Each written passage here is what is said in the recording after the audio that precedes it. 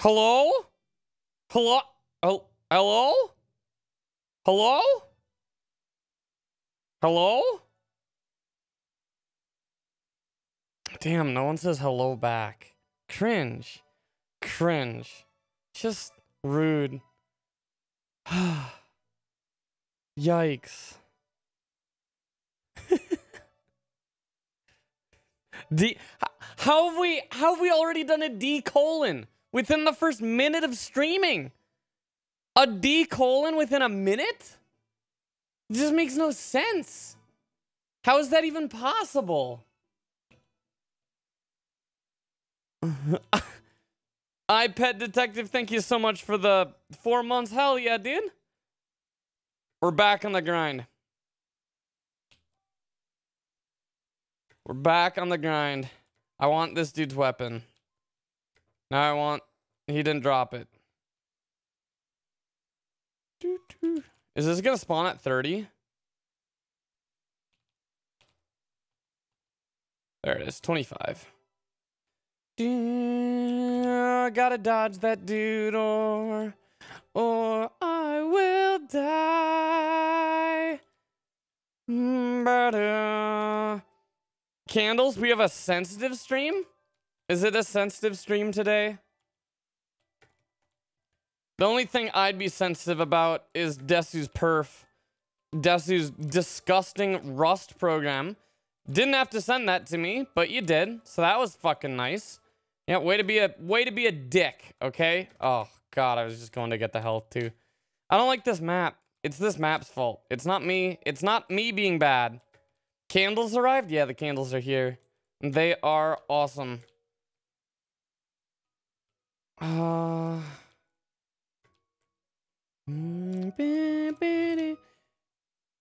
I need to like get my weapon. I need to get my weapon. I need to get some ammo.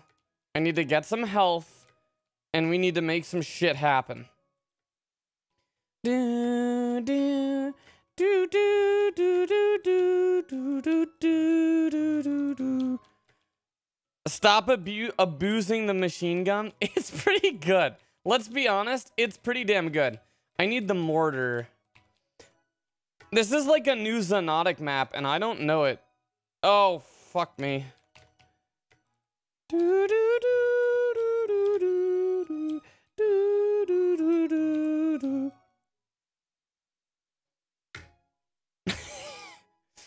I put the maps on five minutes. I'm actually gonna lose this battle. Holy shit. Let's go, let's go get some ammo. Let's do this the right way.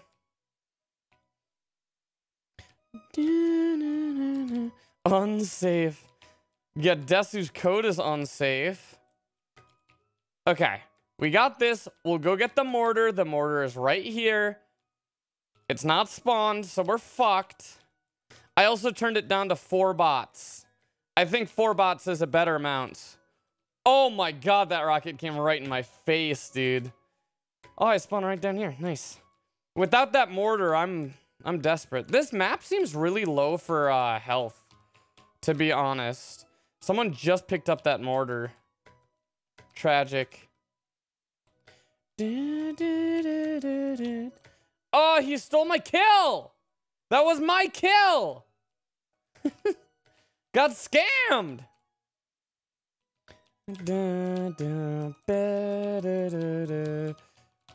Okay, we got the mortar. We got a reasonable amount of health. I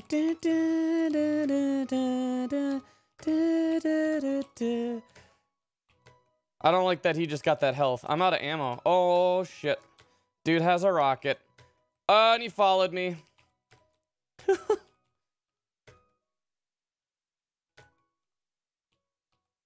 oh, fuck yeah. Get fucked. Noobs. Noobs! I'll pick up that rocket. I don't even want the rocket for myself, but I, I want to make sure that these bots don't have it. Because these bots fuck with that rocket. Oh god, I killed myself. One minute left. Oh, we won. Oh my god, we might not win. Holy shit. Holy shit. Holy shit. Holy shit. Holy shit. We might not win. There we go. That should secure our win.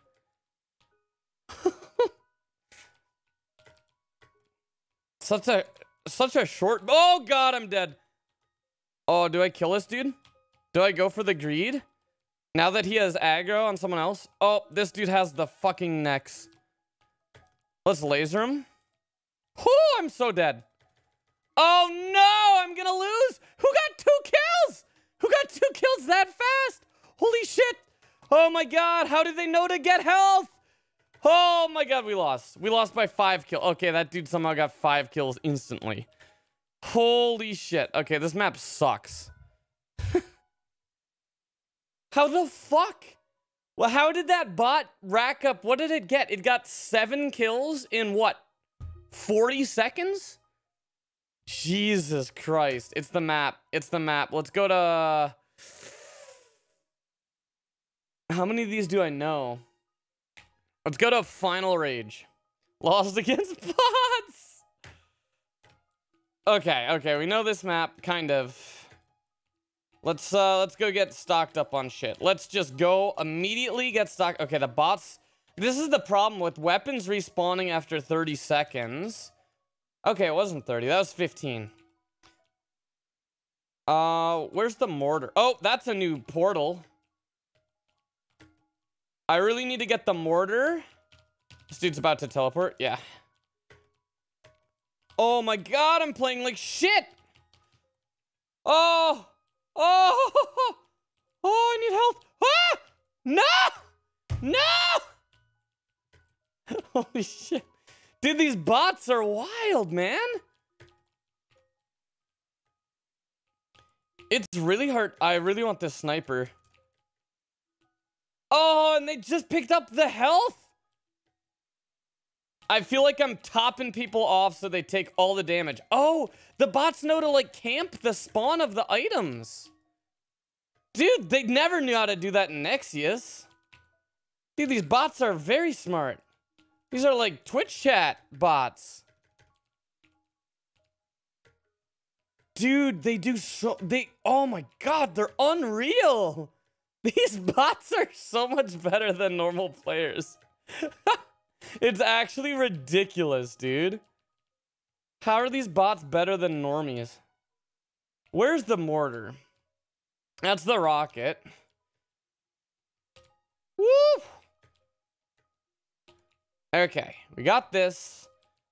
Where's the mortar on this map? Down here in the corner. Ooh! Oh my god, dude. You just get instantly killed. Holy shit. How are these bots so good? This is unreal, dude.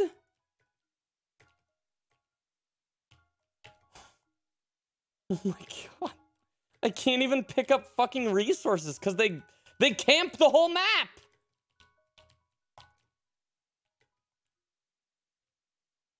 Dude, these rockets.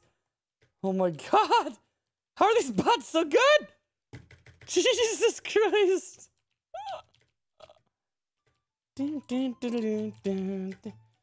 Dude, these bots have full control of the map.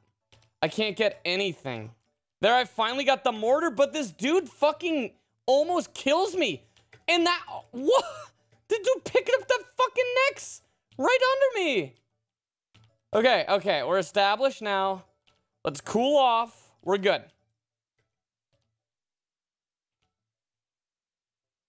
We're good, okay?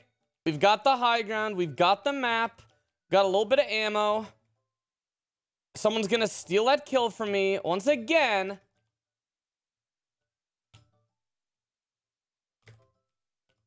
Thank God. that Now someone didn't steal a kill. Dude, what the fuck? How are people getting all these kills? I'm doing, I'm hitting them with the Nex, taking off 80 health, and then by the time I get to them around a corner, they're dead.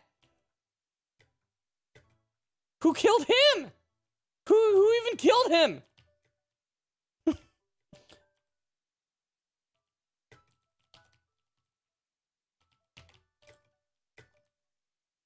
Let's see. Okay, are we good? We have health. Let's start. Oh my god. No one died from that?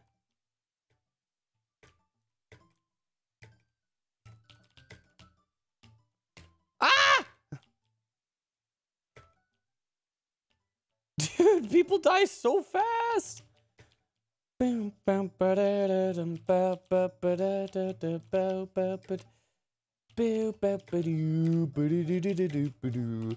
I can't find anyone on the map. Let's find someone.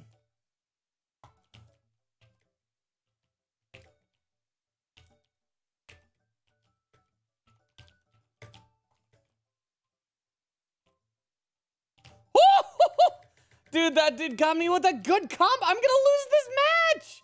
Holy shit. Uh, what do I do? What do I do? What do I do? How do I clutch it? Oh, okay, okay, okay, okay. Oh my god, dude. Oh god. Oh god, I need this kill. I need this kill. I need to not throw away a kill. How do they know to camp this shit? How are these bots so good? Sudden death? What does that mean? What's sudden death?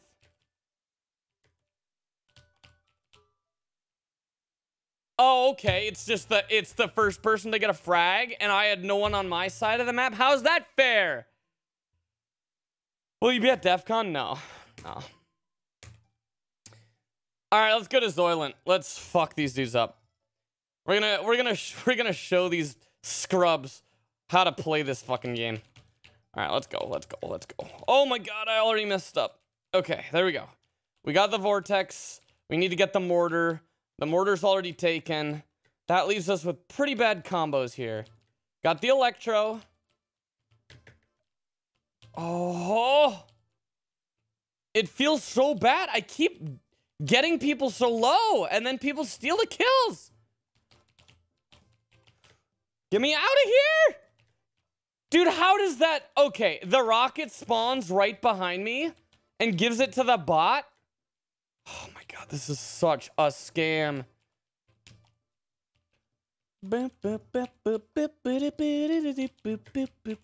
Dude, these bots are so good.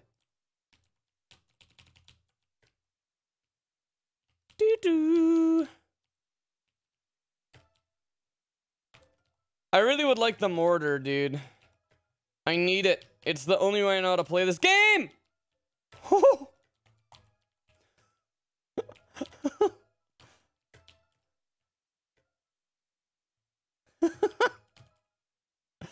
Dude, I'm gonna lose. I'm literally gonna lose.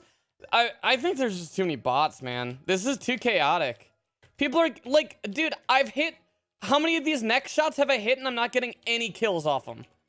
Fuck, dude.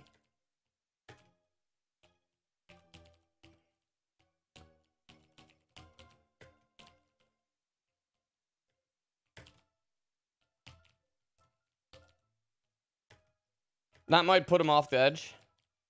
No.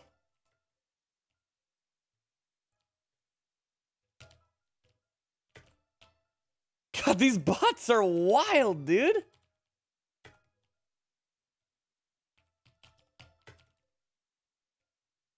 I need to disable that menu.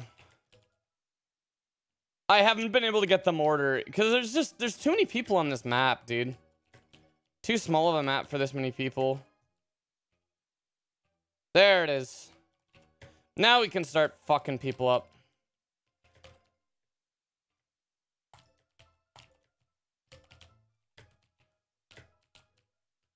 Yeah, now they got no fucking chance. Now they look like little bitches. Uh-huh.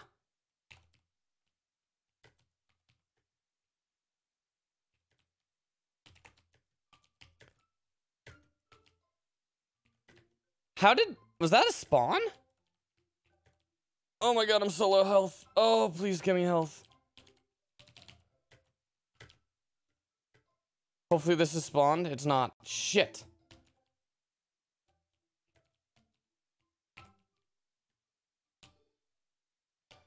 Do, do, do, do, do, do, do, do, do. Yep, someone's gonna get that kill. Oh, I... I landed on the health. Okay, that was big. That was big. Definitely planned. Du,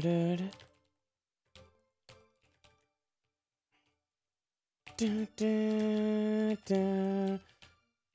Really? I got none of those kills? I landed so much damage, I got none of those kills?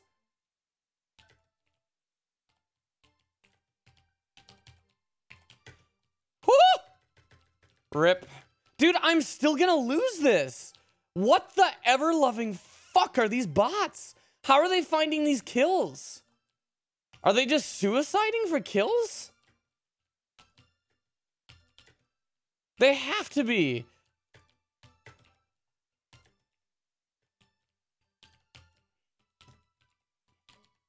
I killed myself. Yeah, they're just suiciding. We need to, like, turn up respawn times. These bots shouldn't be able to just kill themselves, dude. That's not fair.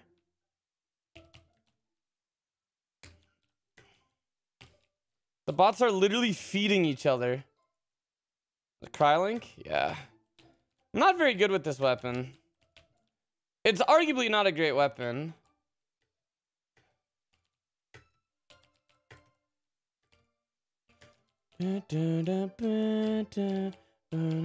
Machine gun? I can make this work.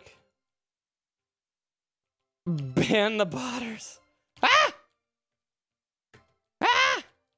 Oh my god, dude! He didn't even drop it too after I killed him. Fucking cringe, dude. Alright, we won. We won a round. We won a round. Alright? Jesus. My man is perfect even while playing. I got pretty lucky there, let's be honest. Uh, what do I want here? Warfare's not a great map for me. Let's try it. Quit while you're ahead? Nah. These bots literally can never win. I'll get I'll get map okay, I need to turn that shit off. Settings. Inputs.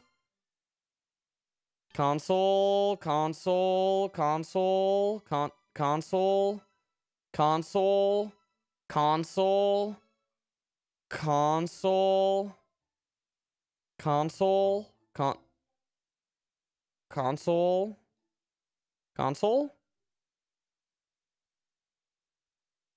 Okay. All right, we're already starting behind. We're gonna get this health, and we're gonna we're gonna fuck people up. Did no one pick it up for that long? When did it despawn? There it is. 12. All right, let's go. Let's go, chat. Let's fucking go. This time, I'm pulling out all the stops. Pulling out all the stops this time. We need to get we need to get all of our weapons right now. Let's get the vortex. There's no vortex on this map. Okay, so we're fucked because that's the only way I know how to play this game. Woo!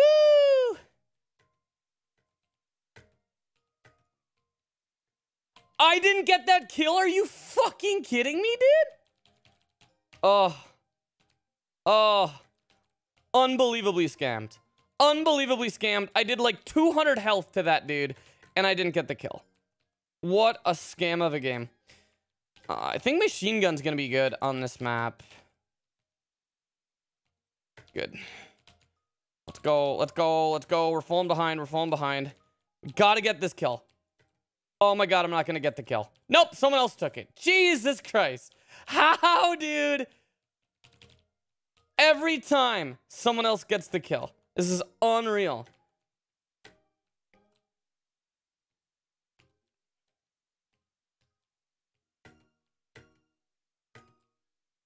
I swear to God, I'm not gonna get that kill. I didn't get that kill! Are you kidding me? What the fuck? How is that fair? Dude, they're like sliding. They, they like know how much health the other players have, and they're sliding into those DMs. Okay, I got lucky there. I got two kills I didn't deserve. Just click on their heads. Ah! Ah! Okay, this weapon, they tuned this weapon. This weapon's way better than it used to be. That weapon used to suck. I'm fucked on health right now.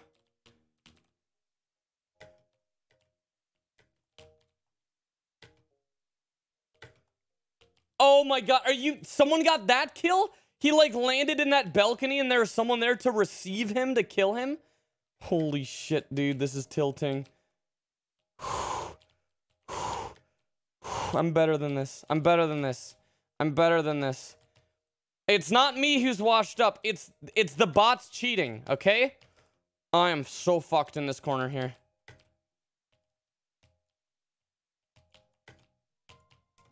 Oh, I cannot go back there. Oh, they removed the portal. There used to be a portal there.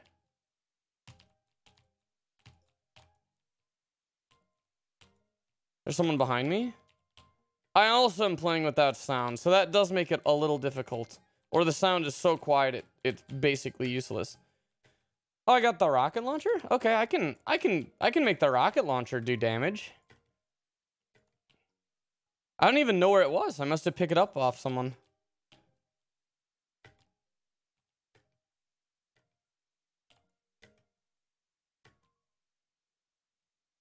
Oh. This is cringe. Cringe incarnate. Am I gonna win? I might not win! Holy shit! I might not win! I have 10 kills in a row and I might not win.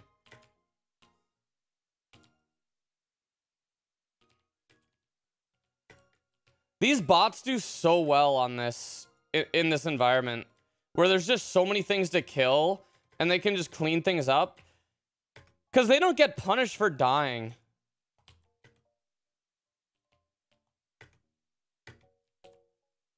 Ooh, I'm dead. Somehow not. Oh, easy. Get fucked, noobs. Get fucked, noobs. Woo! Woo! Woo! Kill secured. Dude. Like, I had one death and I'm still sweating.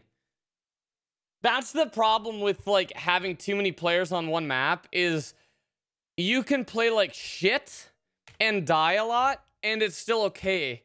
Like if that was heads up, like if this is heads up, I'm just going to crush these bots. Do you do you want to see what happens when I play these bots heads up? Is that what you want to see, chat? You want to see what happens? Let's try one bot. Uh, what do we want to do? Let's try godlike. There's a chance that these are really hard. Uh, and I think this will start on the map that I suck at.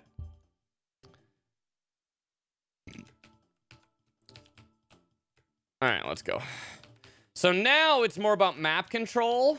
It's more about getting pickups, and this is the more competitive form of this game. Like, no one, no one plays this game, so I need to find... I literally have never been on this map before, so I don't even know how it works. So I need to get the fuck out of here, because I am not ready for that fight.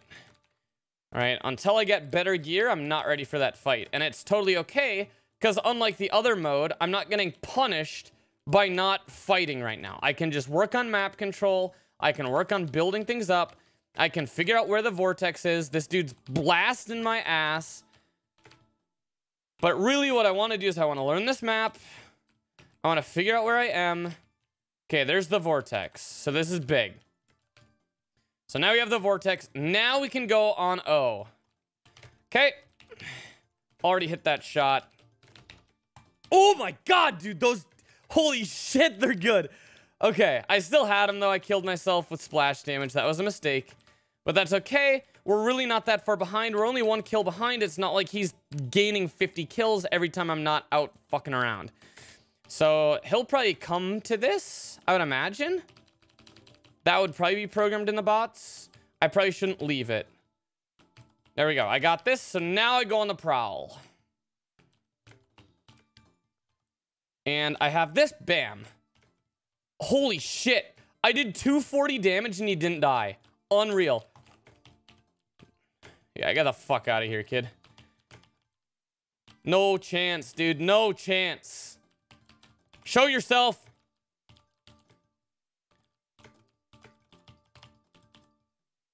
Oof.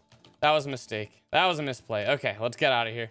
Let's start building up resources again. I want to find that mortar. It's apparently over there. I don't know how to navigate this map. I've literally never seen this map before, so this is uh, a little tough. Okay, let's get some health. Let's get some armor. There's like a mini health. Okay, we're like pretty geared up for a fight. So let's get in there. Now I just need to find him. If I was playing with sound, I'd be able to probably just tell where he is by voice, uh, by hearing him.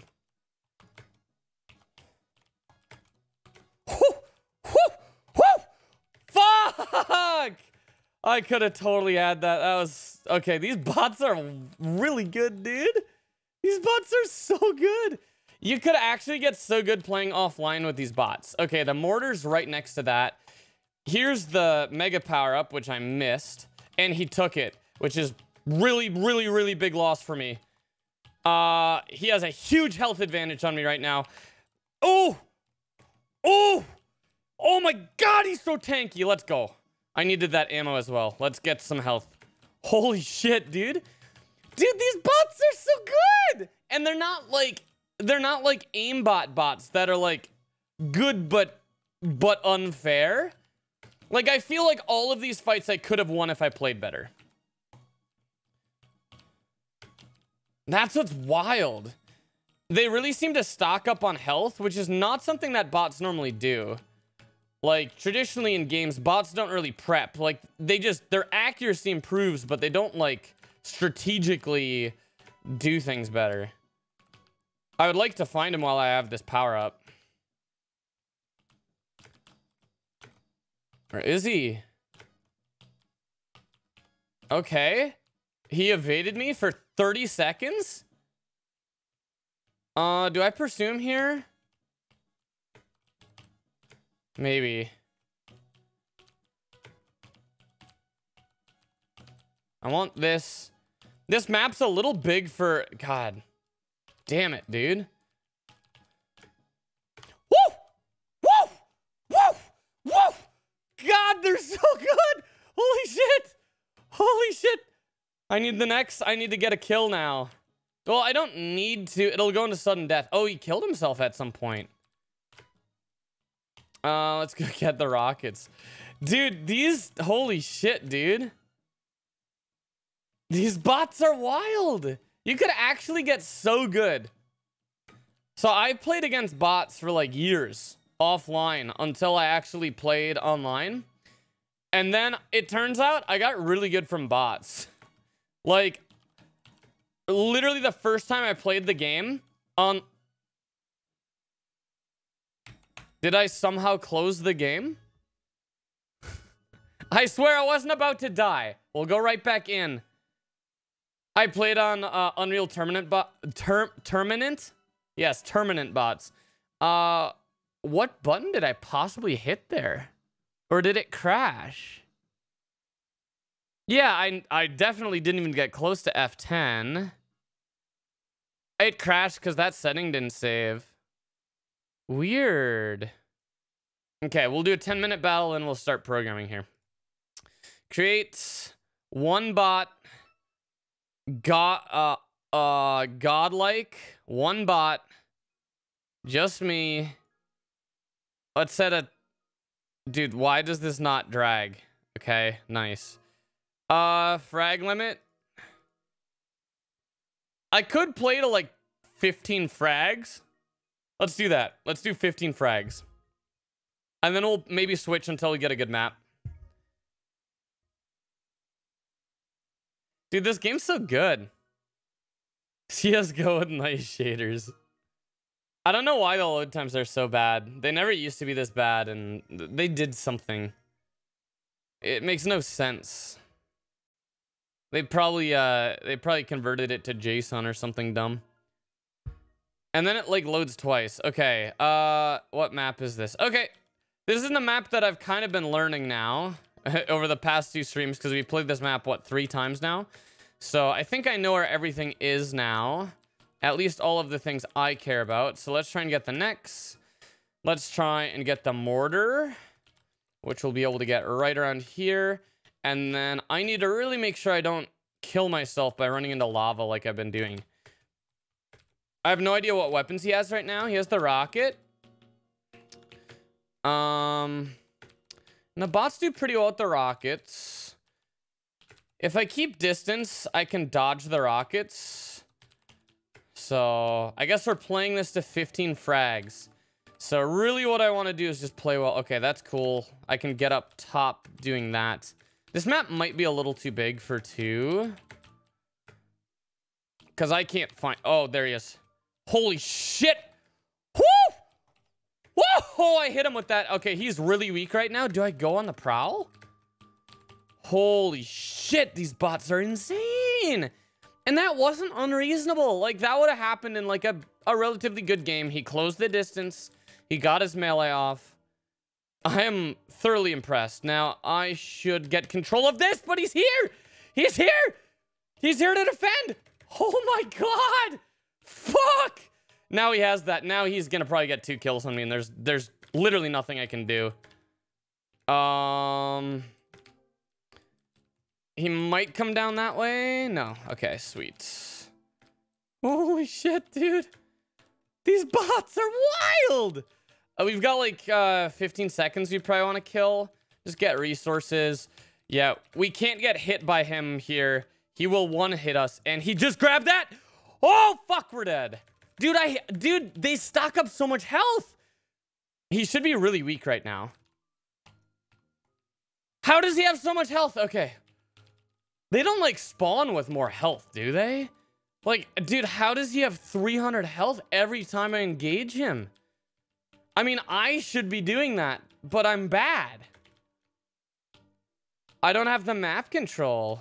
Let's get good ammo. We've got good ammo on that. We need to get the mortar now. And we've only gotten one kill. Okay, let's uh, let's get comfy. Let's set up shop and we'll establish some dominance here. We'll get the mortar. I really don't want to engage him until I have the mortar and the vortex. Okay. And he has every spawn right now. Every single health and ammo spawn. So I want to get control over this. So I need to see when this spawns. And I need to get a timer running. Holy shit! God damn, they're strong, dude. Oh my god, he just got that. Uh, but I can pick up my old Nex. God damn it, dude! Oh! Bah! Bah! Oh! Oh! Oh! Oh! My god, dude! I don't want to move off this, but I want to move! I want to move! I don't want to be standing here! Okay. Go, go, go, go, go, go, go, go. Okay, uh, I don't have the mortar. I'm not really set up right now. I need more health. I need more, uh, armor, like, like stat. Okay, I have no idea where he is. We've got the mortar, so he doesn't like to get the mortar on this map. It must not be path to that. I do want to defend against the Devastator. And I think the Vortex. And I got nothing out of that strength. I literally couldn't find him. There he is. Okay. Ooh! God damn! Fuck! Holy shit! dude, let me let me regen, dude! Rude! Rude! Rude!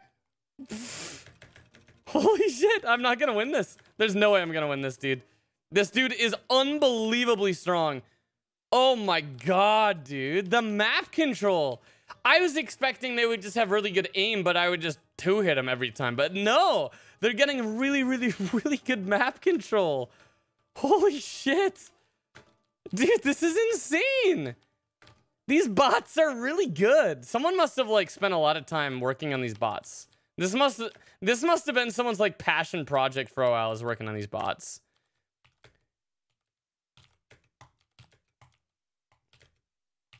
I had to hit three, three vortex shots and two mortars to kill him? Are you fucking kidding me? That's insane. That is insane. He was at like 200 health and armor. Where is he getting that from? Oh my god, dude. This dude's a Chad. Oh, I killed myself. Okay.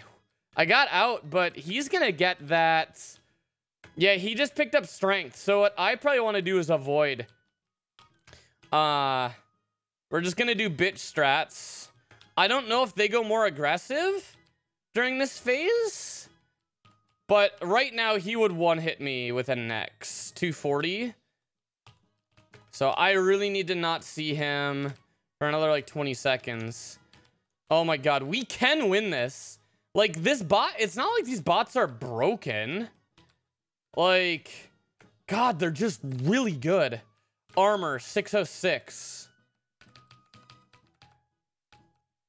Oh, yeah, we got this. Let's go. Let's go. Uh, 12 to, uh, 6 to 12. 6 to 12 on those. So let's keep our eyes open for those and control those now. So at, at 36, we need to get back to the armor, and we need to be in a rotation to get back to there. As long as I don't die here and lose my control, and I'm going to. Oh my god, these bots! I can't jump up there right now. The armor just spawned, but I can't get up there without killing myself. Oh my god, fuck! Dude, these! There's the... Okay, that's not a 50 now. Oh, oh. We can we can win this. We can turn this around. We have to we just have we have to get in it. Holy shit, Chad. Dude, these bots are like really fun. Uh, what did I say? 50 on that? I think 50. So we want to get in position for this spawn right now. Bam. Let's go. Let's go. Oh, I switched away from that at a bad time. Uh, I kind of need to contest that strength. Okay, since I'm not going to be able to contest the strength, he got it. He got it. We're going to grab this armor. While he's... Oh my god, he's going to one-hit me if he... God! Damn it! So that's one place where a human would play way differently. A human there would um, absolutely aggress and follow me in the hallway. So 51 right now. We really need to not die. Uh, we're doing great on health and armor right now. We could honestly go and get this spawn of armor. I think like right now. Yeah, there it is. Uh, seven. So we're on 52 and seven right now.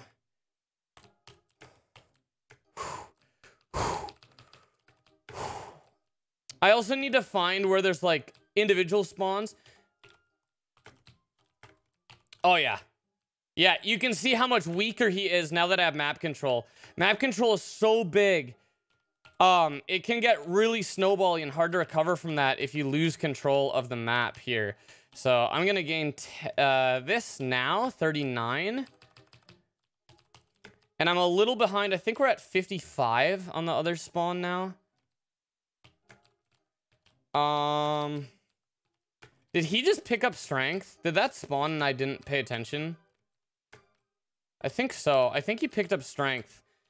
Okay, there we go. Uh, 60. oh my god, chat. Yeah. See how much weaker he is? Uh, it's not because I'm hitting or playing better. It's because he's not getting these armors. So we need to get back to that at 60. I can just so aggressively chase him down here because I know he's going to die in a couple hits. Uh, I really don't want him to get this strength. And there. That was really good. That was really big. Uh, this is now spawned. He went for it. Uh, but that's okay. I cleaned him out. So we lost that respawn, which really sucks. And I killed myself. Oh, I didn't. Okay. I don't know if I'm going to recover from this. I have really good ammo here, and I don't want to die. Really don't want to die. Uh, there's probably a way to get up there without shooting myself, causing damage to myself. So this is at, like, 05, I think, now. Let's try and defend it. Please. There it is. 05. Uh, we need to get armor. We have no armor right now. Okay, that's not spawned. So he's gonna have good armor, but not much health. Okay.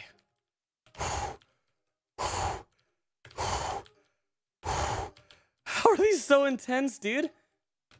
Yeah, I wonder what the way to get up there is. Uh, 35. Here we go. Here we go. Bam. All right, we're in it. We're in it. We need to get an armor cycle. He should be pretty weak right now, but I'm not going to chase him because that's really far, and I don't want to close distance into a rocket. So we really need to figure out this armor timing.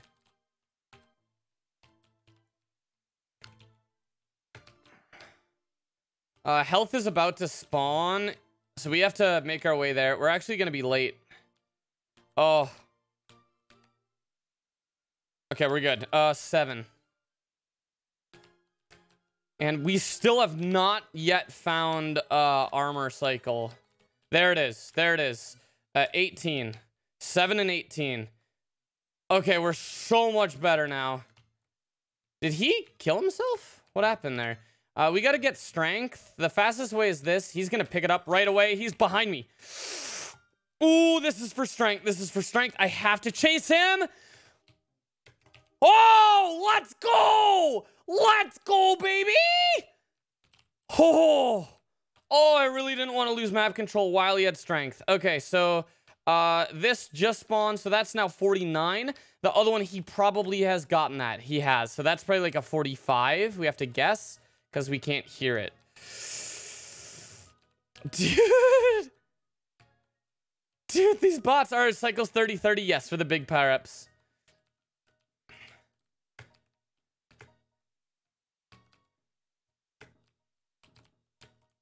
Thought I just saw him. I did. Oh.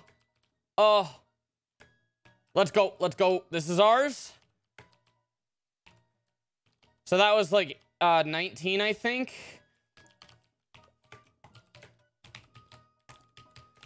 He clearly got armor. Wow. Wow, he was tanky. So he got the armor above. Holy shit, he was tanky there. And that those extra hits, I mean, you're just, you're on cooldown. You can't instantly uh, shoot again. Uh, we're doing great on ammo. Let's go pick this up. Um...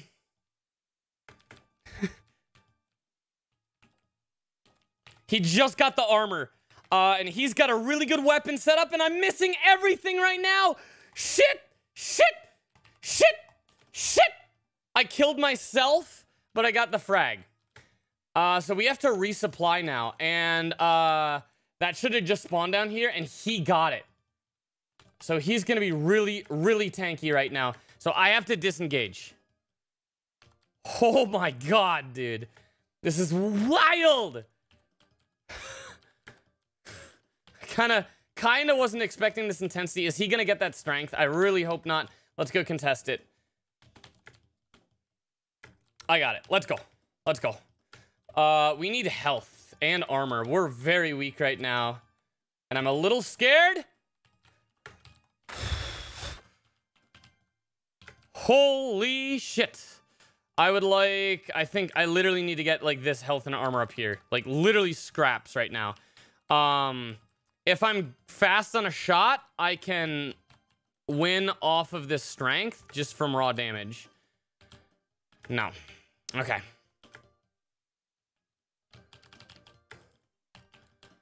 Um, I'm... See, I've never been good at utilizing the mini spawns of health and armor, and I need to get better about that.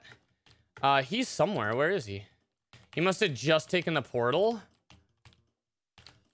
There we go. I just got that at 30. That's not spawned. I would really like to get that armor.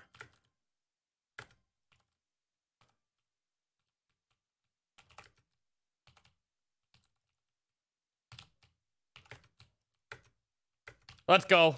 Let's go. Uh, nine seconds on this spawn. We're to take the health. Oh, fuck, I'm an idiot. Why did I leave the spawn? Oh my god, I threw so hard. Oh my god, that was so dumb. oh, I knew it was spawning. I had the timer too. What am I doing? Monkas. We can still lose this chat. If we misplay here, we can still lose this. So let's get this rocket, this devastator here. Mm, he has such an upper hand and he got that armor. I'm going to have to go for the strength. Mm, I killed him. He fell into the lava. Uh, let's go get the Nex now. I think that's the play. Next, this, and let's see if we get either armor. Okay, we get armor. That's great. We've been 53 on the armor. I don't have the mortar. And we missed all those shots. I should have aggressed. I forgot I had strength. Let's see. Oh, he just got that, so he's gonna be tanky as fuck again. Oh! Oh, I landed so much damage on him there. That was a really, really, really good combo there. Uh, okay. Jesus, let's grab the mortar. Whew, what do you enjoy more, this or this or programming? I mean, this is intense as fuck. Mm, mm, mm. I didn't want to close the distance because these bots are really good at close range. And we that's game. I guess it's uh, 15 points, not 15 kills.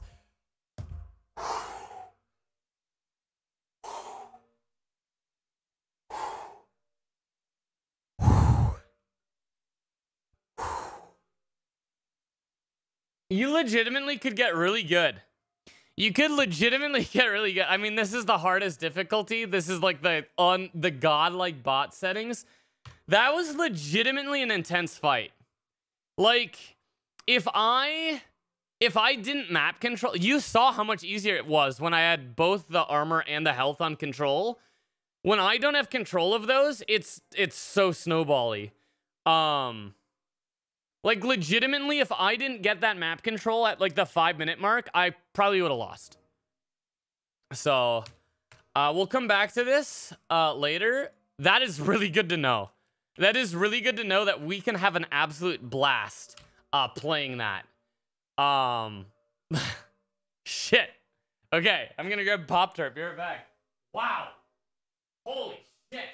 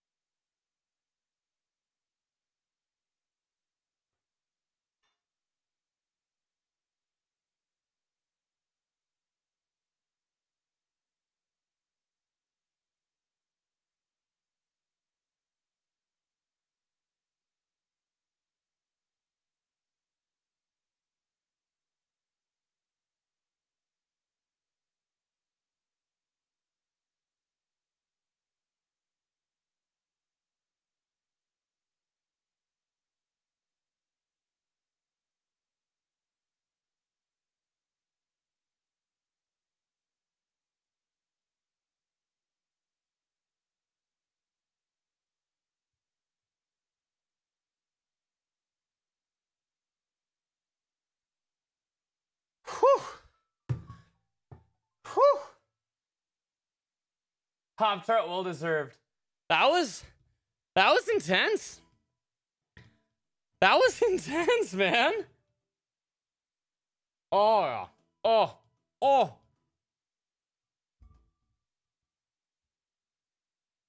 Let's see if I can move the microphone out of frame.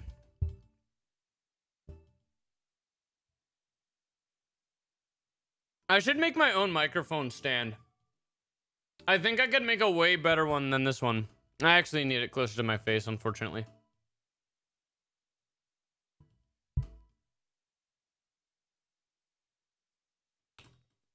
I want a Noga mount for my uh, microphone.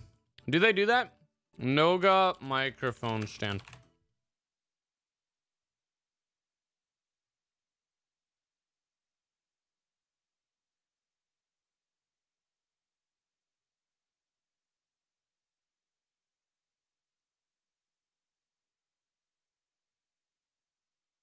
Oh, the big one. I've been, I've been pretty good.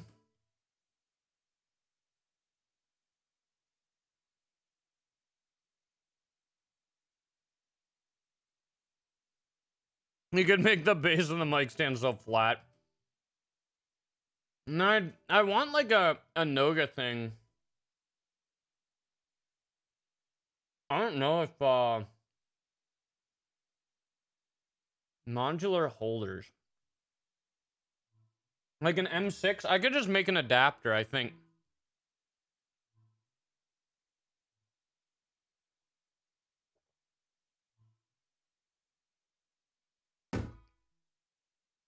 Got mine at Guitar City? Vulcanizer t-shirt? Hell yeah. We're repping the Vulcanizer tonight, baby.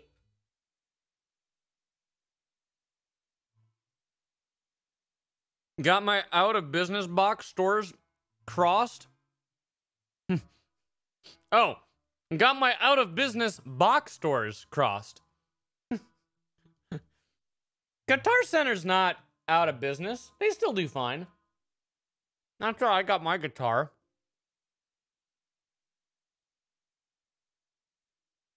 God damn. Any theory crafting lately? No, I haven't been really playing WoW aggressively.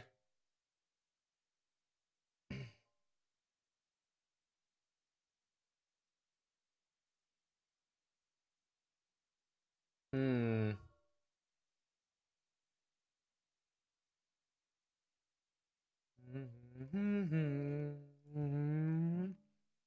Really? I thought they went online only? At least not in my area. Maybe they have a special case. Wanted, uh, I want to try some theory crafting for Off-World Trading Company. A Space Civ clone. Let's see what this is. Let's see how dumb this game is.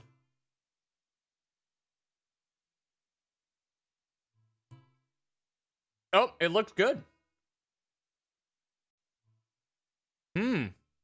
Oh my god, it's cheap. Dude, that Steam sale, though. Graphics look great. This looks really cool.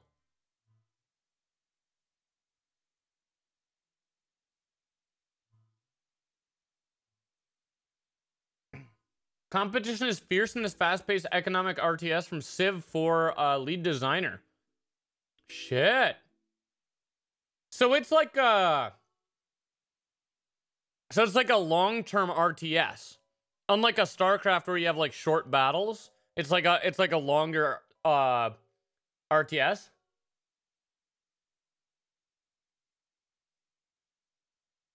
That's pretty good.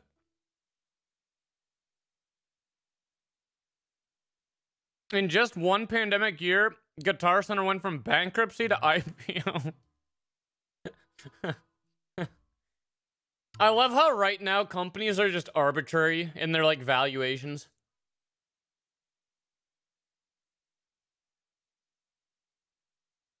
Hmm.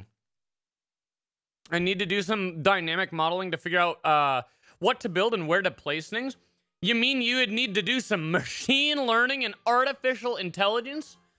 Are you to fit some curves to some other curves? Make some lines a best fit? Tesla worth more than the whole car industry.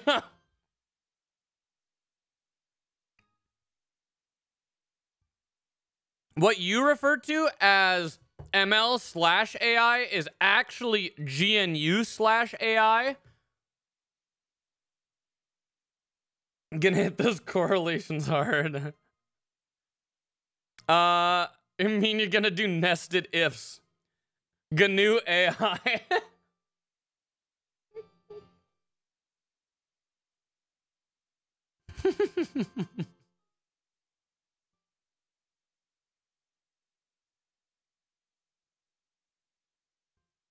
All right. Unfortunately, today, chat, we have to do some hard programming. Like, the things we have to do today are pretty difficult. Um, and I'm kind of scared, okay? Raise your hand if you're scared. I'm scared.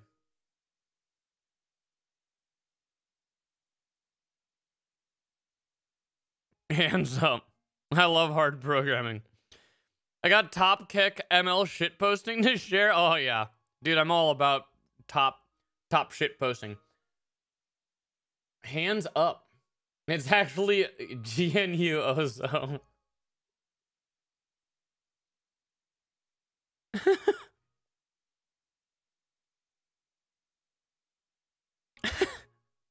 Holy shit.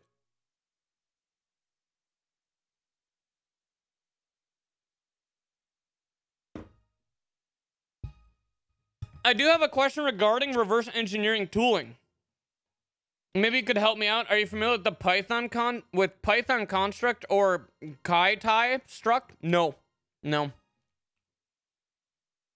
See, my trick is I actually don't know how to do reverse engineering. I'm just very good at figuring out when I do it. But in no way am I a power user of any reverse engineering tools. I'm not good at IDA, not good at Binja, not good at scripting those things, not good at using GDB, not good at GDB script. I'm good at WinDbg. I'll, I'll give you that. I'm good at WinDbg. Not good at like all the tracing things that people write. What's the fucking Frida? Yep. See, I just don't know what I'm doing. I'm just a big poser. Um, mainly because I just write all my own tools. That doesn't make me more effective, but it but I have more fun doing it. And uh and chat, that's the one thing I've learned in the past few years. I'm just doing this shit for fun, man.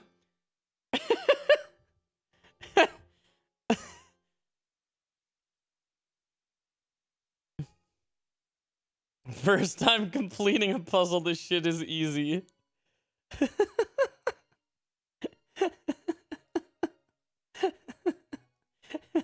That's pretty good.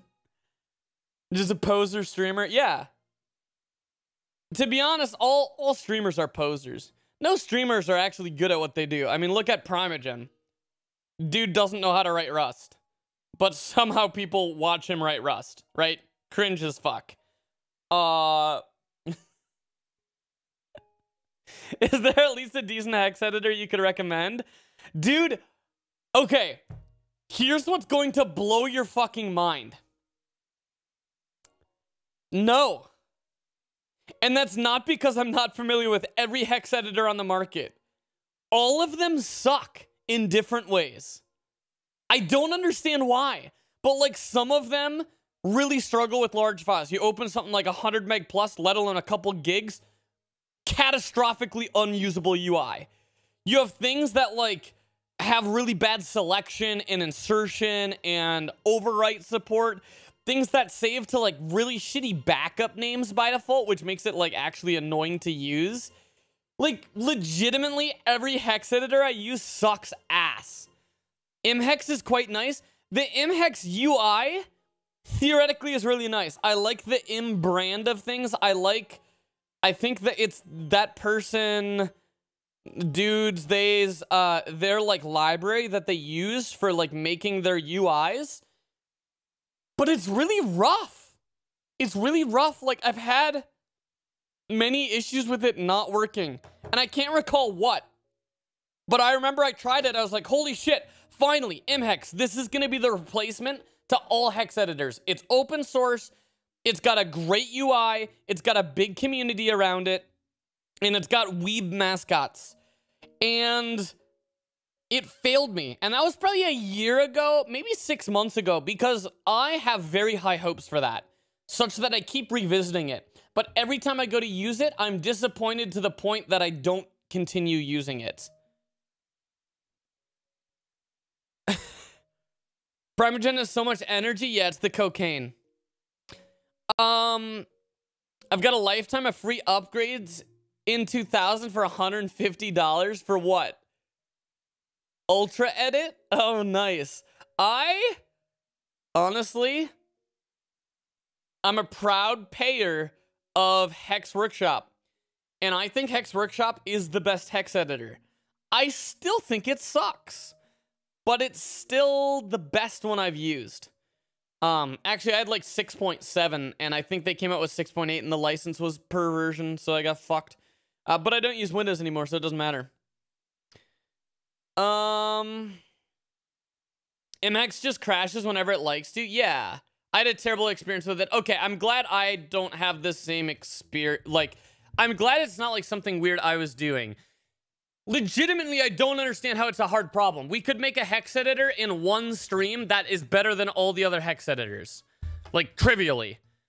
We could make it super fast. We could give it buttery smooth 144, 240 hertz updating. We could have it use like sub 2% CPU usage when idle. We could have it uh, load massive files instantaneously allow seeking and searching of them using threads to search so we could split up a file in chunks so you could like parallel use fucking 100 cores to search a file split it up to 100 chunks and then like add the padding so that you can look for things that maybe straddle one of those boundaries like legitimately it'd be so easy to do it really wouldn't be that hard it really wouldn't be that hard okay um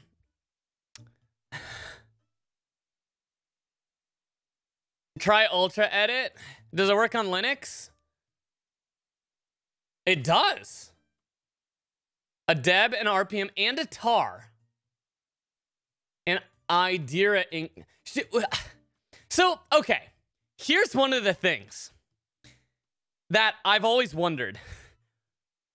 How do these companies, like, exist? Like, I'm pretty sure there are people, like, full-time making hex editors. And there's people full time making like WinRAR and MIRC. Like maybe these are like side businesses, supplemental income.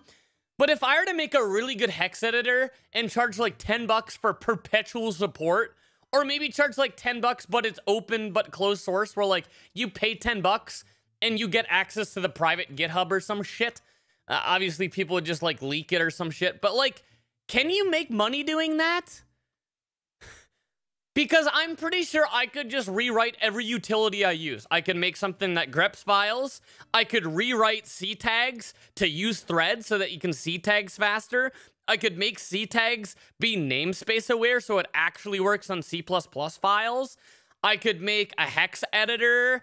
Um, I could maybe make like a disassembler, not like an IDA level disassembler, but like objdump, objdump with a graph view so that when you don't want to open up IDA and spend five minutes analyzing something, you just open this thing up, you get a graph view immediately, you get symbol support for every target, but it's not an actual like reverse engineering disassembler. It's more for like looking at code after you've compiled it.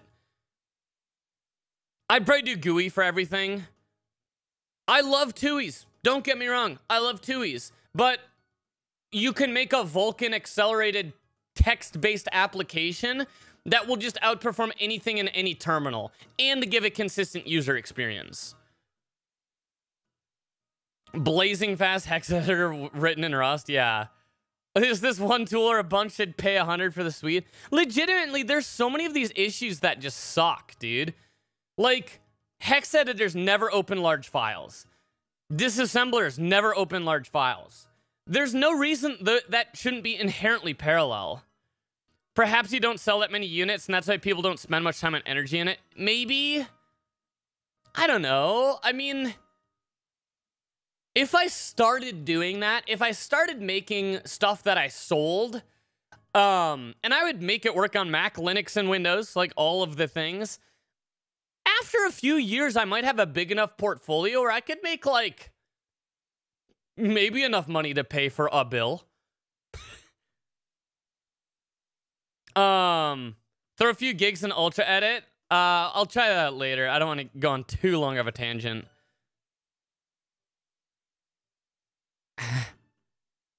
Terminal written in Rust raised 20 mil? What? Huh? What? How do you... Yeah, and I bet it's I bet this is gonna be let's see, is it fast? It says no electron. And if you say no electron or web tech on the front page, you understand how bad those things are. So this is probably pretty good. Oh, is this one of those iOS only things? Because for some reason, people who like making nice software only develop for iOS? Is it iOS only? Yeah, classic. Yeah. AI command search. Can't say I really give a shit. I mean, yeah, to raise VC, you probably need to say you have AI command search, but in reality, it's like a couple stir stirs in case and sensitivity. Don't worry, they only make a web request every time you type enter. Oh, nice. Yeah. I I'm not impressed. I feel like they're going in the right direction in that they realize they recognize what is wrong with modern software, but then they just do those things.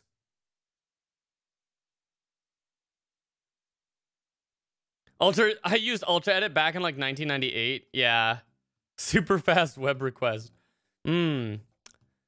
Yeah, I don't know how I deal with like piracy though. If I ever wanted to like sell software, I wouldn't want to bloat and fuck up my programs. I would honestly prefer to ship my programs with like full debug symbols so that people could give me good bug reports.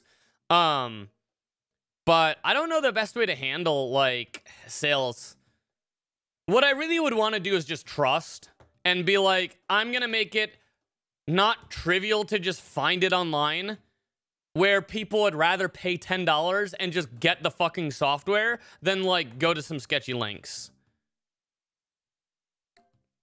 People who pay, pay. People who don't, don't. Yeah. Just do what Sublime does. What does that do? Single key file. People who pirate will likely not buy it anyways. Yeah, I kind of agree with that. I do believe that if I were to do something where it's like open source behind a paywall where like you pay 10 bucks and then get access to the source, someone's going to clone it and put it up on GitHub. Although that wouldn't necessarily be maintained. And like, you're mainly paying for support and maintenance. You're paying to get access to the repo that stays up to date. I don't know. I think that would be interesting. People who pirate are future users, that's absolutely true. I've paid for a lot of software that I pirated when I was a kid and couldn't afford it. If sources uploaded to GitHub, you can DMCA it? Yeah. I mean, even if it's up there and it's not getting taken down, like, it would eventually fall behind. I don't know. That would be interesting. Can always open source and do paid support. The problem is there's a massive financial difference between those. Like, it's very obvious that people who make passion projects open source, put a lot of effort into them, don't make jack shit through donations. Like, I like that a lot. I seriously do. I like that model. But if I were to have $10 to get access to the source, I would probably have 10x the amount of paying people and the same user base. Like, it's just psychologically different. Binja has a pay to update model. Yeah, I suspect that'll eventually change. I don't think that is uh, sustainable. I don't think it's sustainable. It also gives you perverse incentives to not ship good products. Like, I'm not saying they're not doing that. Uh, but like for me, for a hex editor, I would just want it to work on day one. Like, really responsive UI, really good support for loading massive files, good support for copy and pasting in different formats so you can like copy and paste it into like a Rust thing, in a C thing, in like a bin ASCII hexlified format. Like copy it into a bunch of different formats and then, like, what am I upselling? What am I upselling as support there? Obviously, bug fixes when people find mistakes or issues or things where it doesn't work on different monitors. Maybe I update the UI. Maybe I add support for a new language export feature, stuff like that. But, um, but legitimately, I need to start thinking about how to, like, monetize a lot of the things that I have a passion for so that I stop being so fucking salty.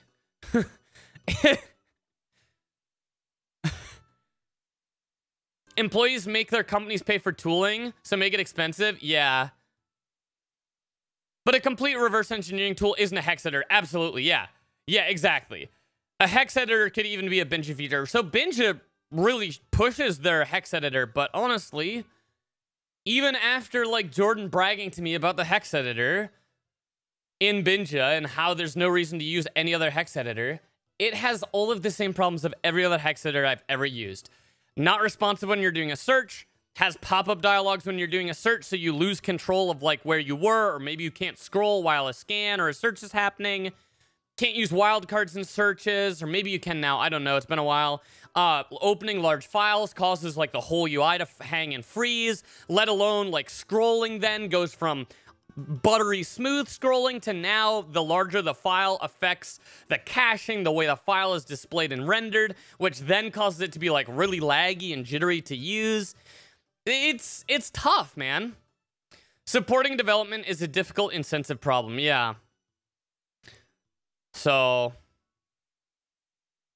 open source, but you have to build it yourself. If you want a binary, uh, just pay a couple bucks. I actually like that. I think that works pretty well, uh, especially if you have an update system. Um, yeah. Did you follow the Casey uh, Muratori saga of the Windows terminal struggling to do 30 FPS? No, I'm not surprised at all. It's all written in JavaScript. That being said, the project manager of Windows Terminal is probably one of my favorite project managers, Kayla, uh, Kayla Cinnamon. Even though I disagree with the, you know, perf and focus on emojis and and animations and color and fancy colors and stuff over like the core functionality of a good working terminal. Um, I think she runs a project really well. She gets people hyped. She hypes up shit for her team. She gives credit for her team members. So even though I personally think the new terminal has a lot of issues, a lot of the things that we see in software nowadays, where things just get slower and more bloated and use more memory and are JavaScript based and just getting shittier over time. I do think from like a leadership perspective, she runs that shit really well, dude. Um that being said, I've never worked with her personally. Um so maybe she's an asshole in person. Probably not. But, you know, you never know. People can have a different face online. Enterprise license can make uh, big bucks on companies. Yeah, I, I could do something like that. Um I really want to make uh a disassembler that's not like it doesn't recover functions. It works with like symbols, but it allows you to very quickly like search uh for just things, whether it's strings or references. That's one thing that's really annoying is like you can't really search for an address anymore in programs because you have to search for the rip relative address, but it's not hard to make a thing that programmatically searches for rip rel references. Like disassemble every instruction or disassemble everything as if it's an instruction, see if it has a relative offset, and add an xref for it. Like, I legitimately think you could make a perfectly parallel, like linearly scaling with cores disassembler that works with recovering like xrefs and stuff. Um, I don't know. So are you gonna make this perfect editor? Probably not. I mean, it depends. Uh, it depends how like work stuff goes. Like right now, I feel I'm a little behind on on what I want done. That's why we're like working on this project. Um, but if this is really fruitful, then yeah, maybe I have a year or two where I just coast and re don't really give a shit. Windows Terminal is not JavaScript. IRC, no, it's not. Um, they told him on GitHub the rendering that rendering Monos response would be a PhD level topic.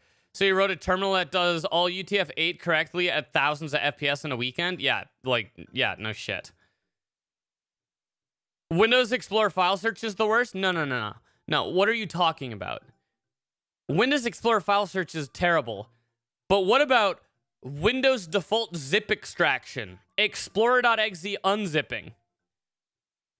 It literally does the exact same thing as all the other things. It's not like it's a lossy thing where, like a search, like a search, you could say that maybe it's slower, but maybe it works better for corporate users. Like unzipping literally is a lossless thing. You get the exact same bits out.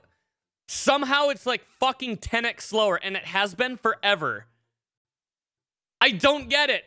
I don't get it. Has nobody has nobody like thought to improve that since what NT or I think Windows 2000 is maybe where that came out? It's unusable. It's literally unusable. You can, if you have like a 100 meg zip file, which is not a very big zip file, you literally can un start unzipping it in Windows Explorer. Realize it's taking a long time. Open a browser, navigate to 7-zip, download 7-zip, install 7-zip and extract it with 7-zip and it will finish before fucking Windows Explorer does. Why are all compressors single threaded? A lot of them are moving away from that. PigZ is really good. Um, and XZ can also uh, thread. So XZ, if you pass like dash T0, it uses all the cores on your box. And it works pretty well. The higher the compression level, like the larger the window is, the worse it scales. But with the default compression level of six, um, you'll get like, I have no problem using like 40 threads uh, when compressing stuff with uh, XZ. That being said, XZ is very, very, very slow uh, compared to like gzip. Like PigZ is probably like 10 to 15 times faster, but XZ saves you maybe 30%. It's usually quite a bit better. I think the guy who wrote the Windows Explorer zip integration in the late 90s talked about it on YouTube. Oh, no way. Windows users are just used to things being trash. I mean, every user. Do you use a browser? Okay, you're used to things being trash. Um, files go back to the Stone Age, granddad. Us cool kids only use apps. Oh, shit. Cringe. Um, at least according to that Verge article from uni professors who uh, were complaining that new undergrads didn't know what a directory was. Yeah, I mean, that's... I mean, uh, it also goes the other way that the uni professors don't know how to write code other than 1985 ANSI C or Java. And uh, anything newer than that is foreign to them. And they're all like, dude, every time I meet someone who's super anti-Rust, it's either A, they had a bad run-in with someone in the community who was an asshole to them. We've talked about those Rust community assholes. But then you have the other side. You have the like uh, I don't want to say boomers because I'm not trying to like make it entirely an age thing, even though it's very correlated with age. People are just scared that their skill set that they think is difficult, which is knowing C, literally like a two week fucking skill set, that's like their only self worth. So they're terrified that a new language comes out and replaces it because they spent their entire life becoming passably good at writing C. Um, and yeah, I mean, I'd be a little scared as well if if things that 12 year olds can pick up and learn uh, in a couple weeks is uh, threatening your career.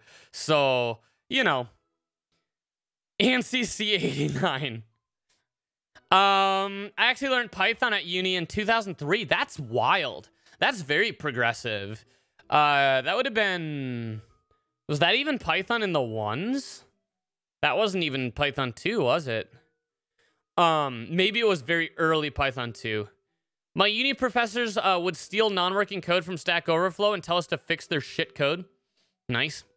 I think Python 1, yeah.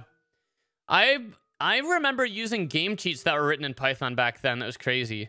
Any update on your fuzzing book? Yeah, no no plans on it right now. It's just, I mean, it doesn't make me money right now, so it's not my focus. Um, not to be greedy or anything, but um, my goal is to pretty aggressively get my business up and running and uh, have infinite avenues for cash before I do something extracurricular. Uh, you're not scared of new languages? Let's do TypeScript next. Gross. Evil. Wrong. Writing book equals hard. Expected money equals small. Yeah. It would be very difficult. And yeah, I would make no money off. Like, legitimately, I would maybe make even if it was a very popular book where like everyone in fuzzing got this book, which they won't because it will be like niche and perf oriented. It's not going to be oriented towards like using AFL. Um, I'd probably make five grand, 10 grand tops, which is like, you can, you can literally make that in like a couple days doing contracting work.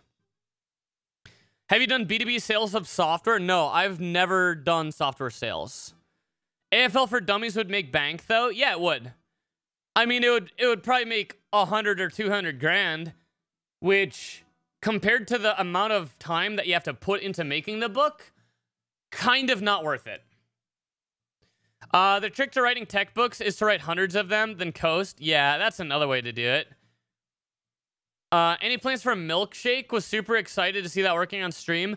We'll probably, uh, that's the IL. Uh, so milkshake, No, I'm probably going to only work on that offline from this point.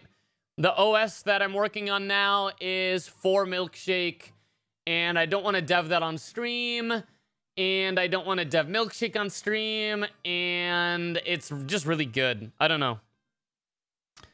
I miss the Matrix monitors in the background. Yeah, I shut that computer down just to see what it's like to have it off. I'm curious how much that changes acoustics or heat in this room. Um, but what about training courses on fuzzing? Yeah, there's good money in that. Yeah, like it, it would be like I would charge 5k a seat minimum. Um, the downside is when you give trainings at conferences, uh, you um the conference probably takes like half of it. But for businesses, that's really easy. Uh, the problem with trainings, once again, the problem with trainings is you have to make the training, which it would probably take like three months full time, three months to make a good training. And that is assuming that you are really focused on making a training. And that's three months that I could be contracting or looking for bugs or doing some other research. Um, so basically, like the first one or two trainings that you give are basically at a loss. Even if you make 100K on each training, you're losing money because you spent so much time working on the training. But then eventually, once you have the material, you start making money. So I do plan on doing trainings, but trainings are going to be like supplemental side income to me. Um, go on site to Fortune 500s. Yeah, that's exactly what I plan on doing. Um.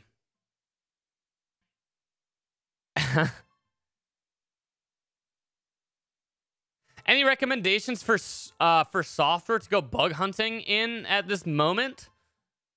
I mean, no. like my good leads I'm not going to share, so I just share bad leads with you. So that's just not helpful. like I have plenty of things that I think are going to be great attack surfaces. Um, but that's kind of what makes them great attack surfaces, right? like, like that's just the nature of it, right? Um, half is fine if they get you like 3x students, yeah. I probably wouldn't want to do a training for fewer than 15 people, and I probably wouldn't want to go over 5k a seat. That's kind of like where I'm at right now. And I'm not going to develop a training until I already have committal to a training by someone. And more specifically, I know this sounds greedy, but it's not meant to be greedy if it's kind of easy to do. I'm pretty sure I will be able to find a company that will pay me on a contract for like three or four months to develop a training and then give it to them for free where I like don't charge for the training itself. And thus I risk free can develop a training while making the same money I would get from giving the training without any of the risk. And then I could give that training from that point on easily. Um, I don't know. But then again, I don't really want to rely on trainings. I personally don't think I would want to do more than four trainings a year. Because that would basically be like four weeks a year where I'm traveling, I'm not at home, I'm not in my elements. I probably have to knock things off my calendar. I'm probably distracted uh, from like other projects. The week or two up to it, I'm probably stressing out about polishing or updating the training. Um, I don't know. I think four four trainings a year is probably the most I'd want to give. But I think it'd be pretty easy to book that. So, I don't know. I've been doing contract work for the past uh like year now. Um and I think I'm comfortable understanding like roughly what workloads and expectations are for different like pay levels and hourly rates. And I'm pretty sure that I can diversify pretty heavily. Like that's my plan is to basically have like three or four contracts that I'm working. Some short-term contracts, some long-term contracts that I rely on, and then some like mid-term, like six-month plus contracts that I'm kind of just like deving stuff for. It's like actually actual work you need to do uh, to earn money, yeah. Where do you get your contract? It varies. Uh, right now, I've been doing contracting uh, with Margin. That's where I released, uh, what did I name that tool? Cannoli. Um, how much do you charge an hour? It really varies. Uh, it really, it really depends. Like, if you want me on retainer, probably like 75 bucks an hour, paid monthly, as if I'm working full time, for me to do like a couple days of work a month. if you want me to do shit work, like big tech, 500 plus an hour, minimum, minimum.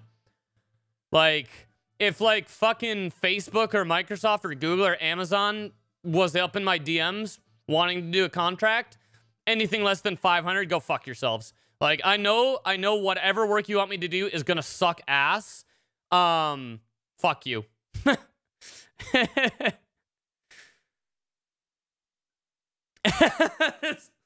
I'm not gonna lift a finger for that shit. Fuck no.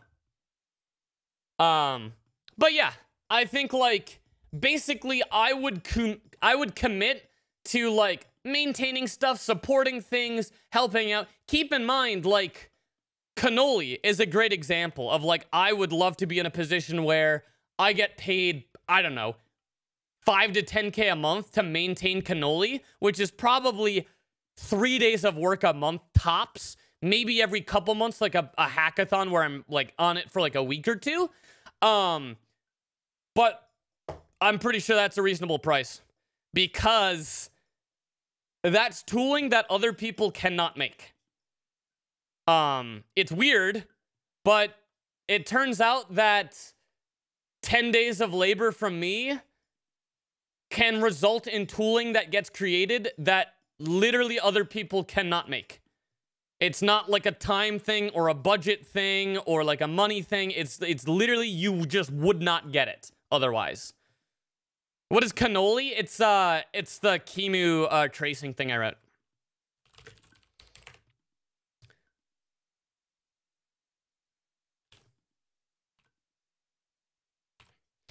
Uh, commands and cannoli. 10k a month for 10 days of work seems fine. Yeah, exactly, right? And and this is where it's fucked up. Um where it's fucked up is I'm pretty sure um the other side would be very happy with that as well. Right?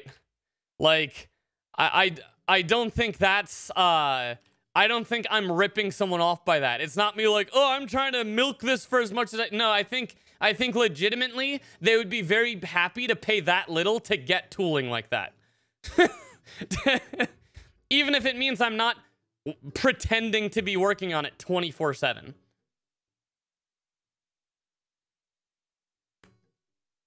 Um, heard about people getting multiple remote jobs and getting full time pay from all of them. Yeah. So I don't really recommend that. Um, I do recognize that that's a thing. There's like a Reddit thing for that. Um, so, um, basically, like with normal jobs, you need to kind of be involved with a team. You need to be involved with le leading or leadership or being in meetings or like doing that sort of thing. Obviously, here's the thing.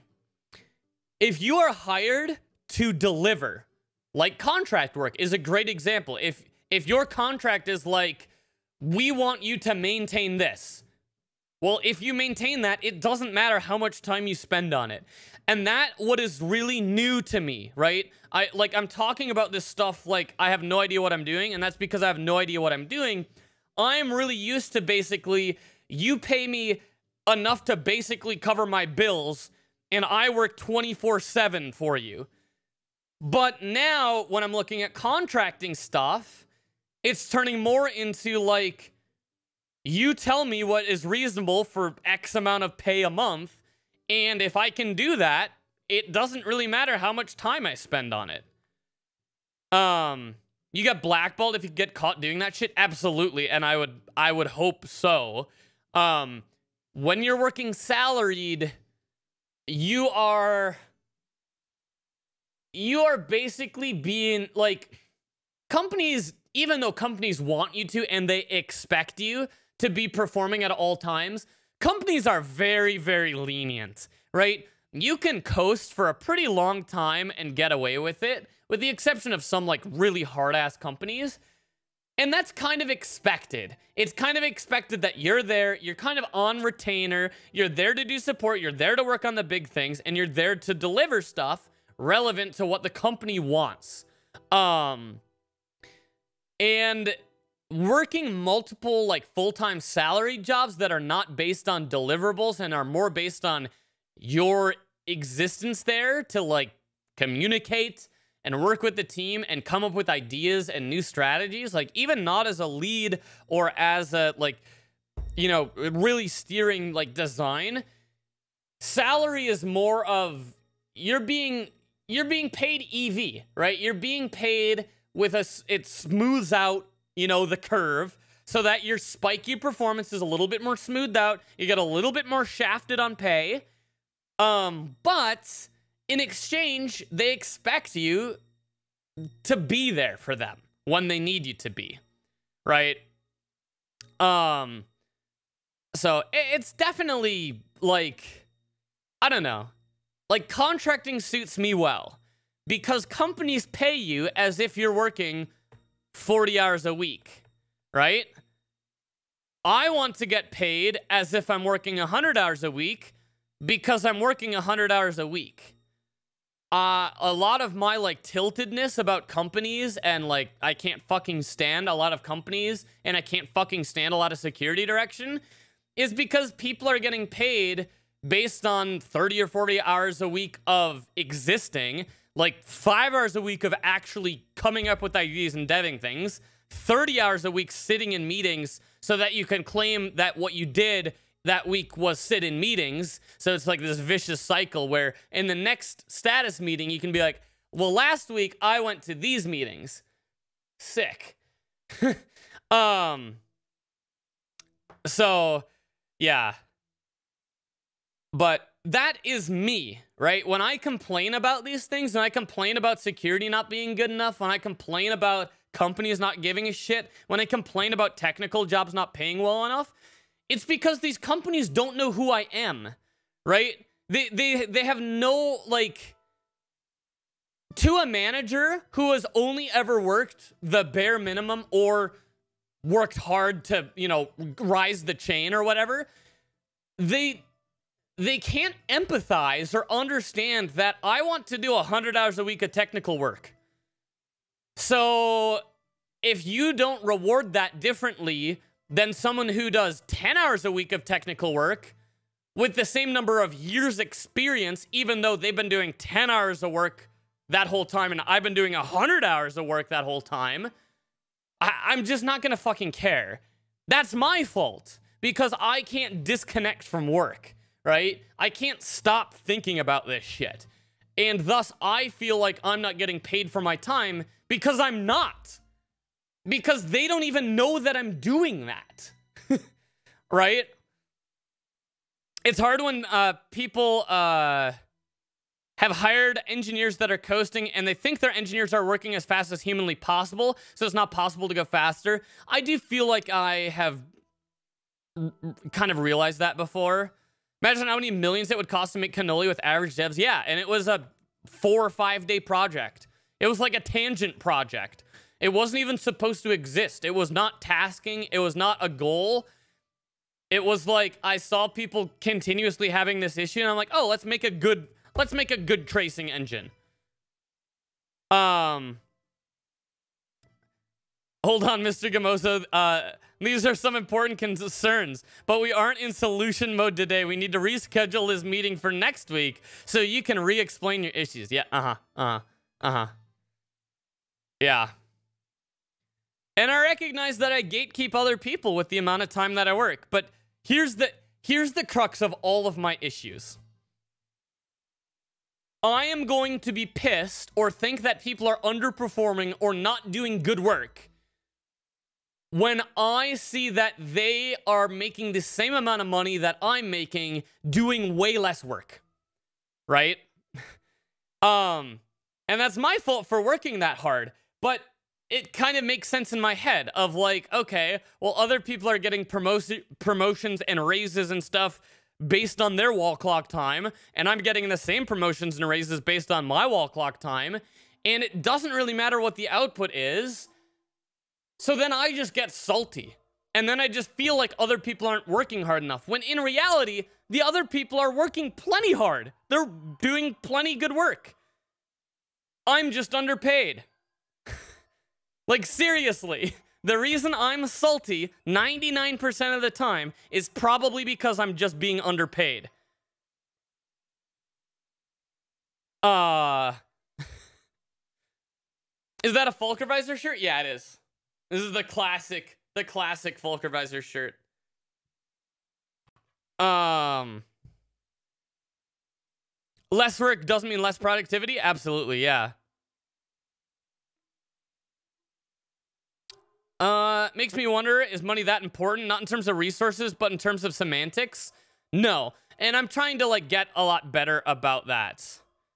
Um, go work for a trading firm? I legitimately have never really considered that until the past, like, few months. Because I feel like I am not a programmer, but I'm pretty sure at this point, trading firms would love to have me. Because every fucking person that I see a blog from that I'm like, wow, that's actually an interesting blog on perf. They work at a trading firm. And I'm pretty sure if I were to talk with any one of them and they were to see my work or see what my passions are, they'd be like, holy shit, you belong here. they care so much about high performance stuff. Yeah, exactly. Yeah. That's something I've thought about maybe dabbling into. Um, and I actually have pretty good knowledge of trading stuff. Uh, do you have any cool perf blogs to read? Not off the top of my head. The lowest latency stuff is now all FPGA. There's uh there's a lot of uh, Val work, but it's all C++. Yeah, I mean, even that though, like,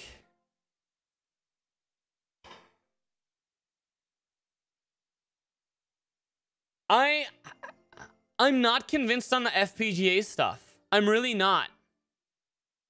Like, I recognize that theoretically it should be the best way to go for latency, but I also think none of these firms have ever seen an RTOS running on x86. Like, I've seen x86 and computers in a completely different way than most people have. When most people think computers, they think like one to five millisecond context switches, interrupts, you know, interrupt batching, delays on those things, queues, you know, putting things on work queues when things come off a NIC. Like, don't get me wrong, I'm sure there's people have who have like done really low level stuff, but I wouldn't be surprised if I were to join a trading firm that I would be one of the first people there who has actually written like polling based real-time operating systems on x86. Um the cutting edge uh, firm uh, wire to wire is less than 100 nanos. Can't even afford PCI latency. Yeah, that sounds about right. That sounds pretty good. We don't have time for that shit? Yeah. I've worked at UBS Schwab. Okay. I mean, like, I'm mainly speaking from, like, some of the tech blogs I've seen, which might be, like, higher level things. I'm sure their direct high frequency trading stuff is there. But also, there's a lot more to trading than execution decisions, right? There's a lot more, and like being able to quickly turn it around an order is kind of different than being able to process that sort of stuff.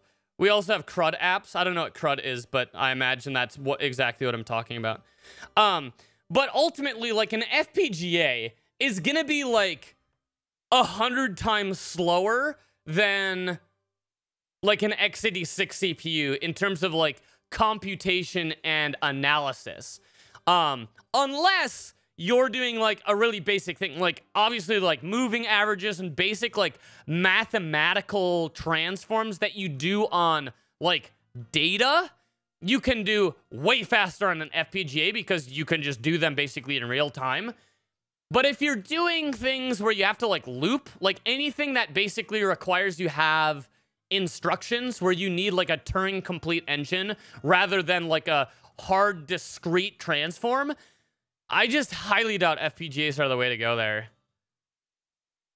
Most FPGAs have built-in low latency dumb ARM, cores. Yeah, yeah, for sure. Oh, create, update, delete. Yeah, yeah, okay.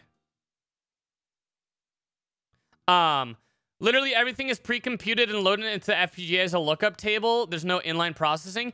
Like, so the thing is, here, here's the thing. I agree with you.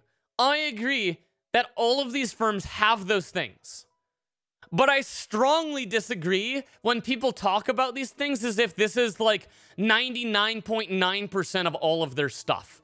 When in reality, it's like a tiny sliver of what they do. And at the end of the day, they still have a shit ton of people running like analysis stuff in Python scripts, right? Like even in the high frequency departments, you know, you have the FPGA devs, the people doing that shit. Keep in mind, I'm talking on my ass because I've never worked in this field, but there's just no way all of these people are doing FPGA dev and like branchless, conditionless logic. Like, a lot of this shit is going to be people doing ML and shit in Python and analysis and in that environment.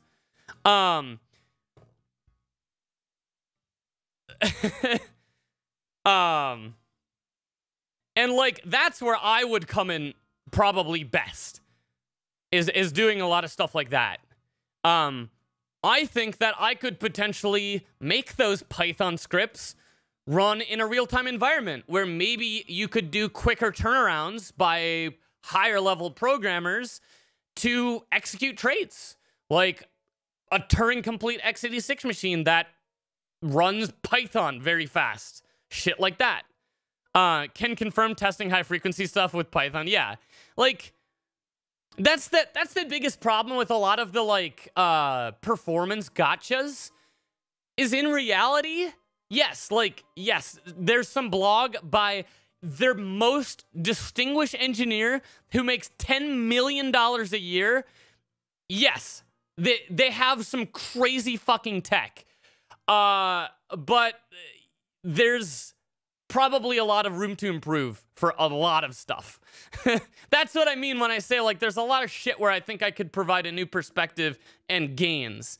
Uh, I'm not saying that I could universally make everything better at those places. Um, if you could rewrite pandas to be 10 times faster but uh, keep a 100% compatible API, you could charge millions. Yeah, I'm pretty sure I could write a like glibc compatible Linux replacement where basically it implements all of the syscalls that you would use in like a, a libc glibc application. And i'm pretty sure i could just make that like 10 to 100 times faster than linux for like io bound stuff. Um like imagine you just take the read and write apis and the like send and receive apis and by default replace the Berkeley implementations with the same API, but under the hood, it just goes to an io_uring. Woo! Pandas' is data processing stuff? Yeah, it's... It should be impossible to get a 10x speed up on anything that processes data. IO bound stuff and things with context switches are really where you should get those gains. AWS has positions uh, for you for those kinds of things. Well, AWS won't hire me for anything other than security because I have a history in security and no one wants to take a risk. Um, we use Kafka and hybrid on a hybrid confirm orders that weren't HFT or hybrid cloud orders that weren't HFT. Yeah, yeah. And like that's where I think I could really, really help.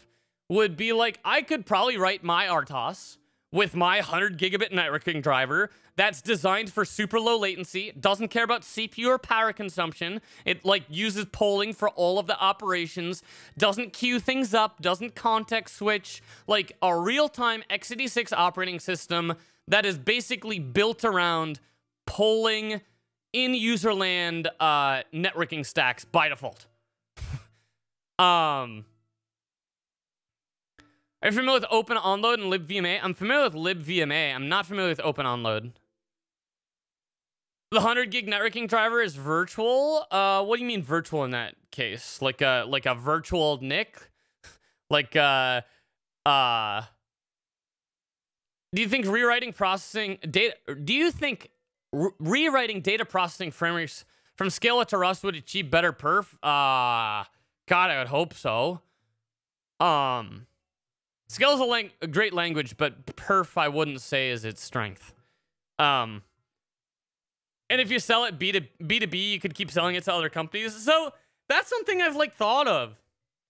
And that's why I get like a little bit more scared of open sourcing stuff willy-nilly.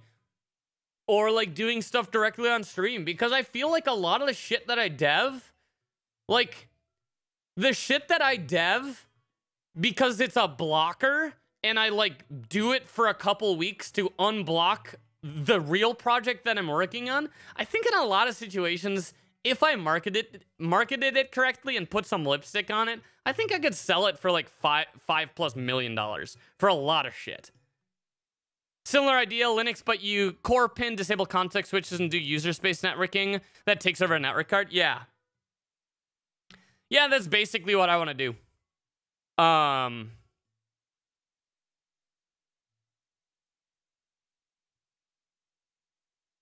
Yeah.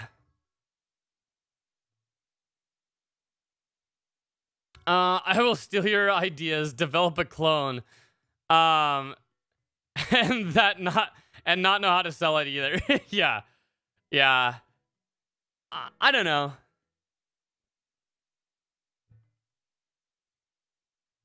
Um, and then not know how to sell. Yeah, yeah. Halvar's uh, Flake uh, also switch to optimization stuff. He can help you. Halvar's Halvar has already reached out to me and said that if I ever have an idea, he's on board. Um, which is some of the highest praise I've ever gotten in my life. Uh, but I think Halvar and I are pretty similar in that in that realm. And uh, I also want to get out of security. And when I say get out of security, it sounds like it's like a big career change where I have to like study in reality, I think I'm I've been more valuable outside of security uh like doing programming stuff or just high performance or literally like architecture and design um just my whole life. Security as a career fucking blows. Yeah, it just I would enjoy security or I would enjoy defensive security if the companies cared. Um, and that's a mix of increasing staffing and that's a mix of higher pay. You're just amazing at high performance programming. Yes. Uh, it's sad in so many ways they don't. Yeah, exactly. Is there really a worker shortage in security? I mean, probably. I don't know. I don't know for sure, but every company that I know that does security is hiring, except for uh, Facebook. uh, company cared as in your employer or your customers? Uh, employer. Customers, I, I don't really want to sell shit in security.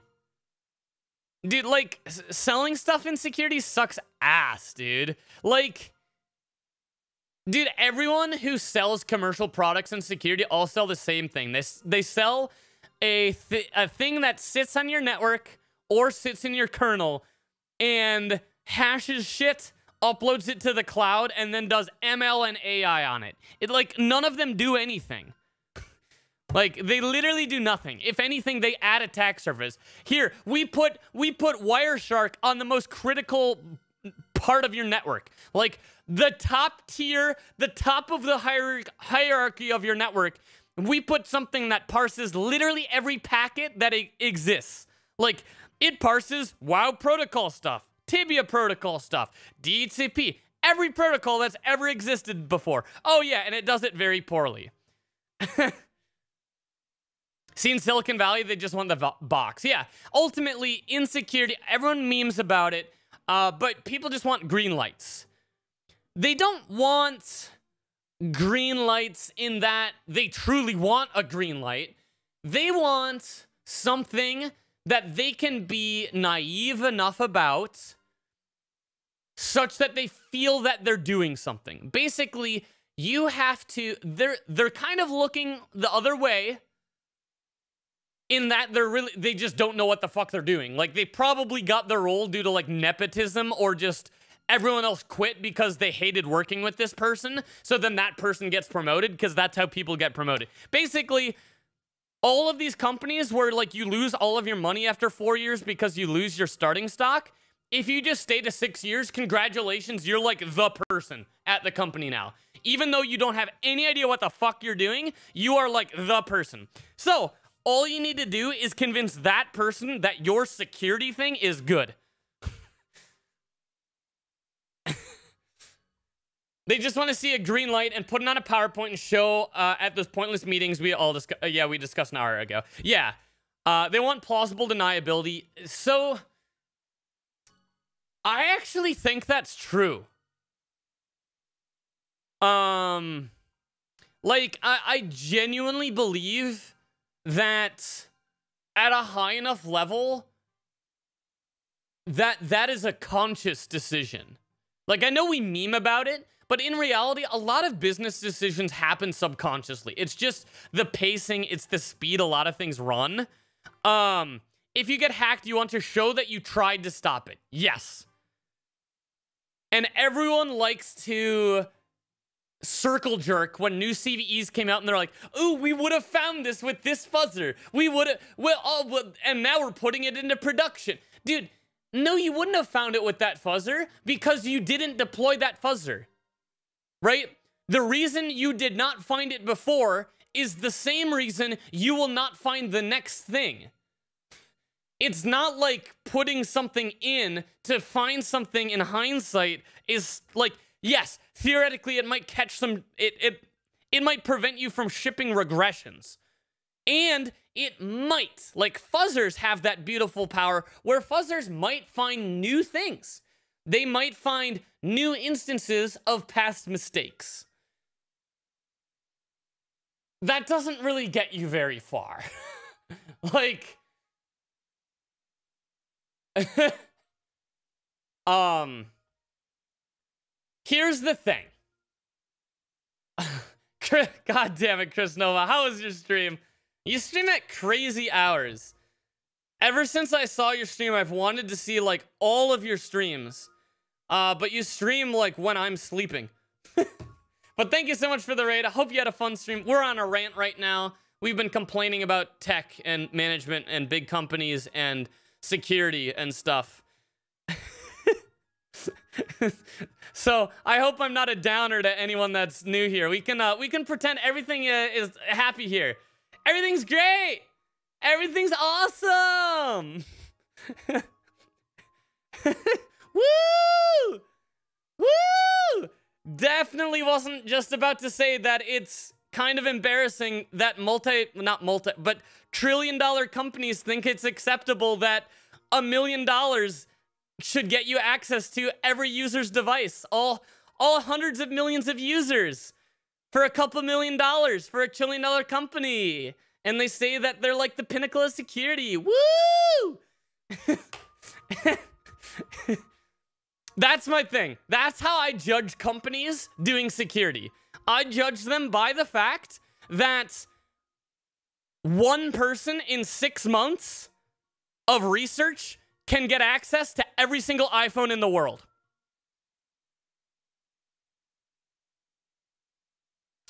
I wouldn't say that we are very secure right now.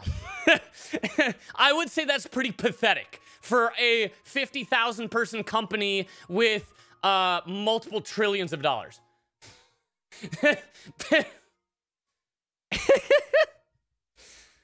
Try using open a 20 gig file if you want to smile about something. That could be a fun way to go. Just don't use an iPhone. I mean, iPhones are by far the most secure like mobile devices you can get. Uh, that being said, Android has gotten better. Um, Android's gotten a lot better. Better than a hacker coming up with a billion uh, people's police data and selling it. Yeah. So that happens uh, with China. Oh, are you referring to a specific story? Meanwhile, shitty crypto projects paying 10 mil for bugs? Yeah, because they directly lose money to bugs. but how's everyone doing? How's the stream? How's Kris's stream? What is she working on? Just run raw Linux on your phones. Yeah, yep. Security through obscurity. Just run your own OS. Hey, hey. It'd probably work. I'd probably need to be nation stated if I was running my own OS. Presses off button. Hack me, bud. uh, too bad your Intel management engine is still running. and so is your network card. and your sound card. On Reuters, uh, hacker claims to have stolen 1 billion records of Chinese citizens from police. Nice. I mean, we had the massive credit card, uh, not credit card, but, uh, credit reporting agency in the US. Uh, was it Equifax? I mean, they've all been hacked at some point. I think it was Equifax that just got completely cored out. Uh, which I'm not laughing because it's it's good that it happened, but I think it's hilarious. I feel I feel bad for the consumers that had no choice in using Equifax. OPM and Equifax. I mean, OPM is OPM probably gets hacked yearly. We just don't even detect it. Uh. oh my god. All right, chat. So we could do some uh, we could do some dev. How about that? It's been two hours since we started the stream, and we've done nothing except for uh, rant. No one can hack my banana phone. All right, who here had cool phones growing up? Like who here had like a hamburger phone or like like a landline phone? Like who had cool phones? It's getting light behind you. Hell yeah. Sun's starting to peek out. Oh? Nokia. I had a landline. I, I mean, I'd imagine most people here would have a landline at some point. Droid X Rooted was my baby. I had a French fry phone? What is a French fry? How do you turn a French fry into, was it like a bundle of French fries?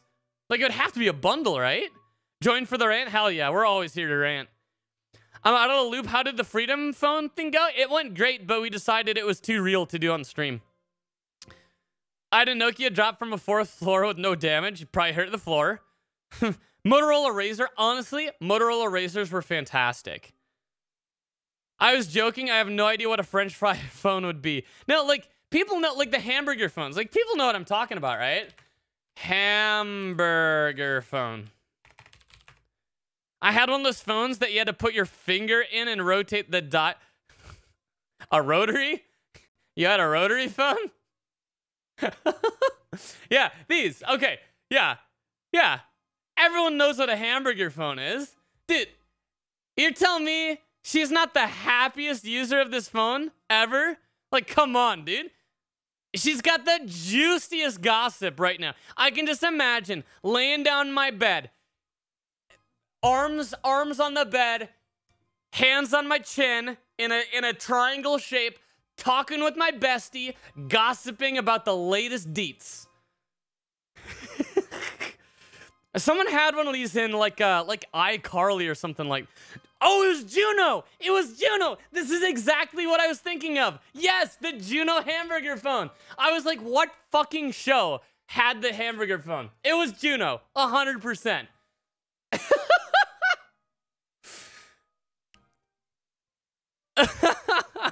Motorola Razr is still being sold? Really? I have, uh, I think, two razors sitting around. That'd be a fun thing to hack. Dude, it's literally Juno, dude. This, is this Juno? That's not Juno, I don't think. This is Juno, I think? God, now I'm getting confused. Now every time I see a hamburger phone, I just think it's Juno. oh, hamburger macaroons? Uh, or it looked like it were. I don't think they actually were. Um, all right.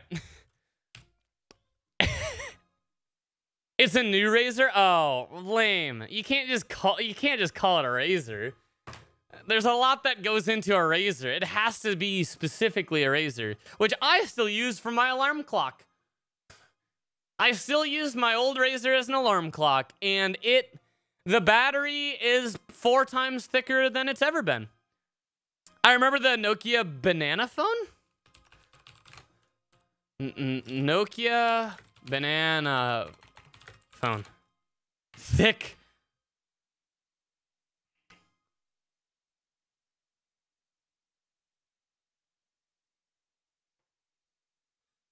Wait, what? Oh, this is a 4G phone. Is this the one you're talking about? Because you can get this in 4G.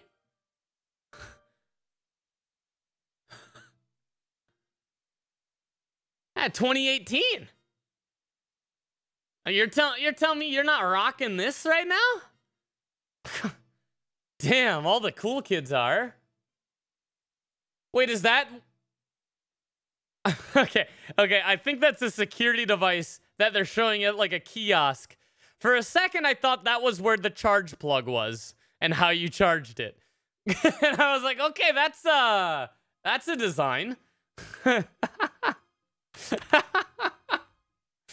I mean, we've seen worse, right? We've seen Desu's code. Ayo, got him.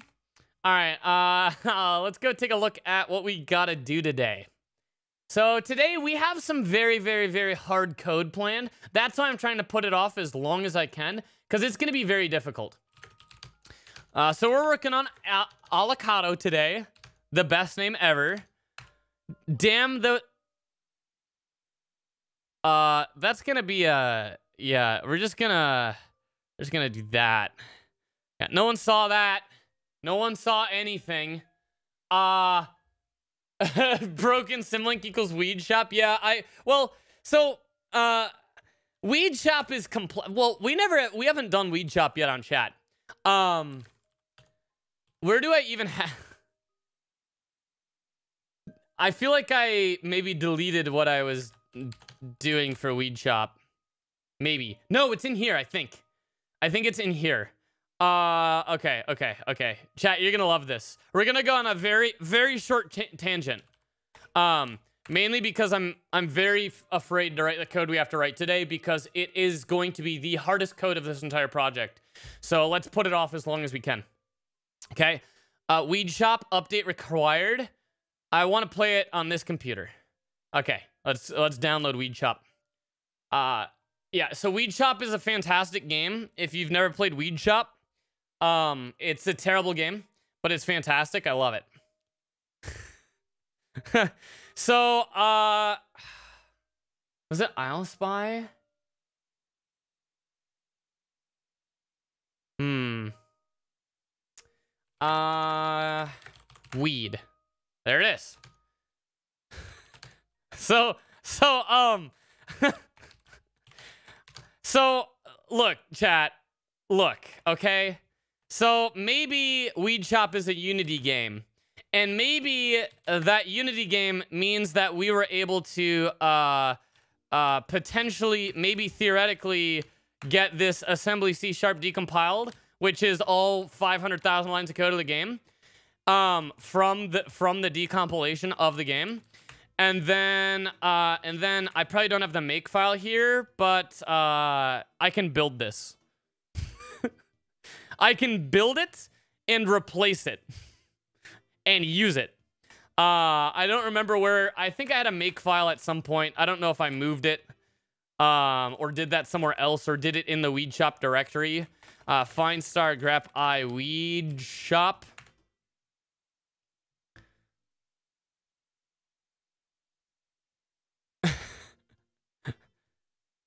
Call your clone Dab Shop. Yeah, I have no idea. Uh, I have no idea where that actually is. But uh, I, I had a make file. It really wasn't too hard to build. It was just like a CS command, and then I have to I had to give it all the DLLs that it pulled in as dependencies. Um, but yeah, it was pretty awesome. So yeah, I have all the stuff here. Um, so there's like a lot of boilerplate from like libraries that they pull in, but there's like the core like weed. Uh, what do they call the? I think almost is their engine because almost games is the company that made it. It's actually really hard to find information about like who made this. Um, but where's like grow? On grow. Hmm. Please set up more growth. Oh, like spawner? Particle spawner, slime, firework spawner. Oh, this is for... This is probably for the 4th of July event. This is probably new code. Unity engines instanti instantiate uh, fire. Oh, no, this would be old because I didn't disassemble the new game yet. Um, 277 hours of Weed Shop? Well, it's fine. It's fine. Don't worry about it. Weed Shop is is fine because it's a it's a it's a grindy game. So I just have it up in the background. I just have it up in the background. I swear, chat. I swear.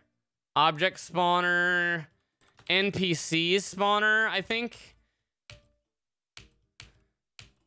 Class NPC spawner.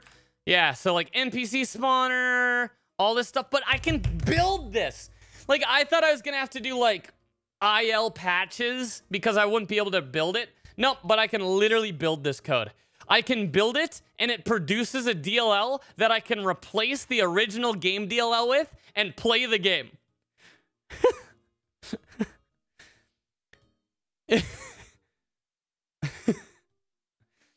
it's it's pretty awesome, dude. Um, but yeah, I was I was mainly doing this to do some theory crafting because I want to speedrun this game.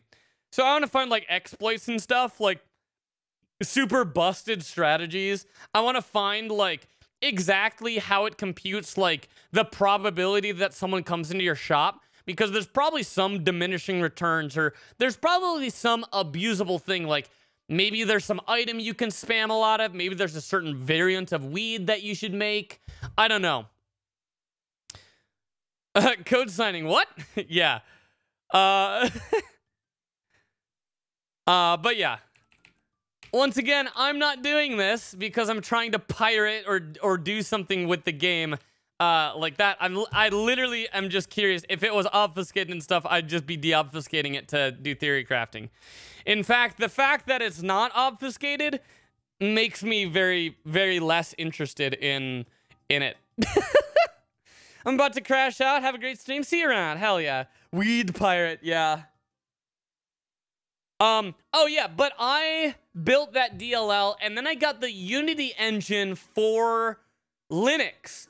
And I actually got the game launching on Linux natively. They only ship a Windows version. However, it doesn't run. Like, it doesn't even get to the first screen because they use shaders that are DirectX specific uh, unfortunately. But I'm pretty sure that if they didn't use DirectX specific shaders, that I would literally be able to just run it on Linux. Hook in DXVK, maybe. I uh, let's be honest, can't say can't say I'm particularly going to put too much investment into it.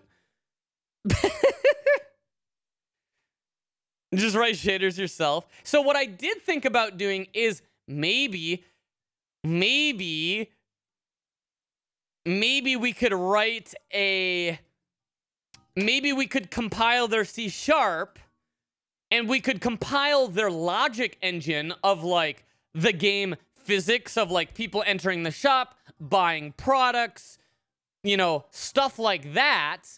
What if we made we ran the game engine, the internal like logic of the game and then got rid of rendering entirely so that we could maybe run it at a thousand X native or scale it out to multiple cores and do like sims and stuff.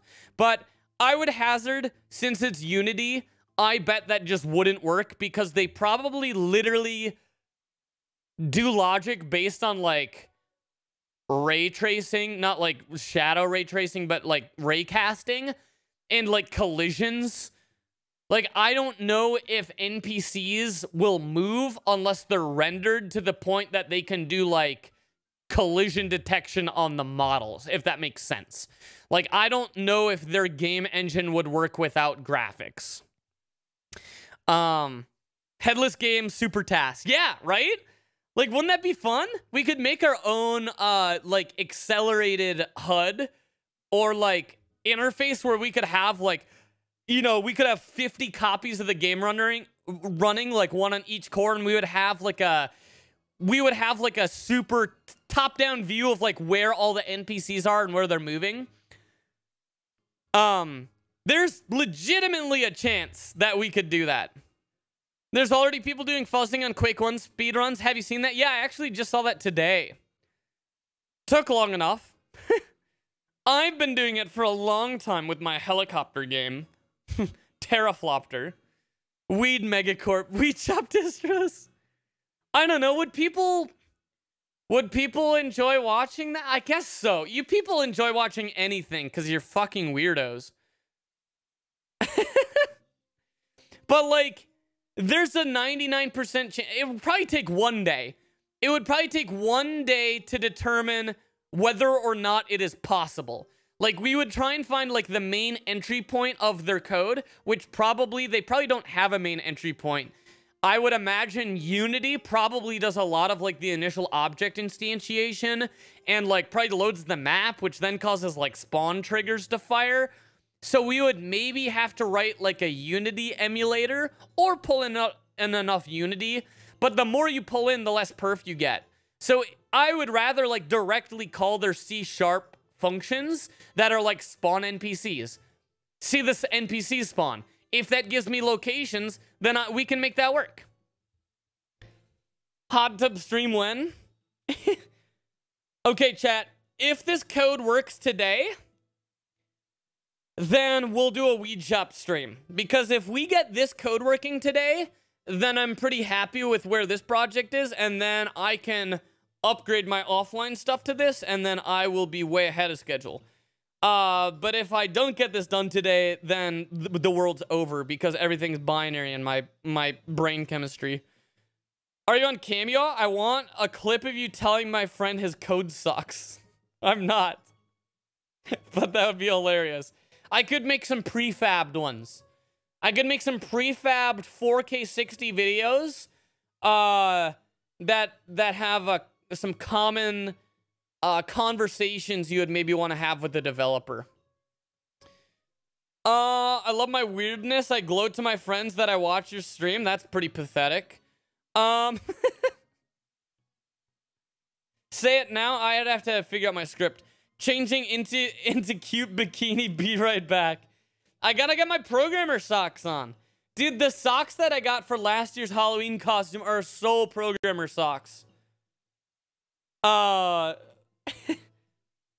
looks like mono. I don't think the decompilation would be that easy. The IL2 CPP. I can't remember. Oh, no, it is mono. Yeah, it's definitely mono. Um, but yeah. Uh, it's definitely mono. And ILSpy was able to decompile it, and DNSpy was able to decompile it and modify it using uh, IL patches. And so is, what is the NetBeans one? What's the NetBeans reverse engineering thing? dotPeek, I think. Is that NetBeans? It's not, I don't think. Never go full degen. dotPeek, yeah, yeah, yeah, yeah, yeah. Green screen background so we can overlay different code snippets. JetBrains. I don't know. It's all the same shit to me, dude. dotPeek is JetBrains. See? I told you. I told you. Did I say JetBrains? I think I did. I don't know. To me, all the IDEs are the same. Don't compare NetBeans to JetBrains. I said NetBeans. Kappa? Did I? Well, now I don't even know what I said. You got me questioning myself. Uh, okay. Uh, I think what we want is... Is it plans.text? I think it's plans.text. Yeah, it's plans. Okay. So uh, here are the things that we didn't cross off on our list last time. Uh, we want to add mutable support for local pools. That will be pretty easy, but boilerplatey. Uh, and then we want thread safe type databases. Uh, no, I don't, I don't even care about that. I mean, we'll put that at the bottom of the list, but we want mutable support for local pools, and then we want uh, we want support for pushing objects from the local pool to the NUMA pool. And we call this operation globalizing, right? Uh, also known as turning the frogs gay is what we're really going to be focusing on. And that's, this is the hard part. Uh, this is boilerplate. We should be able to do this pretty easy. Uh, this one's hard. Uh, this one's really easy. I'd rock a NetBeans t-shirt. Dude, I love like dank ass t-shirts. Title Turning the Frog Gay. the globalists. All right.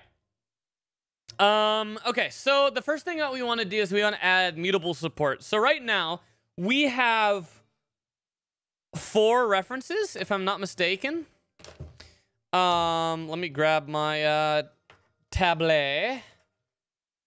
Why do you not use LSP language server stuff? Uh, cause they're just annoying as fuck. Because they, they just don't consistently work, in my opinion. Uh, which makes them unusable. In my opinion. Um... Alright, uh, let's see. Okay, that's all set up. Let's go.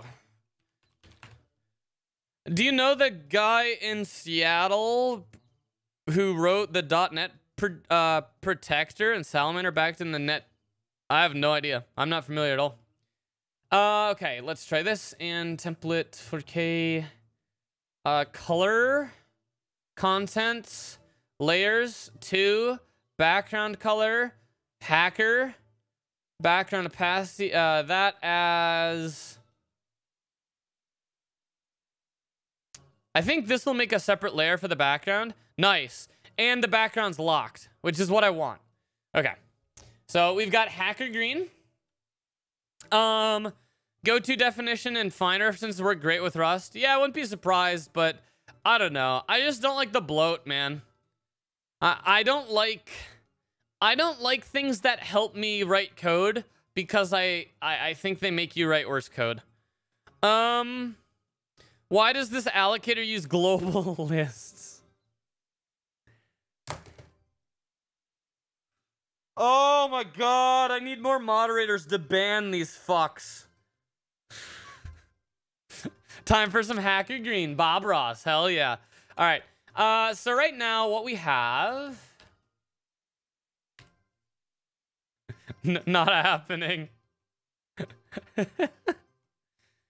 Uh, we're pretty bare bones here. Um. Then pay us? Hmm. Moderators on strike. Dude, my moderators are some of the least behaved people in my in my stream. It's a shame. Moderators are bloat. Money. Fuck you, pay me. Okay, so right now, what we have is we have four different references. Okay, and the four different types that we have is we have a local ref. Uh, I feel like this is too big of a font. Uh, this. There we go. All right, we'll try this again. Desu's feeling angry with 275 viewers.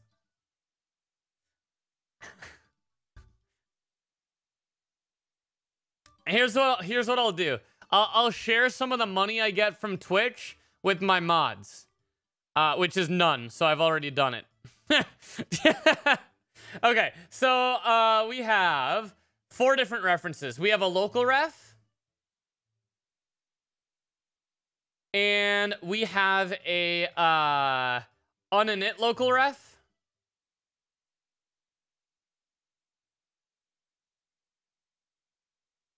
And then we have a numeref. And then we have an uninit numeref.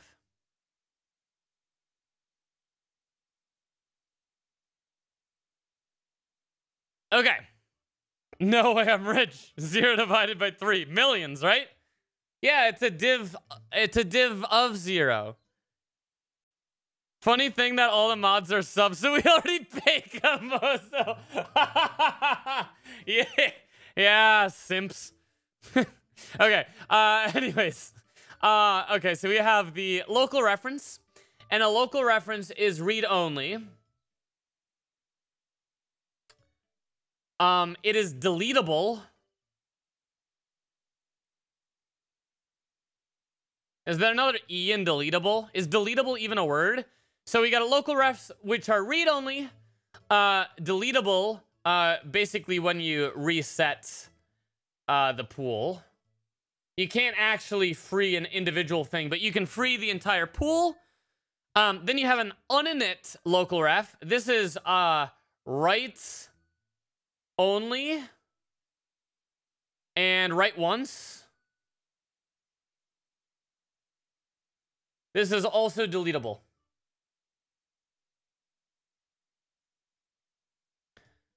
Delectable, delete, deletable. Time to upgrade to tier three. I don't think tier three on my streams, uh, on my on my channel, get anything. Uh, there's no reward. So we got read only and deletable. We have write only, write once, uh, and it's deletable. Then we have this numeref, which is read only. Um, and it is, uh, that's it. it's just read only. It's just called Two Brothers. Debatable. So basically equivalent. No, no. Uh, oh, and we can say that this one is duplicated to each NUMA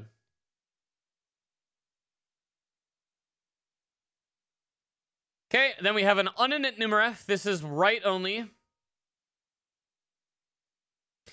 And we have write once. Okay, and that's it. And it's also, uh, that's actually not duplicated until it's initialized. Duplicatable. okay, so now you might be wondering, uh, okay, this sounds like it covers all your things. You can write once and you can read. No, we actually need to write multiple times. And the reason we need to do that is because we want to support globalizing of values. And what that means is we want to, this is the use case that we want to make work today, uh, which is going to be really hard. Um, I might cry if it doesn't work. So we have a little buffer here. We're going to call this buffer. We want to deserialize this. So we're going to deserialize that buffer into... This is a pool. This is the local pool. And we want to deserialize it into the local pool because we then have a decision to make. We have one path, which is uh, uh, uninteresting. Right? And in the uninteresting case, we just want to delete it, right?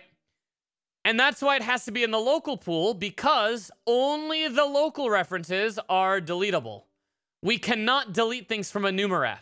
So we need to be able to deserialize into our pool. We then need to, after it's been deserialized, we need to make a decision that it's uninteresting. For example, when we're fuzzing, this is likely uh, didn't cause coverage. Didn't cause coverage, right? And if it didn't cause coverage, then we're not going to save that because we have limited storage. If it was interesting, then we want to then push this, which is what we're going to call globalize. And we're going to move that object into the NUMA pool. Okay, so this is one of the things that we need to write today. So we, we have uh, the buffer, the deserialization is done, the local pool is done, the NUMA pool is done, the deletion is done, the resetting of the local pool is done. Globalize, we need to do this today, right? This is, uh, we'll, we'll make a checkbox here and we'll come back here and, and check it off when we do it. Now, we also need to handle um, fuzzing. So this is like the deserialized loop. This is basically, this is not actually fuzzing. This is more uh, creating our corpus, right? This is deserializing payloads, putting them in a local pool, saving them if we want to keep them around forever, or deleting them if we don't find them interesting. So we can do all of that except for globalizing. But when we have fuzzing, and let's see if I can uh, resize canvas. Can I just like double it? Percent? 200%? Fuck yeah. It's just gonna get la laggier and laggier, I think. Oh, maybe not. It seems to handle a pretty large canvas pretty well. Even though it's a 90 meg canvas, but hell yeah. Uh, be back soon taking out the garbage while it's pouring. That's the worst time to take out the garbage. Why are you doing that? Uh, where'd my pen go? There it is. Okay. Um, Geek Pirate's taking himself out. Get it? Got him! Uh, okay. Now, so this is, uh, let's put a little, uh, little box around it. Little dotted line. Chad, how do you like my art? Is this some good art, chat? Drawing scales logarithmically. I got a little moth in here, a little friend. Looks like shit. Thank you. I appreciate it. 7 out of 10 is perfect. Thank you. Uh, okay, so this is the, um, this is like corpus uh, workflow. Kindergarten level. Hell yeah. Nothing but compliments. Do I, oh, do I have the meso bag on here?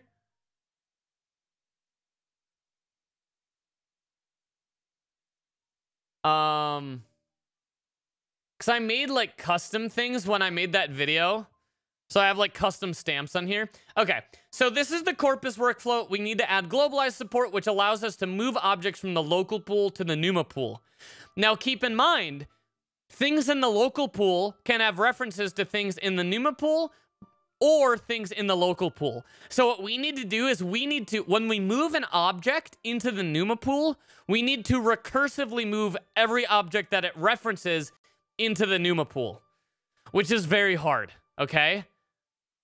Um, that's difficult. We're scared, okay? We're a little bit scared. That's going to be hard code. That's why we're scared of globalizing, because we need to recursively move every object in this pool, and we're going to have to do some macros and stuff. Yeah, monkas. Very monkas indeed. Okay, then we have the fuzz workflow.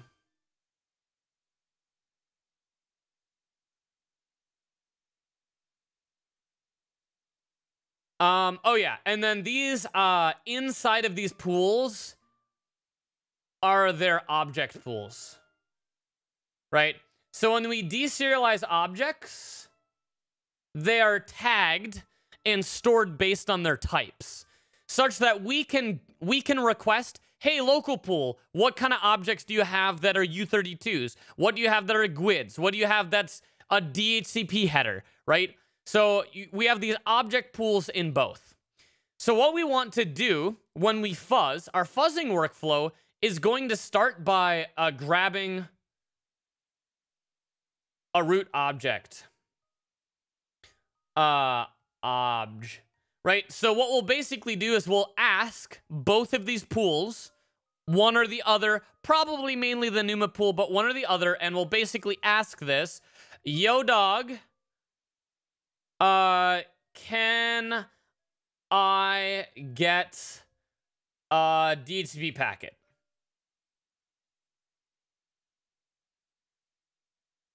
Okay. And let's say that a DHCP packet contains uh, an IP and uh, and uh, flags. Okay, so let's say this is a DHCP packet. So when we query this, this is like its own structure that has an IP field and a flag field. And these are objects themselves, right? IPs and flags. So we have gotten an existing packet that exists in one of these pools. It doesn't really matter if it's the local or the NUMA pool. We have been given access to an object that fits whatever we queried. We got a DHCP packet.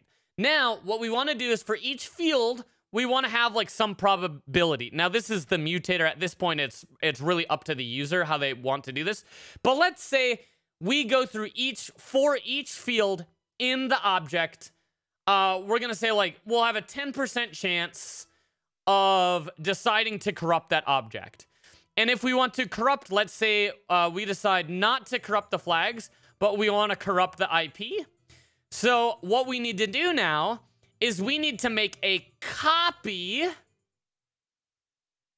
We need to make a copy of this structure. We can't mutate a field when that field is part of a read-only object, right? It's a numeref or a local ref. It's a read-only object. We cannot mutate these fields. So what we want to do is we want to copy into a local reference, right? So let's say this is stored in the NUMA pool. So we have something that's stored in our corpus permanently. It's a good DHCP packet that we got from a previous fuzz run or a previous corpus collection run. Um, we grab that. So now we make a copy of that object, a shallow copy. And it's important that it's shallow because we only need to make a copy of what we want to mutate. So we make a copy of that to local. So now we have, right now, this would give us a local ref. But a local ref can't be mutated. Because a local ref is read-only. And since a local ref is read-only, we need to make like a local mute ref or something like that. Something that is exclusive and writable multiple times. The other option is that we would have to perform the mutation while the copy is in flight. So what a copy actually looks like, right? When we actually do this copy, what this would truly look like is we would, um, we grab this object. We then create an uninit, uh, I missed the letter, uh, local ref, right? We make an uninitialized local reference uh, that has the correct shape to hold this packet, to hold all the fields. And then uh, we want to mutate those fields here.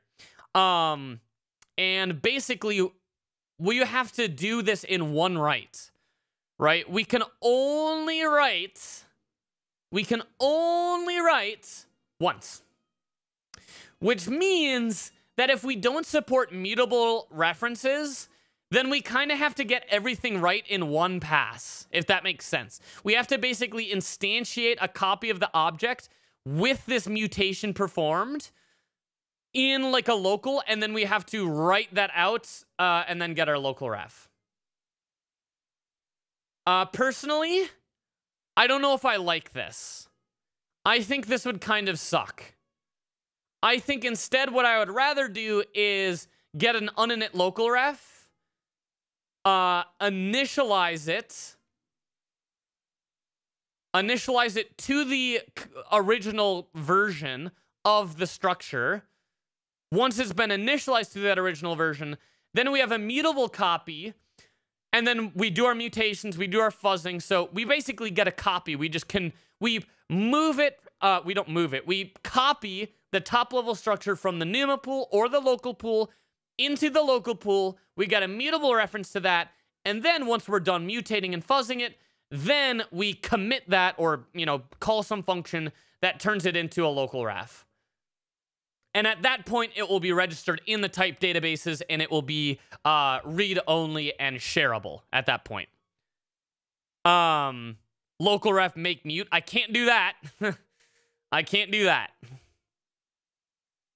So, this is the model that I think I want to do, and this is what we're going to implement. So, basically, uninitialized local refs, when you initialize them, they will turn into a, a like mute local mute ref. Um, and then you can mutate it, and it, once you commit it, then it registers the object and it goes read-only. You can do that if make mute clones, yes, but it has to be different than, it has to be like a local mute ref. It has to be like a different object. But yeah, that's effectively what we're doing. I think I'm going to actually have it happen uh, well, I'm talking about the internal implementation, right? You, you can make make mute out of this. The internal implementation is that you create an uninit local ref, you initialize it with the original data. Initializing will give you a mutable copy, and then mutable will call commit or something like that, which will turn it into a local ref. Um, so we need to support this so that we can do fuzzing. And we need to support globalize so that we can actually start using our NUMA pool. Because right now we're not making any use of our NUMA pool. We're only using the local pool and discarding it in a loop. Um, so we're going to do this first because it's really easy. Then we're going to globalize. And once this is done, uh, once it, once this is done, I think this this project is actually effectively complete. Um, I don't think there are any other features I need. Obviously, this object pool, this object pool is user defined, and you can implement a trait. So I might experiment with a couple different object pools, but I can have this one be a hash map of vectors, and this one is a mutex hash map of vectors. Um, all this code is no standard, but I can add a uh, I can add a standard flag so I can get access to mutexes, and then we can have that where, as long as you pull in standard, then you can use the mutex based global object pool, right? What's the command that renders NUMA topology? Um, ls topo, ls topology, ls topo. Uh, okay. So that's kind of the design. Um, is it like cow? It kind of is, but it's a bit more explicit. So what we're gonna do is we're gonna start breaking. Uh, can I do mute? Can I do mute on both pools? Do I want to do that? Do I want to make mutable copies that are right multiple?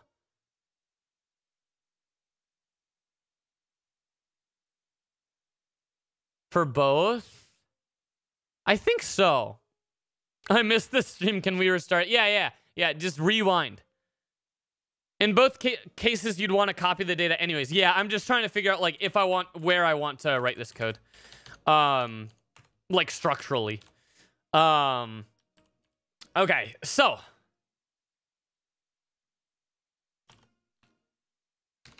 I'm trying to think, would I ever really want to mutate in the NUMA pool directly? Probably not. I think we're... but I kind of want to have a consistent API. Anyways, so we have NumaRef here, which is clone and copy, because it's shareable. It's read-only and shareable. Uh, so we're going to make... Uh, uninit NumaRef is not clone and copy because you can't make copies of it because it's the same as like a mutable reference, right? So we're going to make a copy of uninit numaref because we'll have the same semantics of that. Um, okay. So this is a reference to uninitialized data, which is write only. Uh, this is a reference to initialized data, which is writable. Um. Oh, is the music over? Holy shit, we made it through the whole soundtrack. Um, Damn. I was watching some YouTube videos and I was thinking about just listening to them. Um but uh I've been binging like a lot of these like uh, semi documentaries on YouTube that have been fucking fantastic, but uh no mutate inside Numa pool. Yeah, there's like no reason to really. Uh, a reference to uh, initialized data which is writable. Um, this, uh, um, hmm. Uh, which is writable. Um, the data is not shared, or the data is, this is similar to a mutable reference in that there's only one um one uh reference to the data um uh one reference active at a time once the uh this also means that the uh on a numaref this is uh do I want to call it a Numa mute? Or do I want to call it a mute ref? I think Rust would say do Numa mute. I think that's kind of their convention. Um, this also means that the Uh, this also means that the, uh, what does this mean? The object is not registered in the object databases.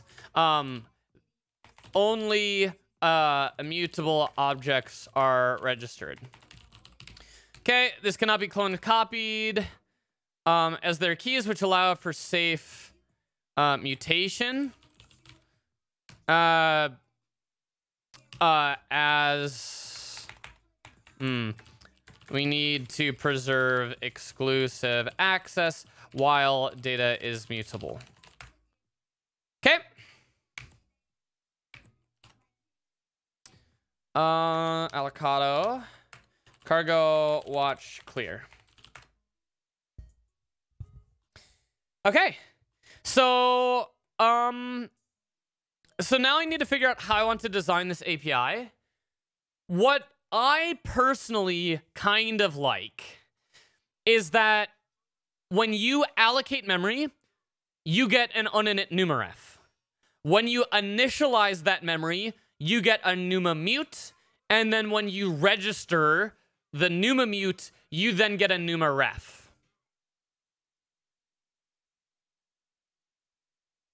That's like that last song sounded like MC Chris. Yeah, it's Kreayshawn, dude. Um, that's kind of my idea. In theory, I could have different paths where uninit numaref can be converted directly into a ref or into a NUMA mute, but I think I'd rather have the core, the, the root level API design would be that uninit numarefs get initialized into NUMA mutes, which then are registered into NUMA refs. And I can make helper functions that do those multiple steps in one pass.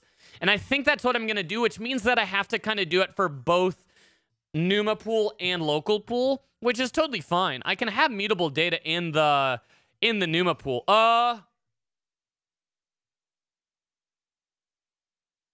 It doesn't really make sense. Because the NUMA pool, I have to broadcast it to everything, and that would be like pretty slow. So I think we won't support that model for local references. Uh, so NUMA mute will only be for uh, local, which makes sense. Like you shouldn't be mutating things in the NUMA pool uh, because you're basically committing to committing that object, whereas the local pool is where you want to work on temporaries. Um, okay. But yeah, the problem with um, the problem with uh, mutating in the NUMA pool is we literally cannot do it because you have four different copies. Let's say you have four NUMA nodes. You have four copies of the same data. How do I, how do I know to update all four copies, right? I can update all four copies by writing over the entire object, but if you update just a single field of an object, I can't, I can't do anything there. I can't detect that you're only updating one field right? Like, in theory, I could with a massive, massively complex program. Uh, so yeah, that's only going to be on local pool. Okay. Um, NUMA mute here. So here's how this is going to work. So, um, let's look at our APIs. What do we have to change? Um, we have Alloc raw. Oh, yeah. And then also, I think what I want to do... Um... So some of these functions take in numarefs. Well, actually, I think everything right now.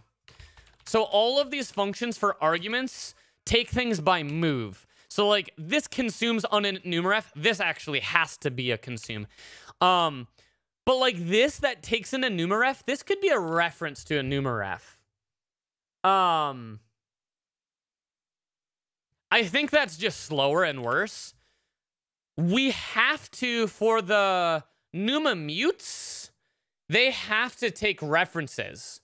Because we can't implement clone and copy on Numa mute. Because allowing clone and copying of a Numa mute allows you to uh, have multiple references to the same data, which is not allowed. Um, well,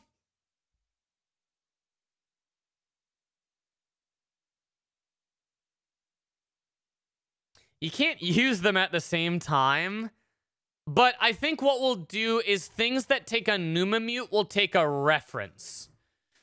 Uh, so uninit numaref is okay that it's not clone and copy because you move it when you initialize it. And you it's write once, so you destroy the object by initializing it.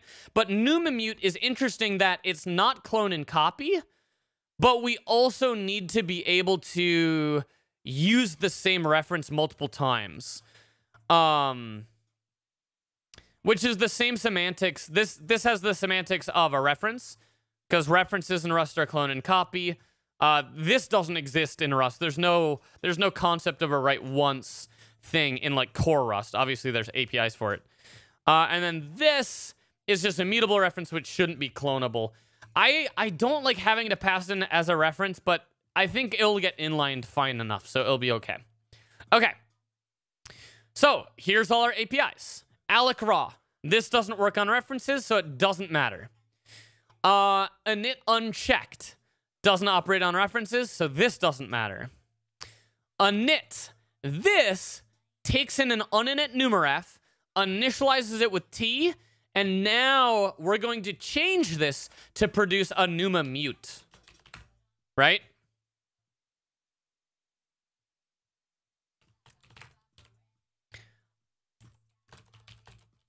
Numa mute.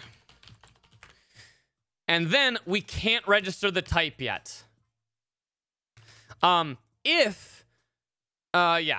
So we don't want to register the type yet, so this is just going to be uh, Numa mute. Get an accessor to the initialized data. So once it has been initialized, then we can get mutable access to that data. Does that make sense? Which then means that Alloc is going to give a Numa mute. Because this will, um... This initializes that value. The last step is it initializes it, which now returns a Numa mute. Perfect. Um, then, get unchecked. Doesn't use references. Get. Um... Can you fuzz a USB stack with it? You could fuzz anything with this. This is universal. Um, this would fuzz a USB stack quite well, to be honest. Um, this would be a great, great, that would be a great target for this. Uh, so get operates on a numaref.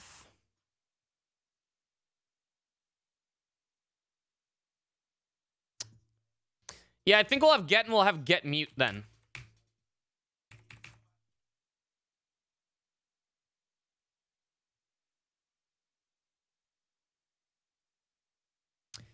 Um.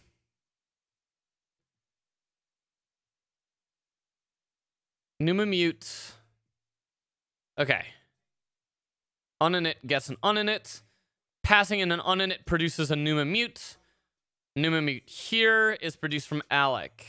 Get unchecked. Get. We need to make a get mute. We'll do that in a second.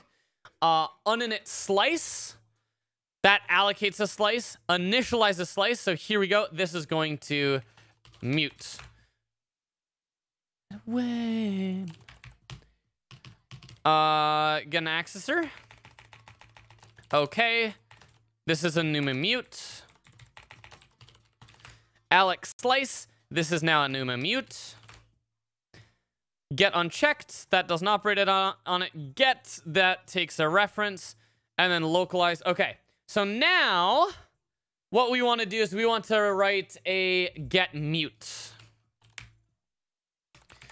Uh, get a mutable reference. Reference to a value in the pool. Um, get under mute.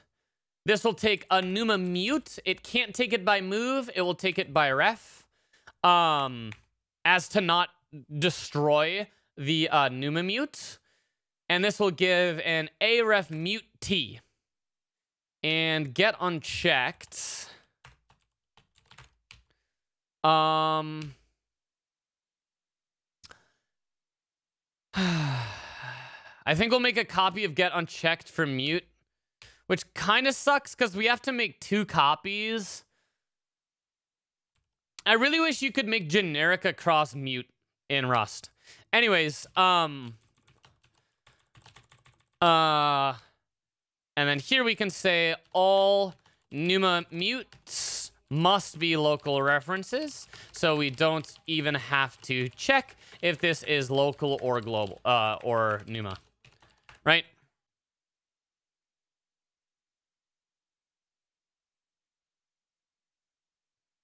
Uh, that will return an a mute t to the object, and then that's get unchecked. Dude, I am like really tempted to have get unchecked uh return Hmm. Well, this will need to borrow mute here. Does it have to? I don't think self needs to be mute there.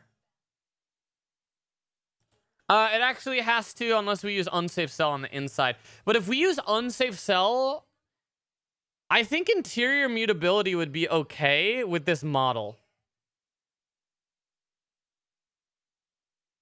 Because it would be nice to be able to mutate multiple objects at the same time. Um, okay. So we'll have get unchecked mute. We know that it's a local reference, so we'll just call get unchecked mute. As long as you have proper lifetimes, it should be fine. Yeah. Um, as a Go developer, I can say you'll be fine with no, no, no, no. Generics are generics are very important. Uh, get mute takes in a reference to a numaref, uh, NumaMute to not destroy the NumaMute because it's not clone and copy. Um,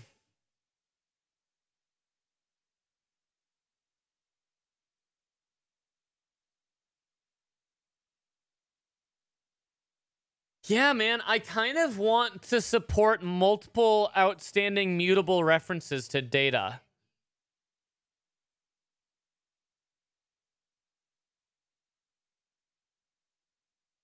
Which then means we'd have to switch to the backing pool being unsafe cell again. But like...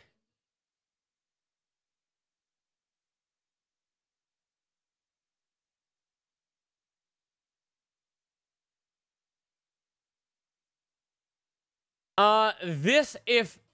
So, this... This would not be safe because you could call this function twice to get mutable references to the same thing, but this would be safe. This would ensure that you are using the only NumaMute for that index, which then means that this would be the only mutable reference, even though we're not mutable on self itself.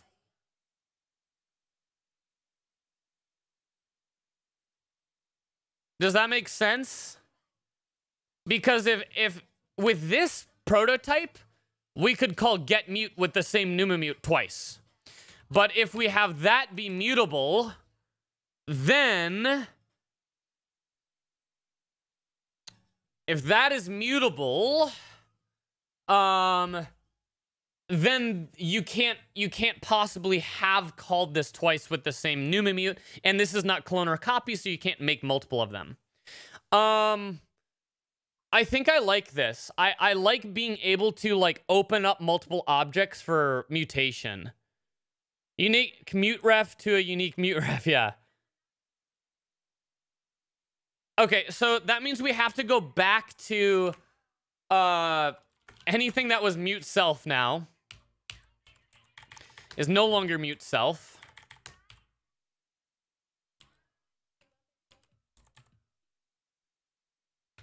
Uh, we'll get back to that.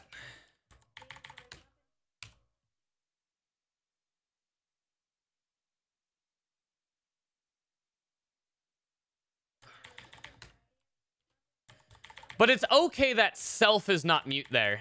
I'm pretty sure. Like, I'm, I'm pretty sure it's totally fine. So the only mute self we have now is there. Uh, this is now going to fail to build for many reasons. This now has to be a cell. This has to be, uh... However we do it here. Uh, maybe uninit unsafe cell. Uh, in a shared reference. Um, e.g., uh, getting multiple, uh, mul uh, getting multiple, or getting mutable references to multiple, uh, Numa mutes. Right? Um, if we required, uh, mute self on the accessor, then we could only have uh, one object in the pool available for mutation at a time. Right? Does that make sense? Um... Okay. So, maybe uninit unsafe cell. That is the correct ordering based on the Rust APIs. Uh, you want to have the uninit on the outside. Uh, this is now cell new. And then we also need cell. We need that in use has to be in a cell now. Um, dot set zero. So we're undoing. We actually switched this over to mute yesterday from this cell model, but uh, this is fine. Uh, get and then in use dot set. Okay, so we've handled all the cell sides of things. Um, get mute. And we're just going to comment this out right now so that we can get buildable code. Um, okay. 209, yes. So this is init unchecked. Uh, so now we'll have the same logic again. Get a pointer to the uninitialized data there. So this is on uh, self.pool.data, I think.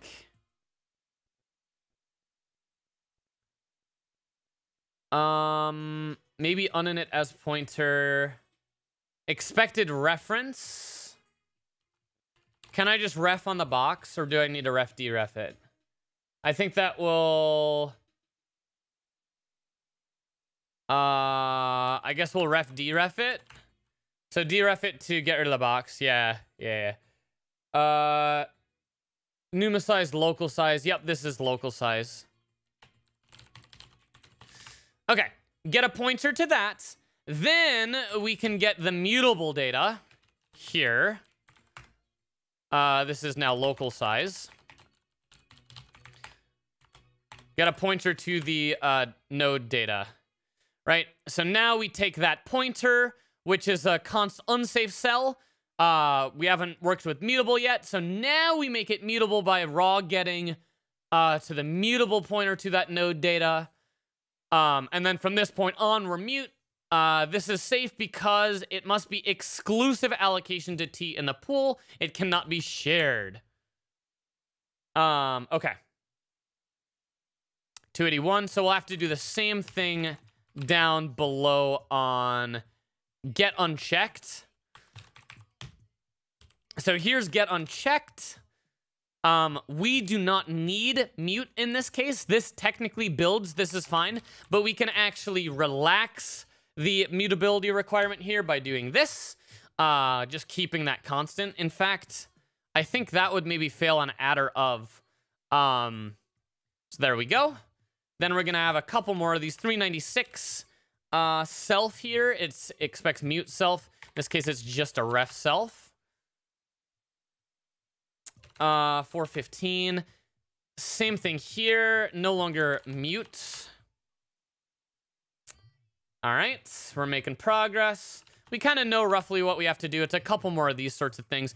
Get a pointer to the data. This is for get unchecked slice. Um, so it's the same logic as get unchecked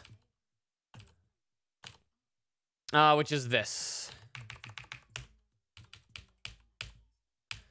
Get unchecked slice elements down here. There's that adder of. So at this stage, we get an unsafe cell from the pool data.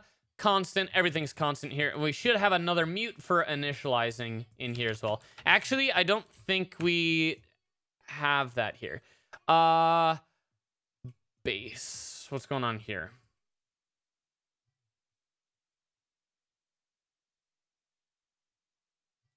One eighty two. Oh, in lib. Oh, this is due to the mute changes. Um. Okay, so let's keep working on this API then. Um. Okay, so initializing an uninit leads to a NUMA mute. That creates a NUMA mute. Allocating produces a NUMA mute because it calls un, uh, init under the hood. It's just a little wrapper. Uh, get unchecked. Uh, that gets that value. That gets this value. Get mute. Get a mutable reference uh, to a value in the pool. This takes a mutable NUMA mute, and this takes uh, returns a mute. Self is not mute, but that's okay. The unsafe cell the unsafe cell allows for interior mutability. Otherwise, that would that would fail Miri checks. Um, and the NUMA mute is exclusive read-write access to only that region, so it's fine. Uh, we're not giving mutable access to anything that anything else could access in self, so this is actually okay, right? This is fine.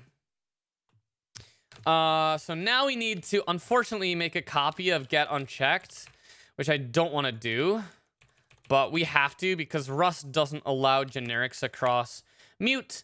Uh, get a mutable reference to an object in the pool at index. Uh, the caller must ensure that index is properly aligned, allocated, and initialized to that in the pool. Um, uh, it must have... It must have exclusive access to the uh, memory referenced. Index must be a local reference. Yep. So this get unchecked mute, mute.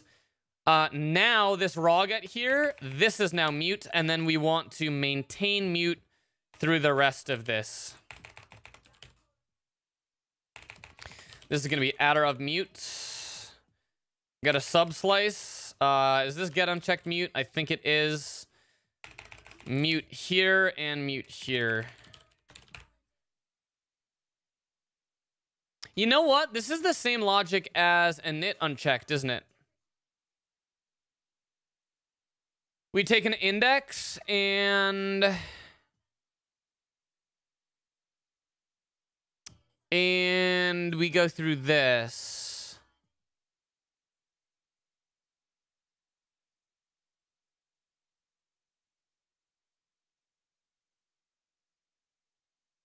Uh, so what we could do instead is we could just make this return the pointer.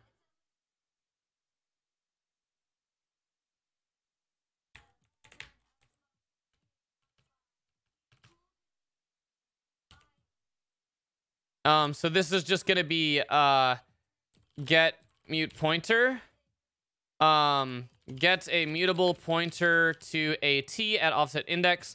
Must be validly aligned and blah, blah, blah. It must already be clear localed. Right?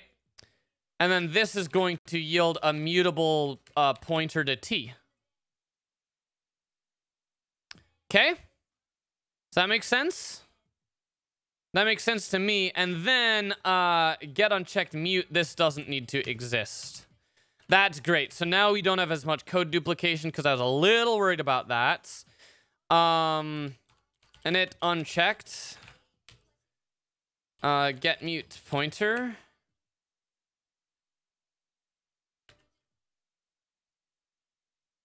I think I'm okay with this. Uh, so now this will be write val. Get mute pointer. Um, this is get mute pointer dot right? uh, get mute pointer. Dot write okay and then get mute pointer. Get a mute pointer to t. We don't need val anymore because it's not used. Uh the type of the value needs to be known at 248. What? Get mute pointer returns a mute t.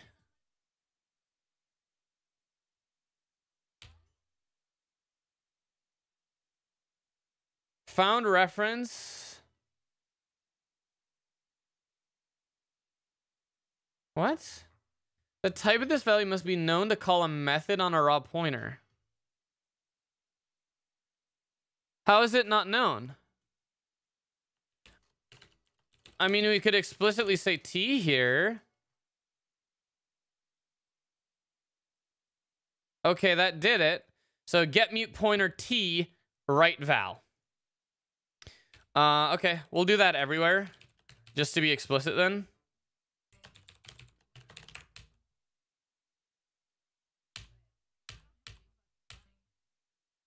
Okay. Baby, she really, really, really wanna go hard. Um, then we can get unchecked mute. Oh, this is get mute. So this is now, um, this is get mute pointer and mute deref. Um, so we literally just deref the raw pointer and then turn it into a mutable reference, right? So we convert that into a mutable reference and return it. And then here we can do the same thing. We can be explicit about T. Okay. Uh, 323. Uh, number index. Uh, clear local. As usize. Shift by shift right? So we clear the local flag, we convert it to a size, and then we shift it into the correct position. So anything that does get mute pointer should be doing those shifts. Um, clear local as usize shift, clear local as usize shift, clear local as U size shift. Uh, pool index has already been clear local as U size shifted uh, above. Okay, nice. Uh, 348. On and it slice. Oh, that's not a T. This is a U size. On an it slice, this is initializing the header, which is a U size. Um, uh, this is just complaining about our API changes, I think. Okay, so now we have get mute, which takes a mutable reference to a NUMA mute where T is poolable on an slice. So the only places we use NUMA mutes, they're produced when we initialize. They are produced when we alloc, which is initializing. They are um, referenced mutably when we get mute to get access to that specific member. They are produced when we initialize a slice. Uh, okay. Which means that they're also produced when we alloc a slice, uh, which initializes it. Okay. And then we have get unchecked slice. Um... and then get slice. Okay, so we're gonna make, I think now we have to make an uh, another implementation here. Get a mutable reference to ourselves in a given pool. Uh, get slice mute on a T. This has to be a NUMA mute. A mutable reference to a NUMA mute. This will give an A mute T. Um, I could also allow resizing downwards potentially here, but I, I don't know. I think I think I'm okay with these not resizing. Um, get mute. Uh, here we go. Okay. We know that it is a local reference. Um, then we have to do this. We don't have this code anywhere else. We have to duplicate it. There's nothing else that does uh, this. Unlike the other one where we could get rid of some code duplication. This one we cannot. And since this is only used in one spot, we're not going to put it in an unsafe function. We're just going to do it here. Okay, so what are we going to do? We're going to get the number of elements uh, for the slice at index. Um, and R.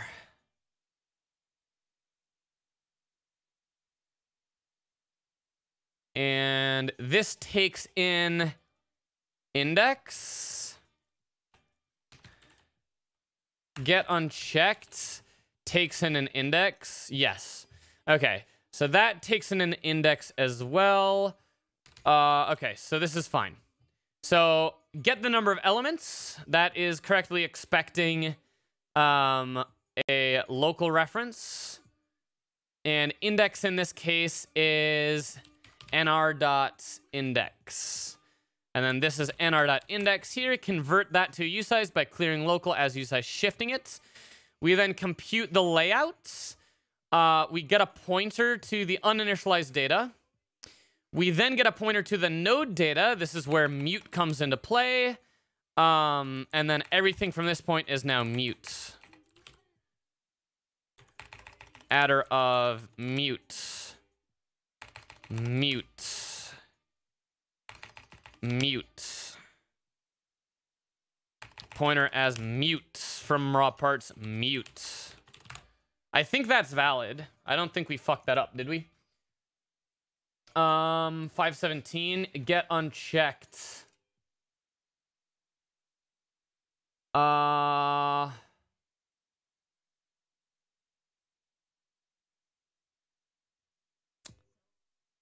On 517? Oh.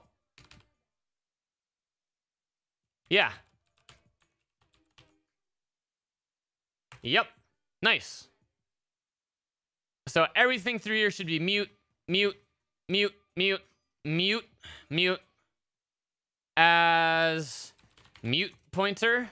Let's see if that complain. Does this complain? This should. On 520. Yes. Nice. That's what I like to see. Rust compiler coming in clutch. Hell yeah, it is. Um, okay. Nice. And then I think we're good. So get slice mute takes a mute NUMA mute that. So now we can't create numarefs. So there's nothing that actually produces a numaref anymore. Well, localize does uh, when we localize a um, numaref from the NUMA pool. So we create an uninit from uninit. We create an uninit an uninit slice. And then we consume uninit we consume an uninit numaref uh, when we initialize, which produces a numa mute. Um, and same thing here. Initialize that, that produces it. Okay. Um, and I might make alloc mute as well. I'm not 100% sure how I want to do that yet. Like, I might make a helper. Here, yeah, well, here's what I'm going to do. Um, alloc, this is going to return a numaref. And so is alloc slice. So this is going to fail to build because it is expecting, uh, it's getting numa mutes. So what we need to do is a knit slice, we then um, register. So register is what we're going to call it when we convert a mutable into a reference, right? And that's lossy. Once you do that, you uh, you lose that reference. You lose the mutable access to it. Okay. This is going to complain because that doesn't exist. This is going to be similar to localize. In fact, it's effectively the same thing. This is going to be, um, this is going to be convert a uh, Numa mute into a uh, Numa ref, consuming the NUMA mute um, in the process. Registers like make shared, yeah, effectively. I could call it make shared, but uh, I like register because this actually registers it. So this will take it by move, and since that's not clone and copy, that's the it's gone. The NUMA mute is gone. It can't be mutably borrowed. It can't be borrowed anywhere. It has to be moved into here. Then we just take NR index and we, yeah, that, yeah, this is literally correct. So this is basically a zero cost function uh, where we take the NUMA mute by move, we produce a numaref. This works on unsized types as well. It's the same operation for both. It's just removing mutability uh, from that point. And now this is the only place where a numaref is ever created. Um, NR is numaref, and then we'll register the reference. And now we only register in one place, which is nice. Self dot uh, pool dot types dot register.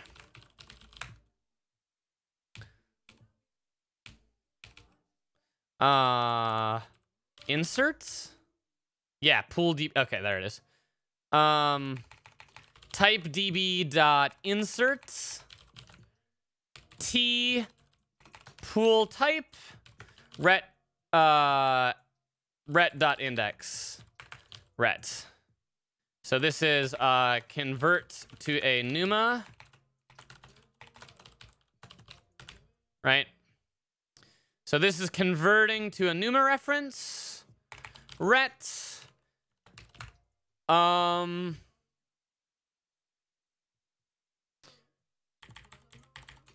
Convert to numaref. Then we insert that into the database. So pool type database insert for the type T, ret index, ret. And now we don't have to register in two different places for both the slices and the uh, non-slices uh, because we are always, um, everything goes through register now because this works on unsized types. Uh, okay, so then this, oh, register not on, yeah, 261. Uh, this will be, uh, self.register that. So that will produce a NUMA mute here, and it moves it in immediately. And we can actually do this because all these take uh, ref self now. Uh, 413, same thing here. Self.register, init slice. Uh, okay. Um, yeah. init slice can fail.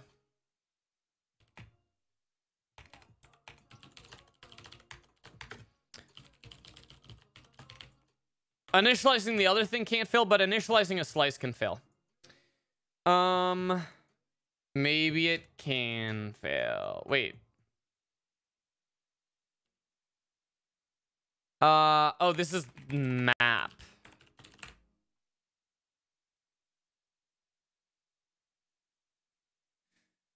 Okay, mismatch types differs in mutability.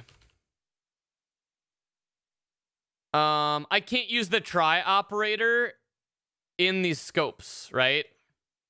That's the, you can't, uh, in an and then I can, I think.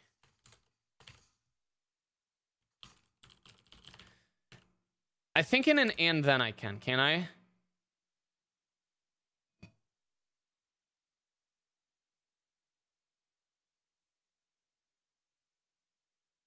Yeah. We're gonna leave it.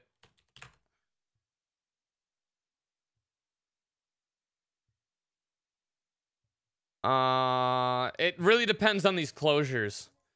The try operator gets really fucky in closures, so I often just don't use it in closures.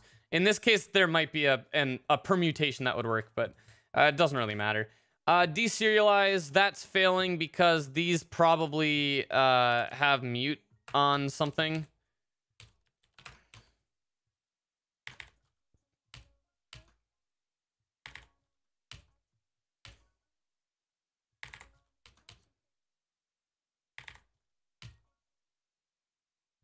No, because it short circuits returns. Yeah, yeah, that's... Well, it sometimes works, depending on how the closure is defined, you might be able to return from the closure, inside of the closure. Um, it really depends on if the closure returns the same type, uh, which basically has to be an option. It almost never can be a result. Gosh, gosh, gosh, gosh, gosh. All right, what we got going on now?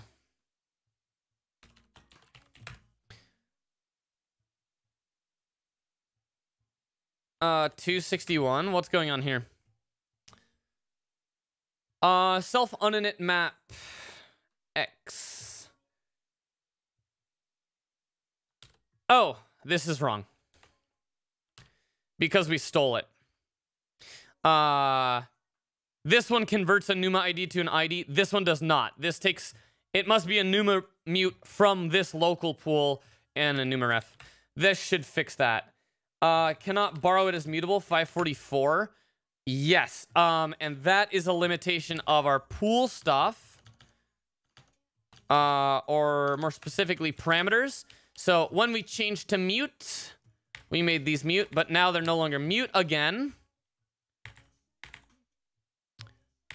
Uh, and because of that, we have to switch to interior mutability on this. So we'll do, uh, uh, this is not clonable, so we have to ref cell this, which is fine. I'm not happy about it, but it's fine. This is a naive implementation. It's not meant to be fast. Um,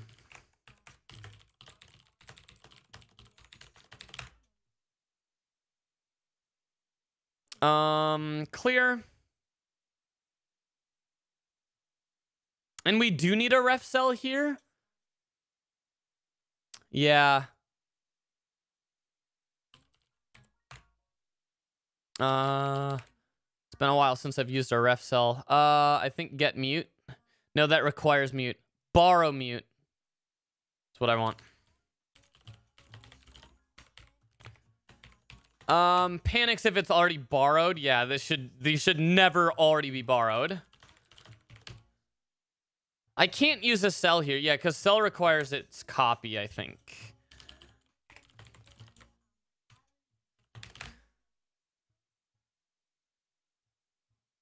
Um, that needs mute. This doesn't need mute. This just needs borrow. Right, that doesn't need mutable access there. Um...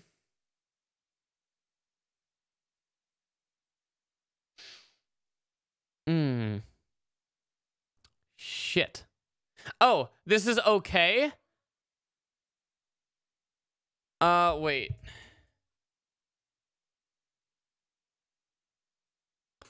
Um, I do have to borrow here. Oh, shit.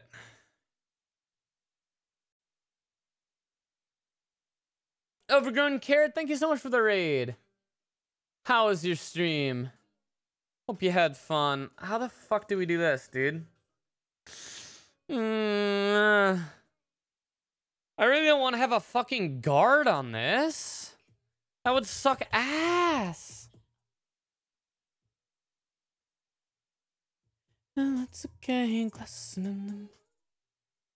Horrible? Hell yeah. That's what I'm talking about. Why was it horrible?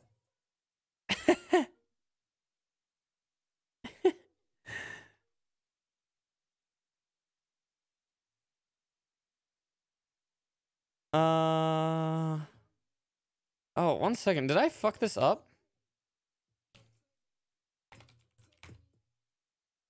No. Okay. Thought for a second I put the wrong link. Uh, this is Ashnikko Daisy, and it's got a dank ass uh, progression. Like, tell me that's not the sickest goddamn chord progression you've ever heard.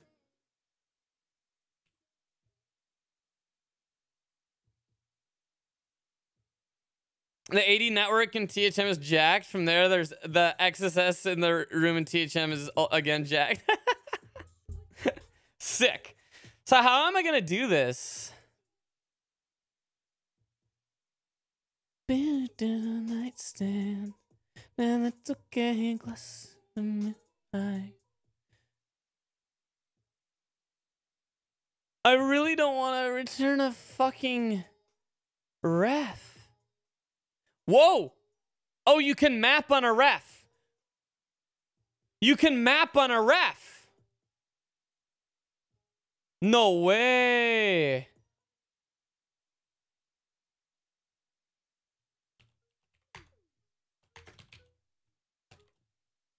Cursed. I didn't know you could do this. Um.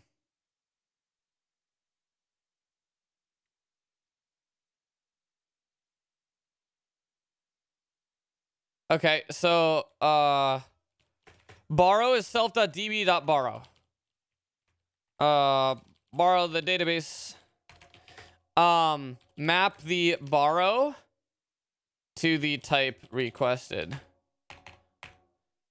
Self.db.borrow. Uh this is um ref map. I've never done this before. This is sick.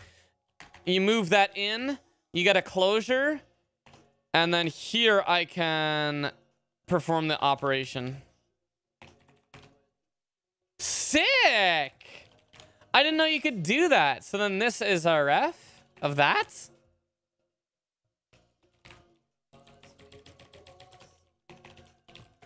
I thought I was gonna have to make my own like drop handled structure. Um... Well, the problem is I then have to change the trait. Is it distro? Oh, what is it? What what is the there's a command.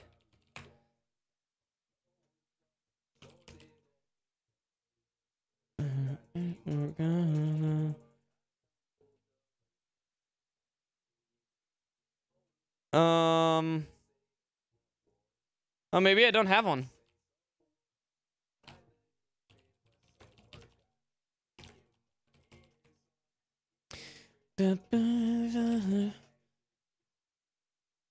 I should have Whim as well. Yeah. Oh. I don't like this. But it makes sense. I can't insert while I am viewing types. Right? Like, how do I make this work?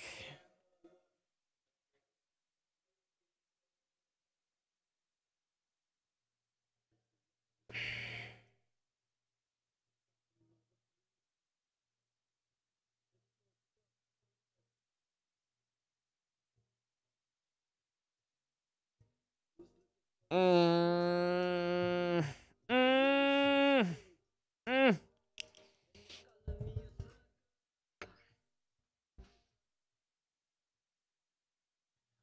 Uh, basically, you can't support resizes with this. Um, can I use ref myself? No.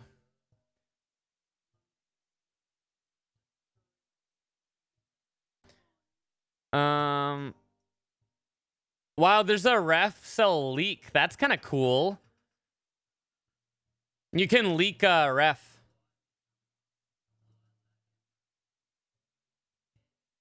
Well, we're just gonna hack it in. We'll come back and revisit this when I'm really trying to like min-max this. Um...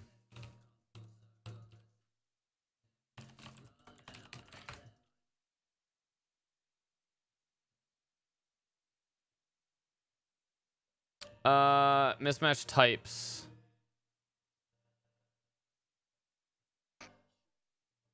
What is it actually returning?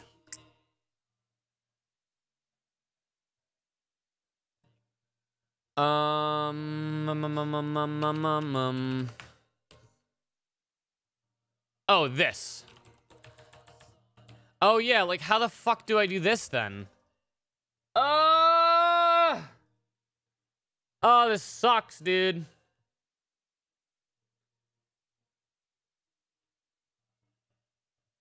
What do I do? What do I do, chat?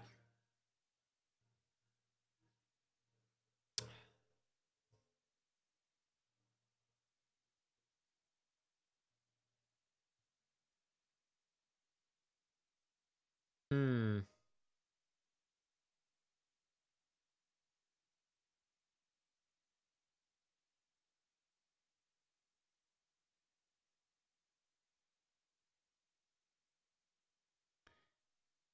Use a closure? Yeah, that's that's what I'm thinking.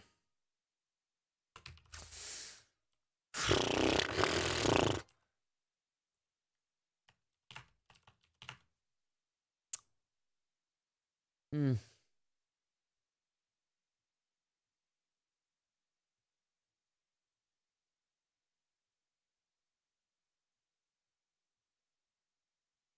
Um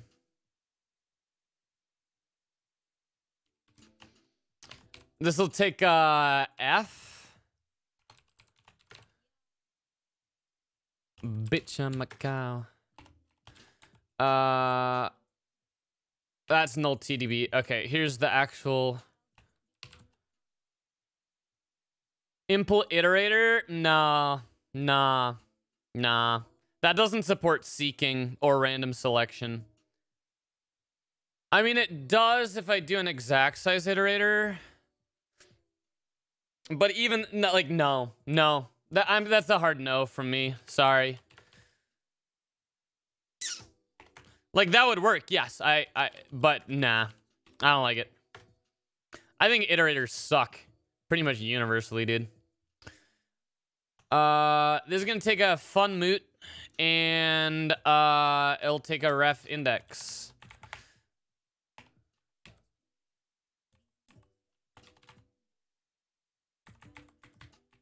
Right, that'll give us access to that in immutable context. Uh, F.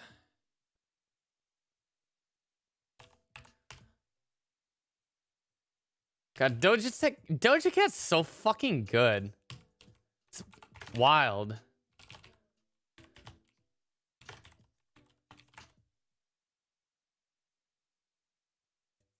Cow. Bitch, I'm a cow. I don't. Bitch, I'm a cow. Bitch, I'm a cow. Go moo. it's so fucking good. Have I installed Gentoo? This is Gentoo, so I would hope so. I don't know how else I'd be running Gentoo. Uh, uh, Map.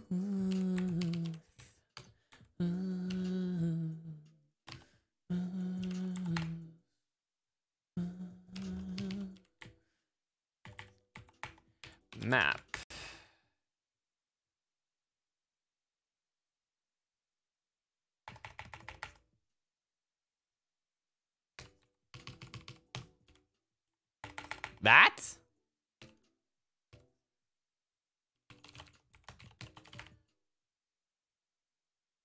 I always forget about closures for shit like this, but this is exactly what closures are meant to do. God,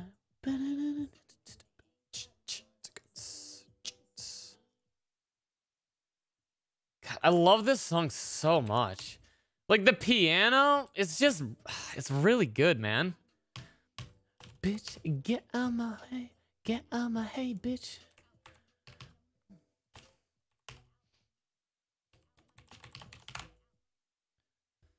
Hard to follow when you missed the beginning of the project. Yeah, uh, yeah, unfortunately. We're working on an allocator. It's super, super high performance. Uh, it's mainly designed for fuzzing. Basically, it allows you to deserialize things, and each object, as they're deserialized, are put into these pools very quickly, such that you can then request all of the objects, like, of a given type. So you can deserialize like a massive structured input, and then you can say, give me all of the U32s in there. Give me all of the IP addresses in there. Um, that is explicitly what is, is it, what it is designed for. Um, okay, it's complaining about these. Better than yes. It's better than yes. But I have to charge. Mm. F, FN mute. I think we will now move these here. And then we'll say uh, where T is poolable and uh, potentially unsized. F is a fun mute that takes a slice of numarefs.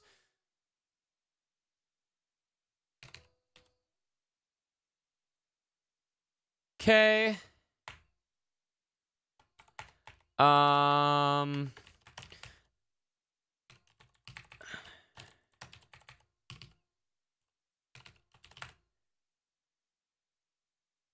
How do you manage splitting files? It's default behavior. It's just a, a SP, horizontal split command.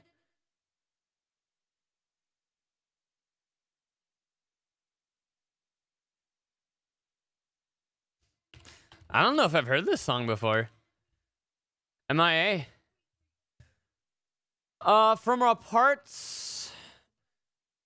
Uh, and then we'll invoke the funk on this.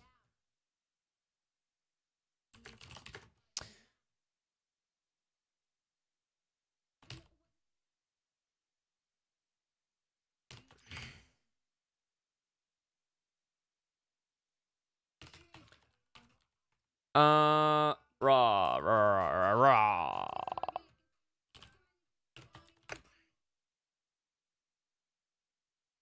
Does that work? I think that works. So that's the Numa pool, and then the local pool has the exact same implementation. Poolable size, bam.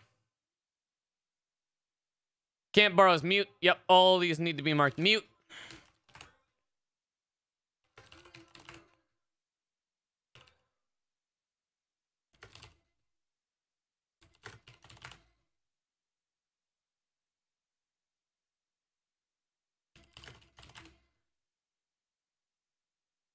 My bat Felt so smooth. That's why I'm asking. Yeah, it is pretty slick. I don't. I don't think I know anyone who does it like this. It's definitely a unique uh, way of doing this.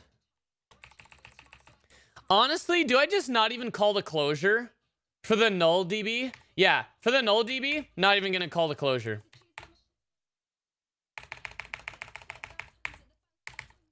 shouldn't break anything. Just literally don't even call it. Uh...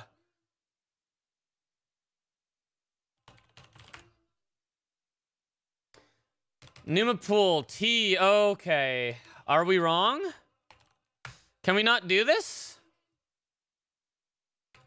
Is it because now we have closures and closures?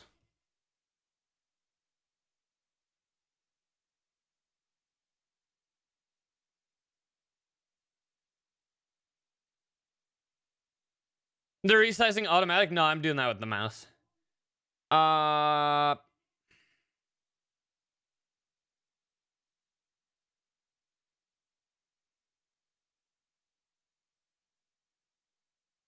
It wants an ID constraint?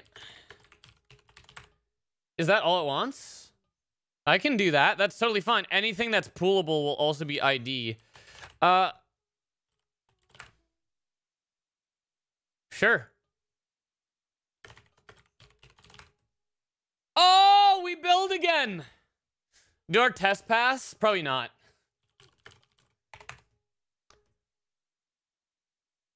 Oh yeah, of course these won't pass because we literally uh we we changed these APIs. Only the types APIs have changed. Um so we'll do la dot get uh okay. Uh, Moose. And then we got the types in here. Assert that la.get deref la.get types 0 is equal to moose foo 5. Right, so that converts that. Let's get rid of these temporarily. I think we use type somewhere else as well. Up here, yeah. Uh,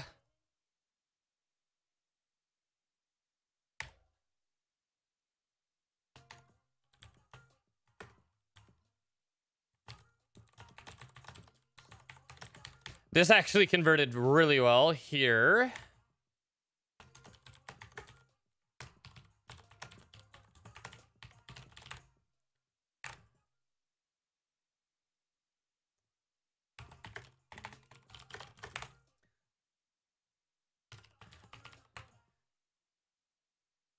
Uh, expected two generic arguments. It's the closure.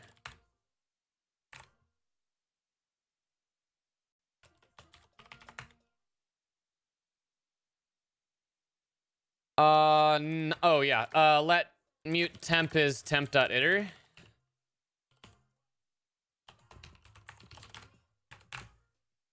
Beautiful.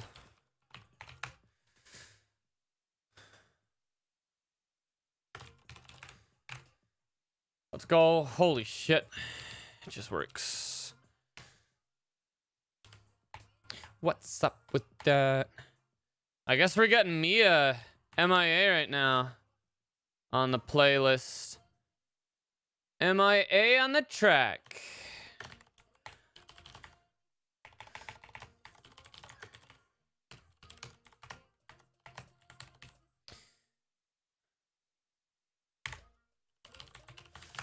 Is that correct? I think so.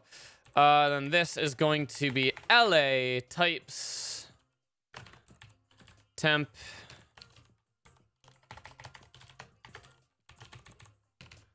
Go.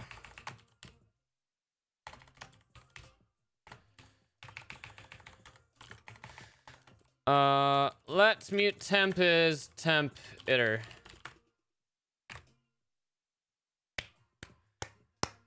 Okay, so everything still works identically to how it worked before.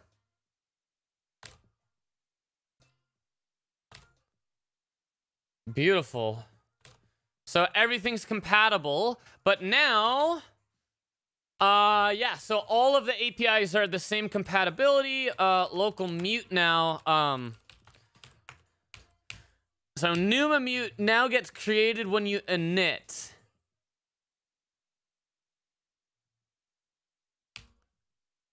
And then you can pass it into get mute. I think I'm okay with this. I don't know if I want to make like an alloc...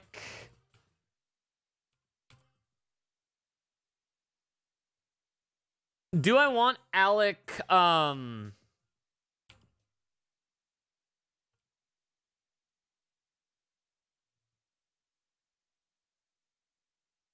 Do I want a rapper so I can like alloc mute? Because we have alloc and I can make an alloc mute where it doesn't register it. Fuck it. It's easy enough. Uh, alloc mute and get a mutable reference to it. Newman mute.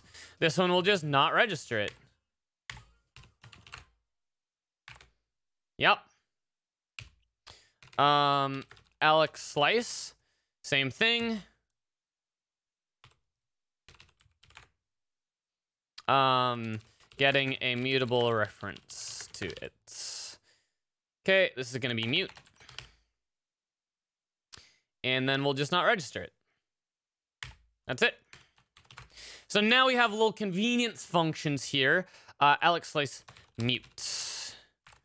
So they're just little convenience functions such that it doesn't auto register it. Um, I like that quite a bit. It might work, it might not work? What do you mean? What might not work?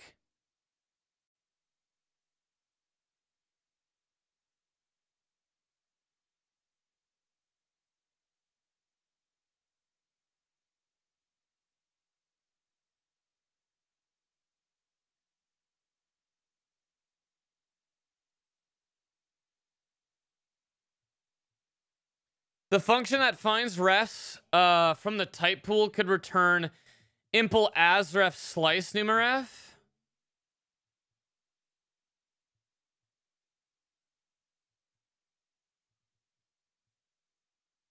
I think closures just optimize better.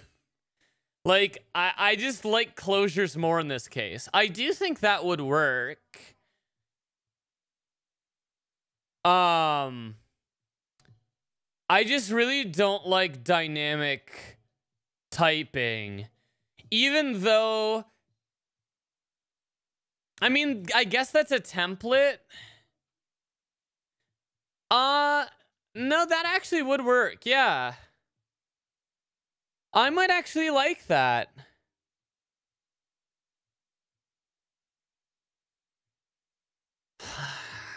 Desu, uh, why do you have to bring it up so late, though?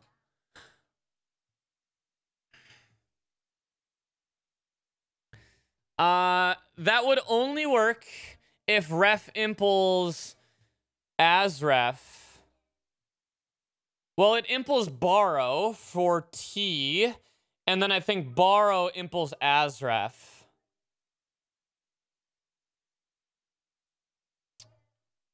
Um, as ref, I think as ref is implemented for all borrow.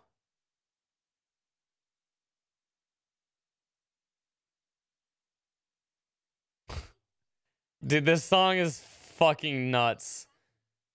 I want to say I hate this song, but I actually think it's low-key fucking fire.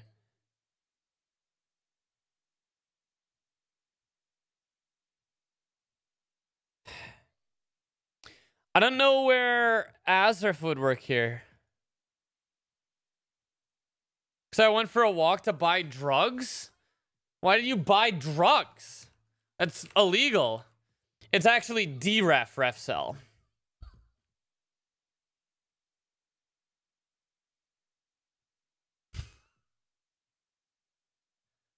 What's the song? It's Where's My Juul.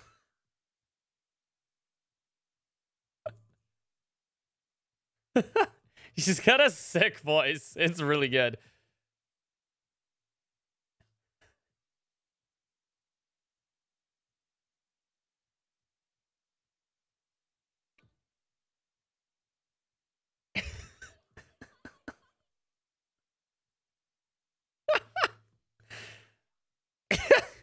uh let's see.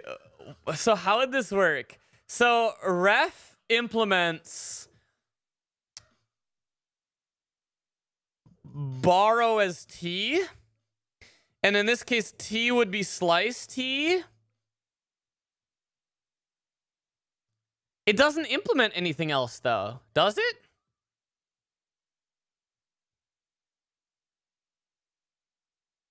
Dereferfel? Um... Does this work? Trait implementations. It implements borrow. Wouldn't it have to fork off of the borrow then? Can borrow as uh, as T through self.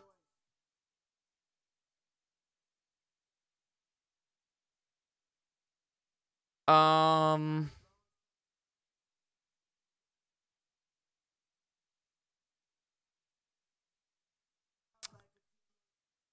Borrow, borrow, borrow, borrow. Implement borrow T for... Am I looking at... What? Into... How would that work? I think it does get AsRef. I'm just I'm just not sure what the chain is there that causes that. Ref. Ref.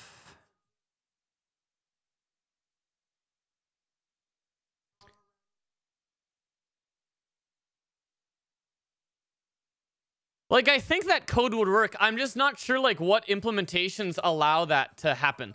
Because ref doesn't implement as ref for those things. It implements borrow.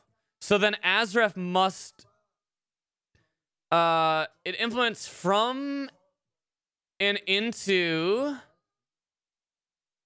and it implements borrow. And I think borrow is what would be getting us there, right?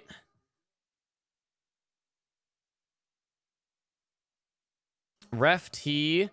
It implements deref as well. Oh, is it deref? implement deref.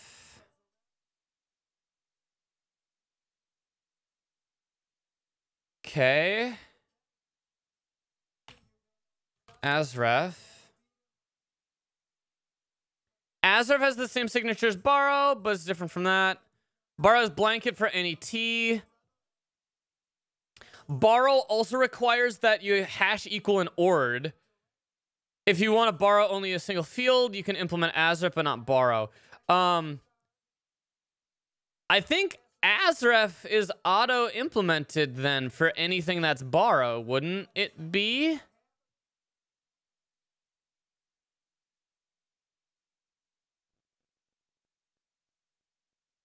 I just I'm looking for the implementation. Not that it really matters. I can just try it. Um I just don't know where it's getting that implementation from. AsRef U for ref T. And there's coercion?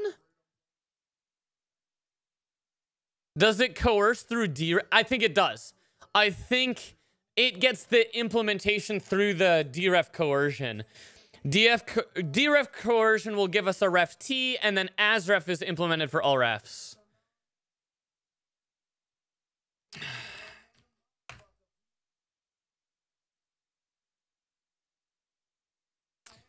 Well, let's see if uh, let's see if it's right. impl Trait only allowed in function and inherent method types, not in trait method return. Oh, okay. That makes sense. That sounded too good to be true. Yeah, that sounded like a Desu idea. Uh, once again, Desu coming in with an absolute shit tier idea. Doesn't actually work in reality once you read two documents. Yeah, nice fucking try, Desu.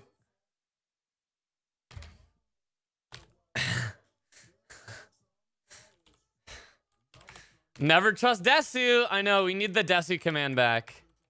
Sad. Uh, okay, uh, this is gonna be test, um, mute ref. So we'll create these pools, we'll make an accessor, and then what we'll do is we'll, uh,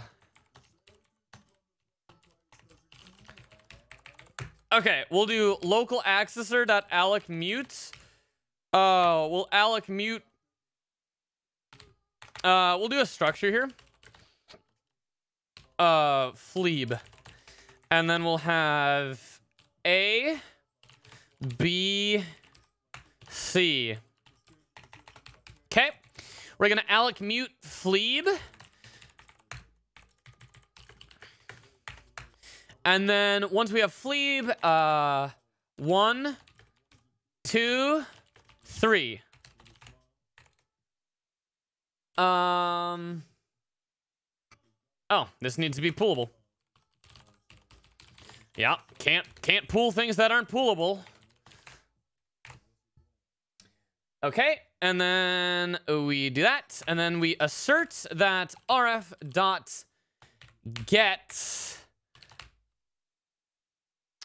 rf um get mute mute ref is equal to this uh, and this is how this is gonna work right? This will take the local accessor. It will get uh, that. Uh, oh, this can fail. Unwrap this. Um, cannot borrow as mutable. Perfect.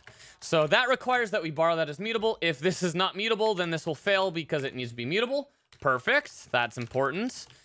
Um, then uh, we can assert that mr dot uh, mr is equal to fleeb a1 b2 c3 uh we'll give this uh partial eq and eq you might as well. Um and that's a reference now what we can do is mr.c is 69 um mutates and then we'll do mr dot or la dot register, uh, not mr, but rf.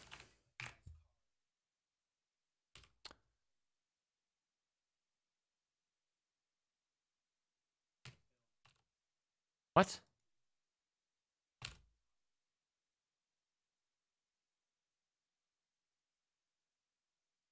LA dot. Oh, I just literally typed it wrong. uh, register the reference. Ref is here. Now we can assert that uh, la.get rf is equal to 69. Yep, and then we can assert that la dot uh, types of fleeb.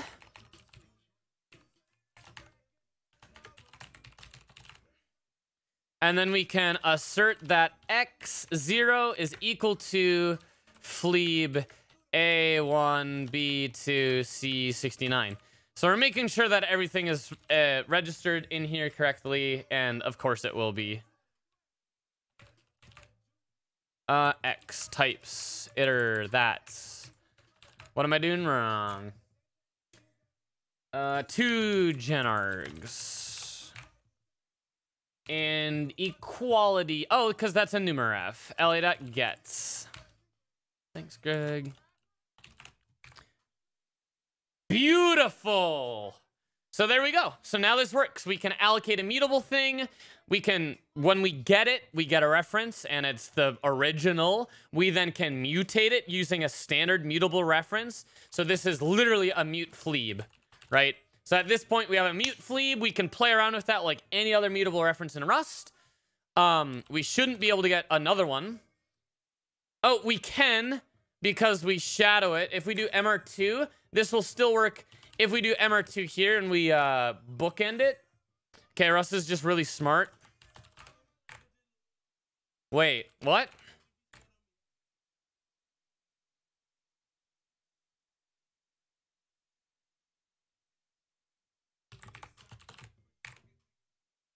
Okay, now I'm just confused.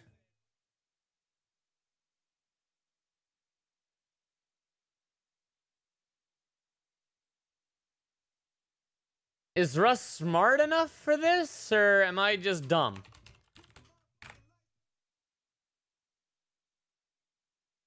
Uh... Uh... Oh, mutate MR again.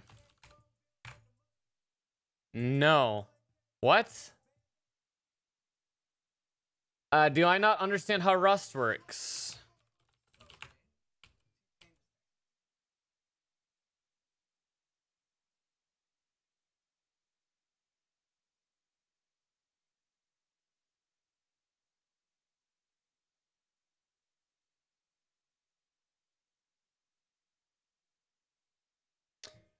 It's this explicit lifetime.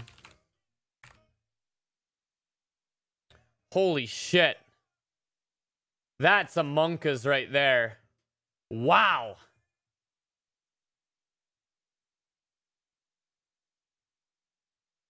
Wow. Holy shit. Wow. That's really scary, man. Unbounded lifetime, yep. Holy shit. I don't like that.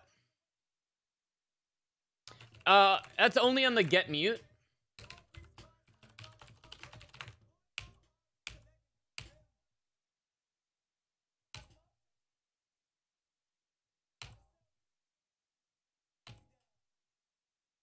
Yep, that's the only thing that produces that reference. So what all returns a reference? This does. Um.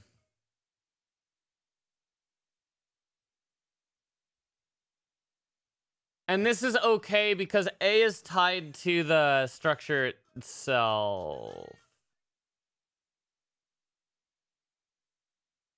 Can I even do this? Yeah, I can't.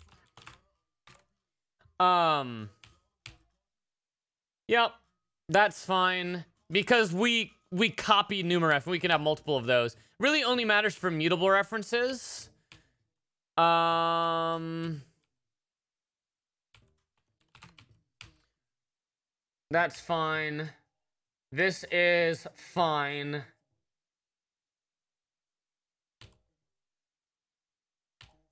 Yeah, no one in chat caught that. Nice job, chat. Fucking that one up. Making me write unsafe code. Uh, we should be able to do... Like, this should be fine because... Um, oh, no. This should be fine because it will just drop MR2. But yeah. Uh, okay, that makes sense. I think that's the only place where we need it. Like, these ones, it's fine because A is referring to the lifetime of the object. But in this case, we need to make sure that we're tying these two together. That's really, really, really important because that is what is the mutable lifetime. Deny unsafe code. Happy now. Ah, you, thanks, Tilted Tree. That's what we wanted. Okay. Uh, how do you like this API chat? So now, um, we added mutable support for local pools. So now that allows us um, that now allows us to basically get an existing thing and mutate it. Um, yeah, so now what we could do is like a example, um, this will be like test example fuzz, right? So we'll create all these. We'll create these. And this is, this is gonna be hot, chat, okay? Not gonna lie, this is gonna be hot. Okay, prepare yourselves. Uh, we're gonna have an A and a B. Um, this is gonna be a uh, ID index indexer. Uh, ref, uh, not ref cell. Numaref ID index of a U32. B. Okay. And then we're going to allocate a couple of these. So we're going to LA, alloc, uh, a couple U32s. One U32, two U32, three U32. Okay, so we allocate a couple U32s. Um, can't do equal on those. You'll, yeah, that makes sense. Uh, just poolable on those. So we allocate a couple objects. Okay. Um, fake deserialized things from some other place where we got U32s. So we're just pretending that we deserialize some U32s. Um, actually, we'll do like 4141, 4242, 4343. Those are our like, you know, our magic values. Then we're going to la.alloc a fleeb and this will be A, LA.alloc, uh, 1U32, B. Oh, Bhad Bhabie. Let's fucking go, dude. Let's go. So now we have a fleeb. Okay. Uh, deserialize the top level object. Oh, actually, we're going to do this. Avocado. I think we have Bang Project, maybe. I should update that so it, it has more detail. Uh, another top level object. We're going to call this a packet. And this is going to be like IP, and this is going to be flags.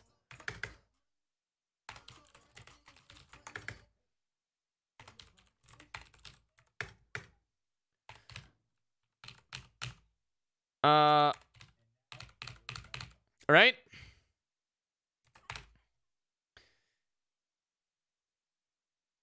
What, what? Why is there a fucking shout out mid fucking video?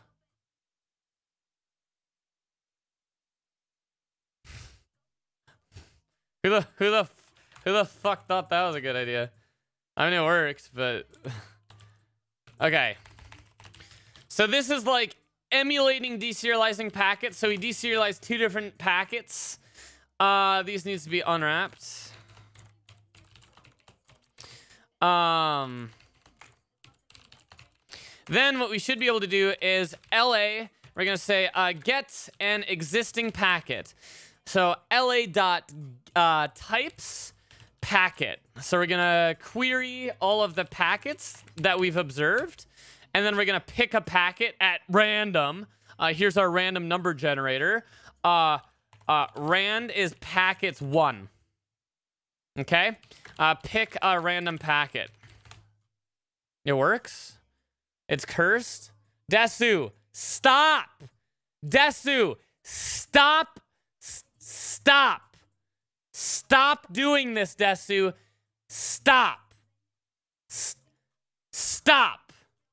Okay?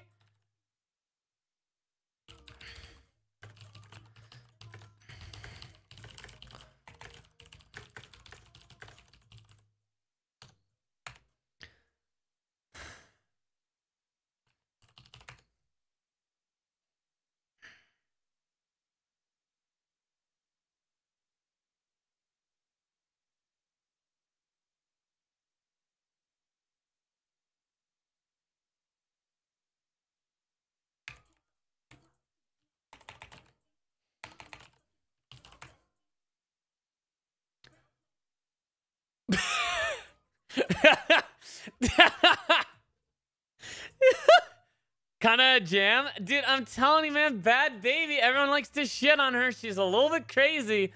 She's got some bops, okay? She's got some straight bops. All right, so does this make sense? Pick a random packet. All right?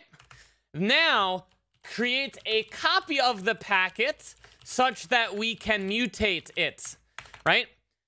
Now we can do let mute is equal to uh, la.alloc rand.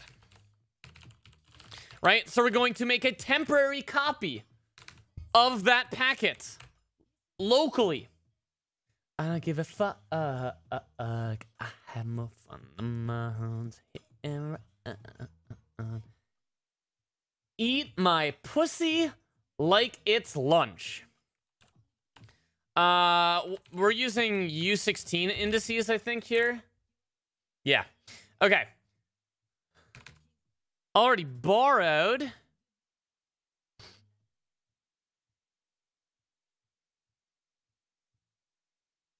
Oh, yeah.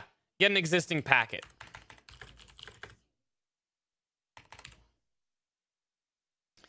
Um...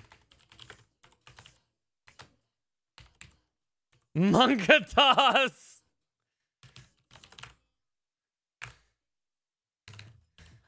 Yep, so here we get that packet. Um, uh, uh, uh. Oh yeah, because this closure might not be called. I don't like it. This is why I want the Desu Cursed implementation.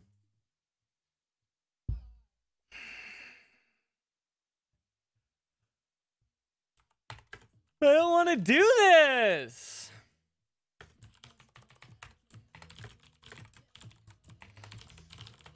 I've written worse APIs. Uh... You bitch, you wish I'm... Get an existing packet. Create a copy of the packet such that we can mu mutate it. This is going to be alloc mute. Then we're going to do la get mute packet. In you, you should get fuckboy tattoo. I don't give a fuck. Uh, uh, uh. Um, temp is this. Now, uh, now we have mutable access to the packet. So we can do like temp IP is la.alloc1 unwrap, right? So that will mutate the packet. Um, uh, uh, IP packet. That's a packet. Packets one. Move it into here. Unwrap that. Get it? Uh, why is that not the type that I expect it to be? Why is that a mute numaref? That's a numaref. Oh. la.get. And this should fail because reference is not implemented. Yep, poolable's not implemented. We have to deref this. And we got to implement copy for this. Nice. What if there are no pat? Then would then it would panic, Desu. Then it would panic. That's what would happen. Okay? It would panic. That's what would happen, Desu. Fuck.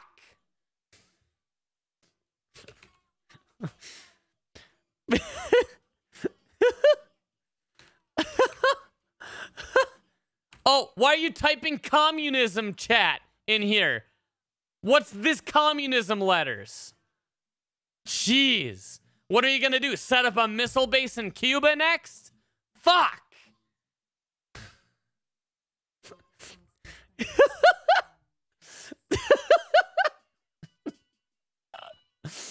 uh, okay.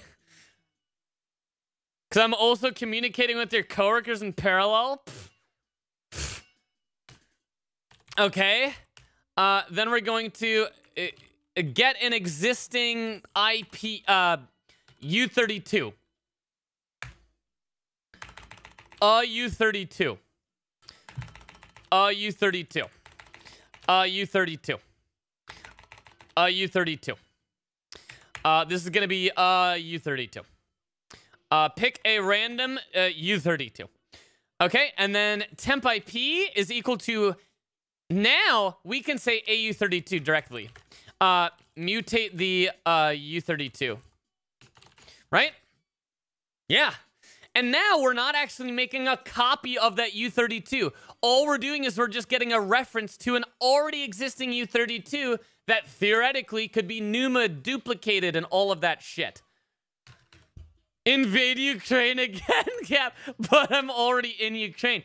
Yeah, uh-huh. Is that not invading Ukraine?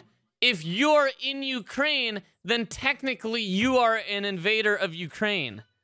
Right? Right? Uh, checkmate atheists? Checkmate Stalin? Mutate the A32. Uh, register the packet. Or like, uh, at this point, we have a new packet that's been mutated. Uh-huh. Uh-huh. IP is this. And uh, flags is this. And this will be uh, la.get temp IP, uh, la.get temp dot flag. Uh, uh, yeah.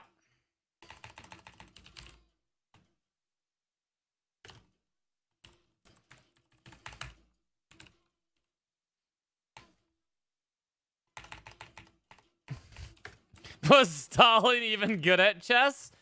I'm pretty I'm pretty sure Stalin was good at anything he wanted you to say he's good at.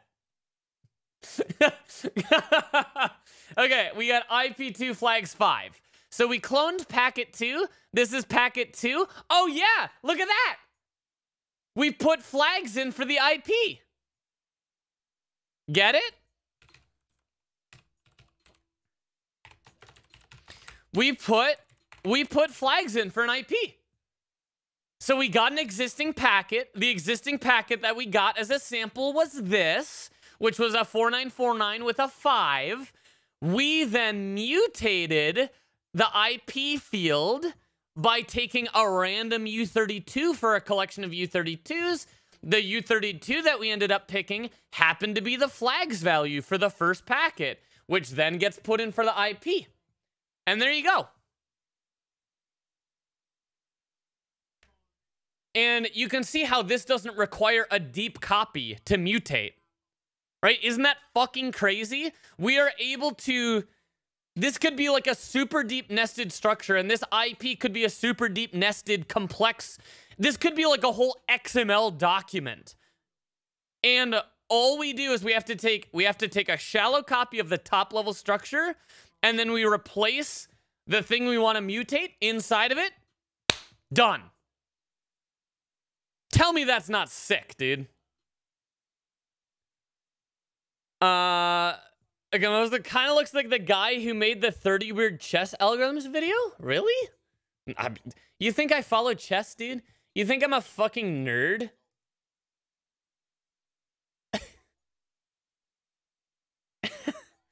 All right.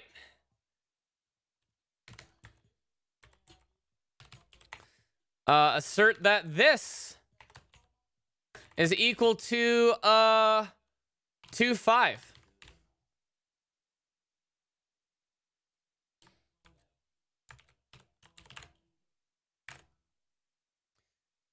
And all our tests pass.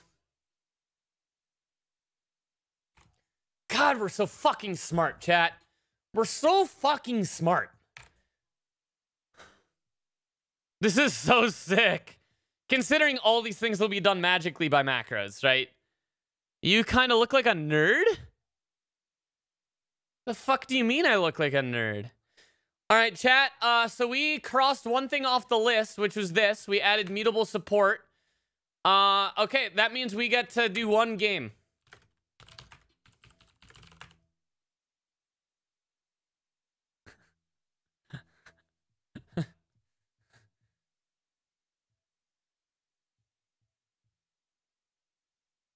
How many frags? Chat, how many how many frags are we gonna uh how many frags are we gonna play to? Gamozo doesn't even like My Little Pony. 69? No, we're not doing 420 or 69 frags. We'll do 25. We'll do a longer round. Okay? Um Godlike bot.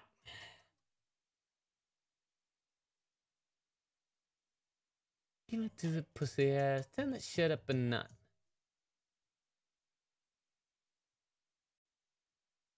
Final Rage. We could do Final Rage. Xoylent's probably my best map historically. It's a perfect, perfect map for uh 1v1. Fucking cash.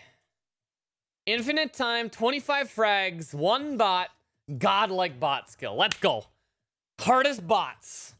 This is a much, much smaller, more open map compared to the last one, so it will go much faster. Uh, and it's going to be a lot more dangerous. Um, I will play better on a map like this, but the bot will also be able to snipe me from across the fucking map. So you're mutating structs that other threads could be reading? No, because I had to make a copy of it. Ooh, ooh. Not a great start. Not a great start. Okay. Uh, let's get some map control going. Ooh, ooh, ooh. What does he have? Oh my god, he killed me. How did he... How did he have enough health? Oh my god, he got that fucking health power up. Okay, okay, we gotta we gotta calm down. That was a big mistake. We played really sloppy. 37 on that. Uh, 37 on that. So we have the mortar. Let's see if we can throw them off the map. We have to hit these air shots, which is really hard. Got him. Uh, okay. It was 37 was the timing on that. This one's probably spawned the big health. You know what? On this map, I wonder if he's going to struggle to get to that more frequently.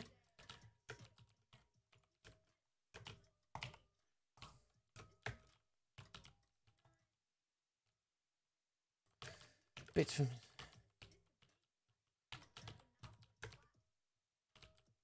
Thirty-seven. So I missed the big armor. Woo! Woo! I'm fucked. I am fucked. I should be fucked. I'm not fucked. Uh... Oh, Jesus.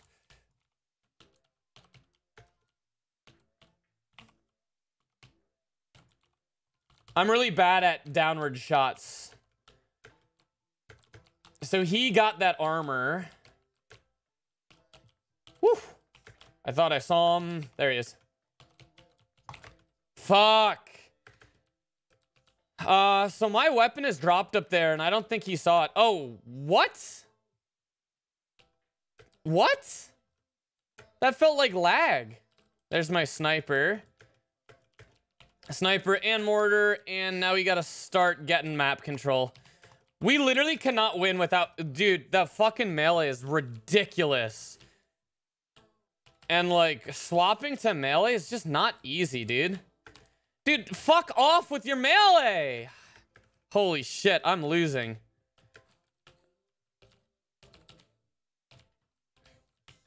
He hit me? Oh, holy shit. Okay, the bot is really strong on this. I have no map control right now. Nothing. And I'm gonna see him right when I peek next. I need to get map control. Wow. God, he has so much health, dude.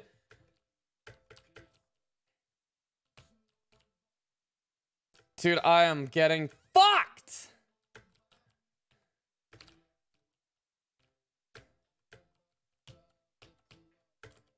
He just got that. Fuck!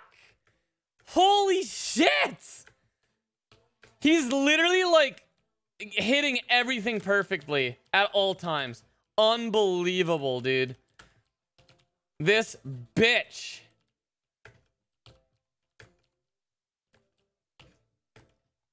How much health does he have? Holy shit!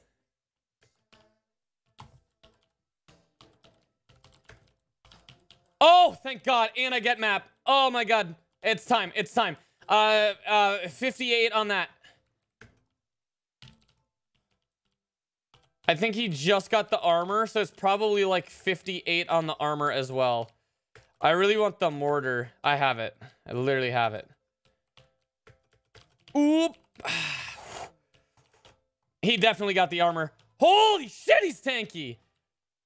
Uh, uh, uh, uh, uh. Ah! God damn it, dude. There we go. Armor, 38. Hell, yeah, dude. God, he's so good. Holy shit, these bots are insane.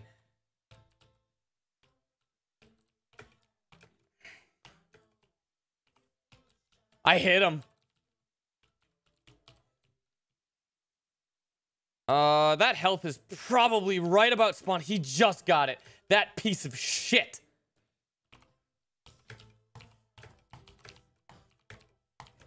Jesus Christ! I hit him with three fucking sniper shots! And he didn't die!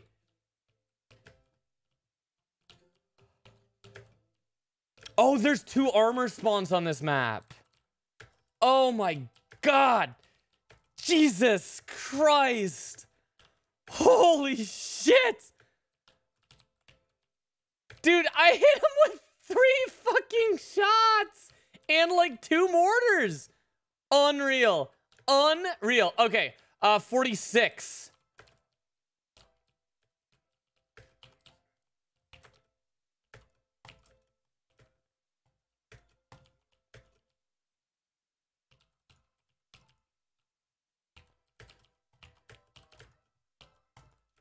Like, how, dude? I pumped so many shots into him. Holy shit! He can't die. It's almost as if the bots spawn with more health, but I don't think they do. I think he just really is on top of these spawns. And I am not. I am, like, so flustered.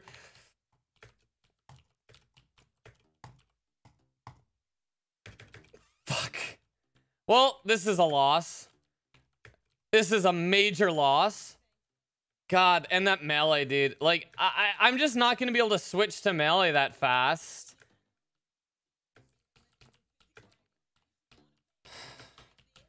Can I get any fucking health or armor or something? Can I get anything? Jesus Christ, dude.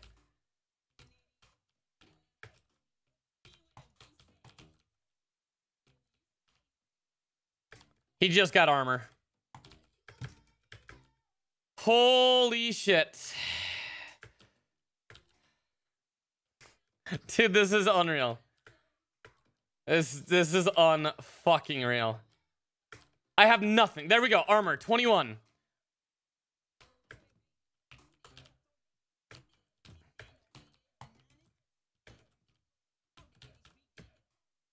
Oh, he killed himself. Upstairs armor is 21. Uh, 40. 21 and 40. I don't know downstairs armor. He's about to pop there. I guess not. That armor he just got at 53.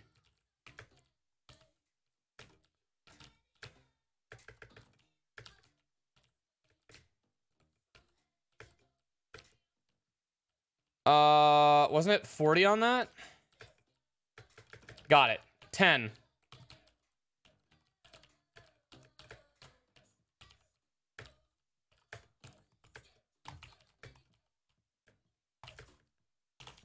Mm, mm, mm.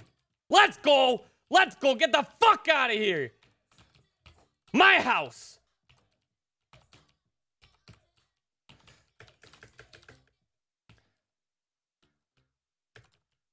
I think he just got that armor and dropped down. Okay, he has map control again.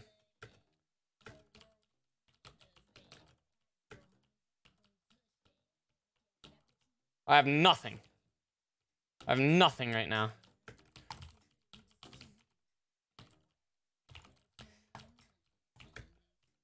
Oh! Oh! Ah! Ah! Ah!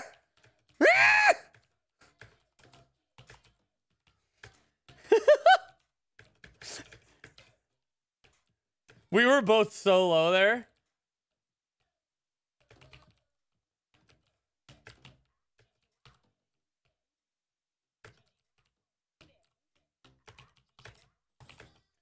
God damn it! Son of a bitch! Oh, oh, fuck. I should finish him off.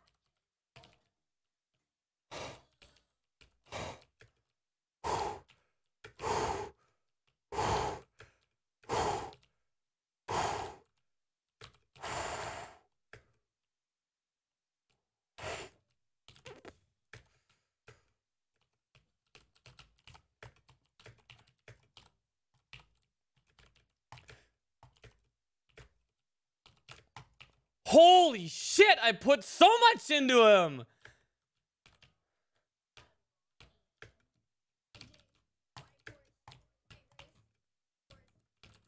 Eleven. Nice.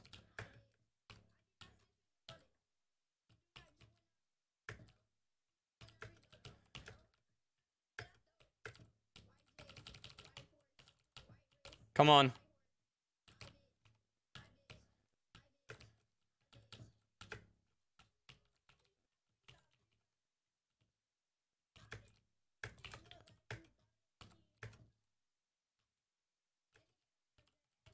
Oh get fucked. Uh, 48. Let's go. Let's go. 48. 56. 59. Let's go.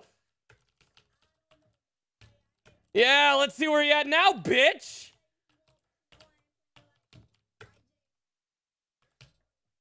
Oh, where's your health at? Oh, Oh, where's your health at? Oh, you have no health? Oh, boo-hoo.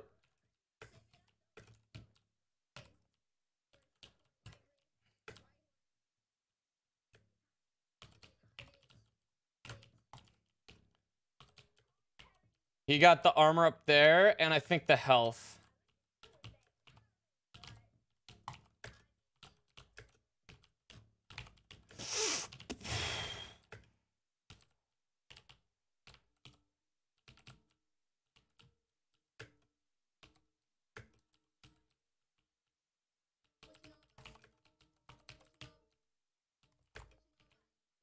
Oh, oh, get crushed.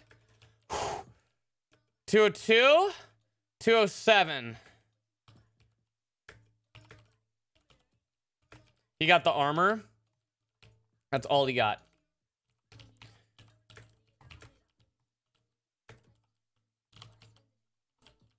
Let's go get the fuck out of my map. I can't even remember the times because the fights are so intense, dude. Oof.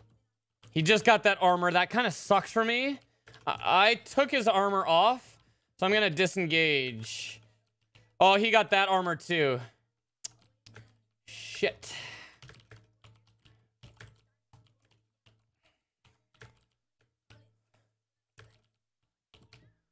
Yeah, bitch.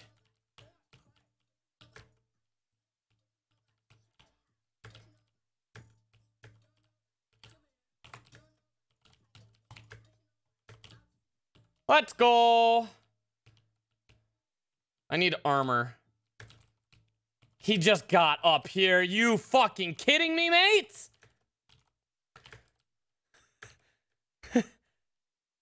oh.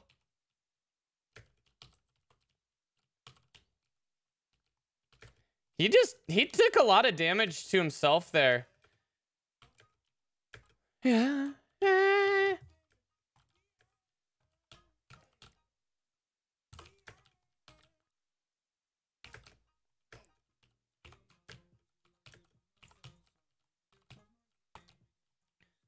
Okay, I'm just gonna give up on that fight. Wasn't going my way.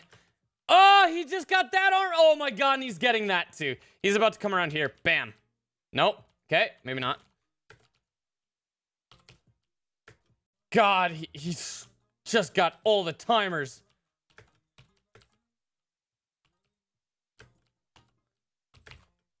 He's gonna be really tanky right now. I can't fight this! No, why are you here? Why are you here? No! No! Armor, 25.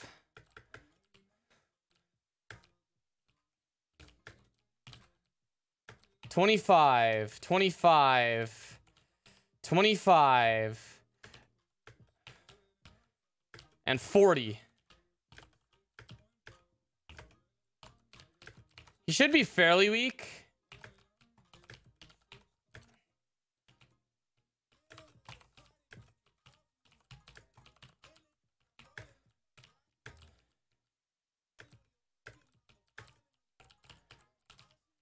A one. Yeah, now he looks like a bitch.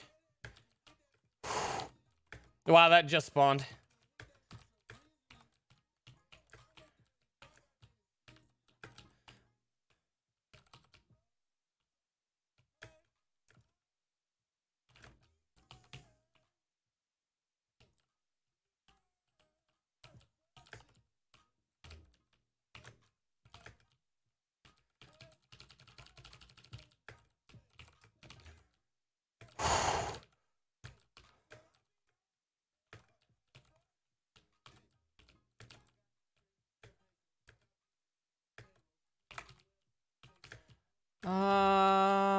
Think he'll be a little tanky here.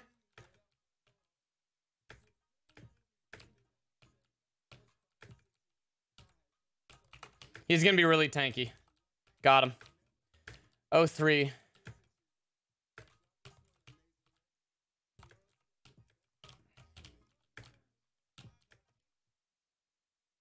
Let's go! Let's fucking go!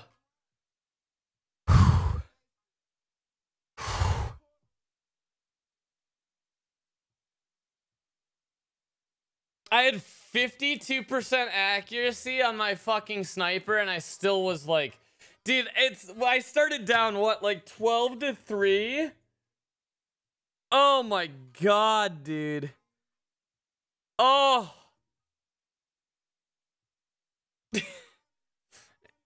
Bot knows the RNG of the spawn. There's no RNG in the spawns.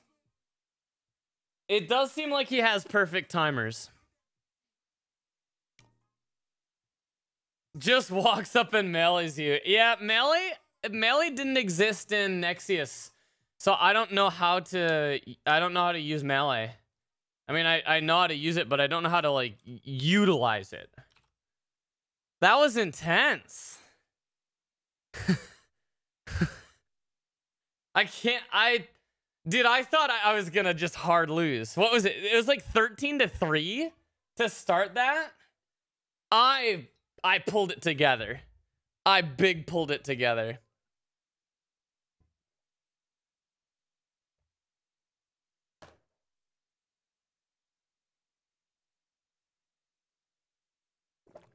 Ah. What's this?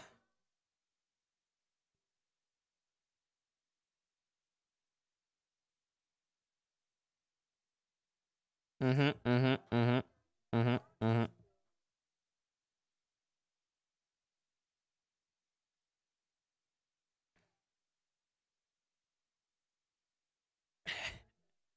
All right, let's see. Okay, back to writing code, I guess. Shit. GG, I was the bot.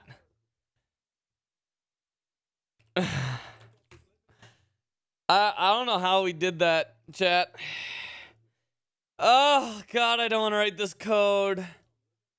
Is everything in place to write this code? We have local mute. We have Numa working. We have localize working.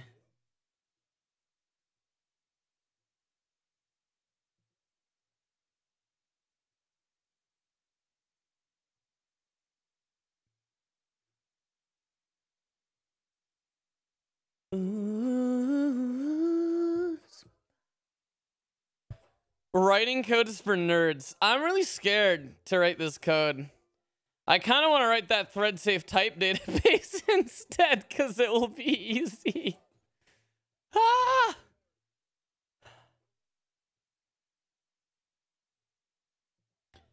Um. Okay. We gotta, we gotta, we gotta write globalize.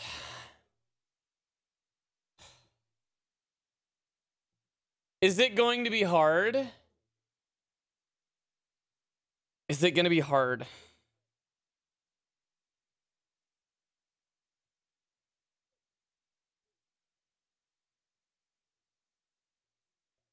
Is it going to be hard? Uh, we, okay, so we need to be able to make copies of everything. Uh, how do we do that? Poolable. Send and sync is all we have on poolable, so we need to do better than that. All right, beer back.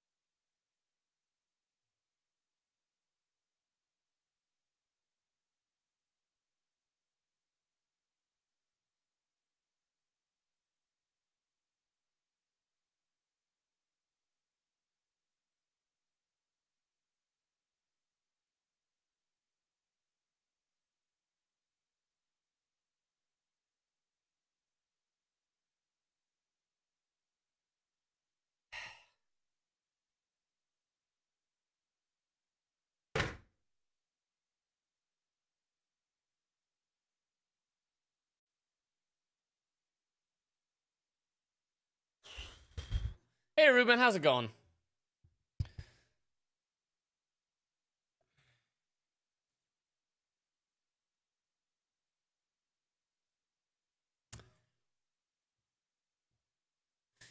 Uh, it should be easy for you. Americans are good at globalizing.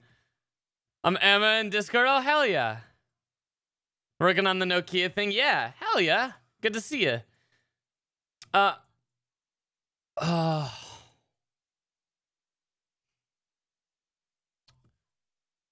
So, poolable types.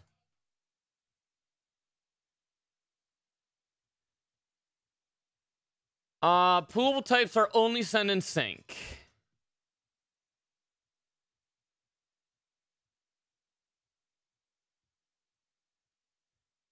Um.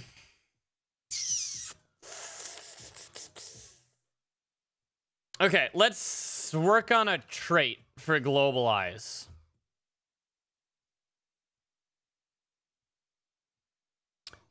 Uh, so we have the poolable trait. We'll have the globalized trait. uh, is this going to be an unsafe trait?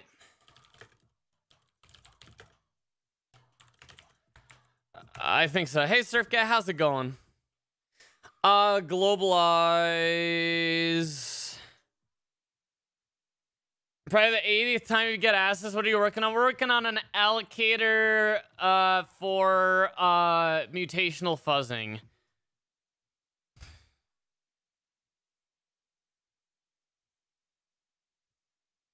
God damn it, Zom. Oh, how do I want to do this? How do I do this? What is this gonna do?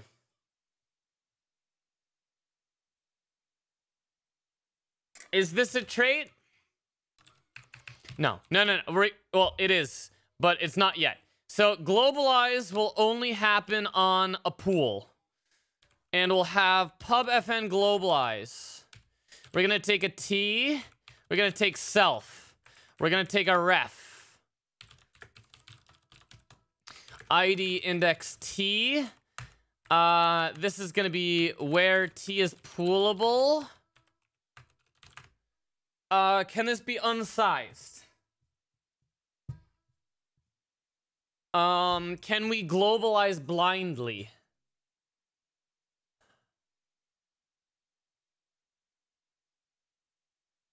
Um...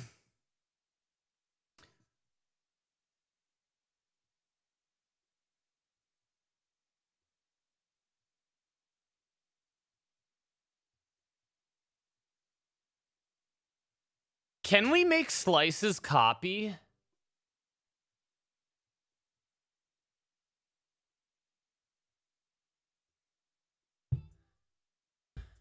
Um...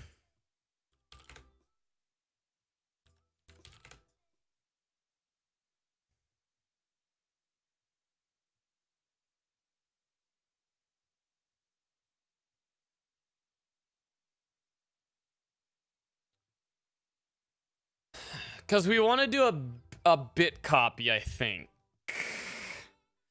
Do we? Do we care?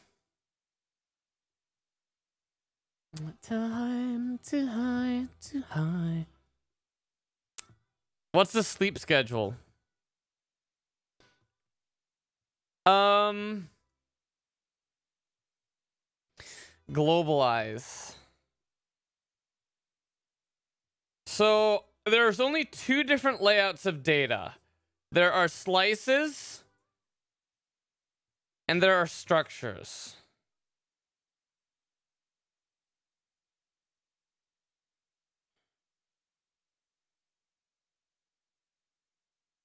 For structures, we need to go through every field of the structure. And if that field is a numaref, then we have to copy the numaref if and only if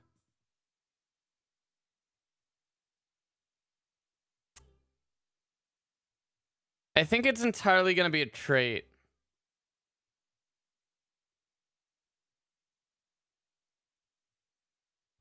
You say VODs? Eh, sometimes, not really. Um... Globalize. Do I want to trait? Dude, I have no idea how to even approach this. Pub unsafe trait globalize.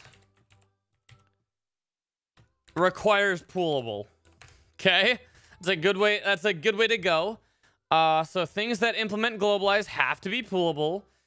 Uh, which makes sense. So these could be slices of poolable things. They could be ref numarefs.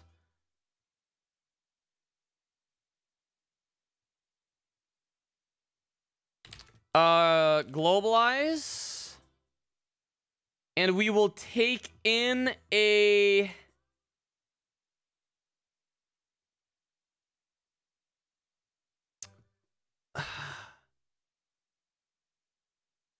Do we take in a numaref of self? I think so. Uh, uh, the value we want to globalize has to be a numaref. We can't we can't globalize something that's not a numaref. So we strictly say it has to be a numaref ID index T. Okay. Um, so we take a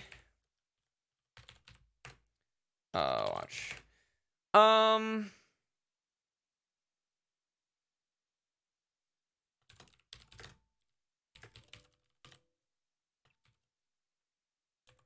oh and this is a self. Okay. So self has to be poolable uh, numaref. So we have a numaref to a self in an ID with a given indexer. And what we want to do is we want to, uh, we want to push this up. How do you sleep when you have that much compute power? Uh, very poorly. Um...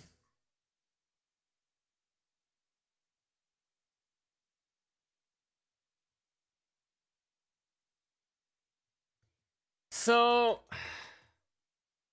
we're gonna take that.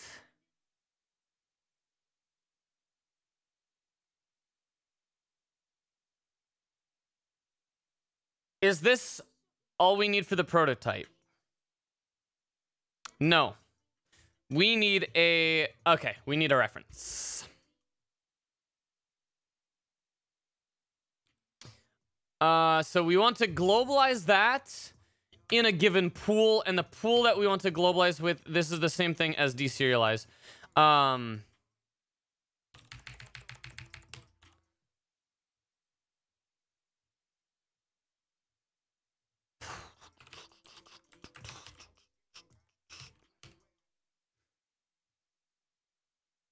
Uh, so we're gonna have an ID. And an indexer. Globalize. We have an accessor.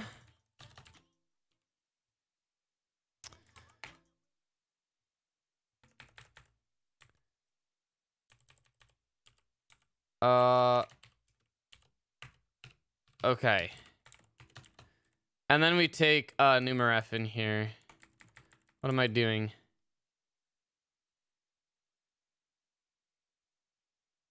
That, that.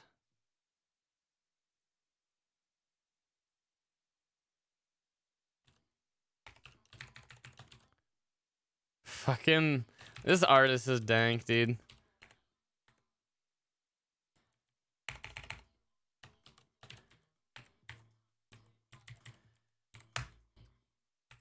Okay. That's the trait. Um, not quite. Now we need the value, which is uh, numaref uh, ID index self. Okay, so this takes a local accessor and a value that we want to globalize. And the uh, has to be a local reference. Doesn't make sense. If it's a numer reference, it's already been globalized. Um, Okay, now... This will... to implement globalize for something. Are you working on your own uh on your OS? No, this is on an allocator for uh mutational fuzzing. Um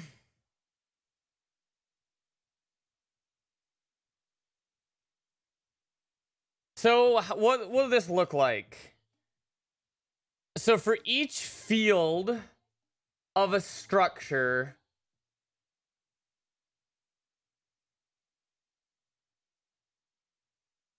Uh, will I have a globalized slice be separate?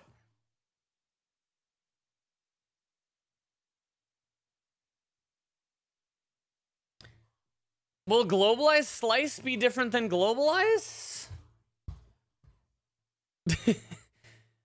uh, can I do this where it's a unsized type?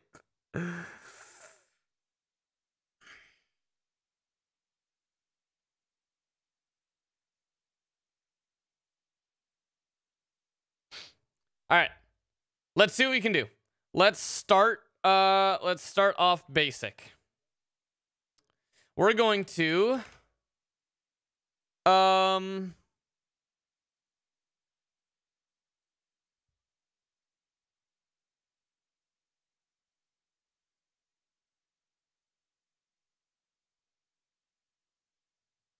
So every field needs to be globalized. I think, do we start working on the procedural macro right away?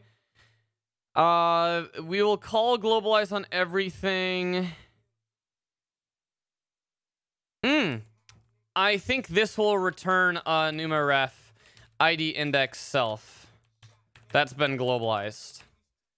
So we take an accessor, we take a numaref, and then we globalize that value.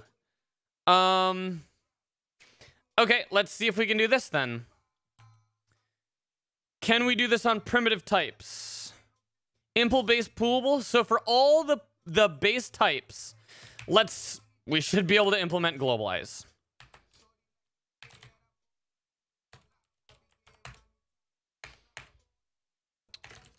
Um so the way this will work is we'll do um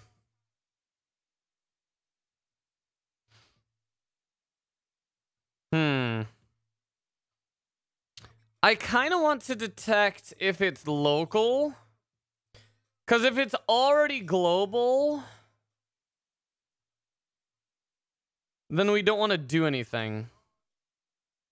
Can you put your high performance allocator VODs on YouTube? I'll try to. Um, well, hopefully my new internet comes soon so I can upload them. Um...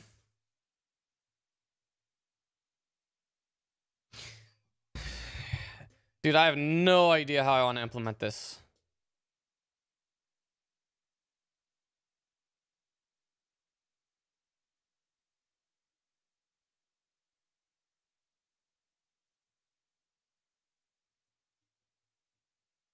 Um... Globalize will be the trait. I have to implement it specially for each structure and type. For base types, I need to call like globalize internal or something. Don't you have fiber? No, I don't have fiber yet. It's installed, but it's not active yet.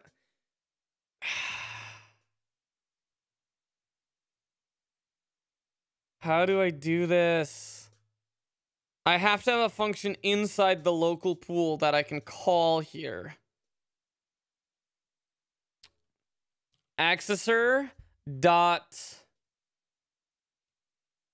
globalize and I pass in the val.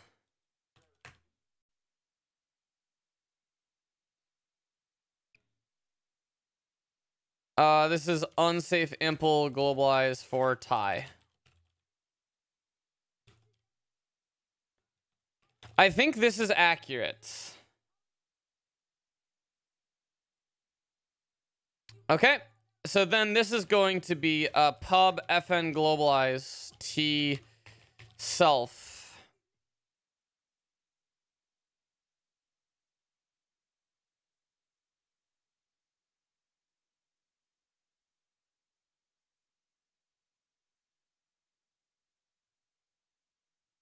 Self. This will only work on the primitive copy types. Okay. Uh, yep, we're good. NR, numaref, ID, index T, uh, where T is poolable, and copy. Uh, take a, uh, potentially local, uh, uh, numaref and place its onto the uh, Numa pool if it is not already on it. Okay, so we're gonna say if nr.index dot check local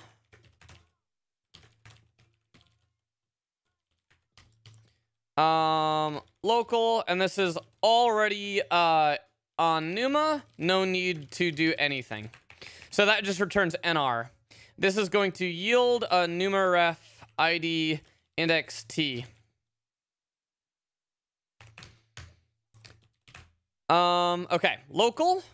We must copy the uh, reference onto the uh, pool. Onto the Numa pool. Okay.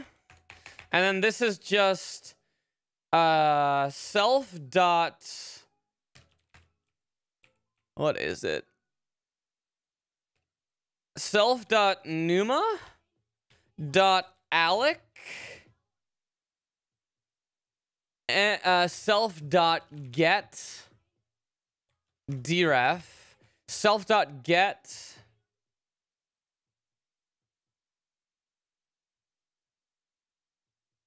Um.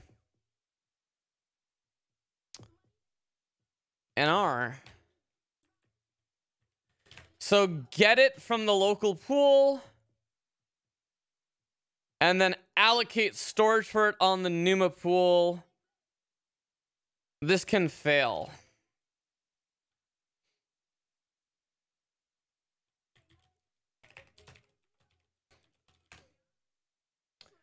Okay, um, and then here we can say, uh, this does not recurse, thus this should only, wait. That's just not safe.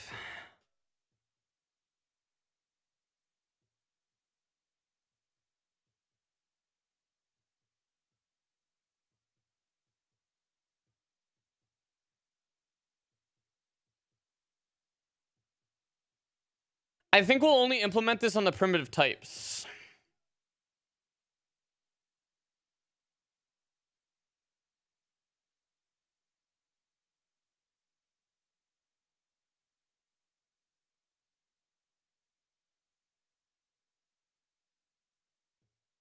Yeah.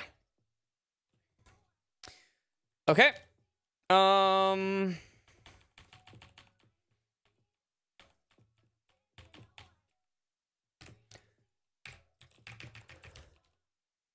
Okay. So we have to make this into a macro. Um, this only works for primitive types as it cannot recurse.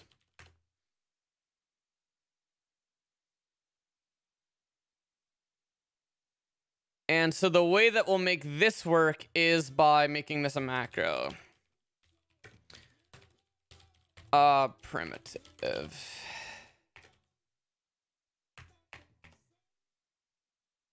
Okay, and then we'll take a tie.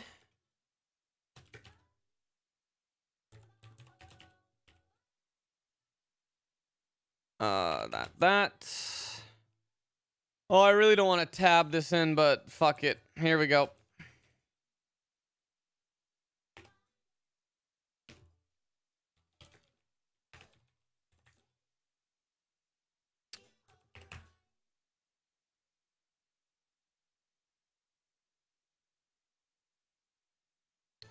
This is uh for Thai.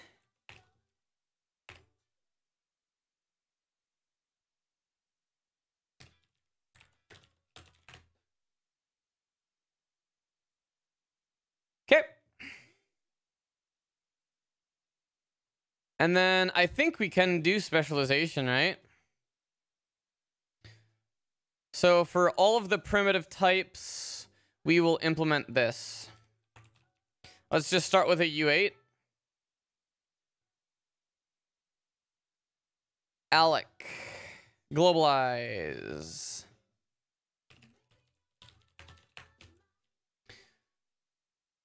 Uh, this can fail. This can fail. So for all of the primitive types, for the base types, we implement this. Expected F64 found U8. Can I do specialization here?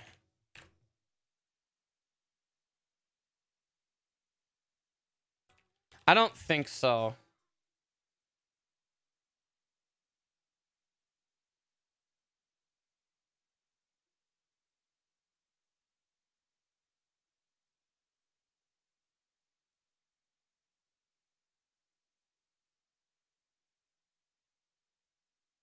Can I do this? Can I specialize these?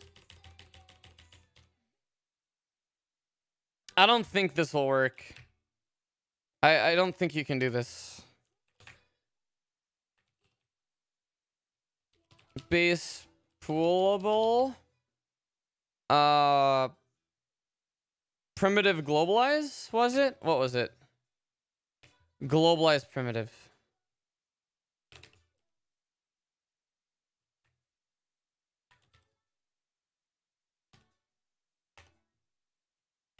Uh... No shit. Did that work or did it just scroll fast? No, that doesn't work. Yeah, we can't do this. Um... Okay. That's fine. We'll just, uh... Alright. That's fine.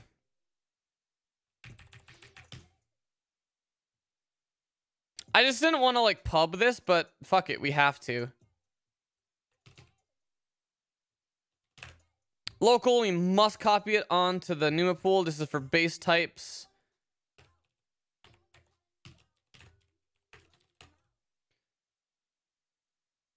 Uh, then NR here. This is just gonna be val.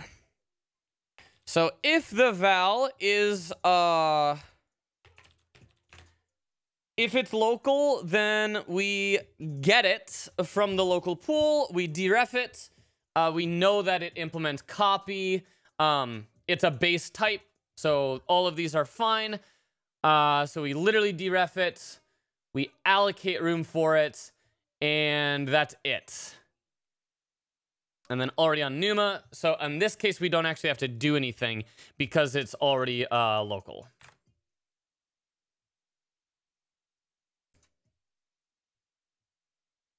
Okay. Self, uh, this is accessor. So we're using internal fields. These are private fields, so we're just going to have to say, um, so index, uh, this is...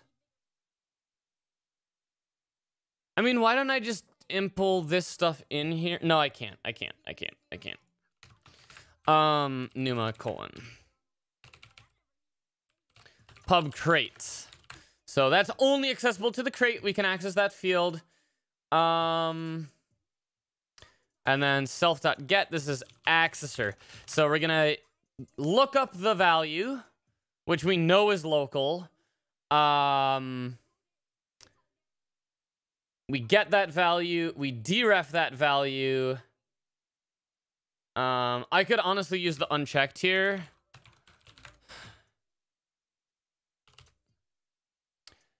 Get unchecked.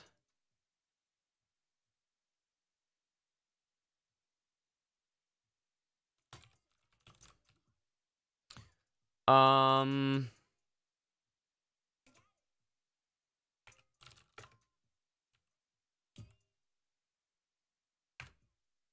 Okay, unsafe, this, this. So get unchecked, that's going to assume that it's a local thing, but we, we've checked that it's local, so this is fine. Uh, that will make a copy that will perform an allocation here. Um, and then this is pub crate.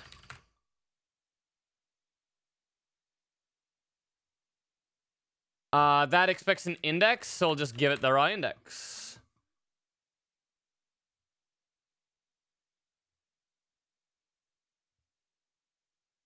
No, we don't get unchecked. We want, uh... Was the wrong function. That was get, get slice. Oh, actually, we do want get unchecked. Yeah, get unchecked. That gives a ref to the T. We deref T. We know T in this case is these, which are primitive types. We can deref that. That implements copy. We can then blast that off to the NUMA allocator.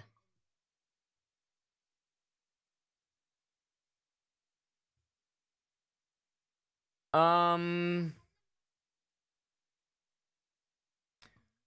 Because of the type numaref that, which make which takes which makes the generic argument invariant. What is not okay about this?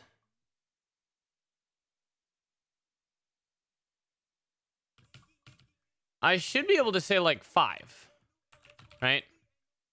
I should be uh, able to like alloc five. Doesn't work on floats, but yeah, okay, so it's... Uh, let va uh, temp I think we need to do this.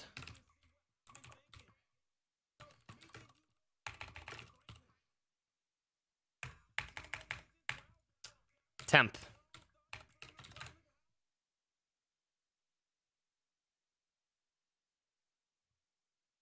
Get unchecked. This is weird.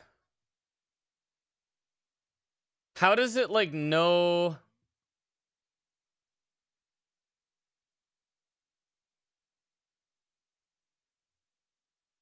Associated function was supposed to return data with lifetime ID, but it's returning data with lifetime NUMA ID. Um. Oh. Oh yeah, it's fine. It's totally fine. It's pff, Jesus. I'm being an idiot. Uh, yeah, we have to localize this.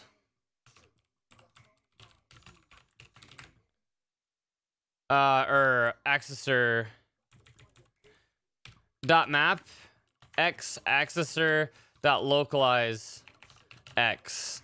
Um, allocate the copied data into the in the um, NUMA pool and localize the reference. Beautiful. Let's go. Okay, so we have it working on primitive base types. Uh, we do make it an unsafe impl. Um, Okay, so if it's a local reference, then we want to push it to the global. To push it to the global, we uh, get the unchecked, um, get unchecked to get a reference to it. We deref it, which gives us the raw type. So we've made a copy of the type. We allocate space for that type in the globe, uh, yeah, we allocate room for that in the NUMA node, which will broadcast that. And then we localize uh, the reference. Okay. So globalize is not implemented for anything. This is a globalize uh, trait, which allows um, deep copying a uh local uh uh local allocation to the uh Numa uh pool. It allows deep copying of a local allocation to the Numa pool. So it takes in a NumaRef to a self, it returns a NumaRef to a self. Um this also works on unsized things. Oh, traits turn. Yeah, by default. Yep. So if it's poolable, and poolable can be um, unsized.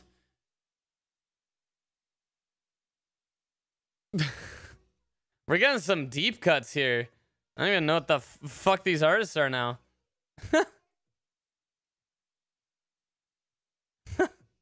Holy shit. This is dank. Uh, this is dank. Okay, so globalized poolable. So we take the accessor, uh, we'll end up pushing it to the NUMA ID, and then we localize that ID. We take the NUMAREF, and then we return a NUMAREF, so we just round trip it. Okay, let's check. Let's do a quick test. Test globalize prim. Um. Okay.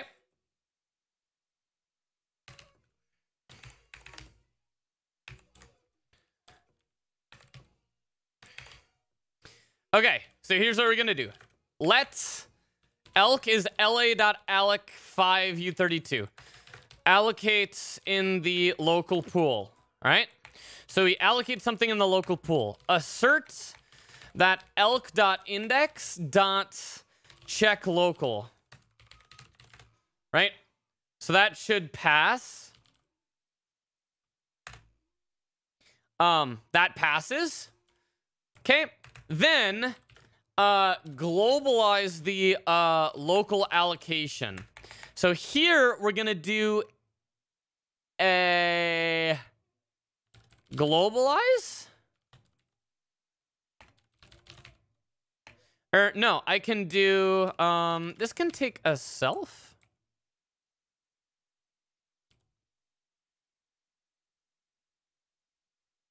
Yeah, I think we're going to change this to a self.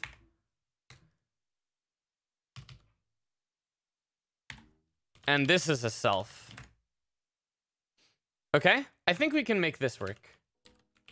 Doesn't have a oh, doesn't have a size no net compile time. Uh...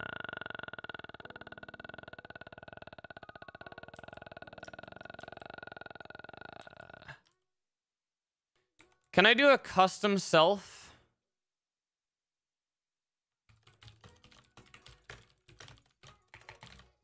I think you can. I forget the syntax.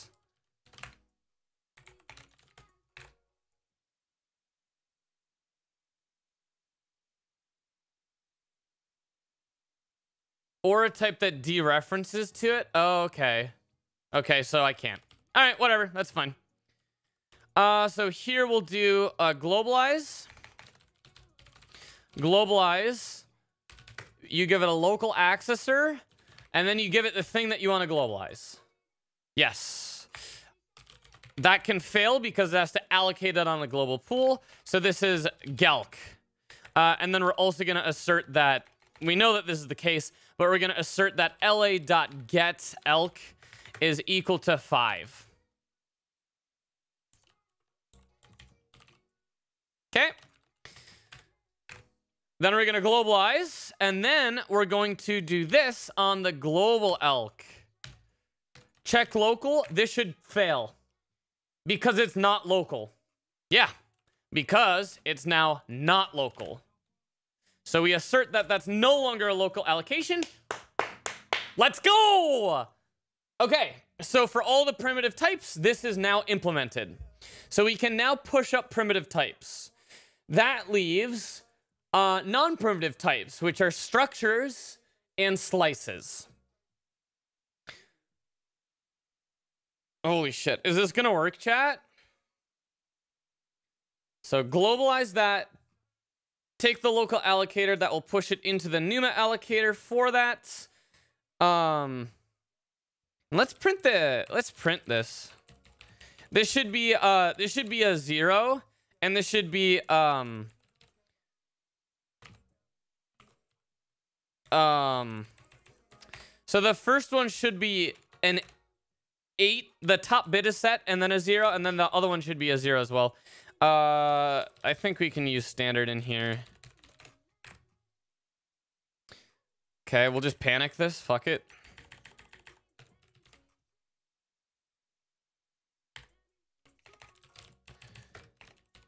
X. Elk and Gelk.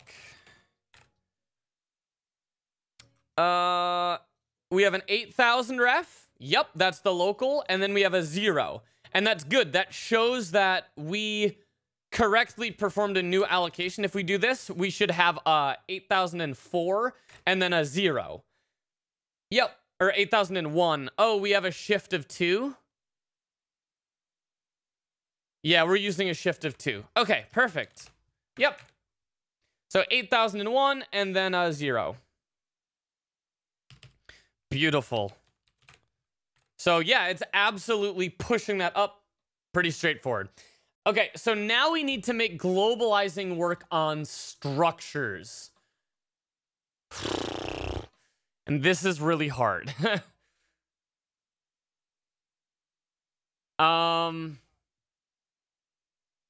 this will only work if everything implements globalize. I need to turn down the f-stop. My exposure's getting too crazy. Turn up my f-stop. There we go. Now my ISO's not going nuts.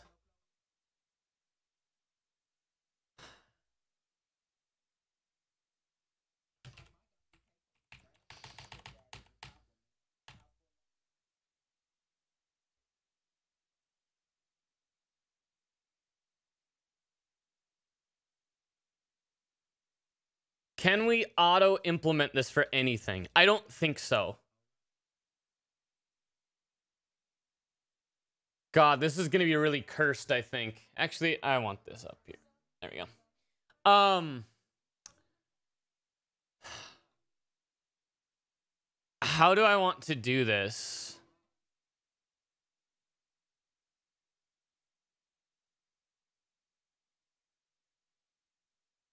Can I do it on slices?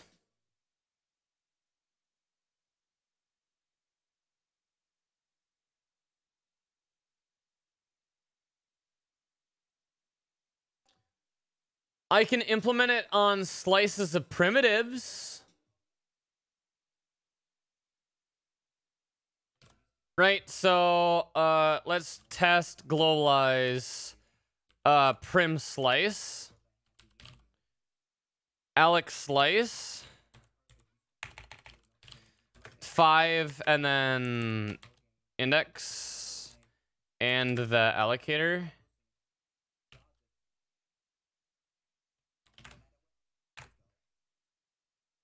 Um.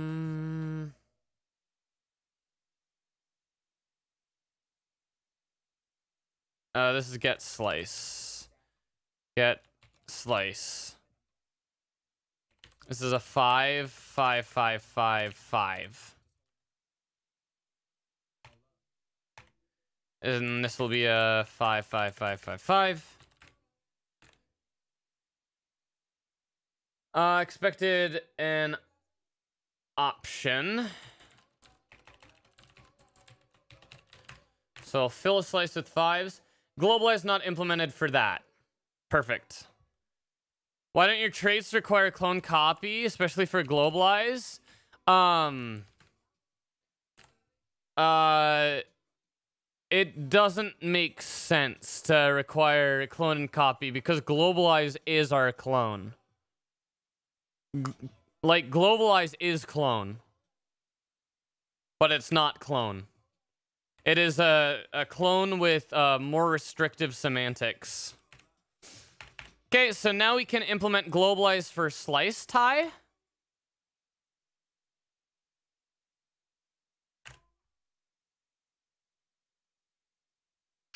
Um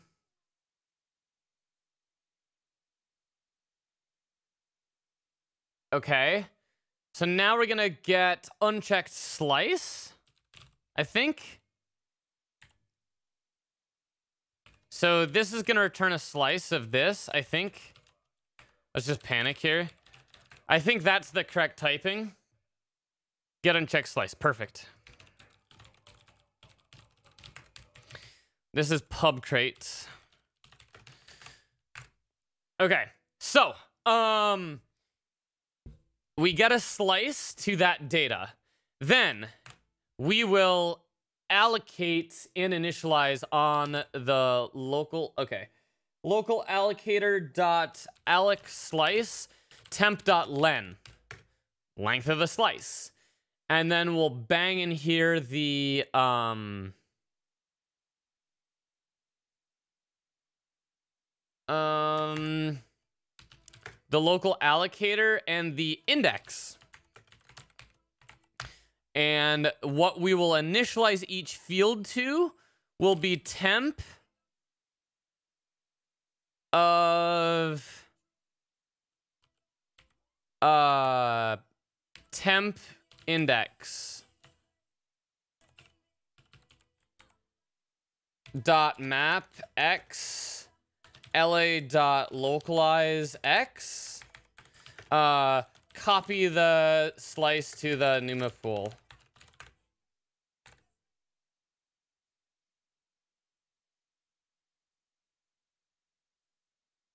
Accessor.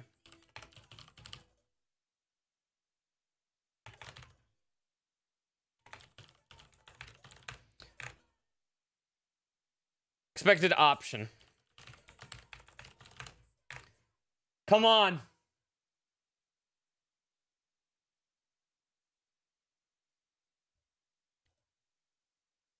Come on.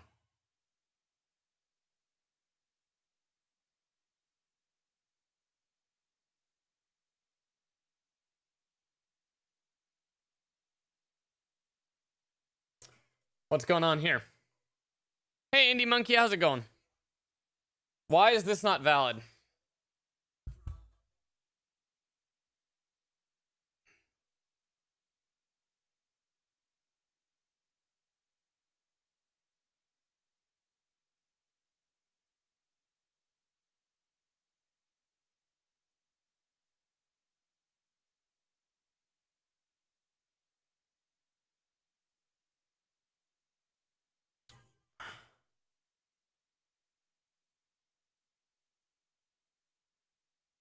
How do I do this?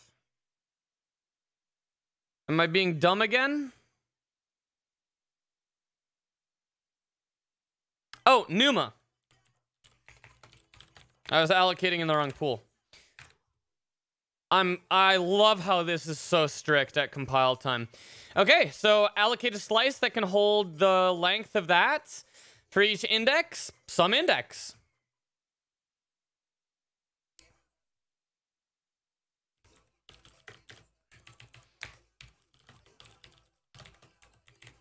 We'll do unsafe get unchecked here because we we know that will always be inbounds.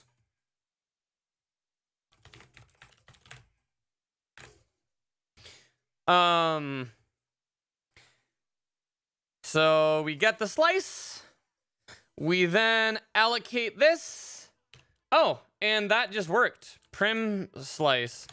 Uh, allocate a slice. Make sure it's local allocate uh or then globalize the slice of primitives and make sure that that's good. Okay.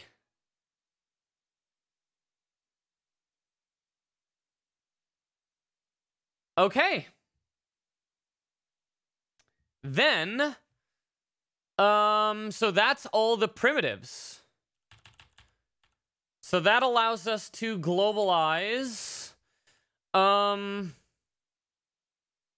slices of primitives as well as primitives, which is really, really, really cool because now that has built up uh, the basic support for us to now globalize. Uh, let's start uh, globalize. This is going to be uh, prim struct. Uh, struct prim struct. A. We have a U32. We have a B, a U16. We have a C, a numaref. Uh, we'll just start with this. It's just a prim struct.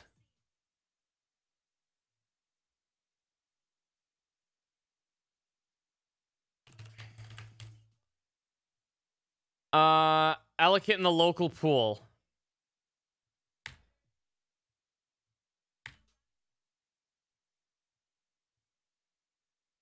Gets. Um, okay, so Globalize works on slices, and that hopefully we'll be able to work transparently on slices.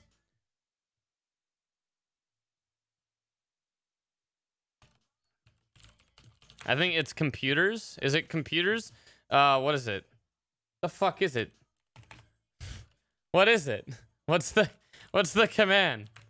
What is it? It's uh oh, it's computer. Computer. There you go. Uh commands add PC this.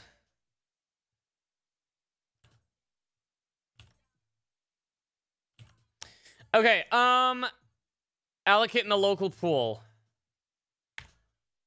Prim struct A5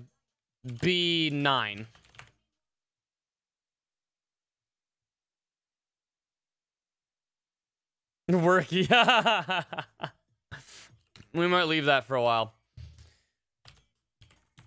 Uh, prim struct A5 B9. Uh, derive partial EQ EQ. Uh, okay, so that uh globalize. We'll do that in a second.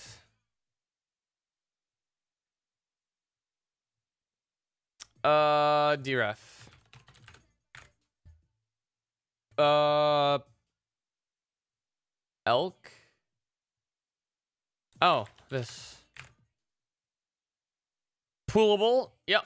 Primstruct needs to be poolable. Okay. Uh, so Primstruct doesn't implement globalize. So we want to add support for implementing globalize on a Primstruct. Um. Okay, so we're going to start off with this structure, which doesn't have references in it.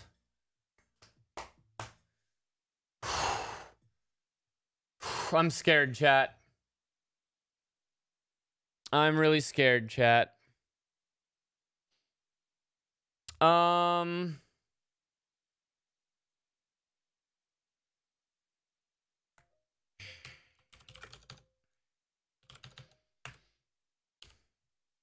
I don't want to be scared, but we're going to be scared. Poolable. This is going to be globalized now.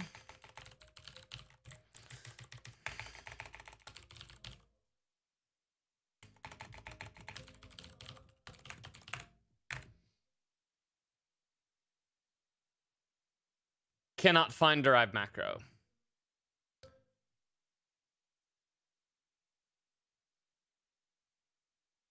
Gotta pull it in.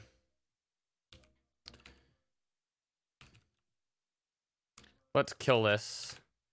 Uh, let's kill NUMA pool and kill parameters. Okay. Re-exports, globalize. All right, that's gonna fail. Uh, because of the, yeah, nice.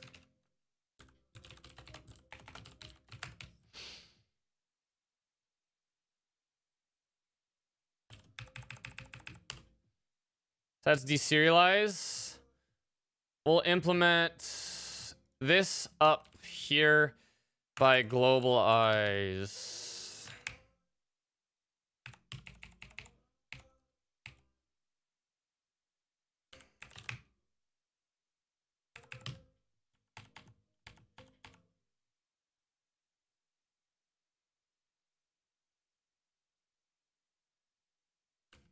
I think here's where I want that.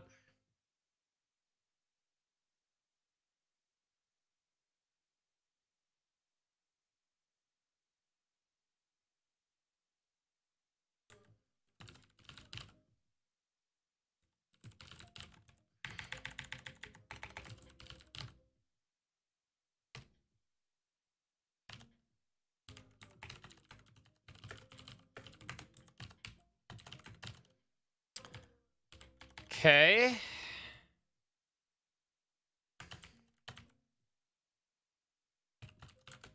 This should match on that structure now. It does. Um, okay, so we're now attempting to implement it, but we're not. Now, um...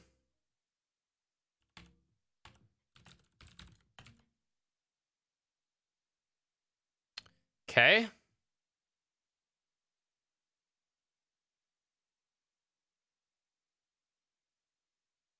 I don't think I need this.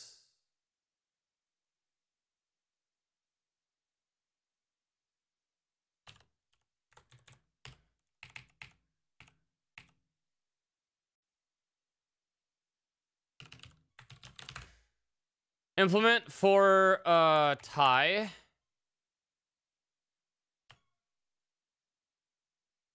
This.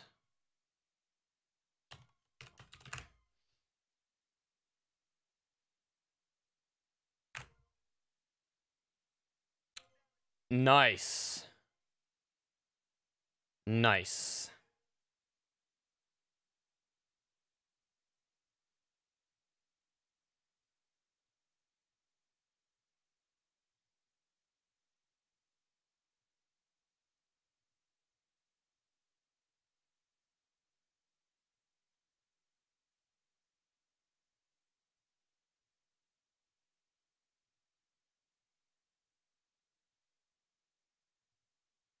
Um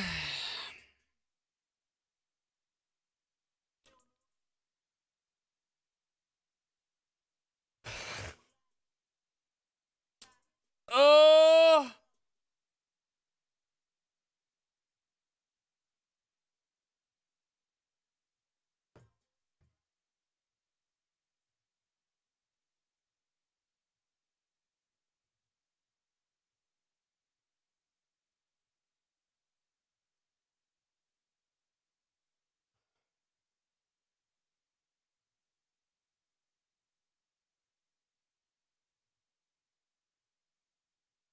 I don't want to do this yet. Let's go, um...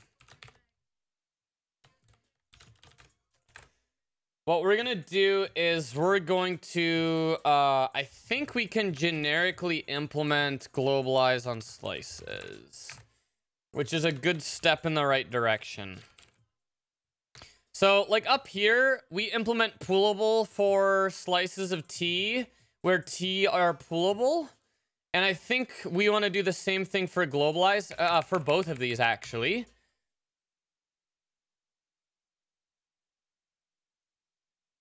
Returned for more mesmerizing phrases. Hell yeah. Glad you're having, glad you're maybe having a good day. I guess you're hoping everyone else is having a good day. But hopefully you're also having a good day. Uh, so globalize. We want to do the same things here. Implement globalizes, glo globalize for slices of globalizable data. And this is uh, globalize for T where T is globalize.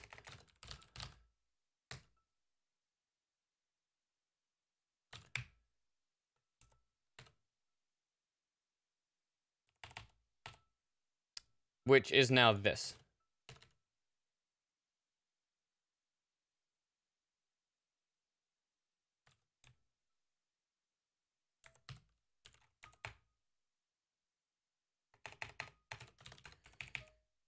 Okay. Um, this. Let's see. Can we do this generically? For T, take slice. This is T.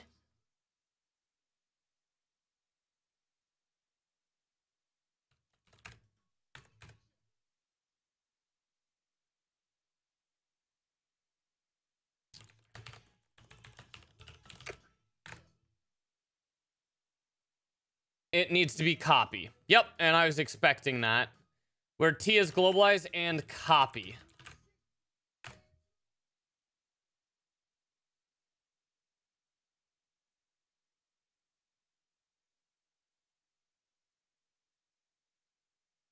So Uh, unsafe impl globalized for T where T is globalized and copy. I think I need to give an IED constraint on this.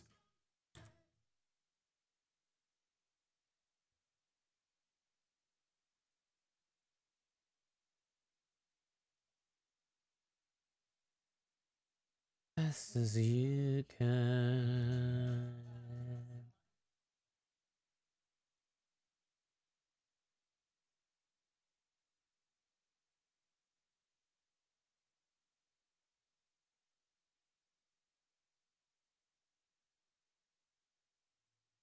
I actually want this to live for ID. Okay, this is a uh, our first like hard problem, I think. Um.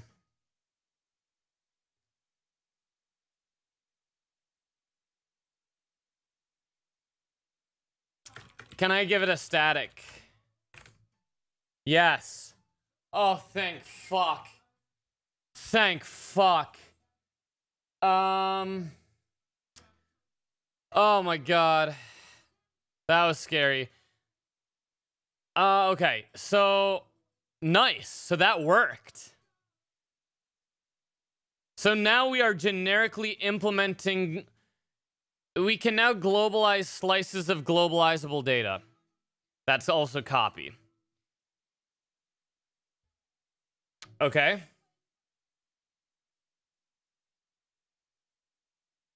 Then, uh, let's add support here. Holy shit, I think this is just gonna work, man. Uh, globalize.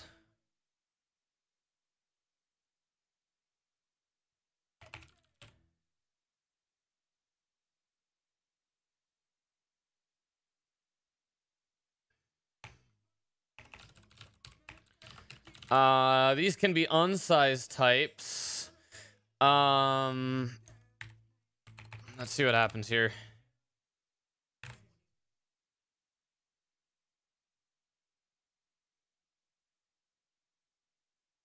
Those have to be copy. So prims are copy. These are copy. Uh, I don't know how I'm going to handle these lifetimes.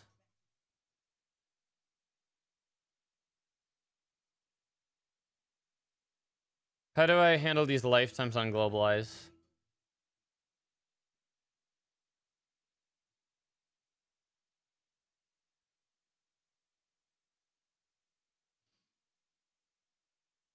ID indexer.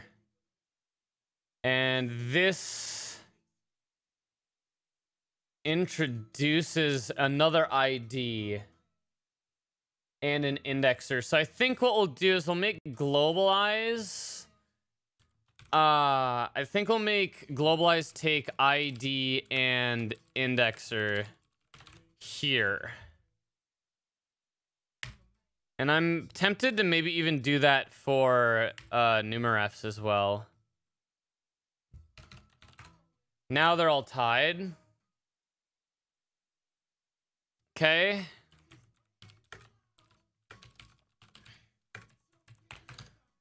Uh, for globalize ID indexer, where this is globalized for ID and index, I think I might do this for um, everything.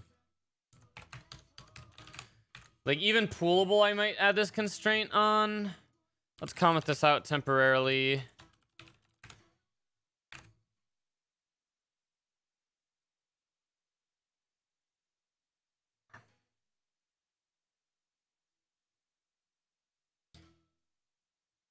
Up here.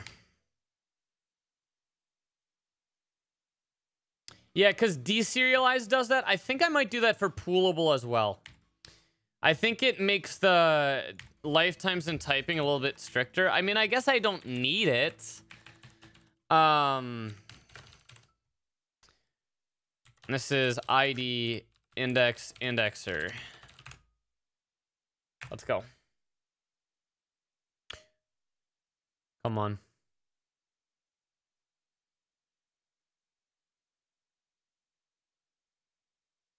What are we shadowing? 298. Thank fuck. It's just, uh, bat. Okay. Oh, thank God. Woo! Like any any minute now, I am expecting something that that shows me that fundamentally Rust cannot express this data structure. But I'm pretty sure it can. Um, but like I'm like every time I get a compiler error, my heart sinks. I'm like, holy shit, is this is this impossible to express? Okay.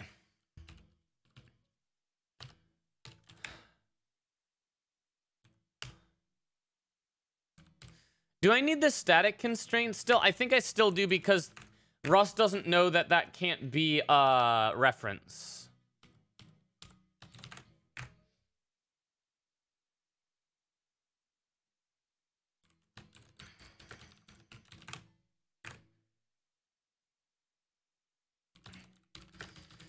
Uh, has to be globalized in the same pool. And then this is just a wrong implementation, but that's fine. Um, so this is a numaref of a numaref. So this is a nested numaref. Um, so now we're adding globalized support for uh, numarefs to numarefs, which will allow us to recurse infinitely um, at compile time, which is big. Um... So the way that this will work, this is actually the same implementation. If I'm not mistaken, I think I can use this implementation. Or no, it's actually different. Check local. Uh, all we do is we just call globalize on it. Because T is globalized. So what we do is we allocate a... Yeah, it's this. It is this. Uh, tie. In this case, it's a T. So we get the T. T might be unsized, but it's a numaref. Oh, I think we have to do this explicitly for both sized and unsized.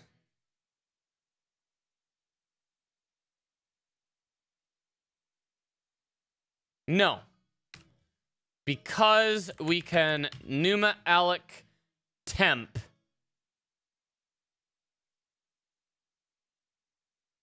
globalize. Uh, globalize the um, field or the value. Uh, temp is equal to globalize, globalize. So for the first time, we're doing recursive globalization. Um, so we're going to globalize the uh, into a numaref, uh, actually into a self. And self is sized. And we will globalize the t.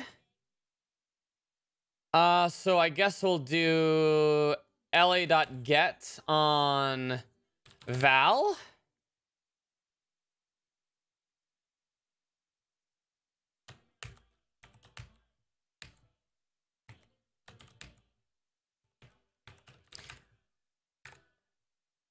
It's like this.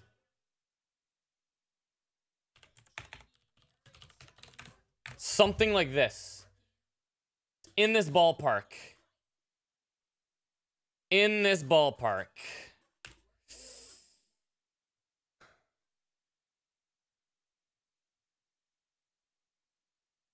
Come on. Globalize takes two args. First thing is the accessor. Come on. So we globalize in... Oh, fuck.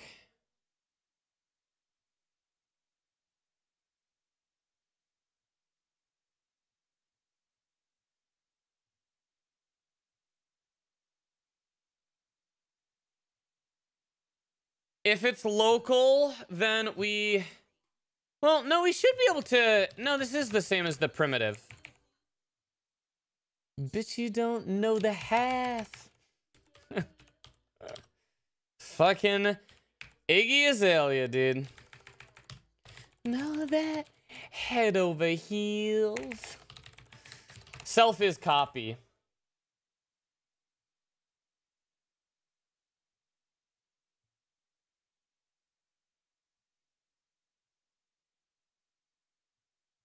We're going to get unchecked val index. So this is a numaref of a numaref. By nature, it has to be. Uh, so we get unchecked the numaref, even though it's unsized. That's okay because it's effectively a box. We deref that to get the original.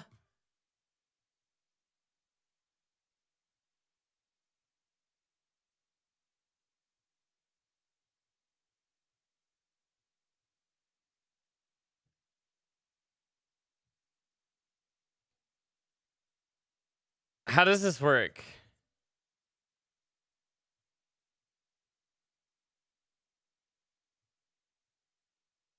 Ah! Um. Fuck! Why does this code have to be so hard? oh my god.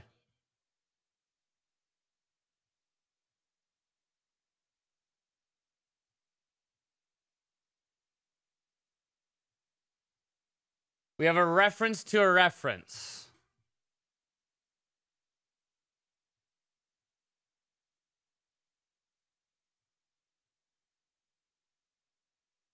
We get a self. Self is a numaref. Uh, then... Uh, ba ba ba ba ba ba ba ba ba ba so now we have a numaref to a T.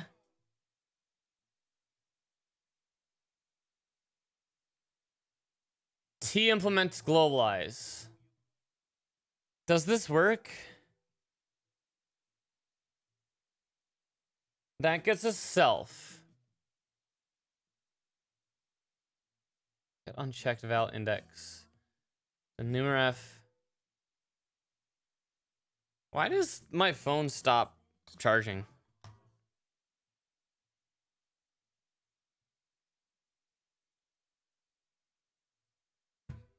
Um.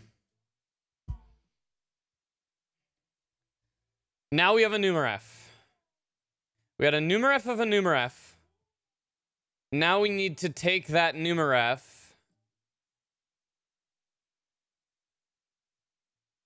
Is this expressible? I have to call globalize on the numaref itself.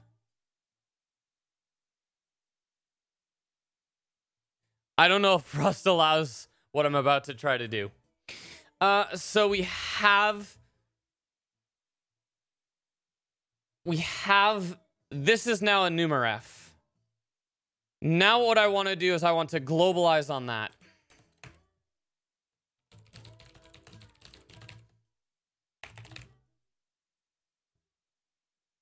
This is nuts.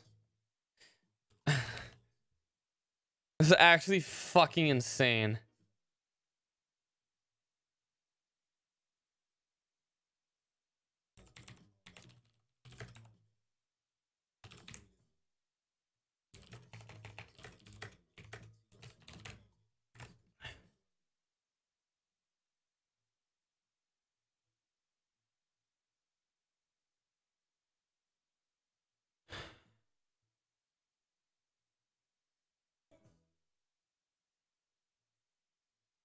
Do I need a static lifetime on this?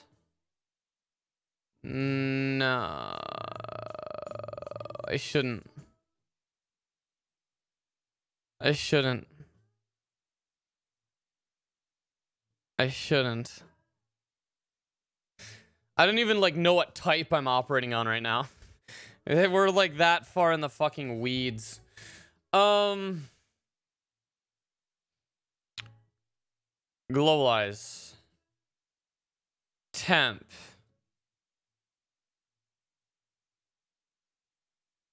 I don't even understand how that works and or doesn't work.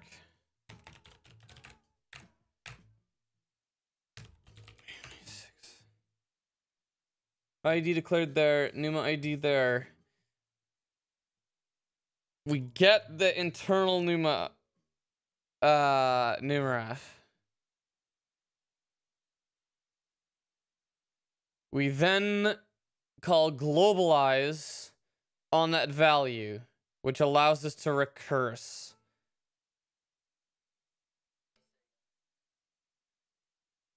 That gets us a numaref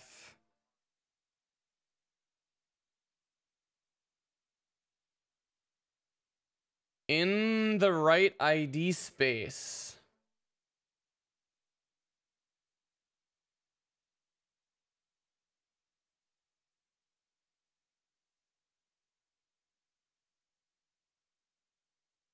Let's do some let's do some strong typing.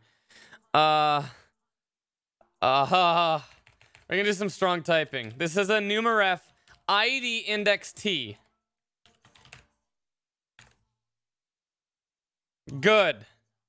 This is a numaref ID index T. Right? That should just round trip it.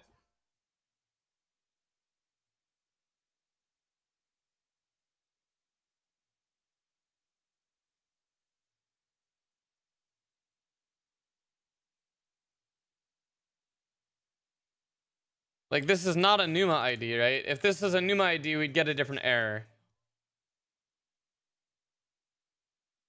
Type annotation. Yeah, yeah.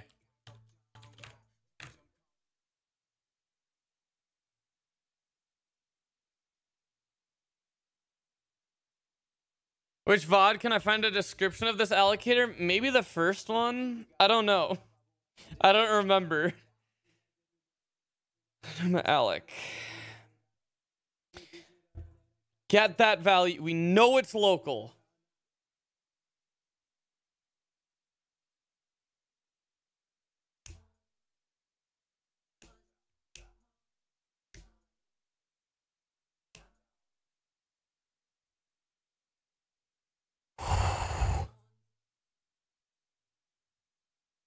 Get the numaref. Get unchecked. Done. We make a copy of the numaref, which we now have on the stack. We then globalize that numaref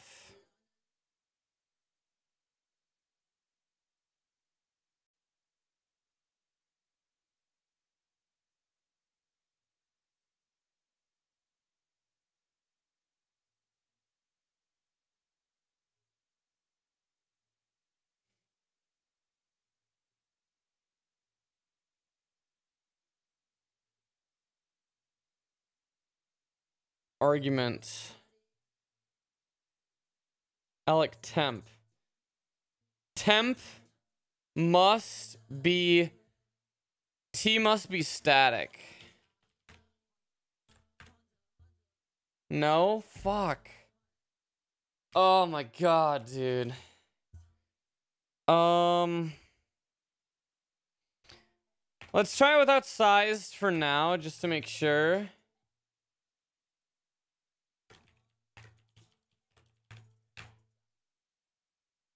Not that, okay.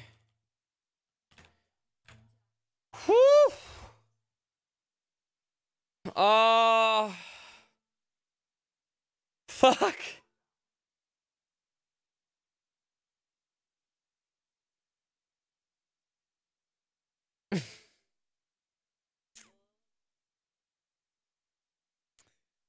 we have a numaref. That's a local numaref. Well, it's not guaranteed to be a local numaref. Um... So Numa alloc requires Numa ID for the argument. And in this case, temp... Oh! Oh, we have to do, um... Yeah. This makes sense. It makes sense we basically have to do the opposite of localize.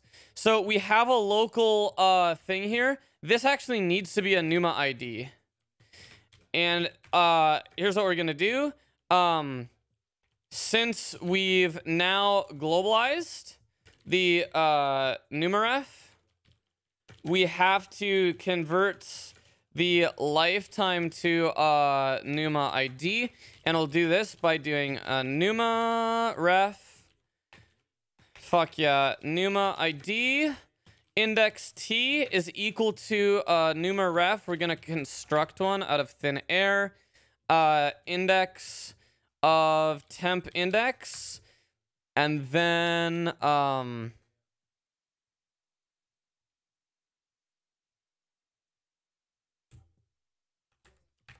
Uh, convert a Numa reference from the Numa pool into, uh... Okay. This is going to, uh, convert a reference that is tied to ID. Unless I want globalized to return Numa refs. And I think that might be more correct. Here's what I'm thinking. I could have globalize. Yeah, we're going to do this. This is more correct.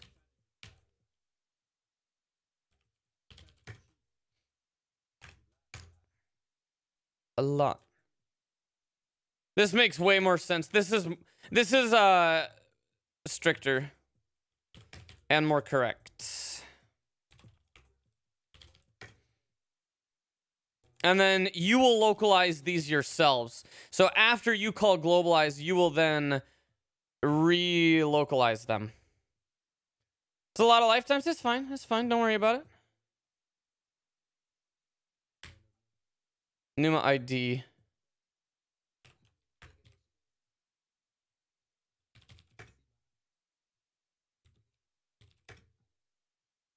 Mm-hmm.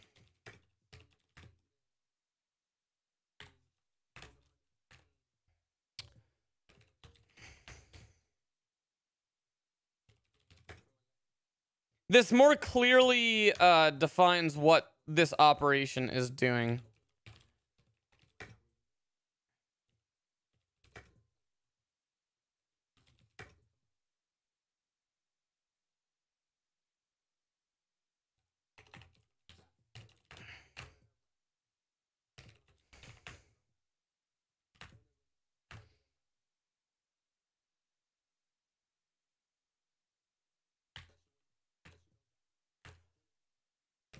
328 lifetime on uh that's wrong place.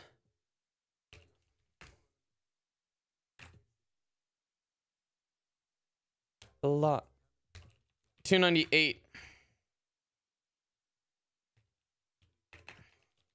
so now any place that localizes uh we don't want to localize anymore. Bam just allocate it in the numa pool Way more clear. Makes way more fucking sense. Didn't mean to close that. That was a mistake.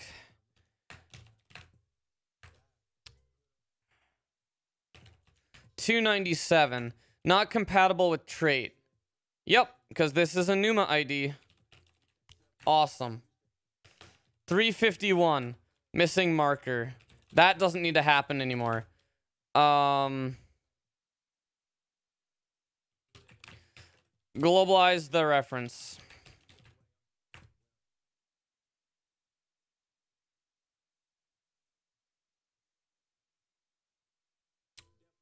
Um, what's going on now?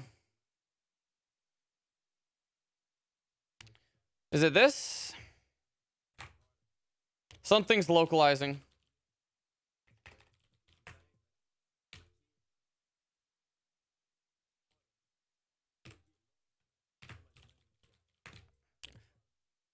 ID Numa, ID Numa, takes ID, gives Numa. Numa alloc.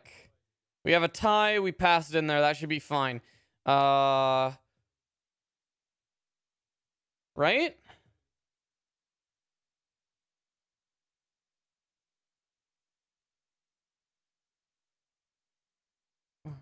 Uh...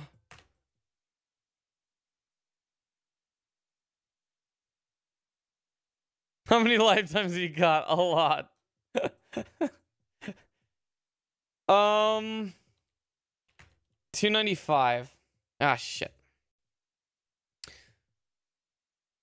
Let's see. Let's see what the first problem is. Oh, I told you this was going to be fucking hard, chat. Okay, Val. Ah!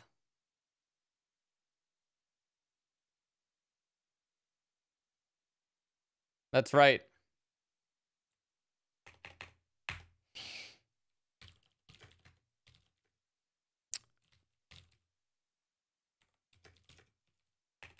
Convert to uh Numa ID. Mm-hmm. Mm-hmm.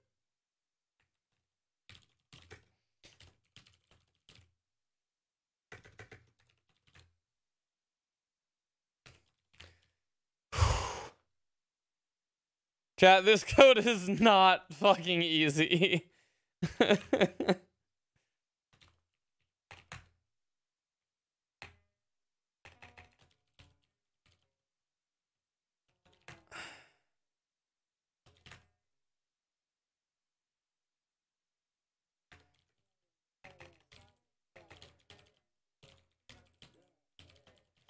so we create a new invariant reference. This is the same operation as this, right? So uh, we're already on Numa, so check if it's local. Let's go through all our implementations now.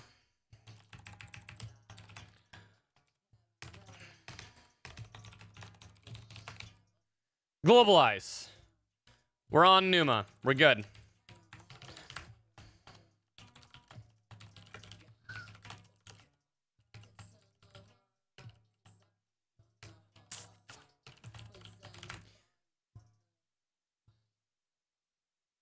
Um, globalize.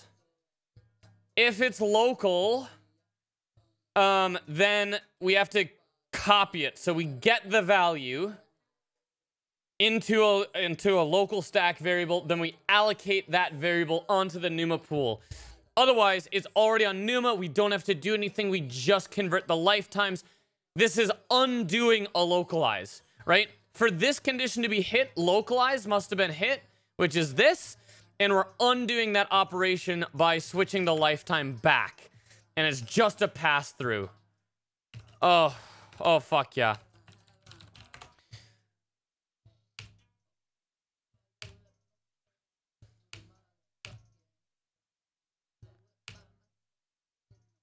Same thing down here.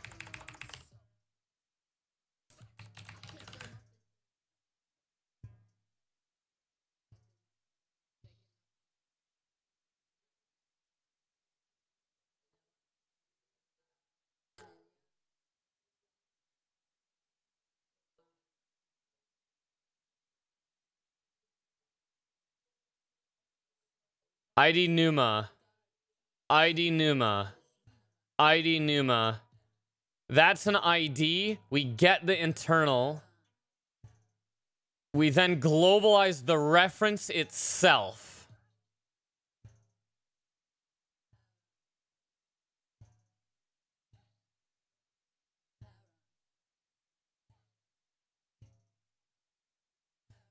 Um... We pass in an ID index T. This works on slices. Then we have the prims above.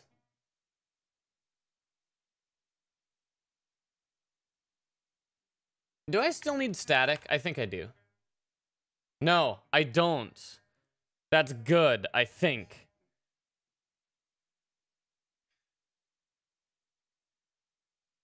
361. Might not live long enough.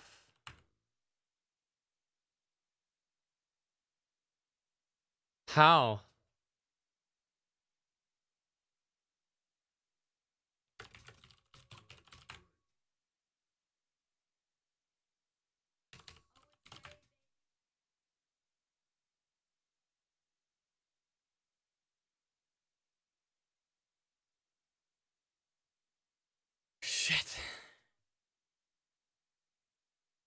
Uh,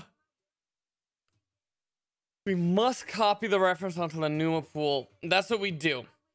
So we get uncheck that because we have a we have a numaref of a numaref. We grab that. That gives us that numaref. Maybe unsized, but that's okay because the numaref makes it sized. We then globalize that, which does a conversion.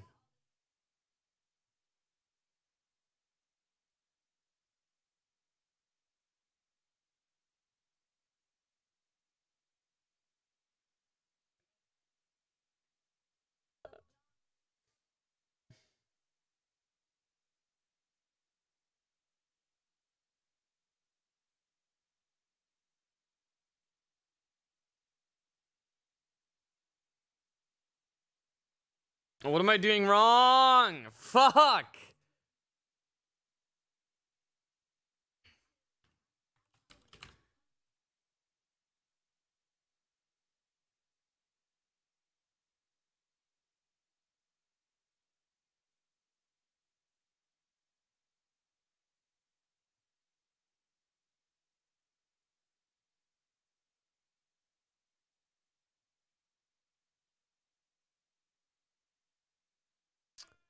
Oh, shit.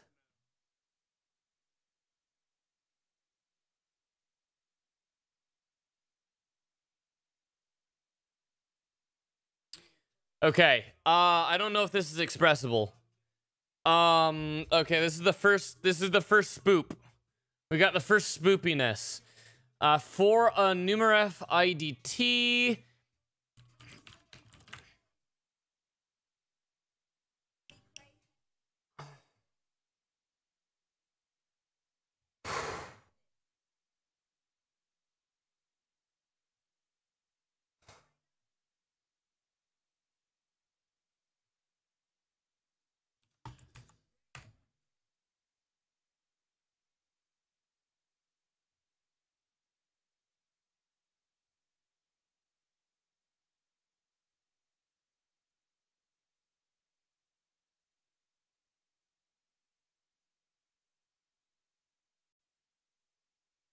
Mm.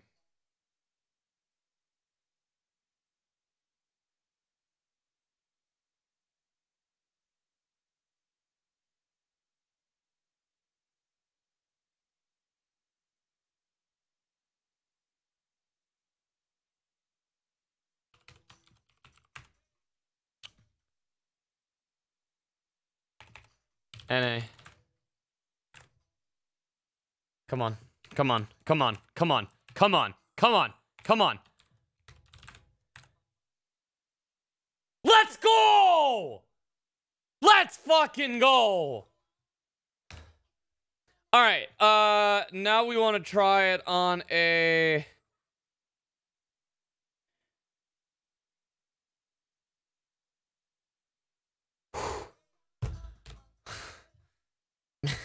Let's see if we can get this working on. Uh.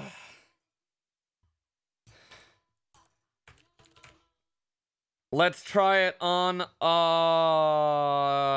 globalize uh uh we want to try and globalize a reference itself.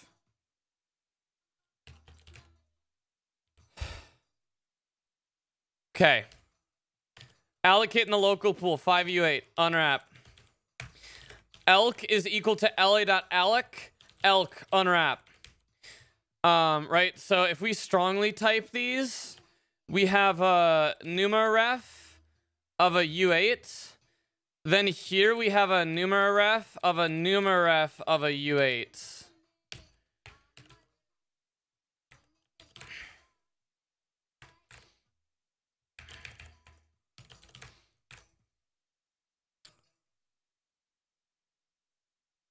Uh, these want indices. Uh, we're using U16 indexes.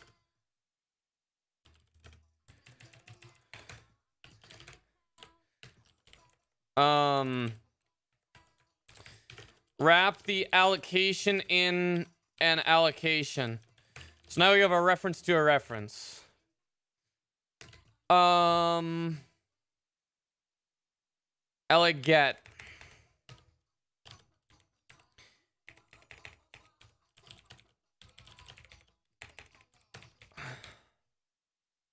Index. LA dot get. LA dot get. Get get. This is the value. This should be five.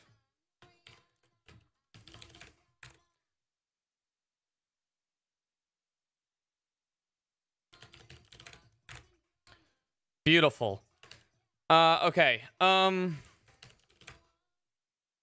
So then, can we globalize this? Globalize using the uh, local accessor of the elk.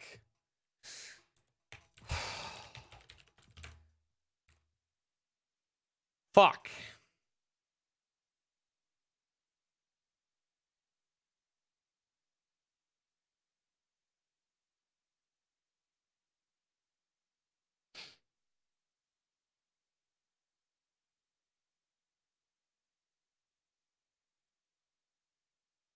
How does that cause the above one to fail? How does it... That's really weird.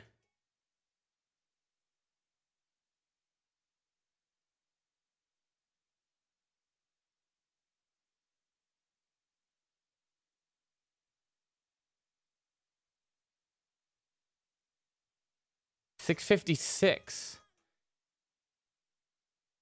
How does this cause that to fail? Uh, because it changes the implicit lifetimes. Yes. Um...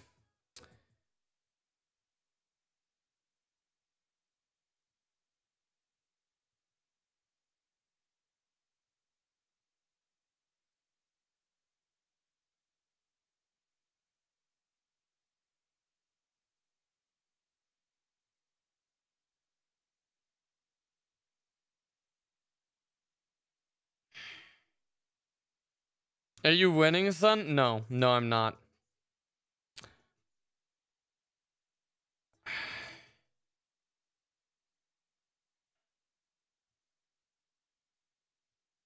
This globalize needs the inner to be numaref. And that is correct. That this is correct.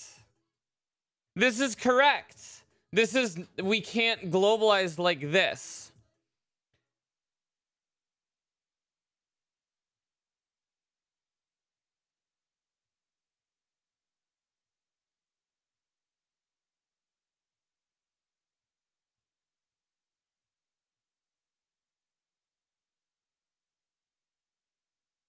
Can I make this work, though? Well, here we go.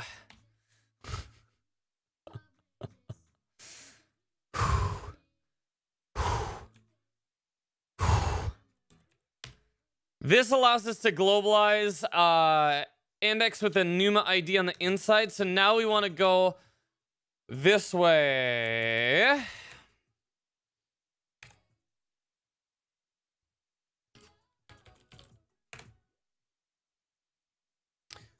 Um.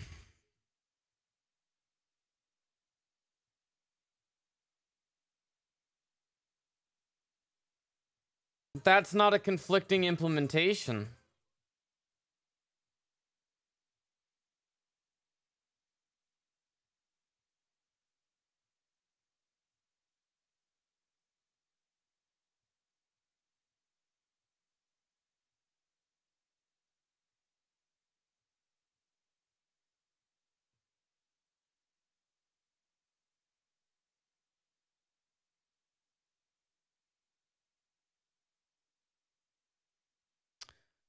Okay. So then if I can't do that, then I need to find a way to make this work.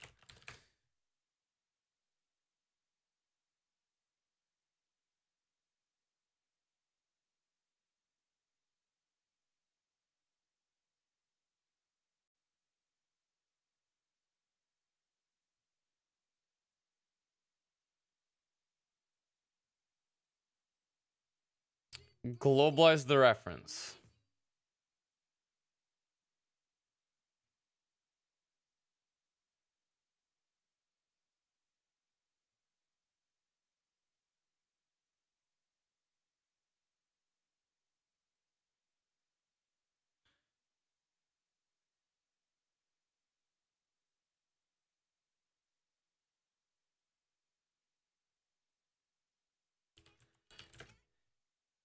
What if we ARF this? Uh, we'll ZRF this.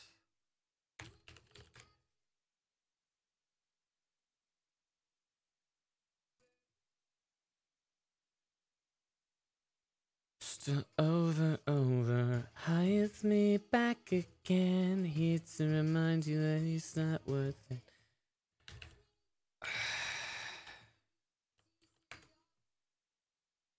to be honest, it's sharp as fuck. Yeah, hell yeah, dude.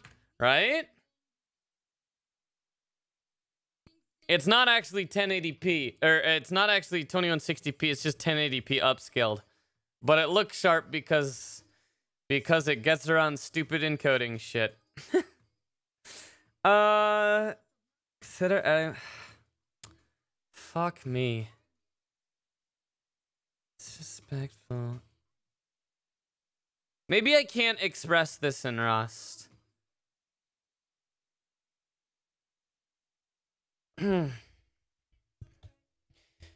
so I don't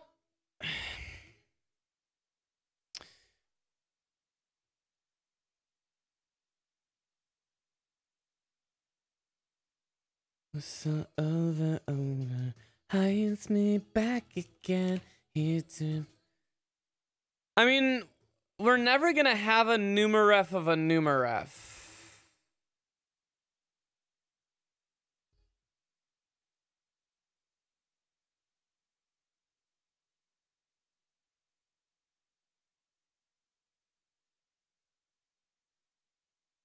Right? We're gonna we're never gonna have a numaref of a numaref. Are we okay with not allowing that? How do I handle this? I think I can do this with the macro, but not with generics.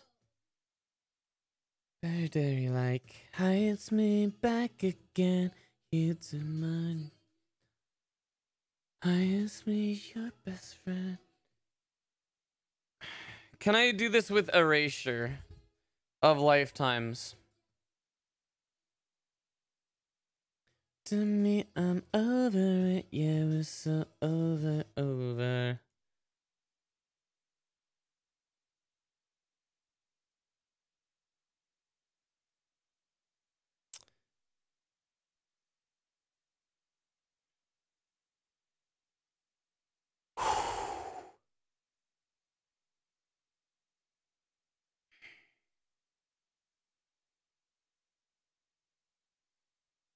I mean, the fact that we got slices working generically is hot as fuck. Numarefs of numarefs.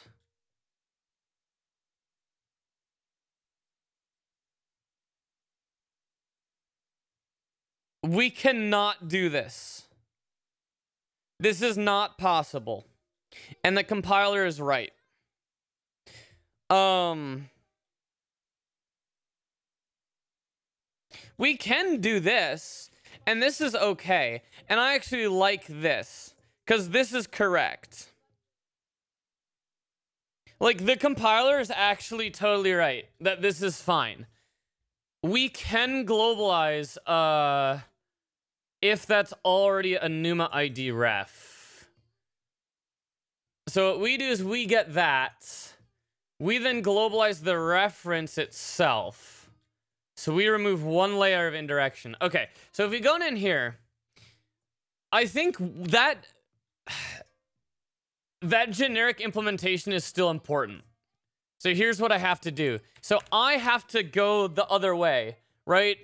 Basically, traits can only go top down, and I have to go bottom up. And to go bottom up, I have to know the type all the way at the bottom, and I can't do that with a recursive trait. So what I can do here is I should be able to say let temp is equal to uh, uh, la.get um, elk. And then we globalize this.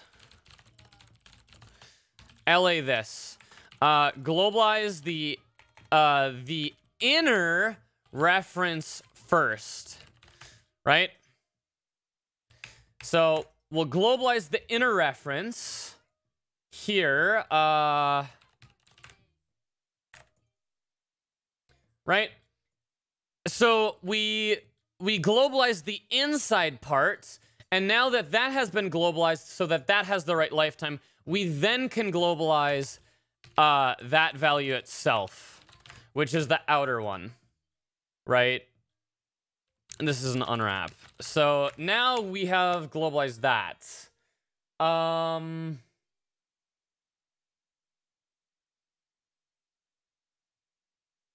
Oh, this is a get get. Yeah, we have to access the inner component first. You have to globalize from the bottom up. You can't globalize from the top down. So that's what we're doing here. So we're going to globalize from the top down. Um...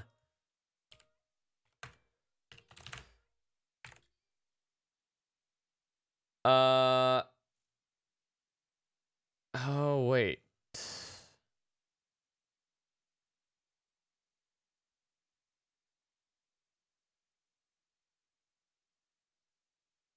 Um... No, it should work on this, shouldn't it? It should be this level of indirection. Because that's the inside one? Yeah, that... What, um... Right? This should be a... This should be a numaref U16, U8, right?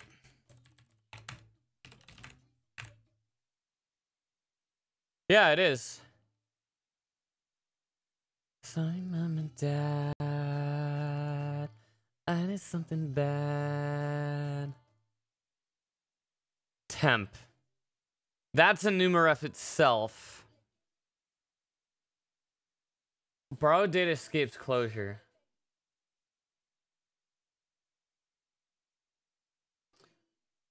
Let's do this.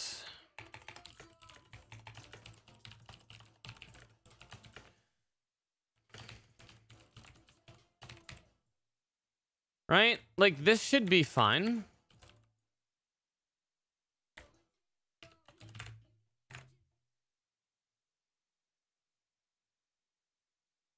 That should be tagged ID.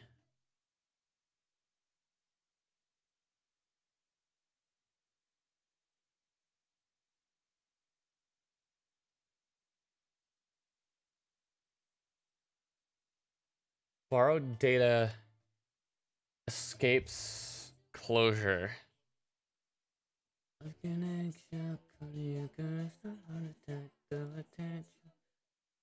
That's a numaref of a U8.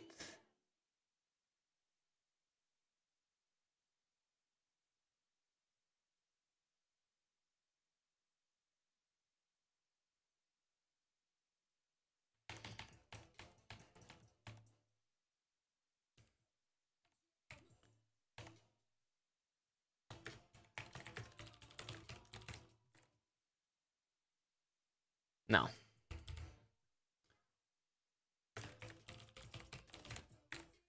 Nope.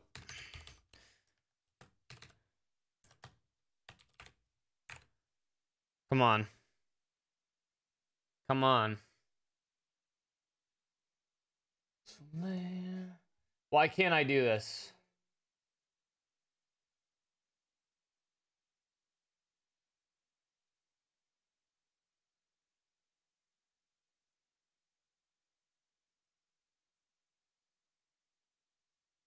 Why can't I do this?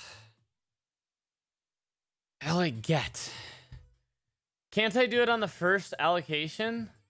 Like I can globalize this, right?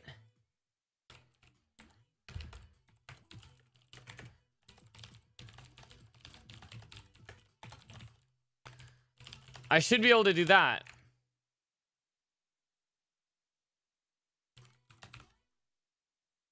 Fuck that. Yeah. Is that not what I have at this stage? Because I'm back to the original U816. Is it? Oh, it's because of this. Because that's not finished yet, right?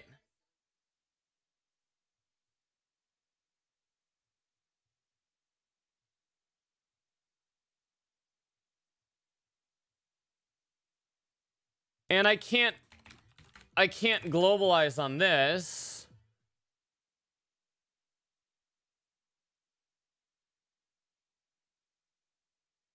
I think this implementation makes no sense. I don't think there's any situation where I'd use this trait that I'm using, that I implemented. Um, because here I'm trying to globalize a reference that's already been globalized, which is pointless, right? If the thing below you has been globalized, then you should just alloc. There's no reason, like, what I really want here, this is just na.alloc temp, right? There's no reason to globalize something that's already been globalized. Um, in which case, this hasn't actually done anything new. This is, uh, this is not reliant upon this implementation. And basically, this implementation is pointless. So we can just get rid of it. Right? This will pass all the tests because that implementation is not even being used. There would that just never would occur. Um yeah, you'll never have a local reference that has a NUMA reference inside unless you've already globalized internally, which makes no sense.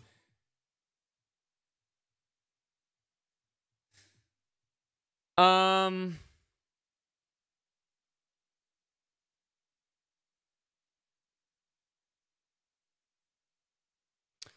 Okay.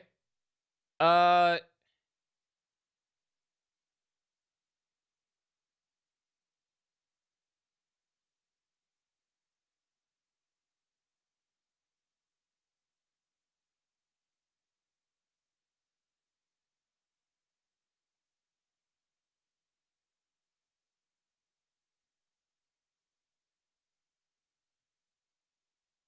So, that works fine. This implements globalize for globalizable data. Does this even work? Yeah, we tried this. This works. It has to be copy, uh, which should terminate the end of the loop.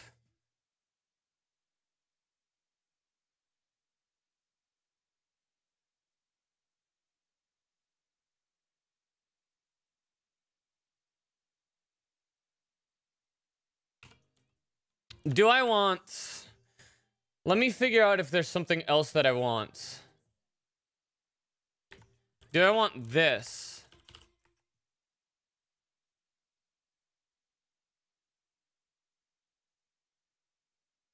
This would have to be on primitives. Would I ever use this? Okay, so I have a structure. I have references in that structure.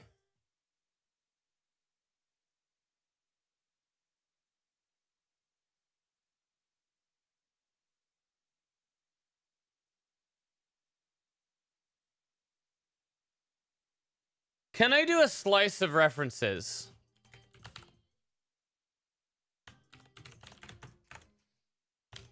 I don't think so.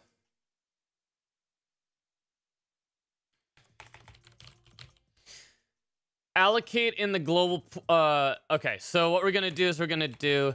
Let elk is la.alloc slice 5 uh, the allocator in here, and then inside here, we're going to do la.alloc5u8. So we're allocating a slice. Right. Um...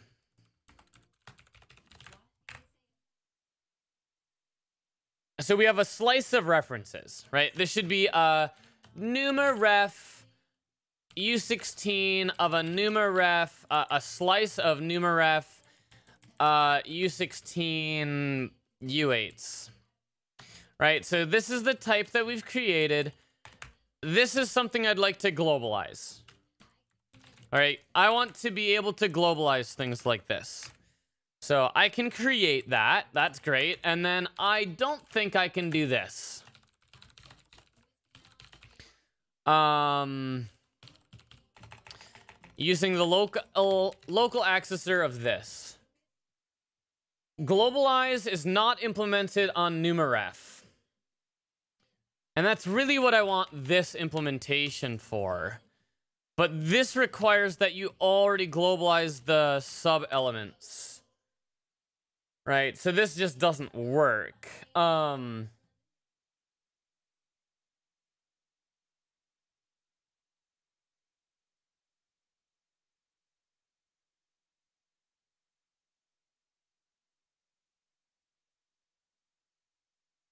I guess this is only for primitive slices. This just only helps for primitive slices. And it kind of helps me in my mind to maybe move this implementation up into the concrete primitive slice implementation. Um, oh, this also works for, oh, this works for any copy data.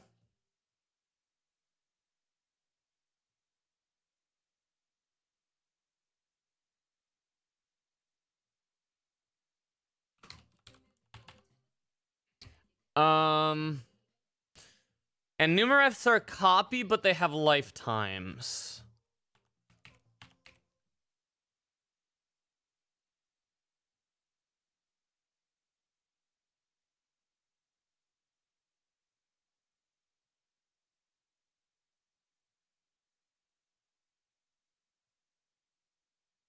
Um...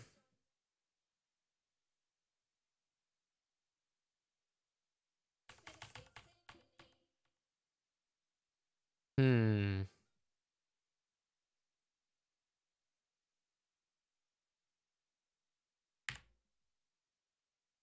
For IDs.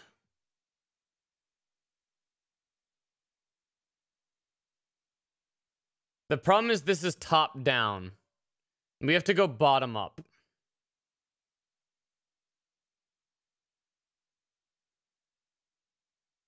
I think that's the true crux of everything here. We have to go bottom up. Um, and bottom up really is only gonna like work on structures or if you do it manually. So let's let's try and get a prim struct working. Globalize not implemented for prim structs. Um,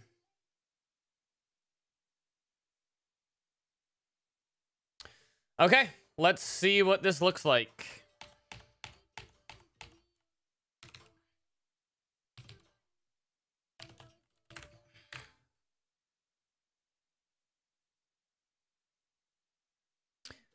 Implement globalize for a given type. Uh, so basically what we need to do is we need to reconstruct the structure before globalizing it. Isn't that what I was doing in the other thing, though?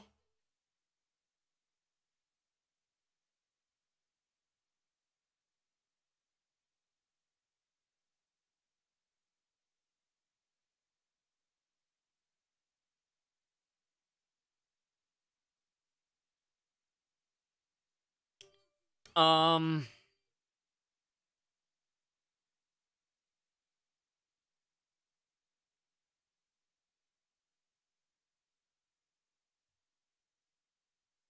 Structures have to be sized. Okay, so since this is sized, then uh, already on Numa, no need to do anything. Just convert to a Numa ID. I see no brainer now. Okay, and then we can just panic here. And this should build. Uh, oh, we changed globalize. Now takes, uh, I'm guessing an ID index indexer.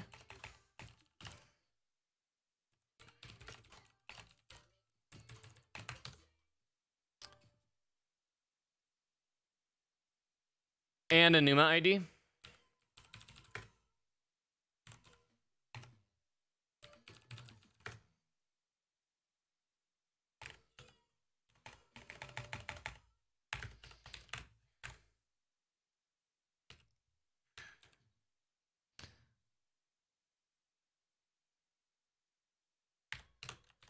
Come on. Build, you fuck. Uh, this is a Numa ID. Good. Um, all right. That failed with a panic. Yep, because we're trying to do this. So what we need to do is for each field, we need to globalize each field.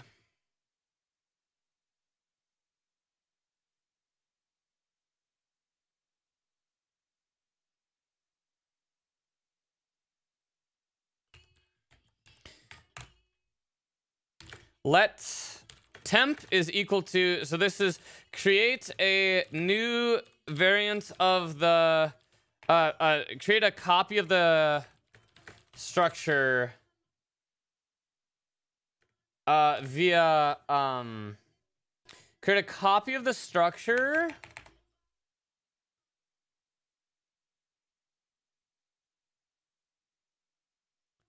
create a copy of the structure. Yeah, that's it. So what we're going to do is we're going to instantiate a name.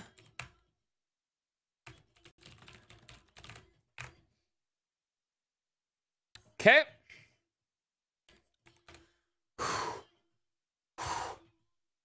Come on. Come on.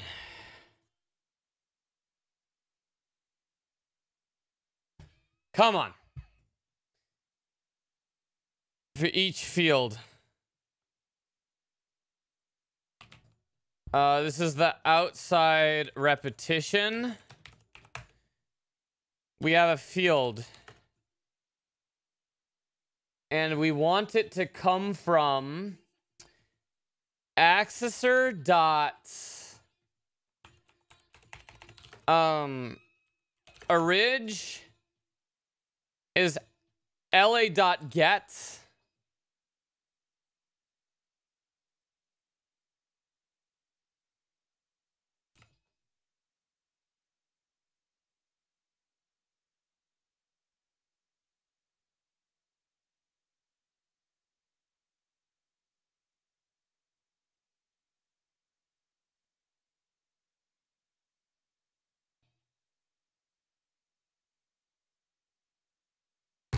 Oh my god. Oh. LA gets. Uh, this is Accessor. We're gonna get the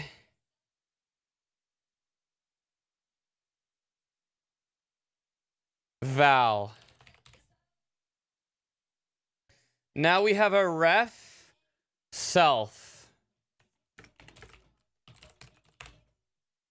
Then inside here, we can do orig dot fields.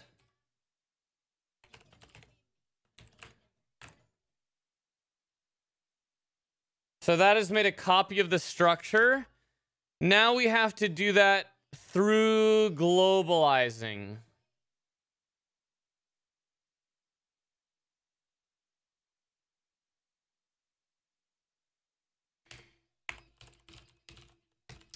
But only for fields that need to be globalized.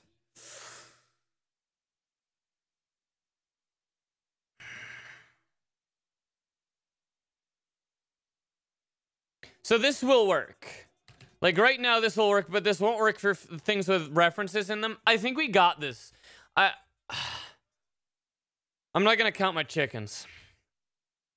Uh, accessor dot Numa.elk. So this is the same as just doing copy.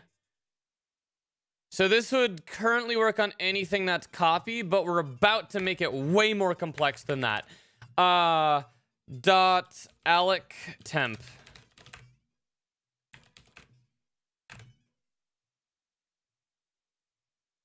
Um, copy is not implemented for prim struct, which is required for alloc. Um, it's kind of a shitty message, but it's okay. It has to be anything that we put into the Numa pool has to be a clone and copy. Good. Okay, so this has globalized it, and then what we can do is we can do a Gelk lookup on the global, uh, the Numa accessor.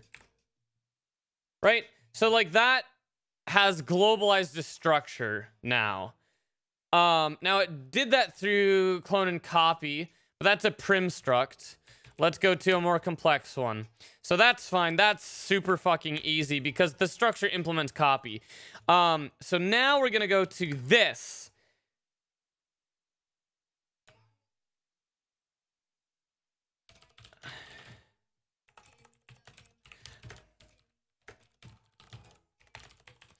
Uh, now we have an index, an indexer, and now we have a numaref inside the structure. Uh, can't partially queue on that. Yeah, that's that's true.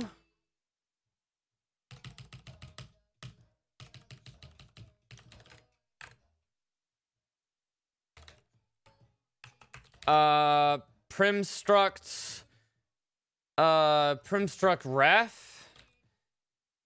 Uh, this is gonna be LA alloc. Uh, U32, just a 69. So now we have a numaref inside there. This now fails. Perfect. And this needs to fail. Because we are now, we need to globalize that field.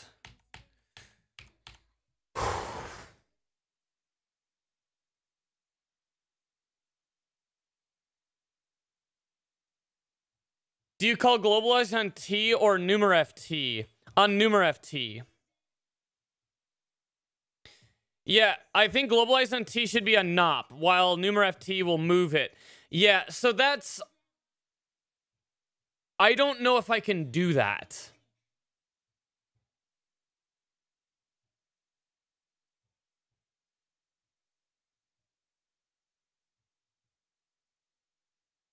I don't think I can do that.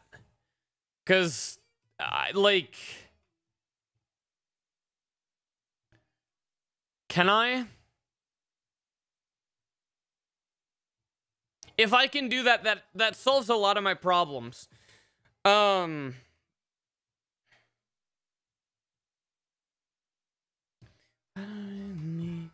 This is not...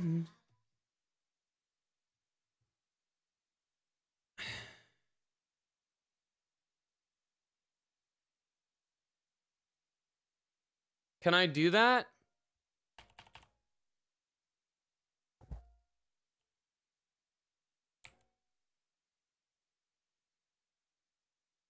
How would I make the trait?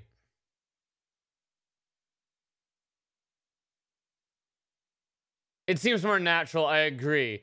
Um so basically that's deserialized. Um globalize. So this would take self directly, right?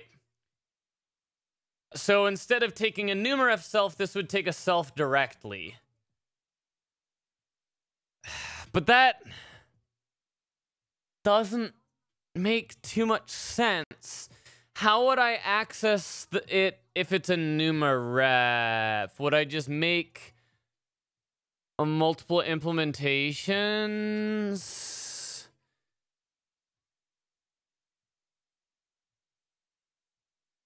Let's try it. Let's try it. Self and returns to self. Okay. Oh, well, that's going to be a problem right away. um... Hmm. I would have to have a size and unsized. Yeah, I don't think that's gonna work. I don't think it's gonna work. I think with like a billion things, I could get it to work. Maybe.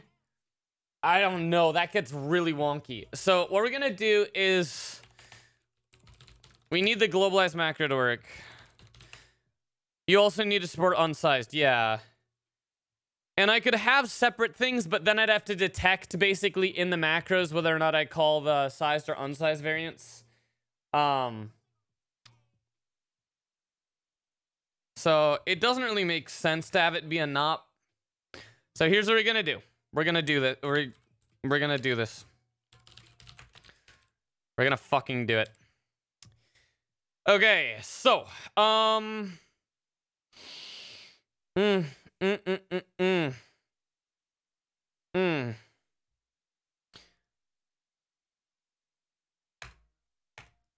These are fields of structures.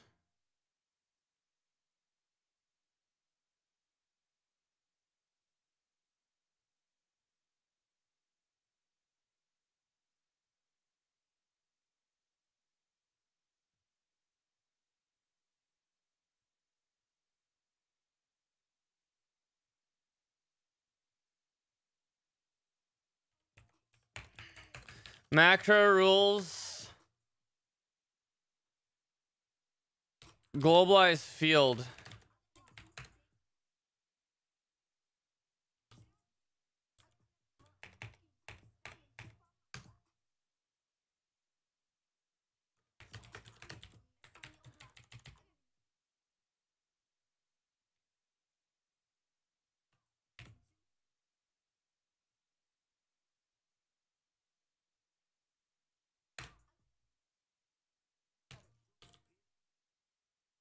Can I do this?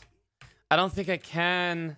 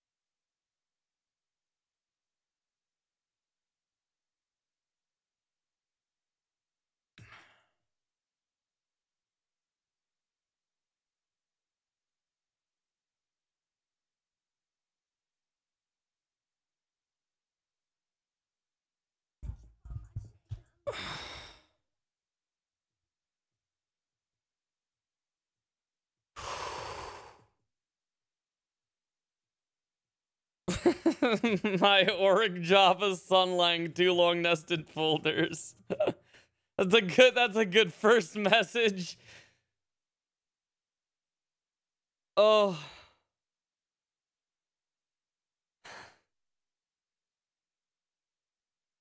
Yeah, this is not this is not this is not Rust really at this point. Oh. Expected comma.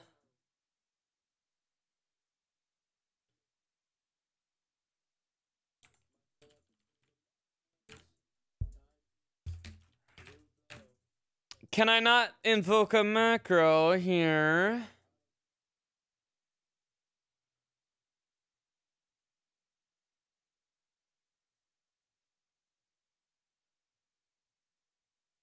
Okay.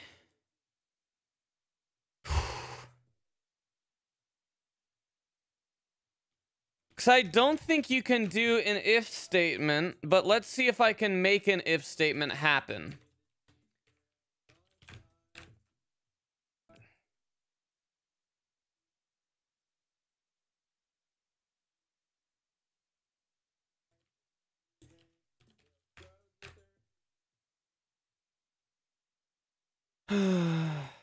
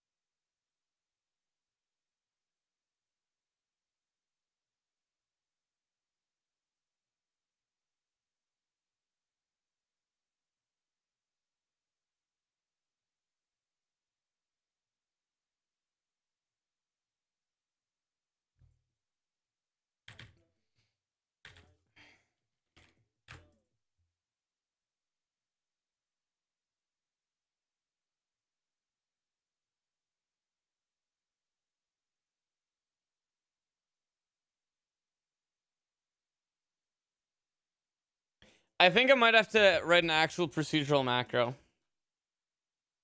I don't know if macros are powerful enough to do this. Um...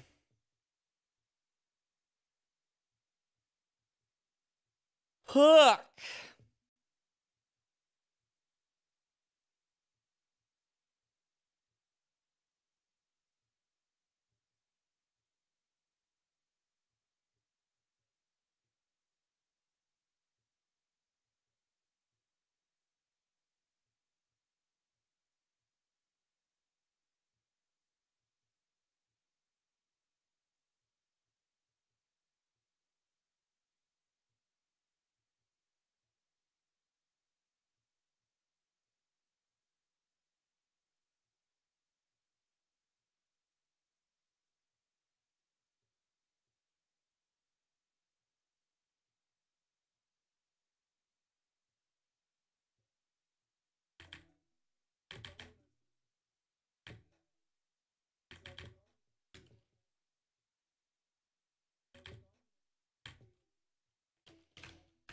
If I could call a macro while constructing a structure, I'd be fine, but I, I don't think you can.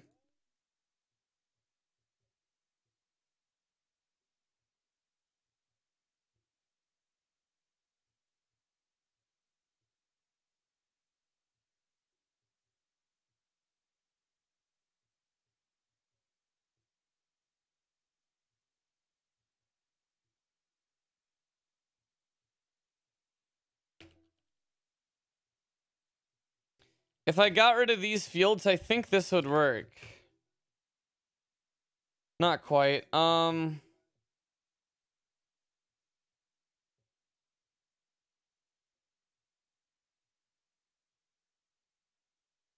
Globalize, U16, not implemented for primstruct.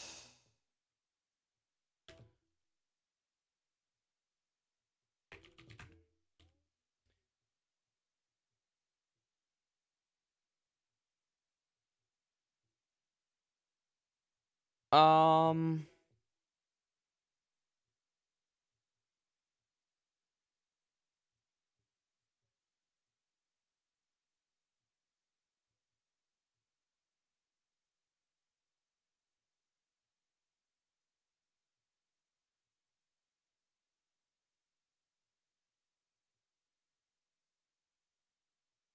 So we filled the match.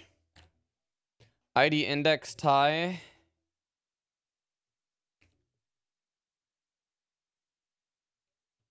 Really?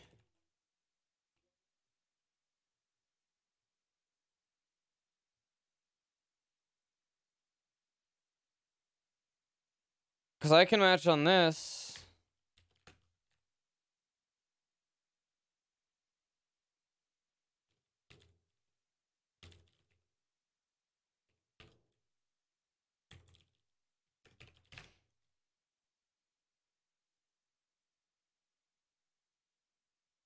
Mm.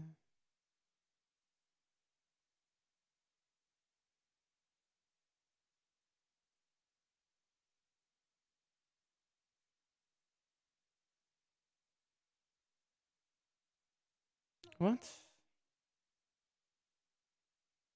Expected numera found that. Oh, that's on prim. Yeah, uh, let's turn this off temporarily. But I think this will work.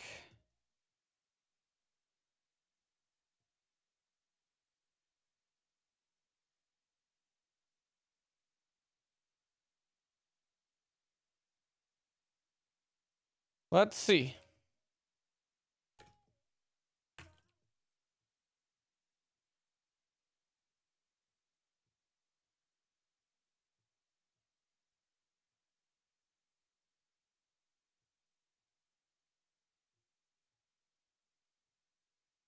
How the fuck?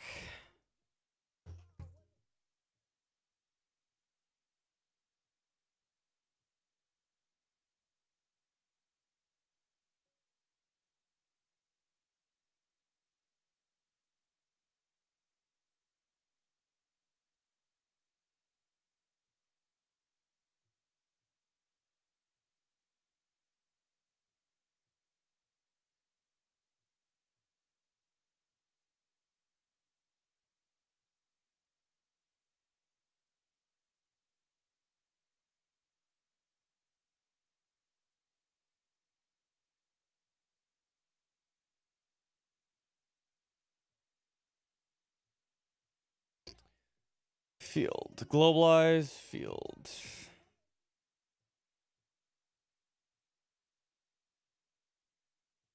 Am I doing something stupid here?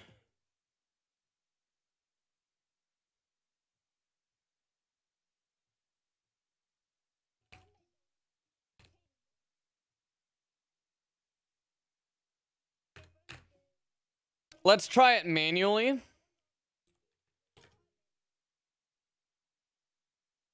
Oh. Wait, no. Um. Globalize on that.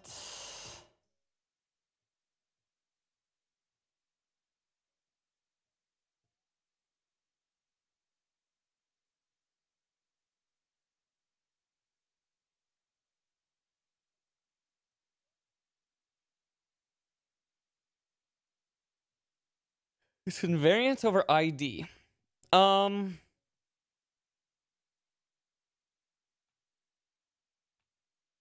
Hmm.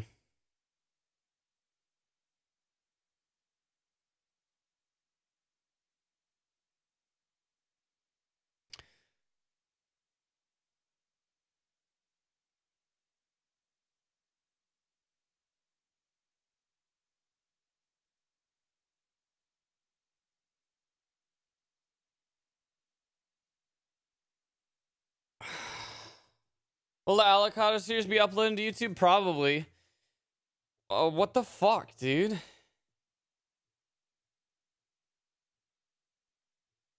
Numa alloc Temp. Why can't I do this?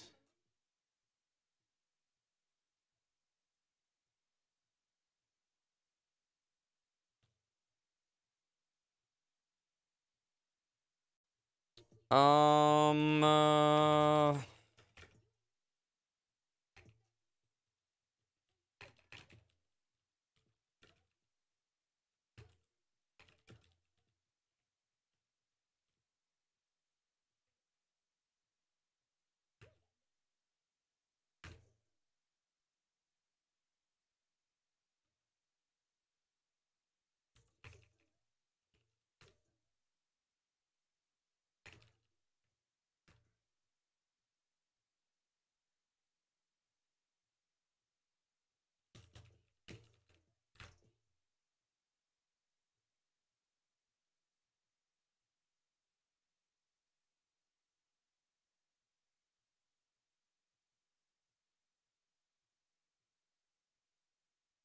What? I didn't save it. Uh, okay, so this is not valid.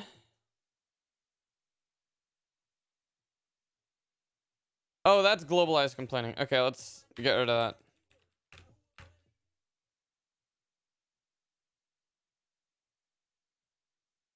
Okay, yep.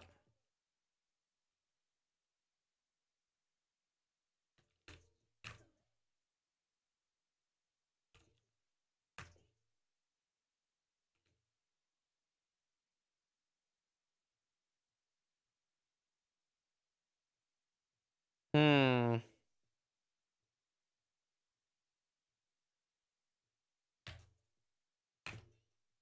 Um, okay. Uh, accessor.numa.alloc, ridge field. This should work, right?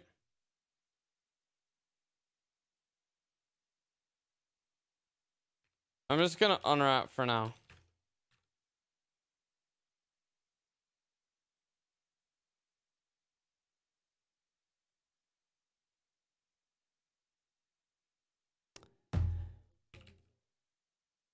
Uh, la.get. Or accessor.get. deref that.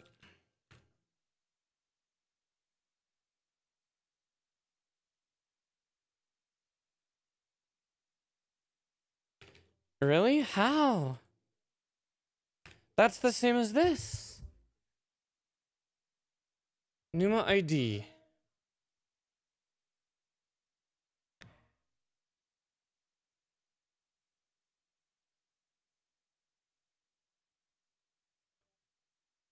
Oh, because it's a different structure.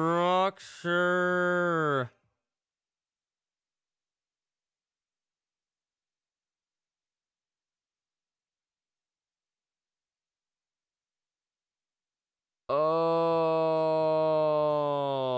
shit.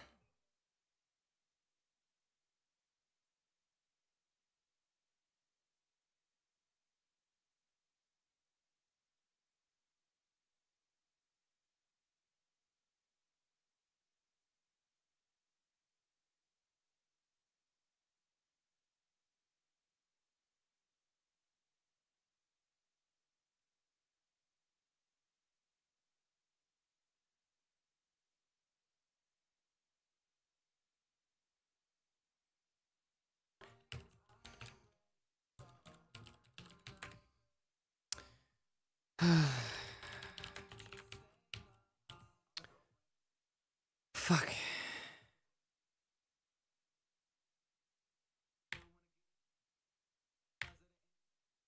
We cannot do, we do have to localize these.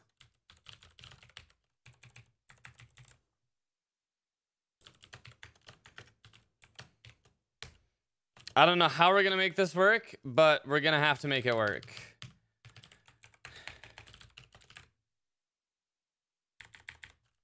Has to be the same type in and out.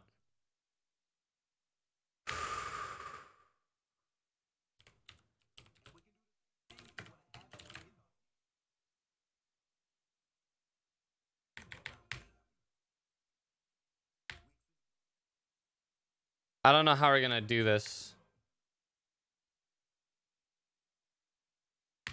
It might just work. It might just work.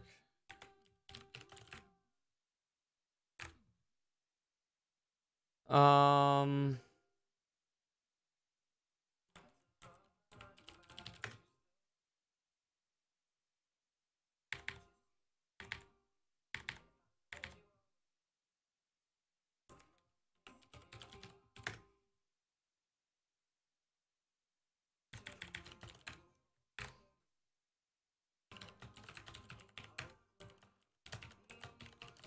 Okay, it's already on that node.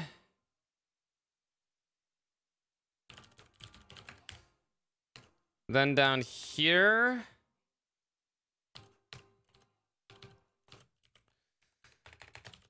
Okay, Val. Okay, Val.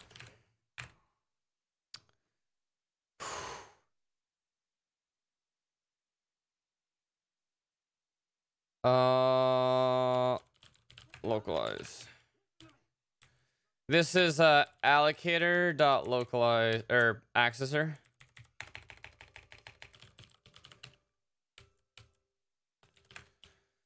Uh,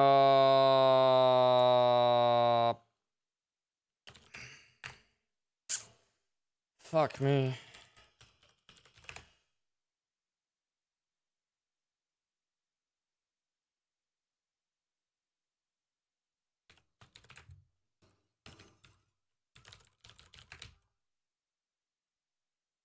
Localize. This needs to localize.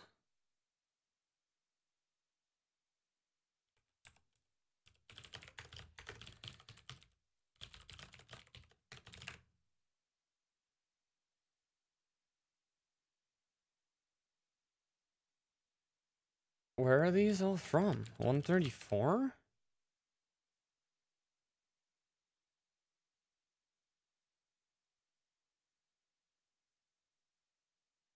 What?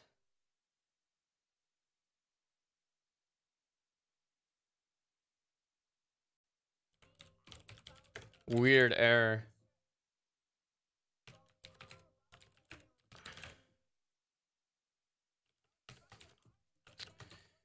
Three on four. T might not live long enough.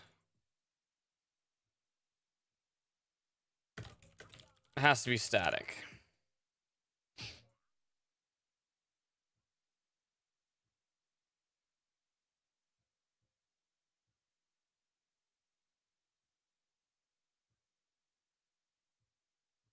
What?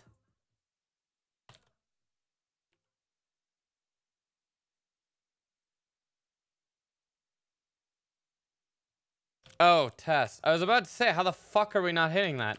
Okay, that makes sense.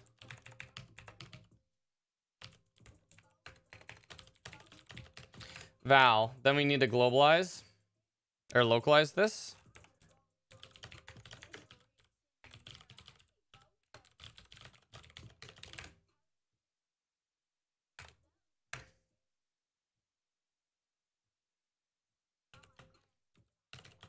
Gelk. These are now on the locals.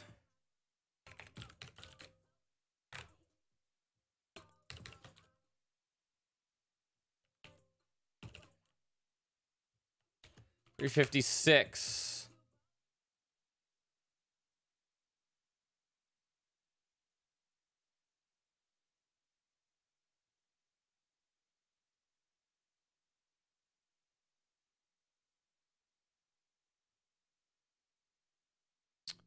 Um.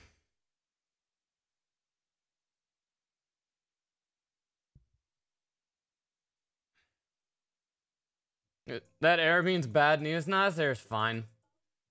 This error is totally fine.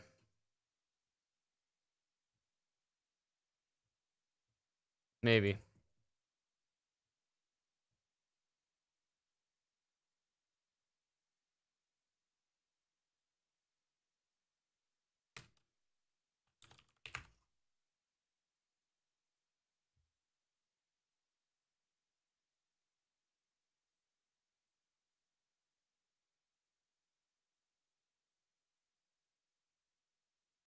I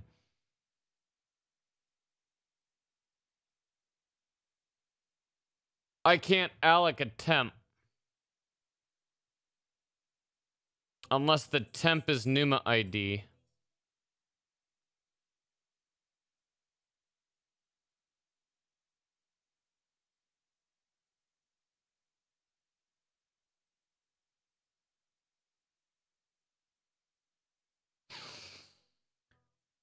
Okay.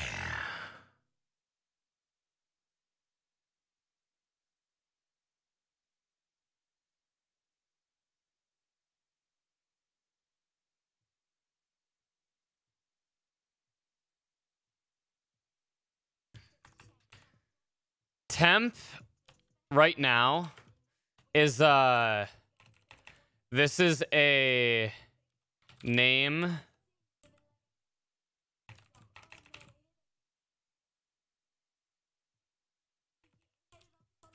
Lifetime index.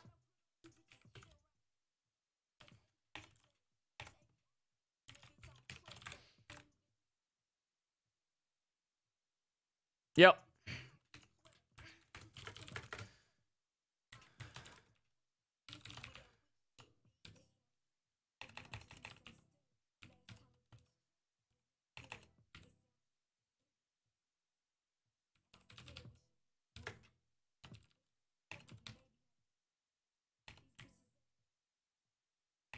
This macro is very broken right now, but this is okay. It's temp.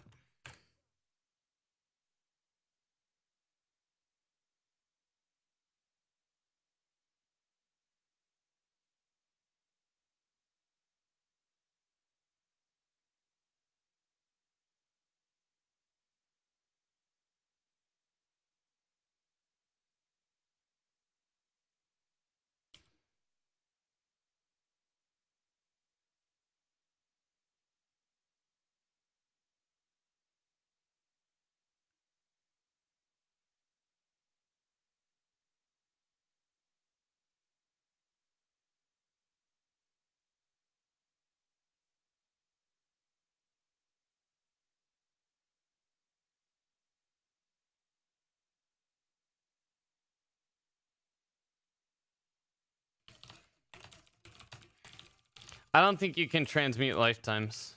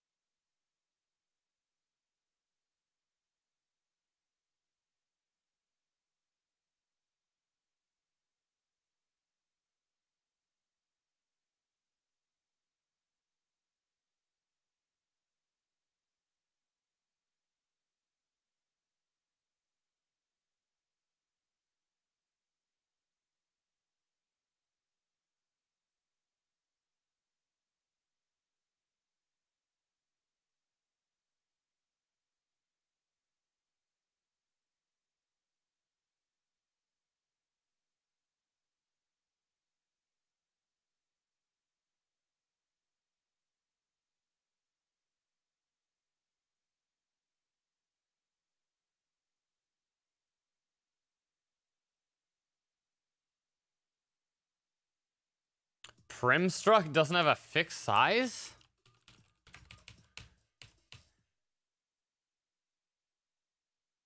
That's not true.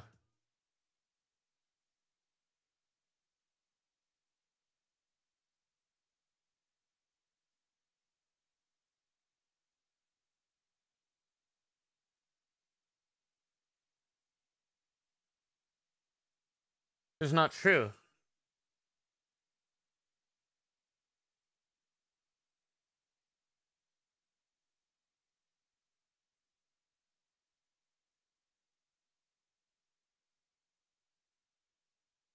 It's literally not true. I don't I don't understand that. Can I transmute it to itself? No. How does that not have a fixed size? It it just does.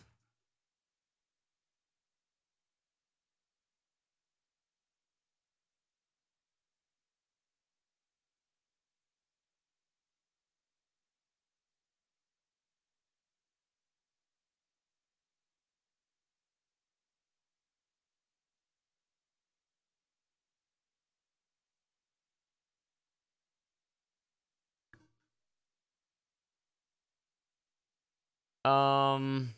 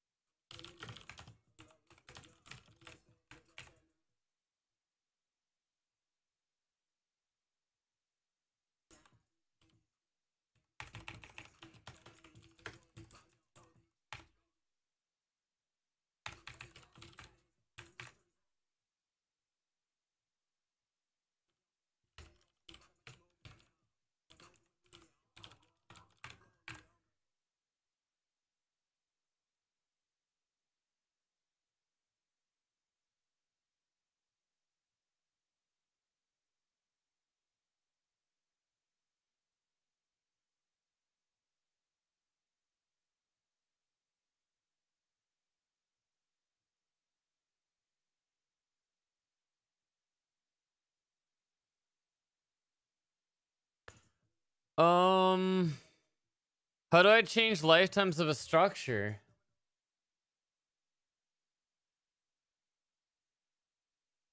That's the problem. I have to change the lifetime of the structure.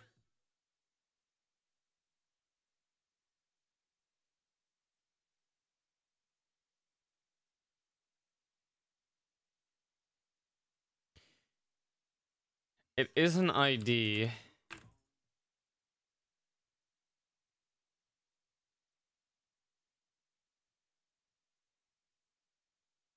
Fuck.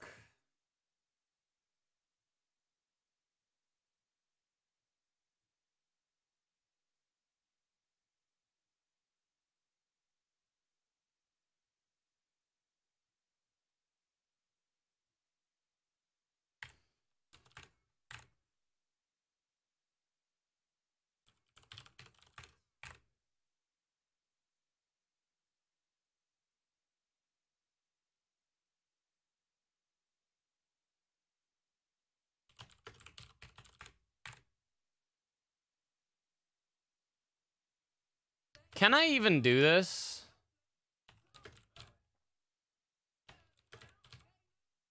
I don't think this means anything. Like, this makes really no sense.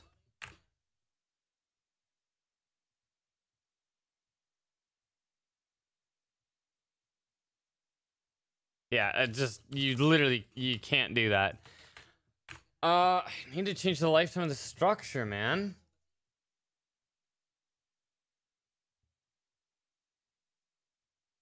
And I think I need to convert it to a Numa ID.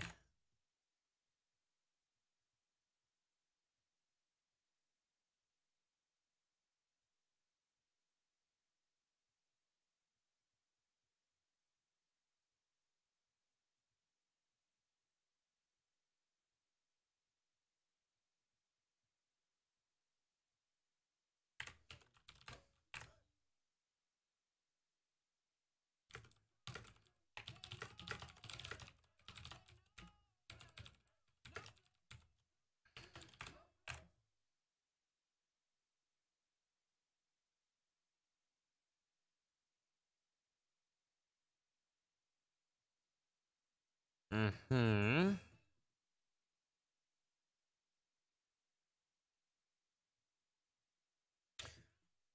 Oh, fuck, dude.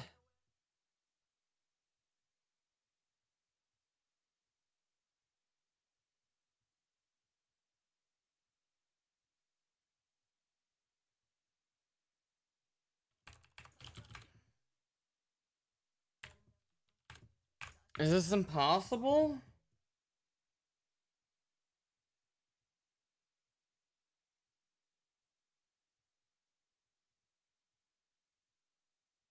Okay.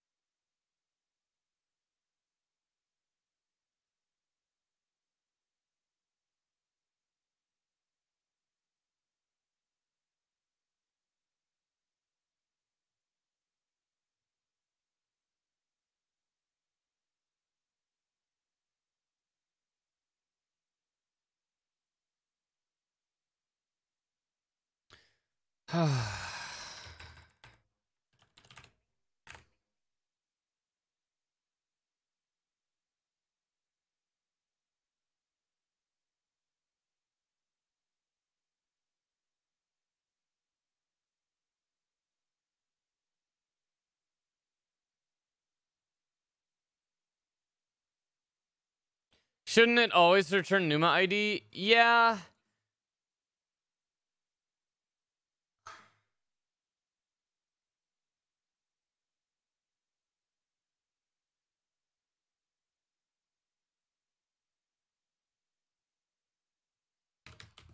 Try a couple other things.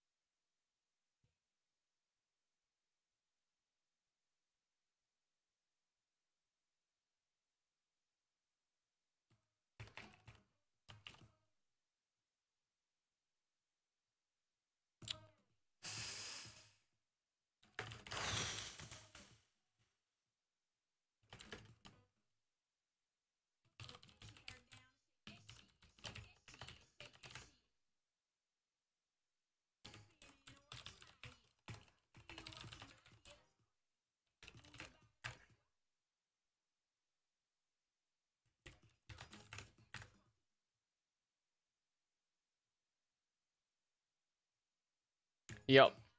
Um, okay, so I this might be a problem with the globalize. Let's try this.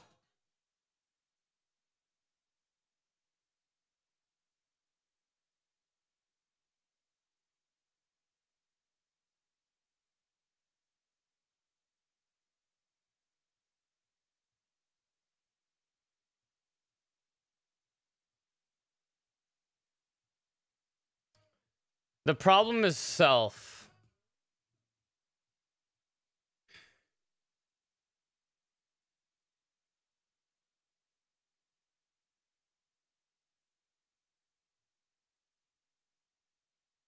How the fuck do I make that work?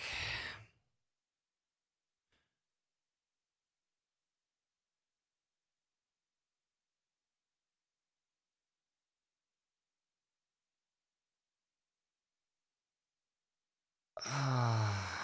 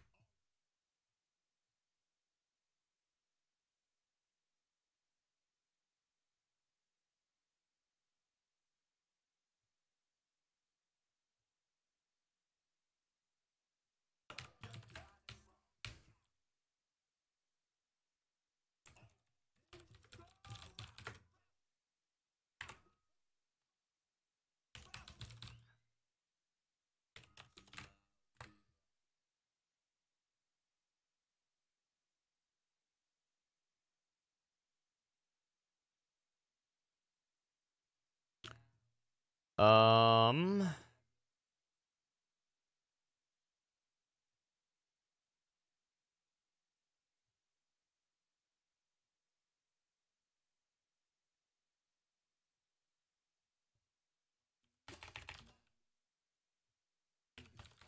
R.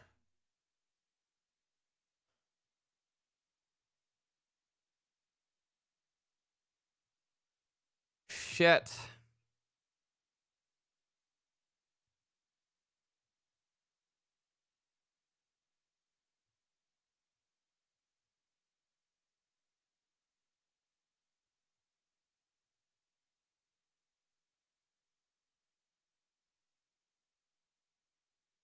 The problem is I have to return a different type than I take in.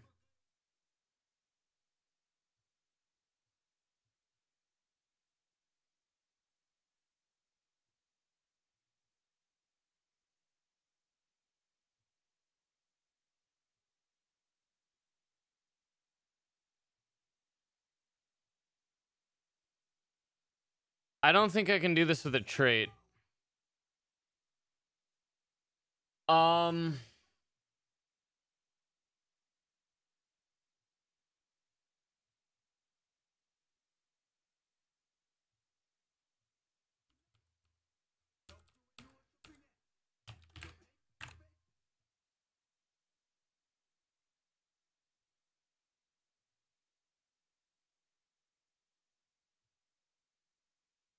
Yeah, I can't do this with a trait.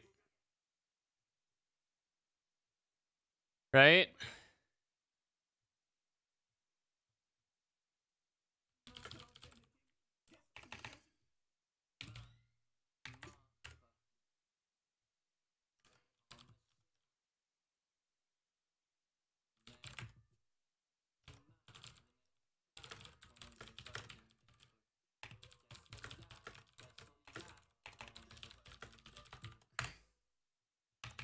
Okay.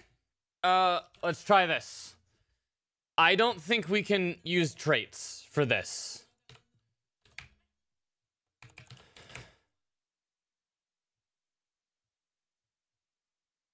Is it possible to access the Maple Story Ghidra vid that got taken down? Not right now, no.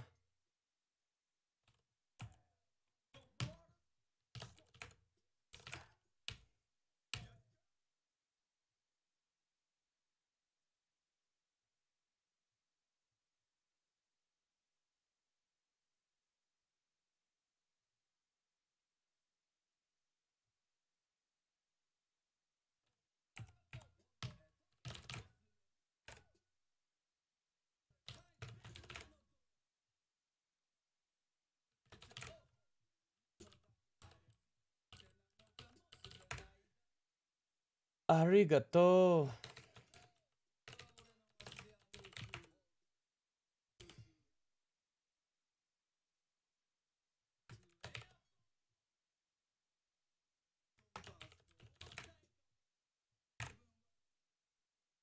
Okay. We're not implementing a trait.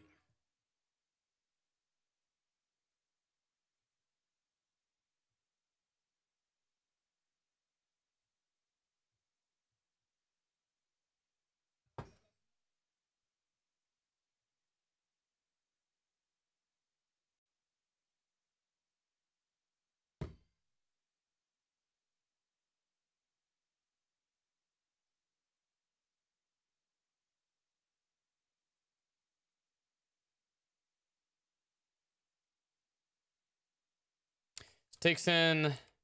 We're just gonna hard code these uh, lifetimes right now. Uh, ID index. This takes in a name, ID index. It returns a name, NUMA ID index.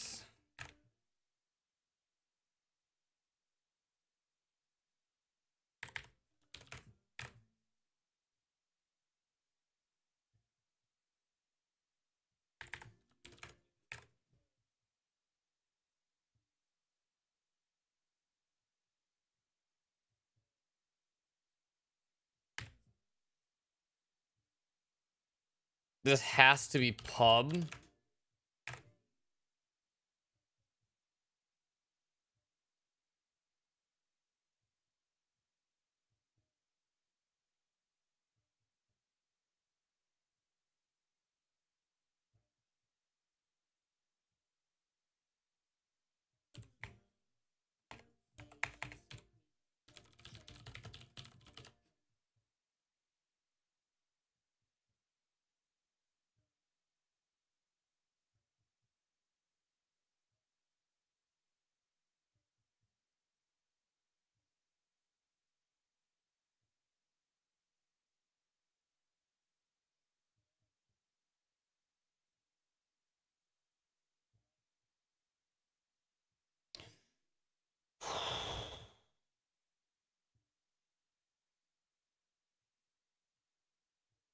How do I call a...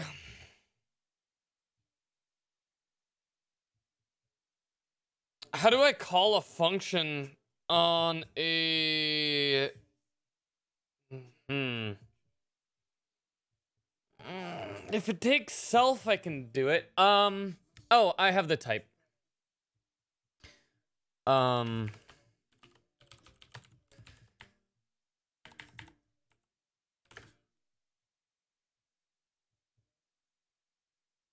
Okay.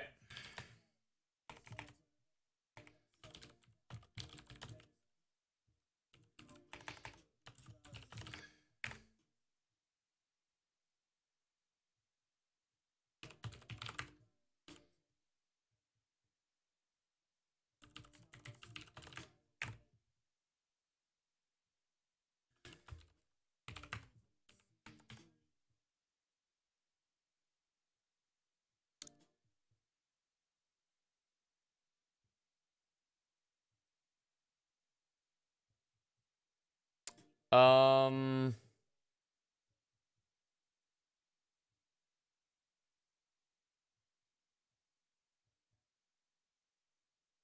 You can't get a T off this, can you?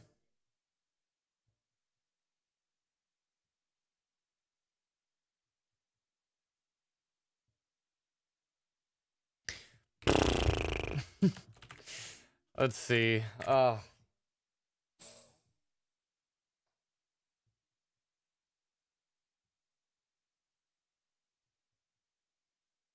I'm gonna hard code it, I think, for now, maybe.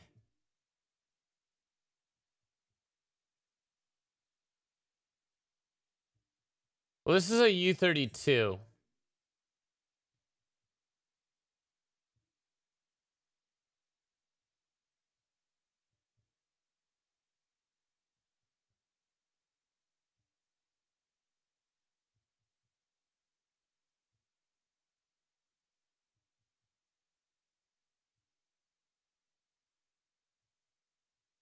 You need impulse on base types? Yeah, but I can't do impulse on base types. Dude, I don't know how I want to structure this. Oof.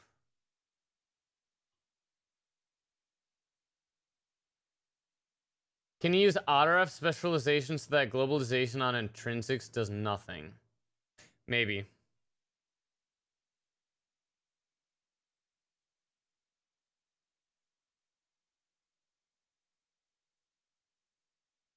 Well, let's do this.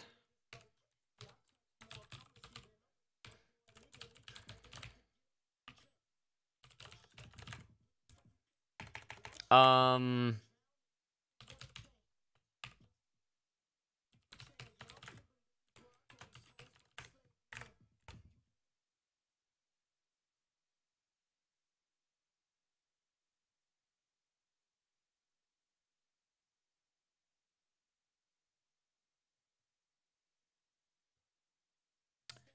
Why?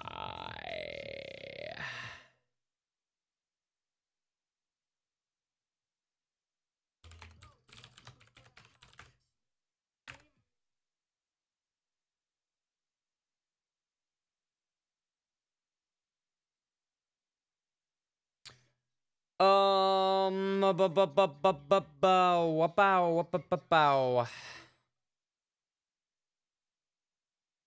field. Deref.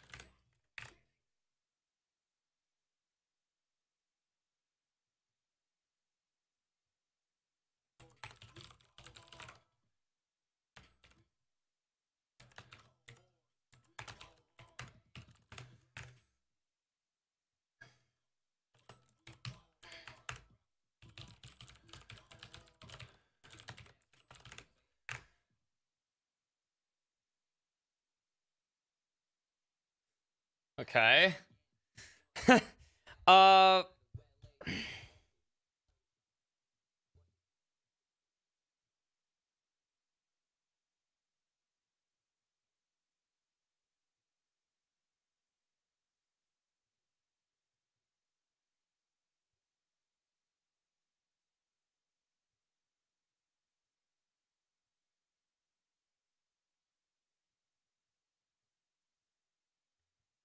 Can I do it traits, dude? I think I can do it traits. I need an associated type. I don't know why I didn't think about that. Uh, Numa type.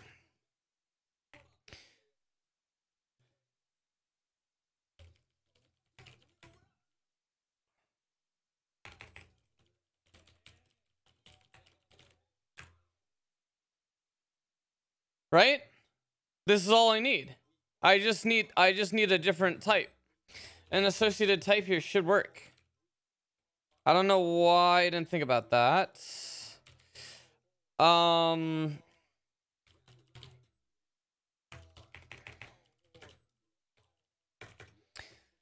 It's just the output.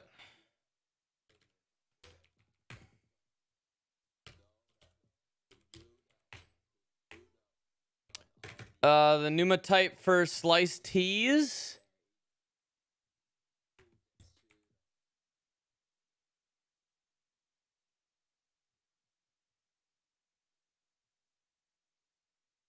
Uh, this is, this can actually be self in this case, I think. Yeah. Numa type is T. Oh, and this can be, uh, can be on. Let's go! Let's go, let's go, let's go, let's go, let's go, let's go!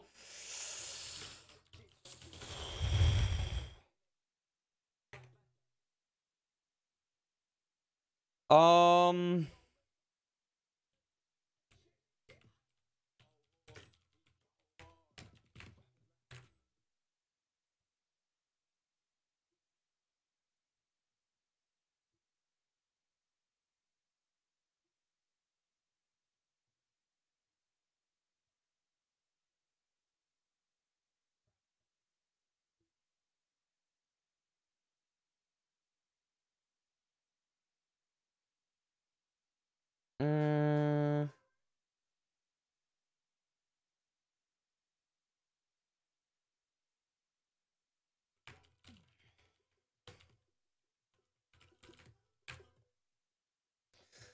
What's the problem here?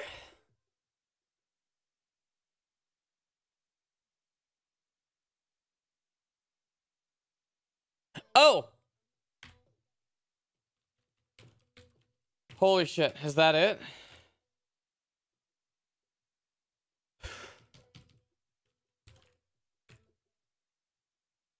Oh my fucking god! Oh!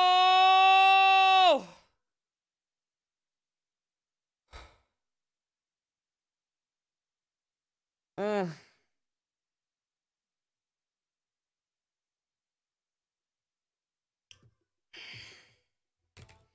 This hurts.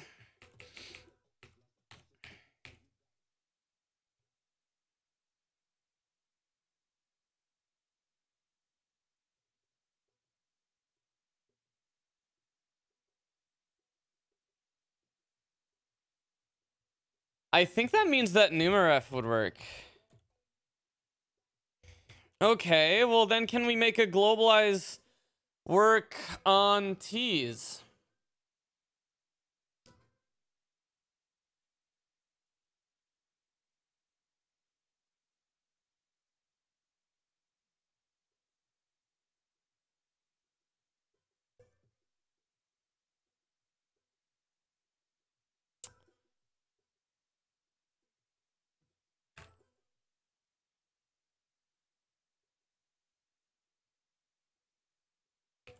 That did work, right? We call that's on Prim Slice. Prim Slut uh Prim Slut uh ref. Globalize LA Elk. Yeah, that's just the original allocation.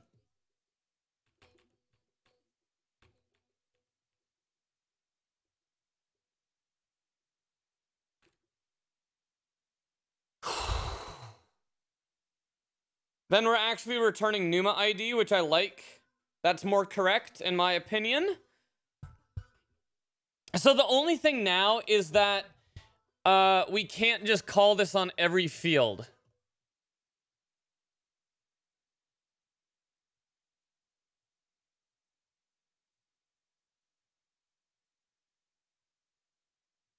I don't know how we do that. This is like, this is starting to get pretty tough. Uh, okay. So we have a different output type, which is critical, which makes sense.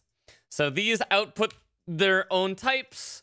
This outputs their own type. I think we could actually do the numaref implementation now. In order to make fake impulse for the base types. The problem is it has to have the same prototype. And the prototype has to take a numaref because it has to work with unsized types.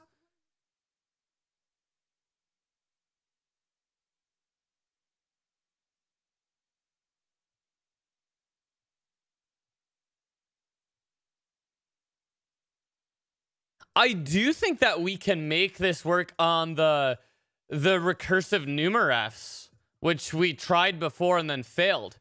And I think with the different output type, I think it would work now. Maybe.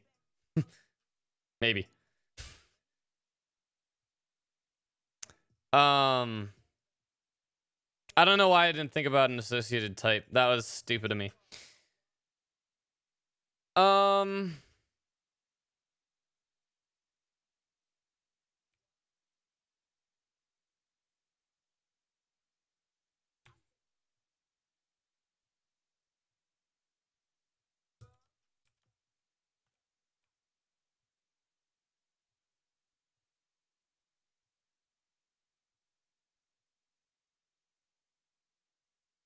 Feels hacky.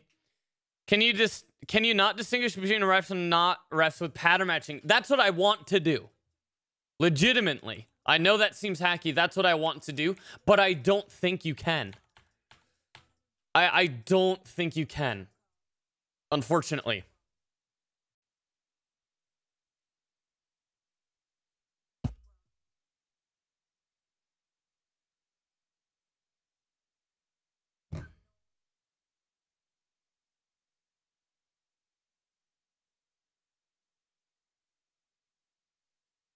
Mm.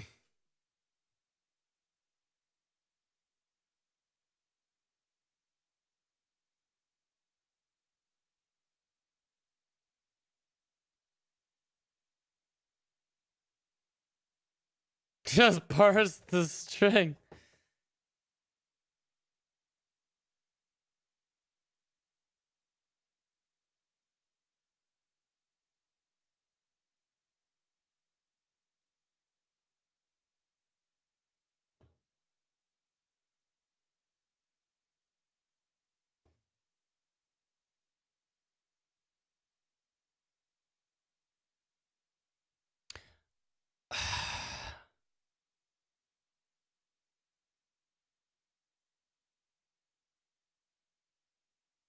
Globalize.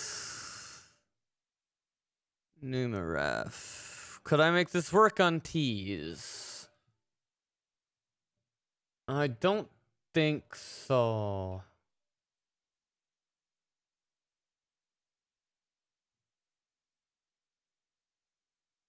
I think if I made another trait, I could maybe make it work. Right? If I made if I made globalize take in a T, and that T must implement numaref or primitive,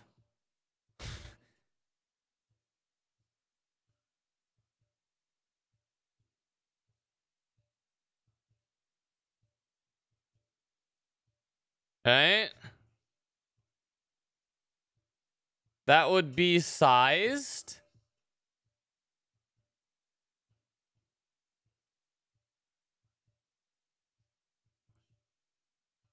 The exact signature must be the same. Oh, okay. I see what you might be saying, Big Fox. Okay. I see what you're saying. Since we're invoking this with the macro, we could implement a different trait that's not called globalize, that has a function called globalize, that we pull into the scope, and we implement that on the prims. Like, I see, I see what you're saying, bruv. Definitely a monkaS.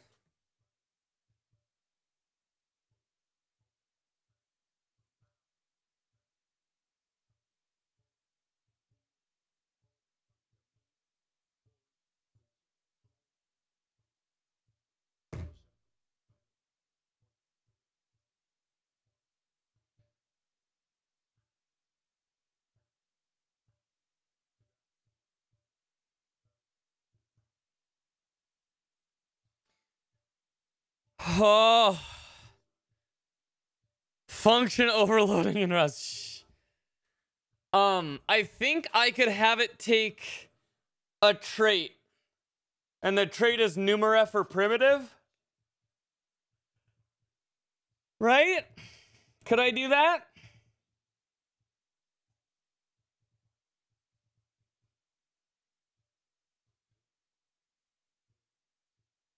Can can I do that?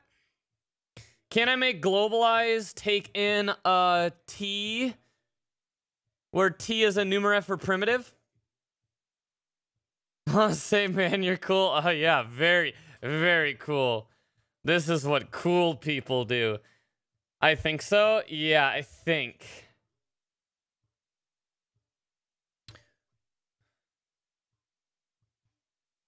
Numaref or primitive. How does that work with our associated constants?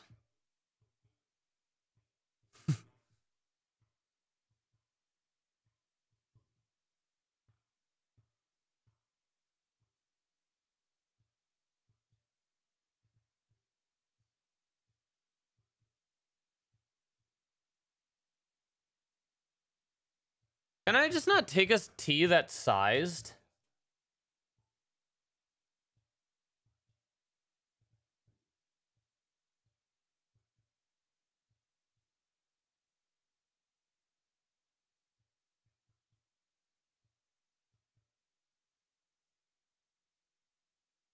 Need to support slices of base types and slices of refs. Yeah, I know. Yeah, I know. Okay, I know.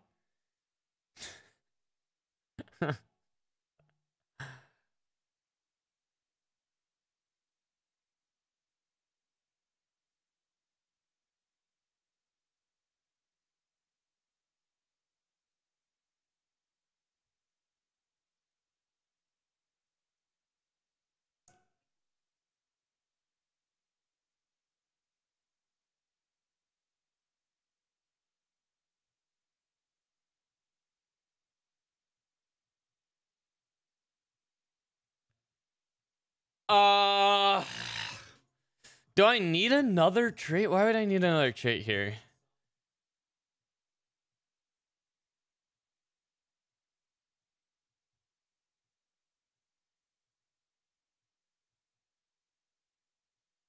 I feel like the hacky overloading is promising. I kind of agree.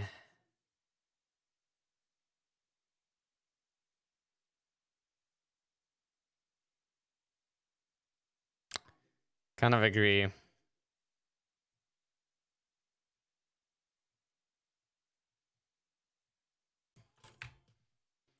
I mean, if it works and see.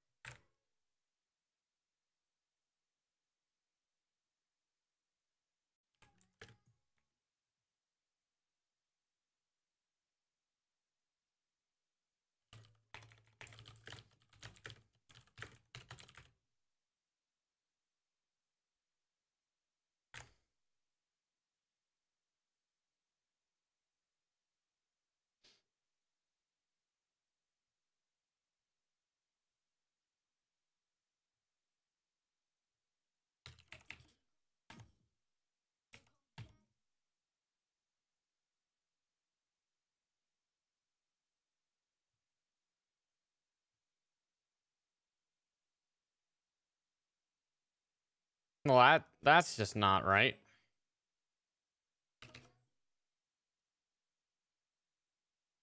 Do we never fix this?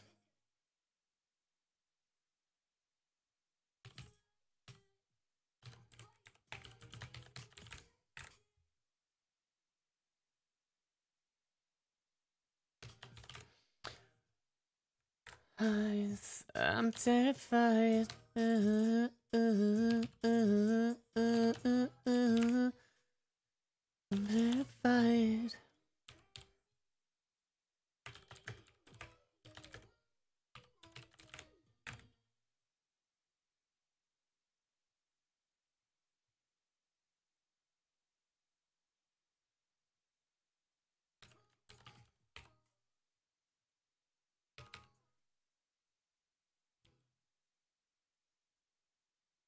We're in the code for the current whip of safe transmute.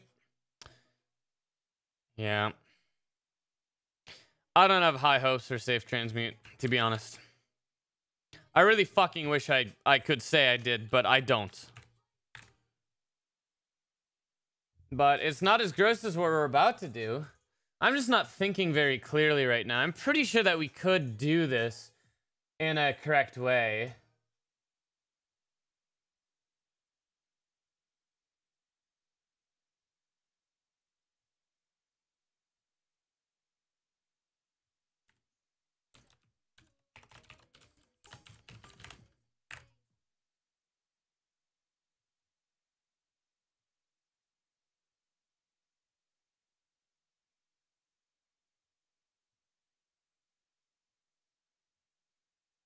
Crazy, but you like that.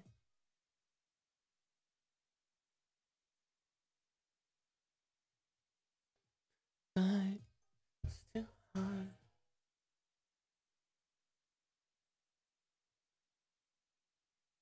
Saying you don't have high hopes for me. I mean, you know, look, you know, Everyone has hopes in their own ways. All right?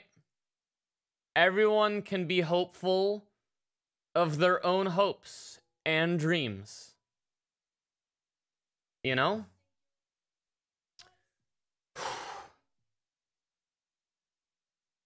Ooh. feel like I'm doing this wrong. I don't like this.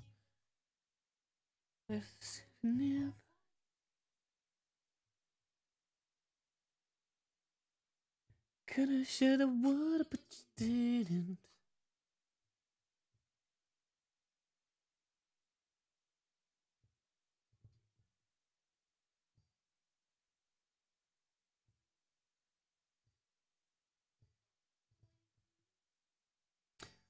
Blatant bullshit.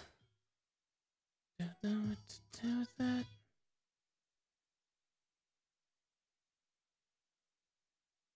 I just want to safe transmute slices of pack types into slices of and back. Yeah, I don't understand why they're doing... Like, I understand that they're... I understand that they want it to be this, like, perfect fucking thing. But it doesn't need you don't need to have like stability guarantees. Like actually, I think the stability guarantee stuff is just stupid. Confidently describe what I'm doing. Holy shit, that might be really hard. I don't know if I can do that.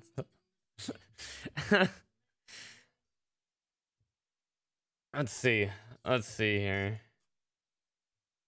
Uh, okay. Uh, basically, right now, what we're doing, uh, very confidently, is we are we are taking, uh, we're taking Rust macros and we're abusing them to make them automatically transfer heaps to other heaps. Uh, it's a really simple operation, and we don't really have too many concerns about how we actually want to implement this. We're just kind of experimenting with like what not to do uh, to demonstrate to chat some bad ideas. So we're mainly just kind of demonstrating all of the ways that you can do it wrong before we actually end up just doing it the right way. Um, I think that best describes what we're doing. this is really hard. 10 out of 10. Uh, uh, Golden Kappa check? Anyone? Golden Kappas? Why is this not... Why is it expecting that but found numaref?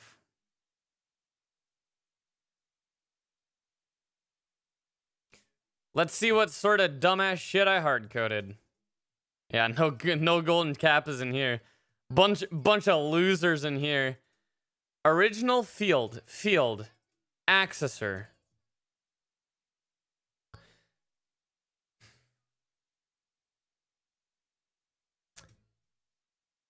Uh, globalize, numaref.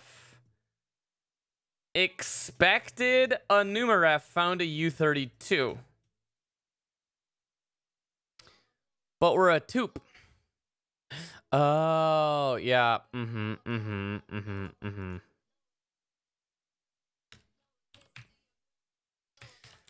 Okay, so this needs to take a T that can be a numaref.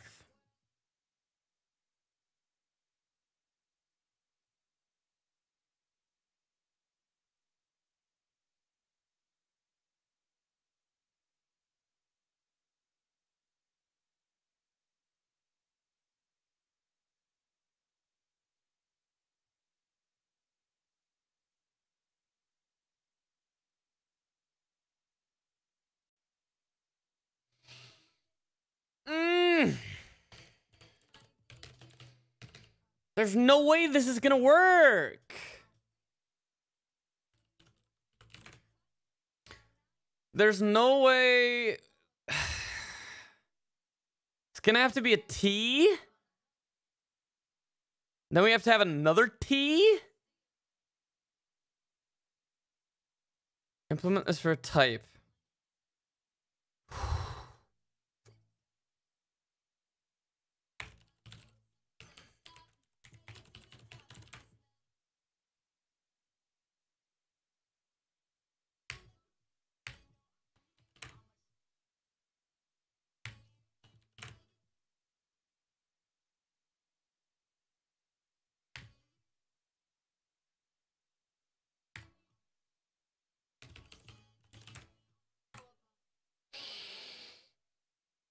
Come on.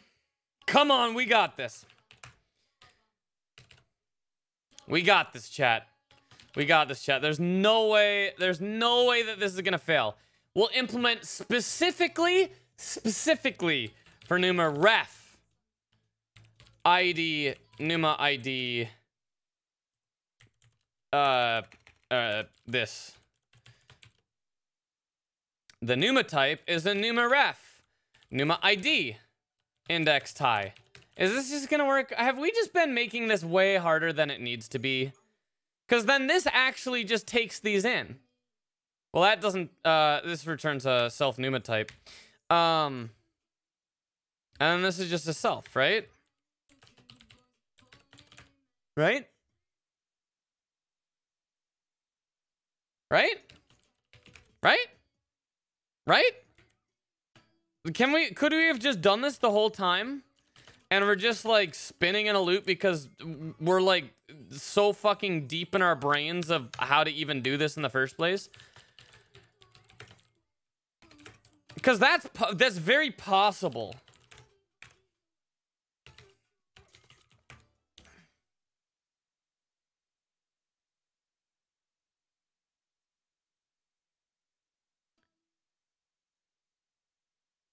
T is globalize ID Numa ID index. Oh, no. T is just copy, I think.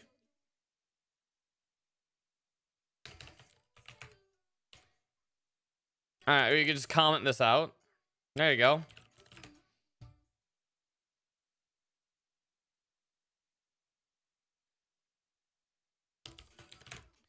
Okay, so how do we do it for this? Implement, globalize, for numaref, ID index slice T, uh, where T is poolable and copy.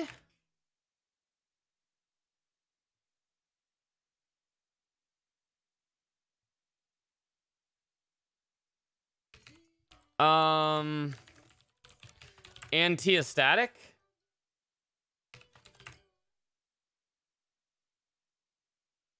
Huh? Huh? monkaS? monkaS? Self Numa type. I knew I knew we'd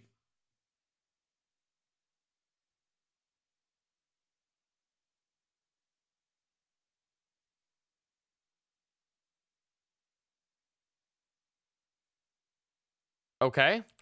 Um, I also want to say where uh, slice Tea is poolable right? Not that that really matters in this case. Uh,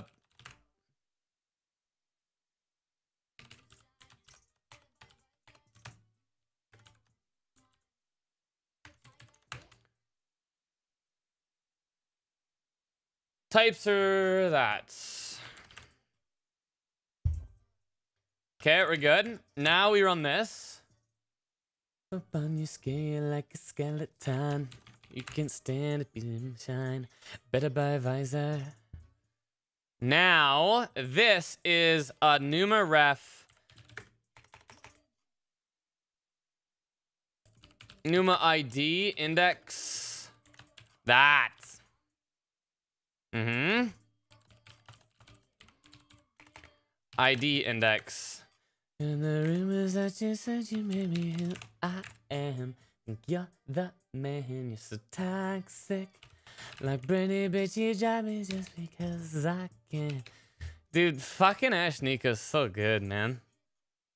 Okay, uh, base. Here we go. Now we get to implement globalize for our base types.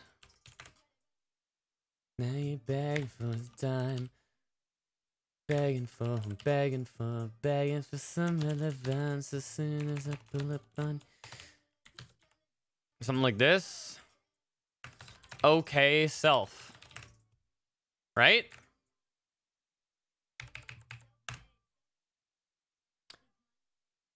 No, that's not gonna work. Okay, Val. Yep, we don't need access to the accessor because we don't use it. We just pass through Val.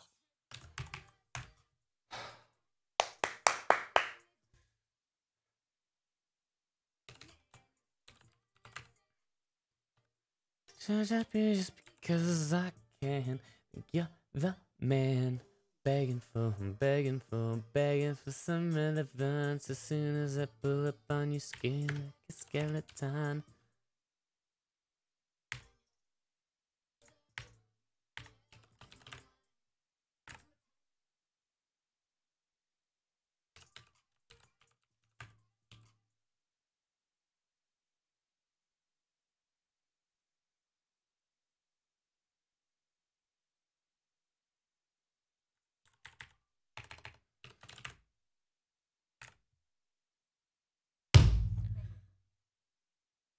Are you fucking kidding me?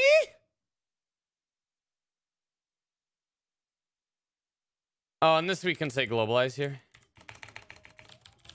Just so it's more explicit.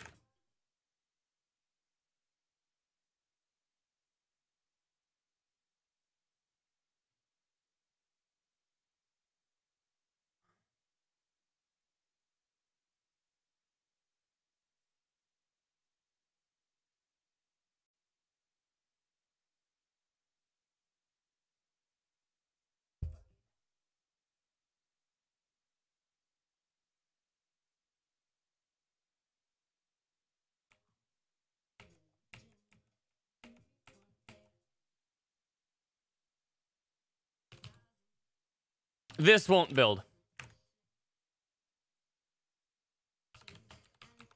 Um, this is just because of really, really, really sloppy things here. Um, this. Um, yeah, so this is where it's really tough for a macro. Uh, I think I might need to make a different macro uh, for when you don't have a lifetime. Because when you do have a lifetime, I'm like assuming that you have a Numa ID lifetime.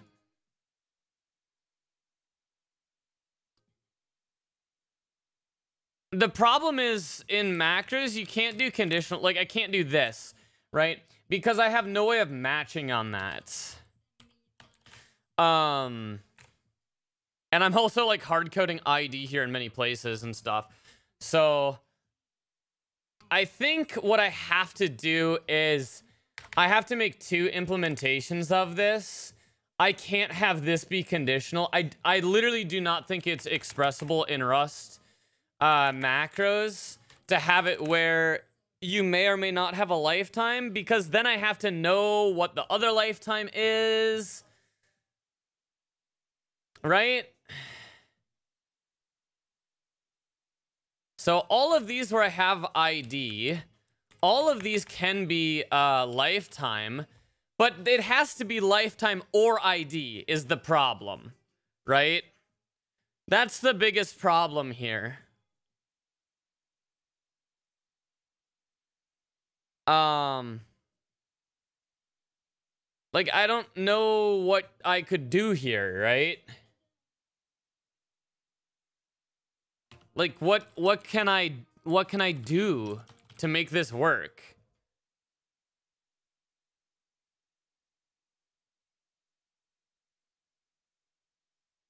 Right?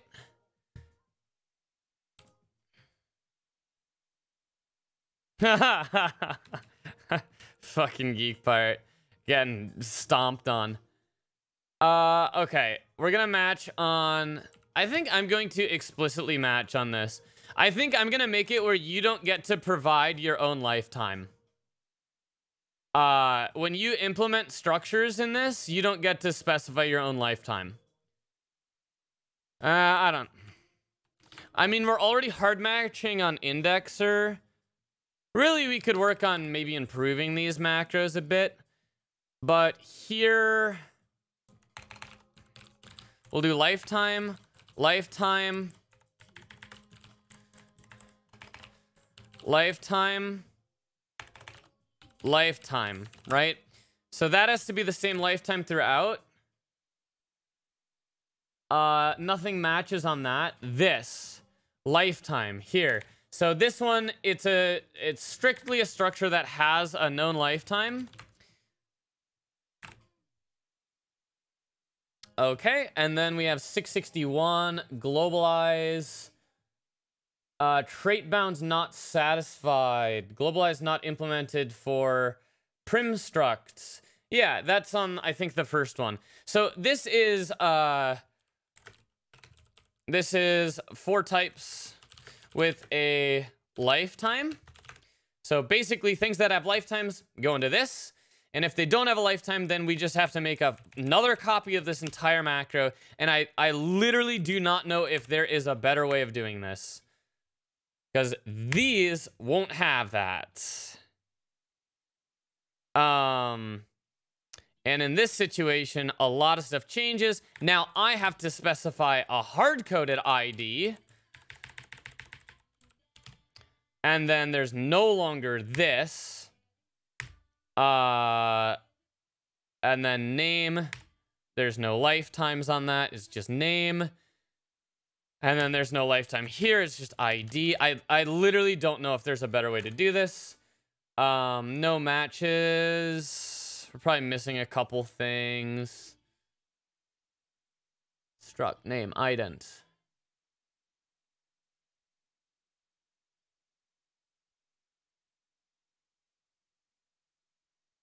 Yeah, you still need to copy and paste macros with minimal changes. I think you can use conditional compilation of another macro. I don't know if you can. Like I, I, I know I think I understand what you're saying, but I, I don't know if that's actually possible. What did I fuck up here?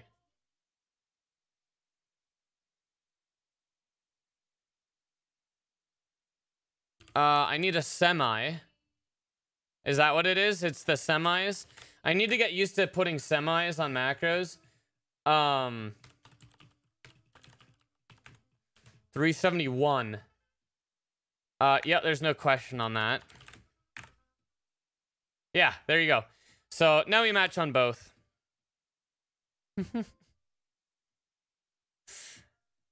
um, yeah. So now this works in in this prim struct.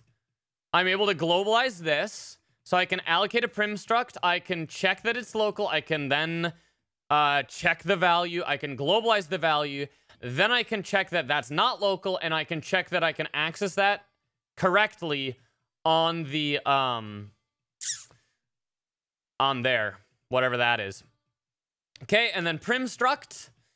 Um,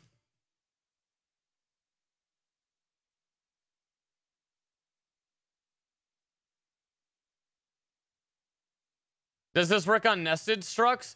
Uh, only if they're in numarefs right now because I have to make another copy. Basically, as you kind of saw, I have to... Um... The fuck just happened?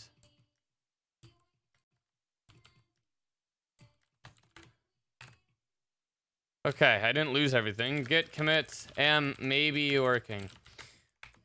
God, for a second I thought I did like some weird ass undo in Vim. Um, okay, so basically, as we did up here, we implement globalize for the base type, and we also implement, oh. I don't think we need this. Check this out. You ready, chat? You ready for some big shit? You ready to open your eyes? Open your eyes. Open your poggers. Wait, wait. No, nope. I have to. I okay. I have to. I thought I was. I could generically implement it for all T's that implement copy, but technically, like this structure implements copy. So if I allowed uh, basically automatically deriving thing, if I derived glo globalize for things that implemented copy, then you could globalize a structure without fixing up refs. So I have to explicitly do it. Um, so we implement it for the base types where it's a pass through. We implement it for numarefs of the base types where it will correctly grab the original value and then allocate a new one in the pool, moving it over. And then we implement it for, um, I guess, wait, if I do this, can I generically implement it for numarefs?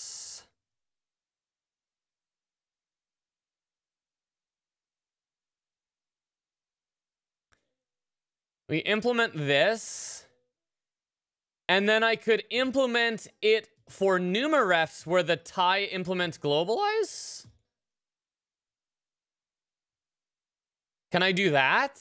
Is that sound? If tie implements globalize, then we could auto implement it. This would then mirror uh, how we do it for... So deserialize, that's how we do it for deserialize. So deserialize, we implement it for numarefs where T is deserialized and poolable. Um, and then we do the same thing for slices here. Okay, let's try it.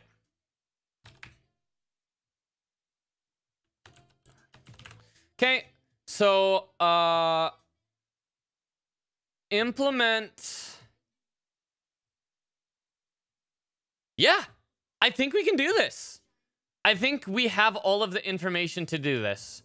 Um, unsafe implements ID NUMA ID implement globalize for T's uh or more specifically, for NUMA ref ID index T's,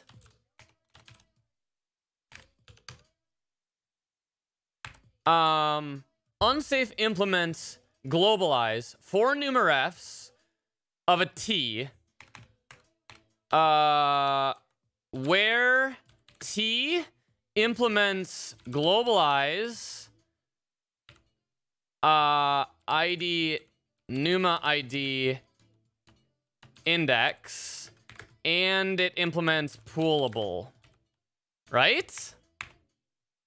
Then this is a NumaRef NUMA ID for the T NUMA type.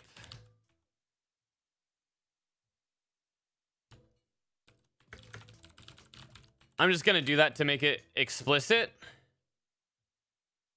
Uh, or, yeah, we'll just do this. Right? Right? Right? Um...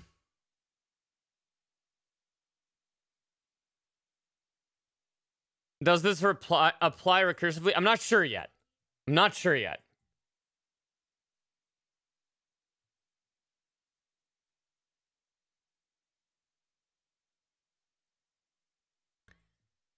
ID index T. So...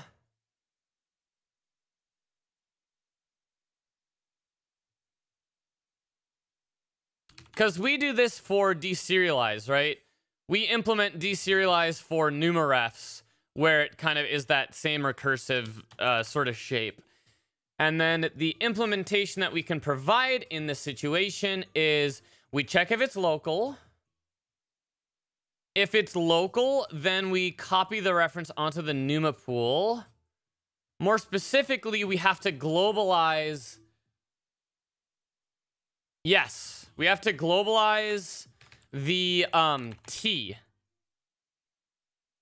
And T is sized. And that's okay because we have a custom implementation for slices. We have to implement our own implementation for slices. Um, accessor get unchecked val index, that gets us a T. More specifically, what we actually need to do is... We just need to globalize it, right? Is that all we have to do? Uh, T is equal to um globalize globalize accessor of val and this should then give us a self numa type so uh globalize the value that will do that like pass through thing for for like u32 this will just pass through the U32, right? For those base types. Um, and then all we have to do is we just have to move it to a pool, which is this. Right?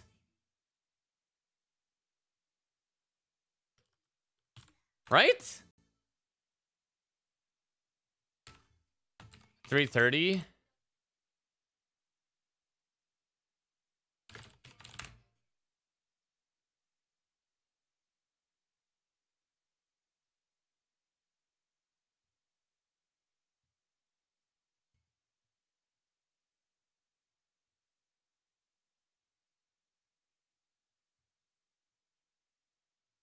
If T is already globalized, does it uh, create unnecessary NUMA allocations?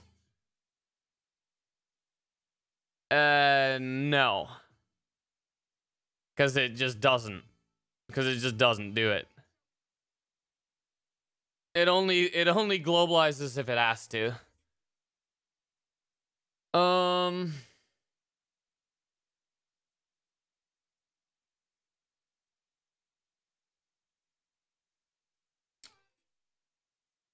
Uh...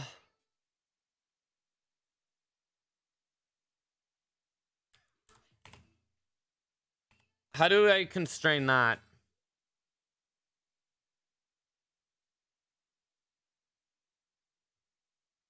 Um, consider adding an explicit lifetime bound that.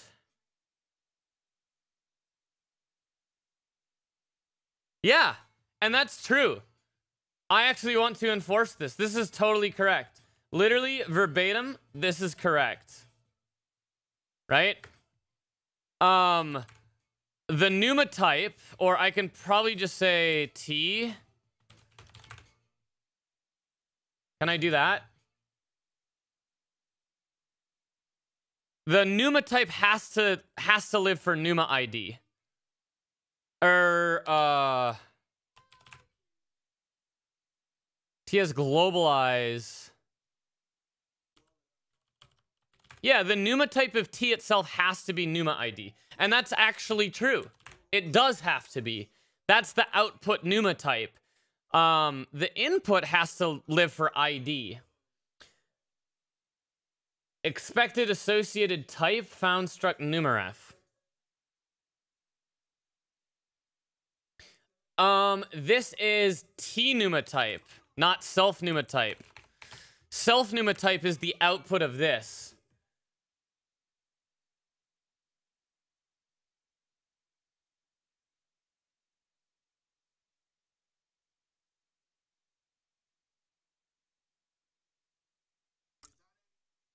Uh, that's a val.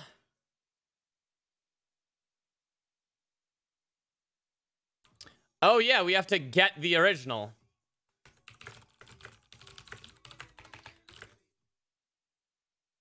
Right? No. We globalize directly on the val, which is the self. That then produces from self.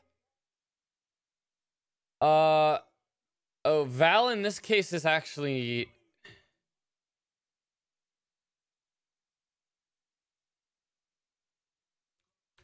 LA get.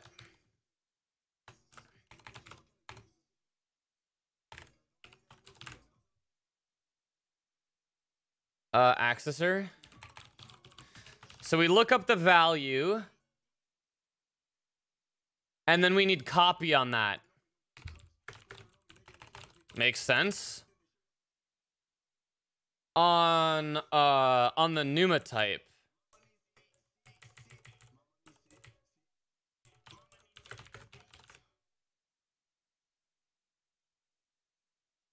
Uh, T also needs to be copy.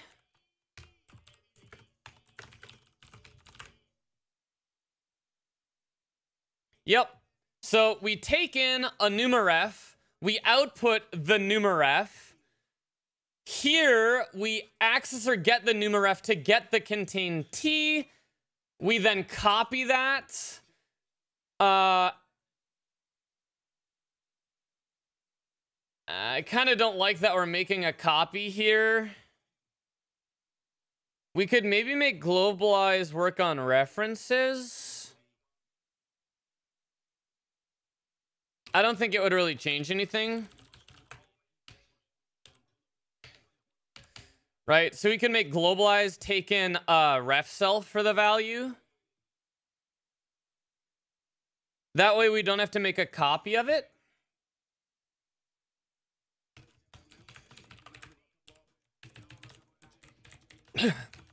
In this case, we just make a copy of it. Um, I mean, I guess eventually we have to make a copy. Like this. This is for slices. Uh, val. Val index. Yep. Since this is a numaref of a slice, it has no effect because we just dot index on it. And then for 342, uh, this is a ref, which means that this accessor.get now, we can just, we don't have to do the copy here. That expects a numaref. We can deref it there. I think that's better. Now we're making a copy of the reference, which isn't, it's just a size. We then pass in a reference to globalize, which will then globalize. It has to make a complete new copy of the NUMA type, the output target for the globalize, and then we throw that into the globals pool. Right?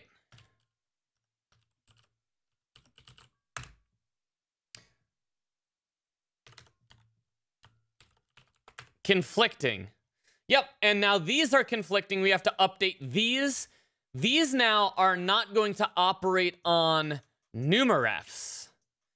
These are just going to operate on the raw structures.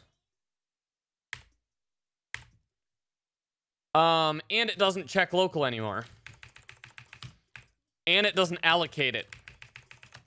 So this is no longer an allocating version of this. We just literally, uh, Oh, yeah. We just create a copy of the structure, uh, globalizing, uh, recursively, right?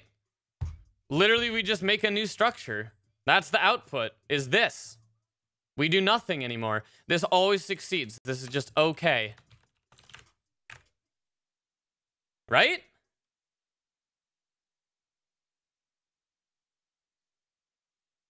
Uh, val.field. This is ref self. So we just go through and we all the things. Um...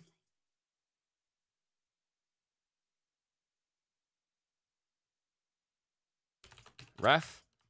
Is that supposed to be a reference there? Yeah. So a reference to the field. Now, uh, hey, Rudy on duty, thank you so much for the four months. Hell yeah. And this is just name. This makes so much more sense.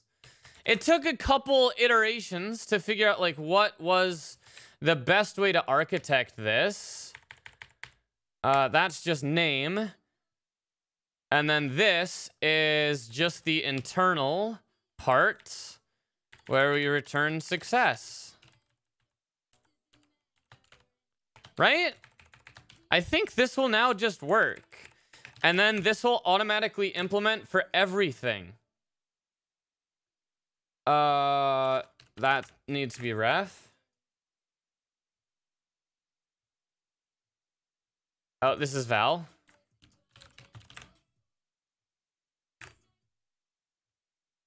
Uh, 629. Gelk. Expected reference. Sure.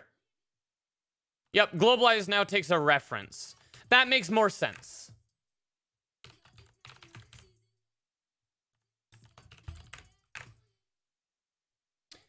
All our tests are good. So what do we do now? Now we implement globalize for all the base types. It takes in the type, it outputs the type directly. All it does is it literally just copies the type because there's no there's nothing that needs to be fixed up to globalize those. Then when we want to globalize a slice, uh, it has to be a numaref. It outputs a numa ID uh, lifetime slice. And for that, we take an ref self, we output a self numa type, which is the owned copy, a new numaref. Uh, we copy the reference onto the new, so we get the original slice out of the pool. So we we basically deref the numaref to get the slice t. We then allocate on the numa pool for temp len, and then we initialize everything with the uh, copyable uh, t's. So for each t in there, if it's already on the numa pool, then we just convert it to a numa ID lifetime. Um, and we just refer to the same data. Globalizing here, so we implement globalize for numarefs, um, where the t contained in a numaref itself is globalizable, and it's poolable, and it's copy, and the output of the uh, globalized function for a t is copy and Numa ID tagged. Uh, we output a Numa ID reference, which is the same as the input, except it's Numa ID tagged, and then the Numa type, which allows us to have the Numa ID lifetime on that type. Uh, if it's local, if it's if it's already global, done. If it's local, then we globalize, we get the original, so we deref it such that we have T um, yeah, and we do have to special case this for slices, and that makes sense. So the slice version is just, the only difference is this calls get uncheck slice and then does Alloc slice.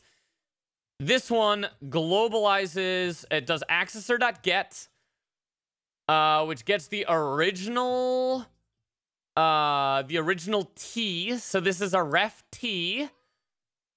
We then globalize that T into the output target NUMA type, and then we allocate the copy data on the NUMA pool itself, and we move it on to that. Uh, if we're already on NUMA, um, no need to do anything, just convert to a NUMA ID. And then, for the base types, we derive, we don't derive on numarefs. Numarefs is derived for everything for us. Um, so all we have to worry about is for structures, we just have to go through and make sure we globalize every field. And I think this will, I think this is actually done. Like this might be universal. This might be complete. Like, like genuinely, this might be done. Uh, let's try one that we haven't even planned to architect for. Uh, let's try... Um...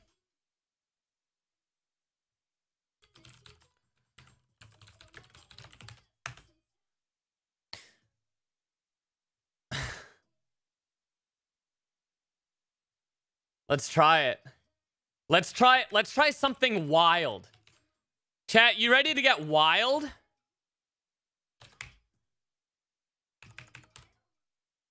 You ready to get fucking wild, chat? Let's go. Let's go. Let's let's go. Uh globalize fancy struct. Okay, we're gonna have a numaref to a uh let's try a slice in here. And then we'll make another thing that's globalized, and this will be like foo struct. And this is going to have a, a D numaref ID index of a U8. And then this is going to have a, a numaref to an ID index foo struct uh, ID index. Right? So we're going to have a structure that has primitive fields. We'll put a primitive in here as well, just for funsies. F U8. Okay, so we have a structure that has primitives in it. It has a, a reference to a slice. It has a reference to another structure. And that structure, uh, a reference to a structure which is allocated on the heap in its own thing. And then that itself has its own allocation inside to a U8. okay, so let's create it. So we're going to make a prim struct, a B. Uh, this is going to be Alloc Slice. And fuck it. The slice is going to be numarefs.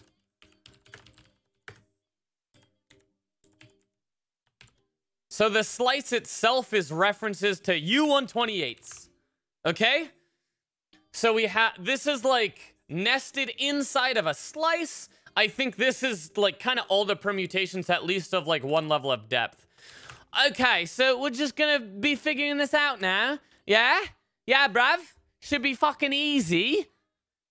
Right? Can you directly use foostruct without numaref? Yeah. Yeah, we can do that. Uh, numarefs only have to cover things that actually have a slice, right? Anything that's unsized, we have to put into a numaref. Otherwise, what's this accent? I don't know what I'm doing. I don't know what fucking accent I'm doing, mate. Brav? Brav? What's up, uh, Destroon AS? How's it going, mate? You having a good day? You having a laugh? Yeah? LA alloc 6969. This is the slice. We'll put fucking 10 entries in here. I don't, I don't fucking care, right? Or unwrap that. Then we'll make a D. LA dot alloc. A foostruct. Then we'll have a D in here. LA alloc and a 5U8. Yeah? Yeah? Yeah? Yeah? Unwrap that. Uh-huh. Unwrap that. I don't want to call that yet. I just want to make sure. Uh, expected an option. Ah, okay. Uh, what? Uh-oh. That's no good. Oh, let's comment these out. Oh, fucking hell, mate. Is it fuck? What's broken? What's broken? Is it the slice of? Yeah? Is it that? Unused parameter? What about this one? Yeah? Yeah? Can you give it the D? Okay, this works. So something, something is wrong uh, with with C, right? ah, fuck. Now I gotta spit. Uh, y uh, aquí uh, estoy un error. No estoy bien porque es malo cuando no compilo. So, uh, uh, eh, eh, mm, sí, es muy malo uh, porque uh, yo quiero uh, compile y, y uh, uh Aura, uh, L code, no compile. Gotta re up that Duolingo subscription. Perfect 5 out of 7 worth 10k points. okay, uh, what's going on here? So it seems, okay, first, let's comment this out. Let's make sure that it was working in this case. So I do think this works. The nested structures and stuff works. Let's try it. Well, we didn't call globalize. Let's call globalize on it now. Yes! Let's go! Let's go! Let's go! Uh, assert that uh, uh, the NUMA allocator get the Gelk. Uh, so that's going to give us access to um, the prim struct. Uh, we want to assert that D is uh, not local. So that's making sure that D has gotten pushed up. Uh, that is index. D got pushed up. Okay. Then we can do na.get na.get on D dot D, which is now this D, and we can see if that got pushed up. And it did. So this structure was pushed up, this structure was pushed up, and this field was pushed up to the point that now we should be able to do assert that na.get.na.get. blah blah blah blah blah blah dot d is equal to this field, this 5u8. We'll say this is uh 4, 41. We'll just change this. Um, which means that we're actually derefing it all the way through, only accessing it through that pool. Um, and and I'm pretty sure we we did this. Uh, just deref that. It knows the type. Yeah, that passes. So by calling globalize, we've pushed up recursively this entire, entire structure and all of its references. So we've basically moved an entire object from one heap to another, which is fucking dank, okay? I'm sorry, but this is sick. I kind of didn't expect this to work. Holy shit. Like, we gotta clean up a lot of this code, but this is sick. Let us be going.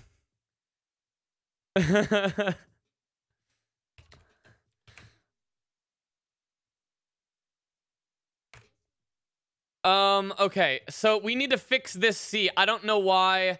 Why would a reference to a slice of references not work? Get off my lawn. Thank you so much for the gifted Sabrina, and you, you hit a good target. Oh, that was a targeted one. I thought that was a random one. Uh, that's a good target. Hell yeah, thank you so much. Cheers. okay, uh, why does this not work?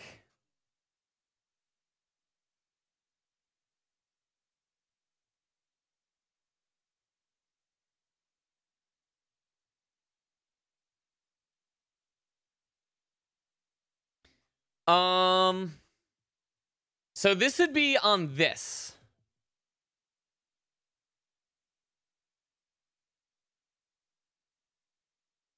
Requires that NUMA ID must outlive static. T is pullable copy and static. T is pullable.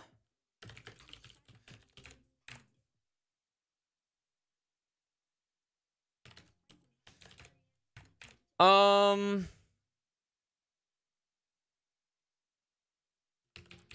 Where do we have static? We require that T is ID, right?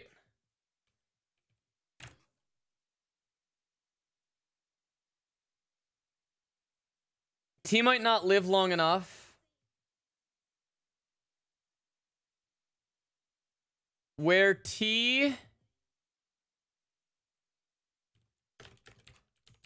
Can we do this?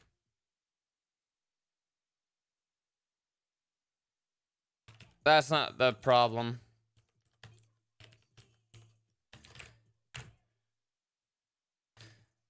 So this is uh, specifically a problem with a slice of numarefs, I think.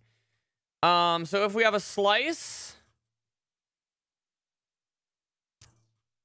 We should, like, slices should work. Right? Slices should work just fine. Okay. So let's uh, make an R. And this is going to be a numaref ID index. Uh, this. So it is specifically uh, these that don't work. So we have to do an LA alloc slice uh or alloc 771 okay um oops other way There we go. Okay, so it is specifically a problem with numarefs inside of a slice. So let's figure out why. Um, so here's a slice. In this case, a T is a numaref. Is a T is a numaref poolable? Yes. Is it copy? Yes. Is it static? No. It is actually ID.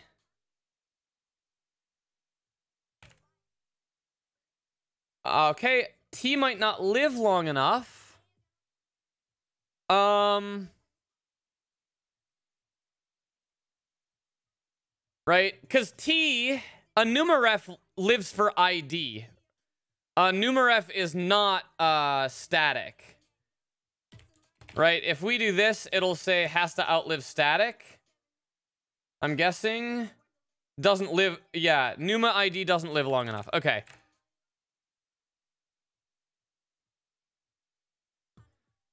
What's happening here? A quick summary? Oh, we can't really do a quick summary right now. I'm sorry. We're writing a very, very, very sophisticated high performance allocator, pool allocator, and NUMA thing for deserializing and mutational fuzzing. And we are very, very deep in the weeds right now. Uh, T might not live long enough. And that's because of this.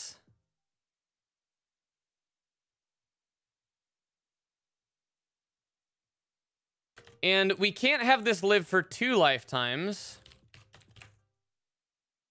Correct. I think this is correct. Um, what's your question, babag?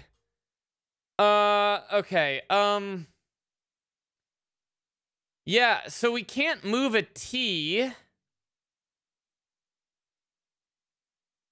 Oh. This needs to be globalized. It needs to be this.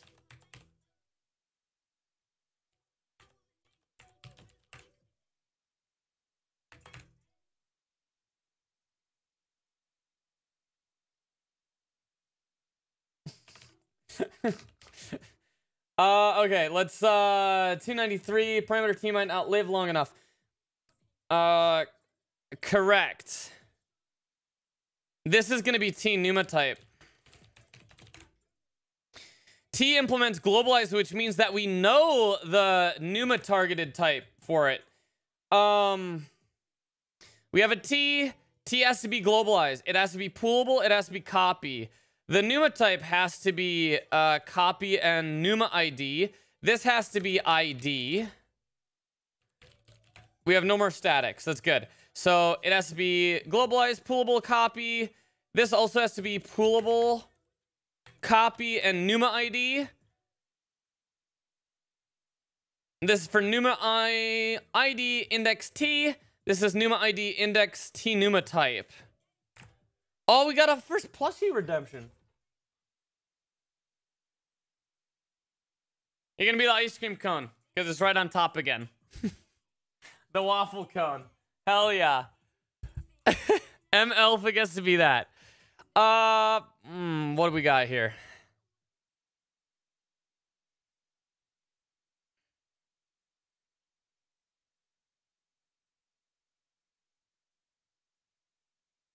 Um, hmm.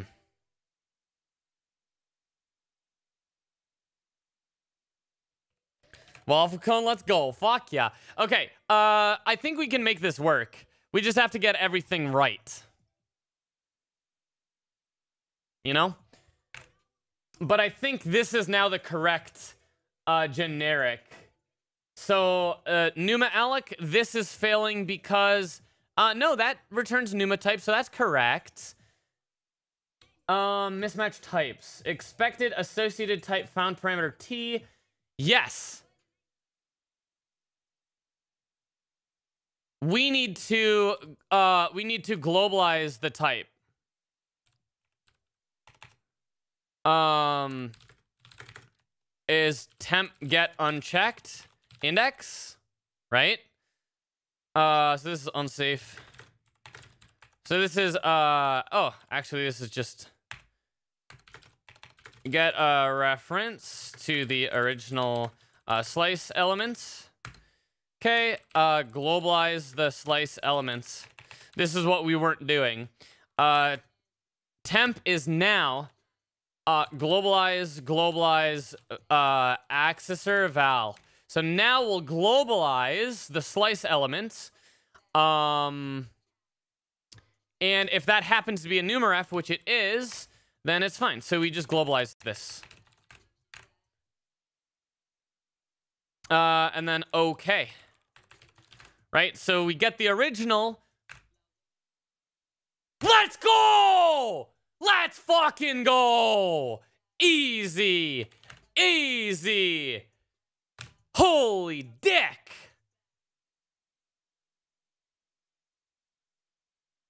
So all of this stuff got moved.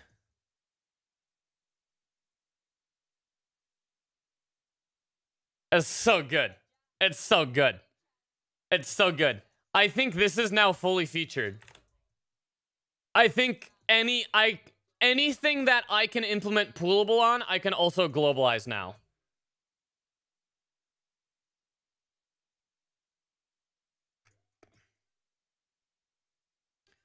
Holy shit.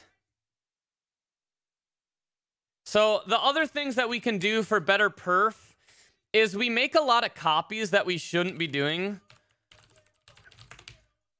Right, we make a lot of stack copies. Here we don't. That doesn't matter.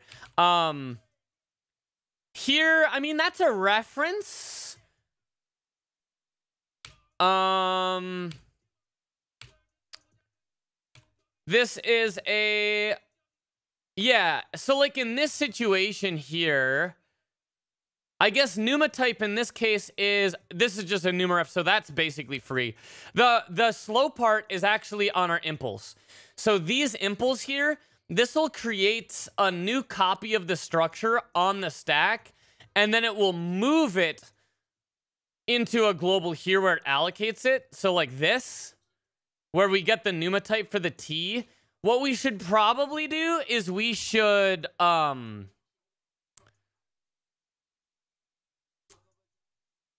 We should,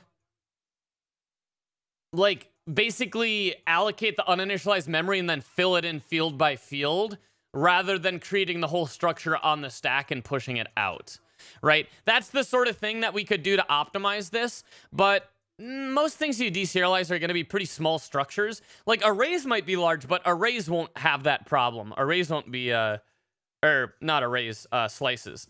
Um, how's it going? Well, now it's going fucking great.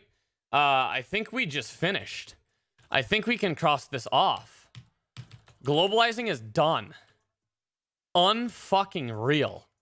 I I did not think we would have that done this stream. Um Wow. Wow. Uh, we need to make a... We probably need to bang out this. The thread safe type database. So that we can, like, do maybe an example. Um... So the big thing that we can do now is I can... We've globalized this and now what I should be able to do is I can take the top level globalized allocation and I can, uh, I can make a copy of it locally, right? So check this out. So now we can localize the global allocation. Or actually, here's a great example. We're gonna globalize that shit. Um, then we're going to flush the uh, local allocator, right? So this is gonna give us a new local allocator instance. So we're gonna wipe the local pool. So now the the object no longer exists locally at all. Um, so if I were to do like uh, la.alloc uh, 5 u8, you'll see that this will be um uh or panic. So this will now be um this should be index uh it should be index 0, right? 8000, which is index 0 because we now have reset the local allocator, but the global allocator still has those allocations. So if I were to push that out here and I were to say like moose is none, and then we'll say moose is gelk. Uh, and then outside, we should be able to do moose equals moose dot unwrap. I think we can do this, right? So now we persist where that was allocated which I think we can do. Um, mismatch types. Uh, what's wrong here? Expected option got numaref. Oh, I gotta, yeah, shadow it. Um, okay, so now we have moose, and if we take a look at what moose is, Um.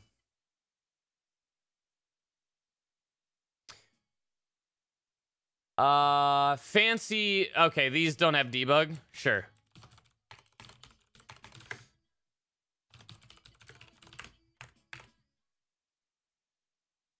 Yep, so it panics with 5C, which makes sense. It makes sense that the top level structure is allocated nearly last because it has to deserialize from the bottom, or it has to, um, it has to allocate from the bottom to the top. So now that that is complete, um, check this out. So now I can say la.localize moose. Um, so this is now going to give me a reference that I can use for local allocations. It's still backed entirely by moose in this case, I think. Maybe not. Okay, maybe everything falls apart at this point. Localize. LA. Localize moose.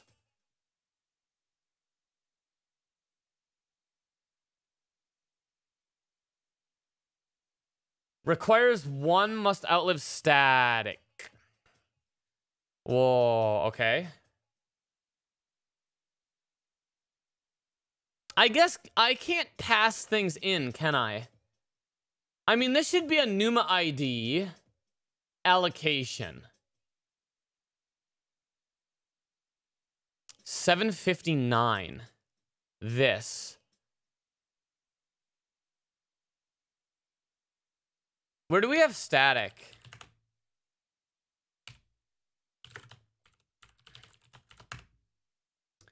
Parameters? Oh my god, that's because it's an indexer.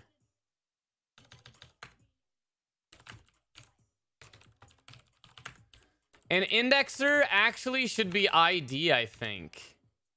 Uh, I mean, that can be static.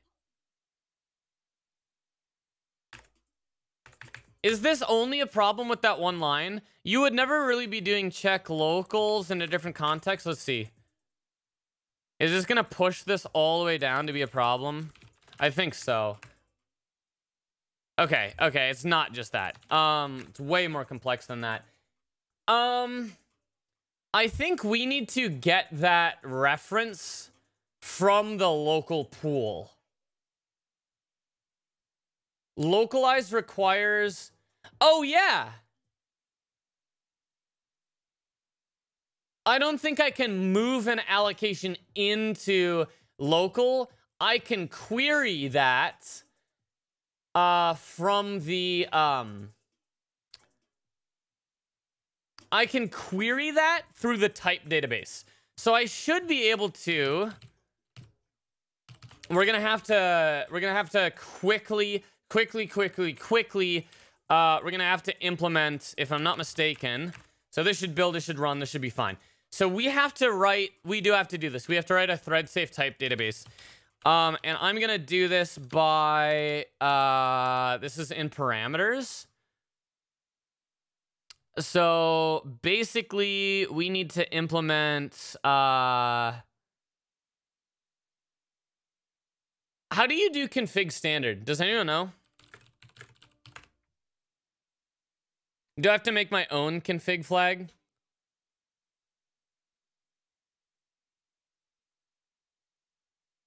I think I have to make my own config flag for that. So we're going to very, very, very, very temporarily. Here's what we're going to do. We're going to implement uh, a type database. Um, implement type database uh, atomic. I don't know why you call it atomic. We should call it like sync type database. Um, for uh, sync TDB.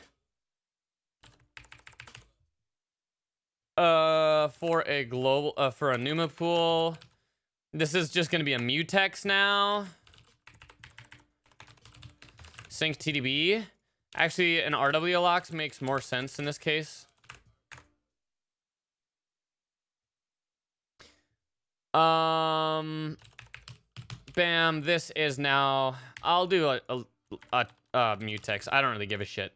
Um, mute, uh, lock dot unwrap dot entry. And then this is db, uh, lock dot unwrap dot get. I don't think I can get directly off that.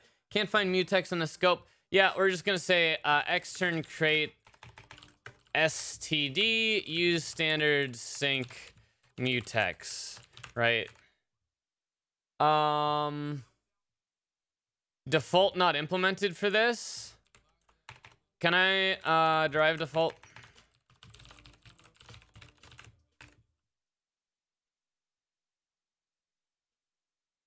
Uh, indexes does not have default. Okay, yep, we have to do this again. Uh, default for this, mutex new on uh, sync uh, TDB. Let's go. Okay. Nailed it. Then up here, instead of null TDB, this is now going to be uh, sync TDB U16, and we'll say parameters. We'll just pull it in right now. Okay, everything passed, which means that we're actually pushing things to this database. Yeah, check this out. Print ln registering uh, x in this uh, at this, which is the index. Uh, type index. Uh, standard. Check this out.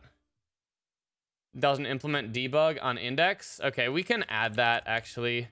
Uh, let's just add debug on this and display. Um.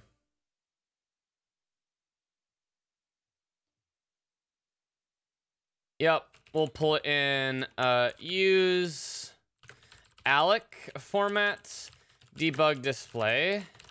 What other things do I have in there? Uh, Rust, uh, alloc. How many formats do we have? Uh, I want. Fuck was it? alloc.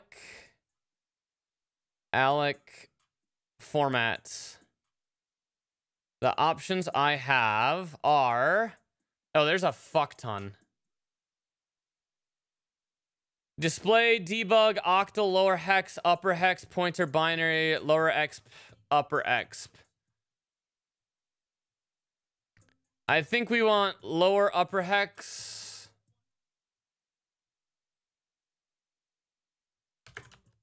Uh, octal, lower hex, upper hex, binary.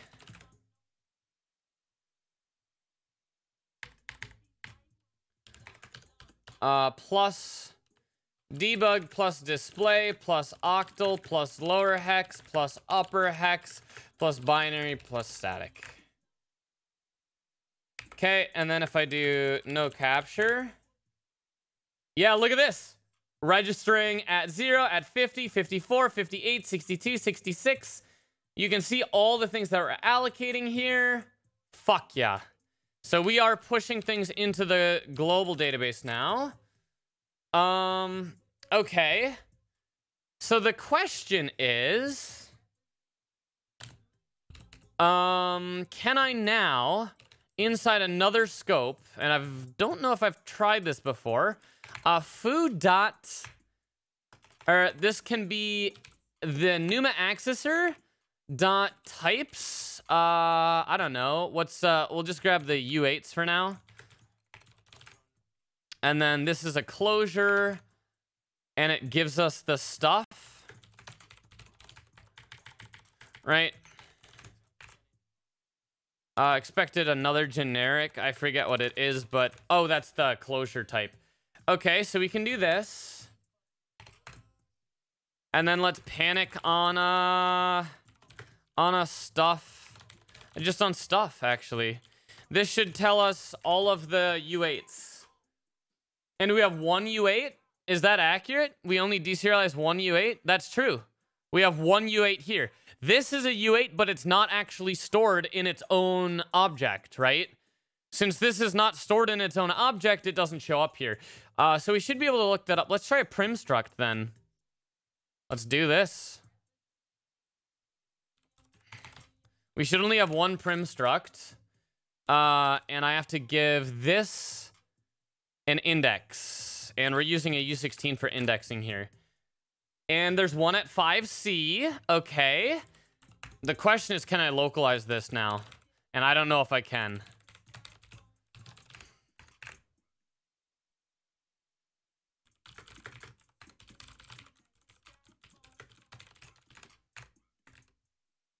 Uh, panic.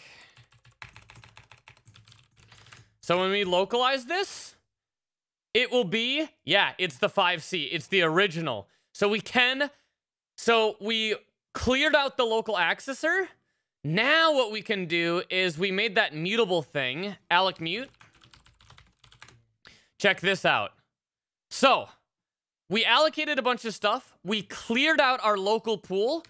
Now what we can do is we can alloc mute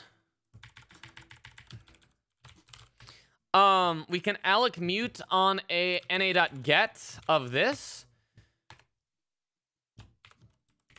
Um, so now we have a Numa mute of that. And I can say temp dot, uh, let's replace a field. So let's replace one of these U128s. So let's get a random U128. Uh, so we'll get, uh, we'll just query this. Uh, let me, temp is none. Uh, temp is equal to stuff three, the third U128. Uh, temp local, uh, let temp is temp dot unwrap. Okay, and then we should be able to do, uh, uh, mute. Let mute uh, ref is equal to la dot get mute on temp. Rf dot uh let's just replace let's just grab let's just make another U128 g uh numa ref id uh U128 okay so I'll have G, LA, Alec, uh, one, two, three. Oh, and this is going to be, we'll add the index. This is the index of the allocation. Uh, G. Um, um, um, um, uh, index.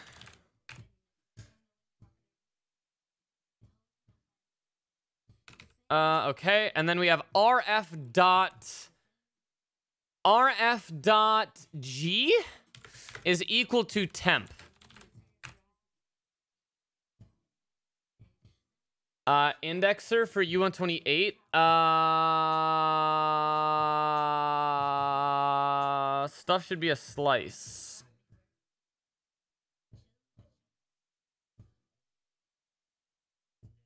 What did I break? 748.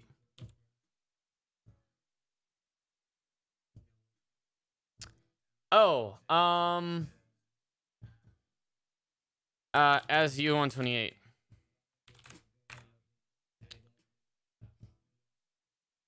Uh, and then unwrap.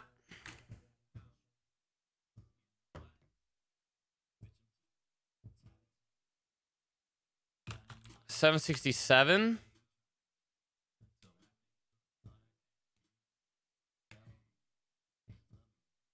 So there's straight for a way to communicate with a running pro yeah. Proc PID FD. 767. Indexer is not satisfied. Oh, yeah, because that's, yeah. We want to get a U128. Um, and then unwrap that. That's a numaref. And what's going on here? Stuff. Oh, some. Okay, we're just not even paying attention to what we're writing anymore. Uh, and then that expects immutable reference temp. And yeah, we have to unwrap this. Then uh, that has to be a mute temp. Okay, we're like, you know. And then this will fail because it expects a numaref. Uh, temp. Oh, uh, temp 6-9. Okay. So that's the value that we randomly picked. Now this is wrong because we have to localize this. Because that's a global. Bam! Fuck! Uh, NA get stuff zero deref. Um, um, um, um, um. Ooh. Ooh. Dot get. Ah. Yeah, we have to implement a... Oh, all we have to do is localize this. la.get. Um, we have to localize it, which will convert it to ID lifetimes. So, uh, la.localize stuff zero. Shit.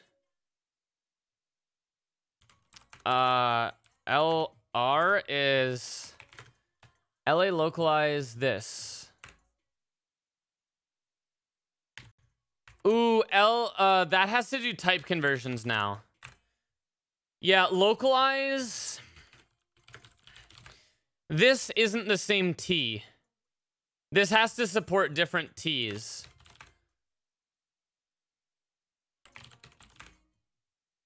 Uh, where R is poolable and sized. So this is now unsafe. Um, but that's okay. Um... This is just gonna be, uh... Yeah, T has to implement, um, globalize. And then this has to be, uh, the T, uh, Numa. Numa type, what was it? Numa type.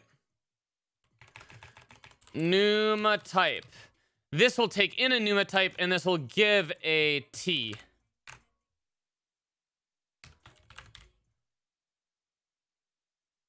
Uh, globalize.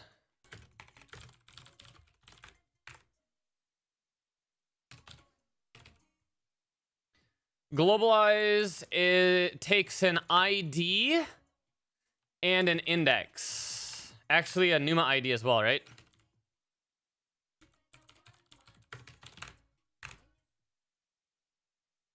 Nice, maybe.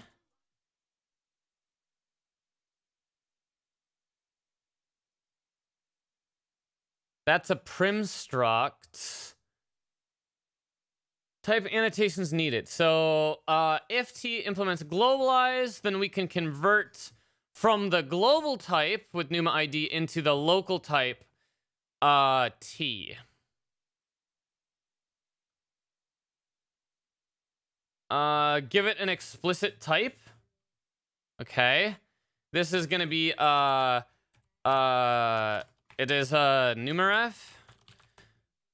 Uh, U16 prim struct U16. I'm surprised Rust can't figure that out. Oh my god!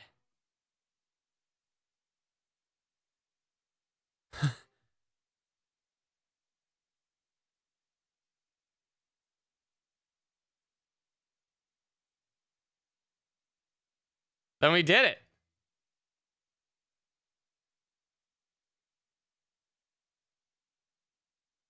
So what we've done is we've allocated a bunch of stuff on the global pool. We then push that to the, uh, or we allocate a bunch of stuff on the local pool. We push that to the uh, global pool. Then we reset our local allocator such that the local allocator is wiped clean. We get a random U128. We uh, get the top level prim struct. We make a copy of the top level prim struct only. Um, we get mutable references to it, and then we replace a field with a temp 69. Now, what you'll find is this is the only allocation that occurred. So now we can assert that L uh, temp dot um temp dot uh index check local right so the um the top level structure is local. Um and it should be that should pass. But everything in it la.get so since that's a local, we use the local accessor. Then we can do index on this. So temp.index. Uh, and what are our fields on here? So every single thing inside of here, CRDG. Uh, C,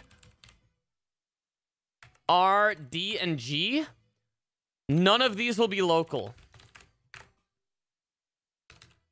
Um...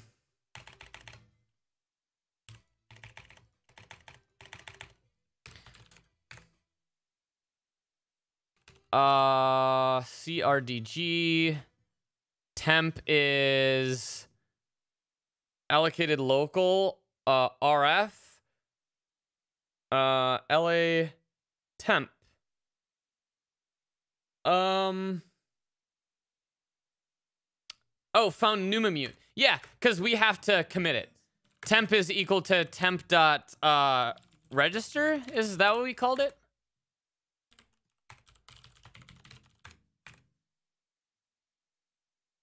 Uh, no, it's uh, LA register temp.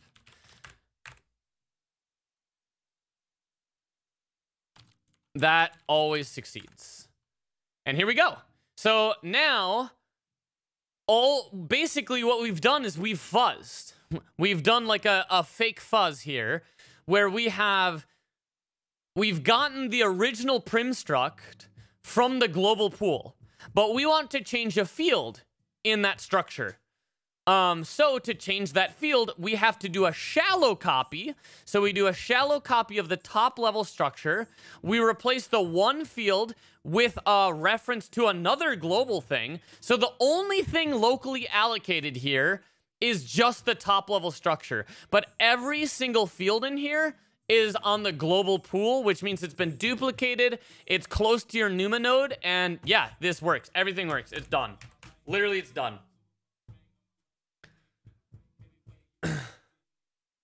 Right? So basically, this allows me to construct very temporary objects extremely fast. Then, this allows me to push those temporary objects to a global place if I want to archive them for later. I can then reset my local allocator. I can get a an like I can look up an existing type. I can look up another existing type. I can decide I want to do a small mutation to that type by allocating a top level structure. But keep in mind, like, I don't have to reallocate these. None of these things get reallocated. I can do this probably pretty fast. Let's see. Let's see how quickly. Um, let's see how quickly I can do this. So I'm gonna probably be bottlenecking on the mutex being slow. Um, I'm not gonna. I'm gonna get rid of the register stuff. Normally, you wouldn't actually register something if you're going to serialize it. Let's just put this in a loop here. See what happens.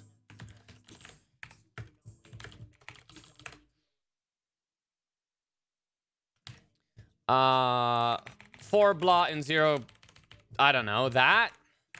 That's probably gonna be instant. Okay, that's instant. Is this actually doing things? It is.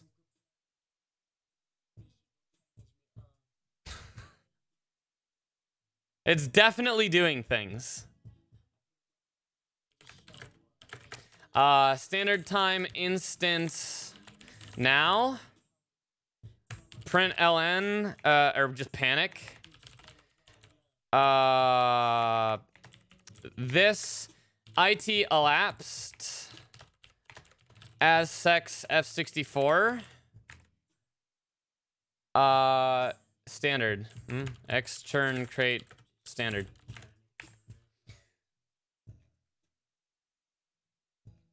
That got optimized out.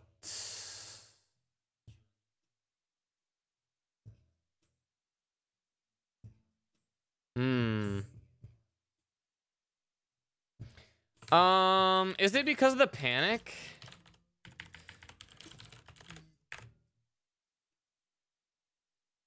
Because that's doing something. I think it... Okay. Uh, no capture. Oh, that's printing every time.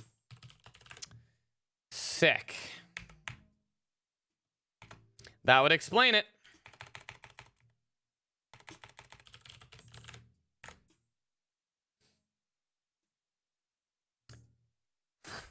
Yeah, it's definitely doing stuff. Holy shit.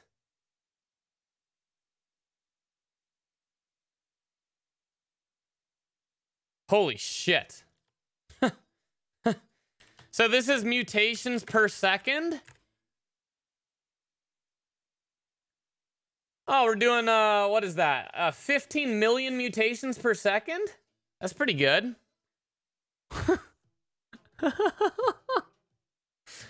And keep in mind, this is structured data.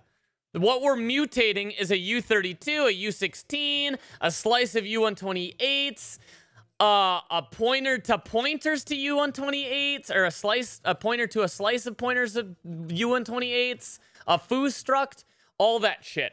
And all that is hitting uh, local references. Yeah, this is really good.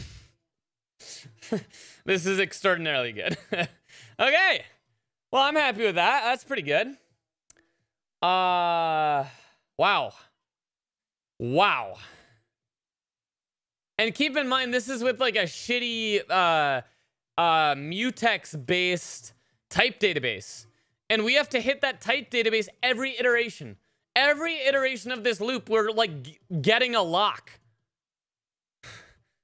like we're bottlenecking 100% on that lock. I can tell you that right now. This accesses and releases a lock, and this accesses and releases a lock.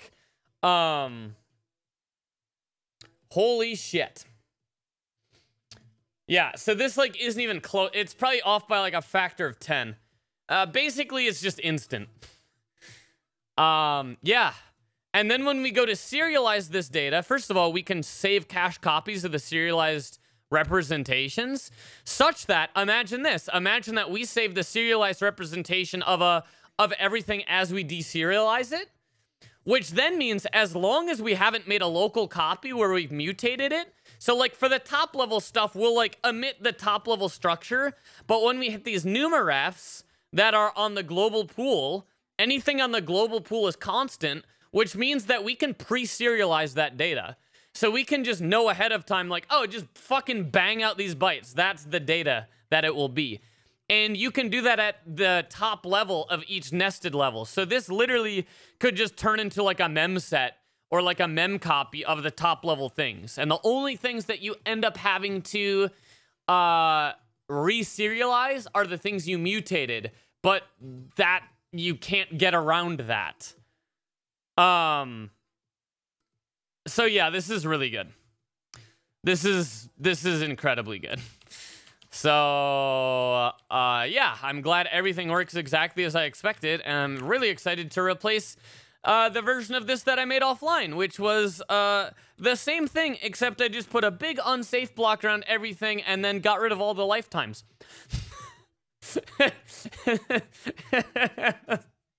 so this is actually like strongly uh, checked at compile time. Um, but yeah, this is this is hot. This is hot. Uh, let's see if we can get a Miri uh update. Let's see if Miri. Let's see if we got a Miri this week or this day.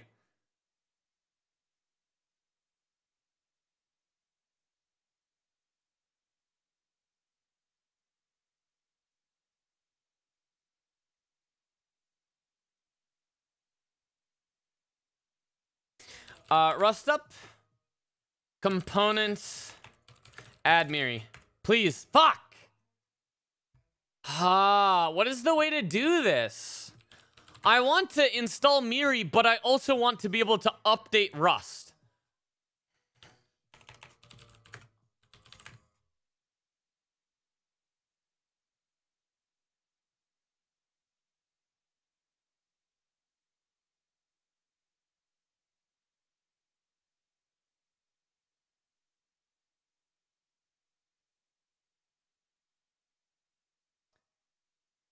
Uh, 0705 had it.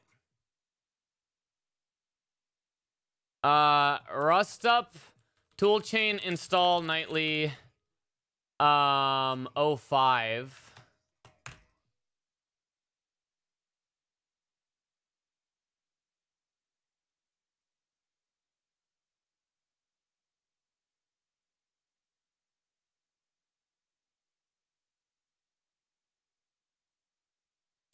Uh, Rustup plus Nightly components add uh, Miri. Okay. Uh, Cargo Nightly 2022 07 05 cargo test or just test. Yep. Miri test. Yes. Add allow downgrade to update to a version that has... Really? Rustup, uh, tool chain remove nightly.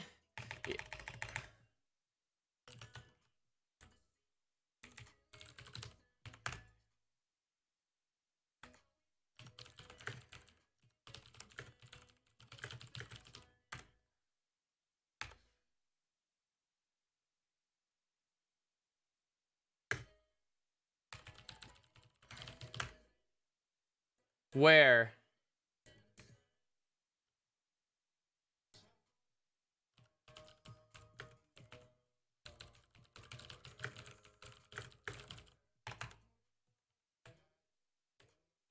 Components? Well, where?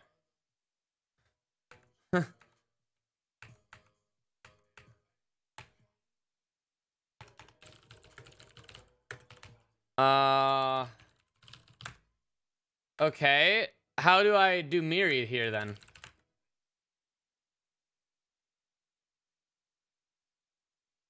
Add specific components. See Miri.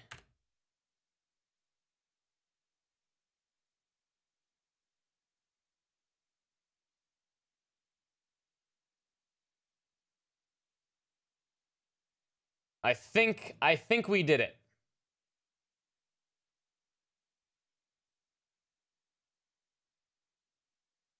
Uh 0704 syncing that latest update that uh, skipping skipping downloading blah blah blah. So now our uh rustc version. Now we should be on 704 okay that's exactly what i wanted. Uh because now i can do rustup update and this will try to update it but it will give up because there was uh it was missing miri okay that's good to know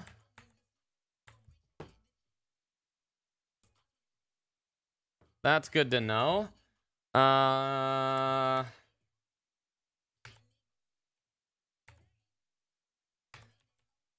Uh...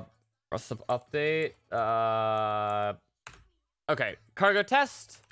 Cargo test release. Cargo Miri test.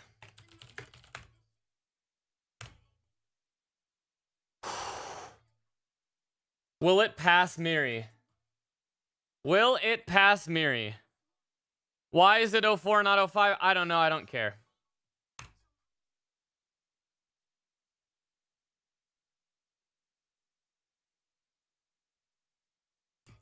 Yeah, passed. Everything. Everything.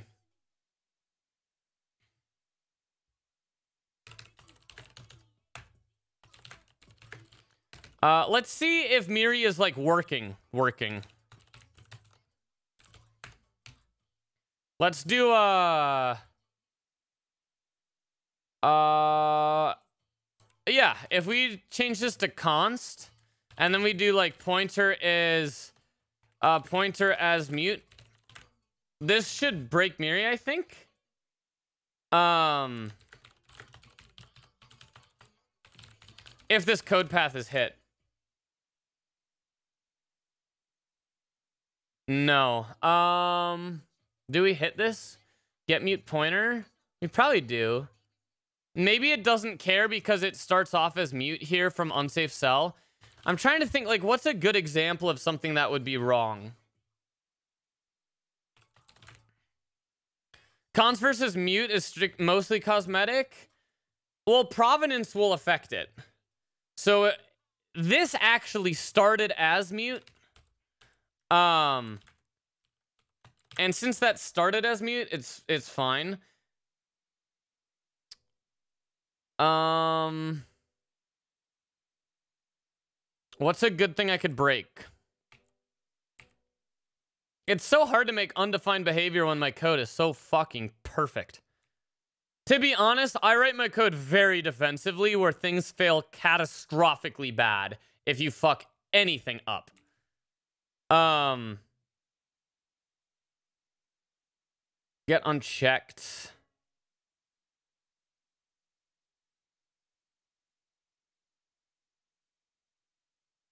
Miri, okay. You got some more stuff? No longer has any effect. Passed.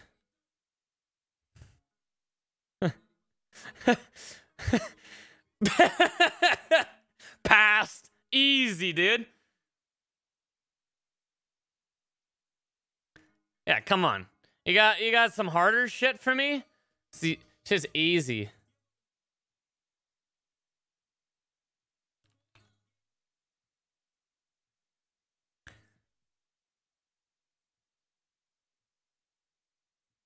All right. Uh I got to go. I've actually like have an appointment here pretty soon. Um I'm finally getting my ears uh ears impressioned so I can uh, get those headphones I bought a year ago and didn't have made because uh, I didn't get them ear impressions. Um, I mean, this is literally everything works, uh, and we did this. Um, obviously, it's hacky. You know that that database is kind of hacky, but uh, yeah, get status, get commits, AM, uh, globalizing, and Miri passes. Uh, okay, so what we need to do is we need to find someone to raid. Dirt boys?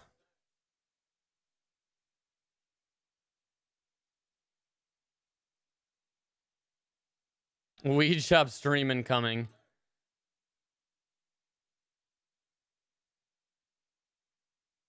Uh. All right, uh, we're gonna rate Primeagen, but you need to you need to bully him for using JavaScript. Okay, you gotta you gotta like you know, you know, ask if he's not smart enough to use like a compiled language. You know, just uh, don't be a dick, but but be be be funny about it. You know, give him a give him a good little uh, love little love kiss. Uh, see you later.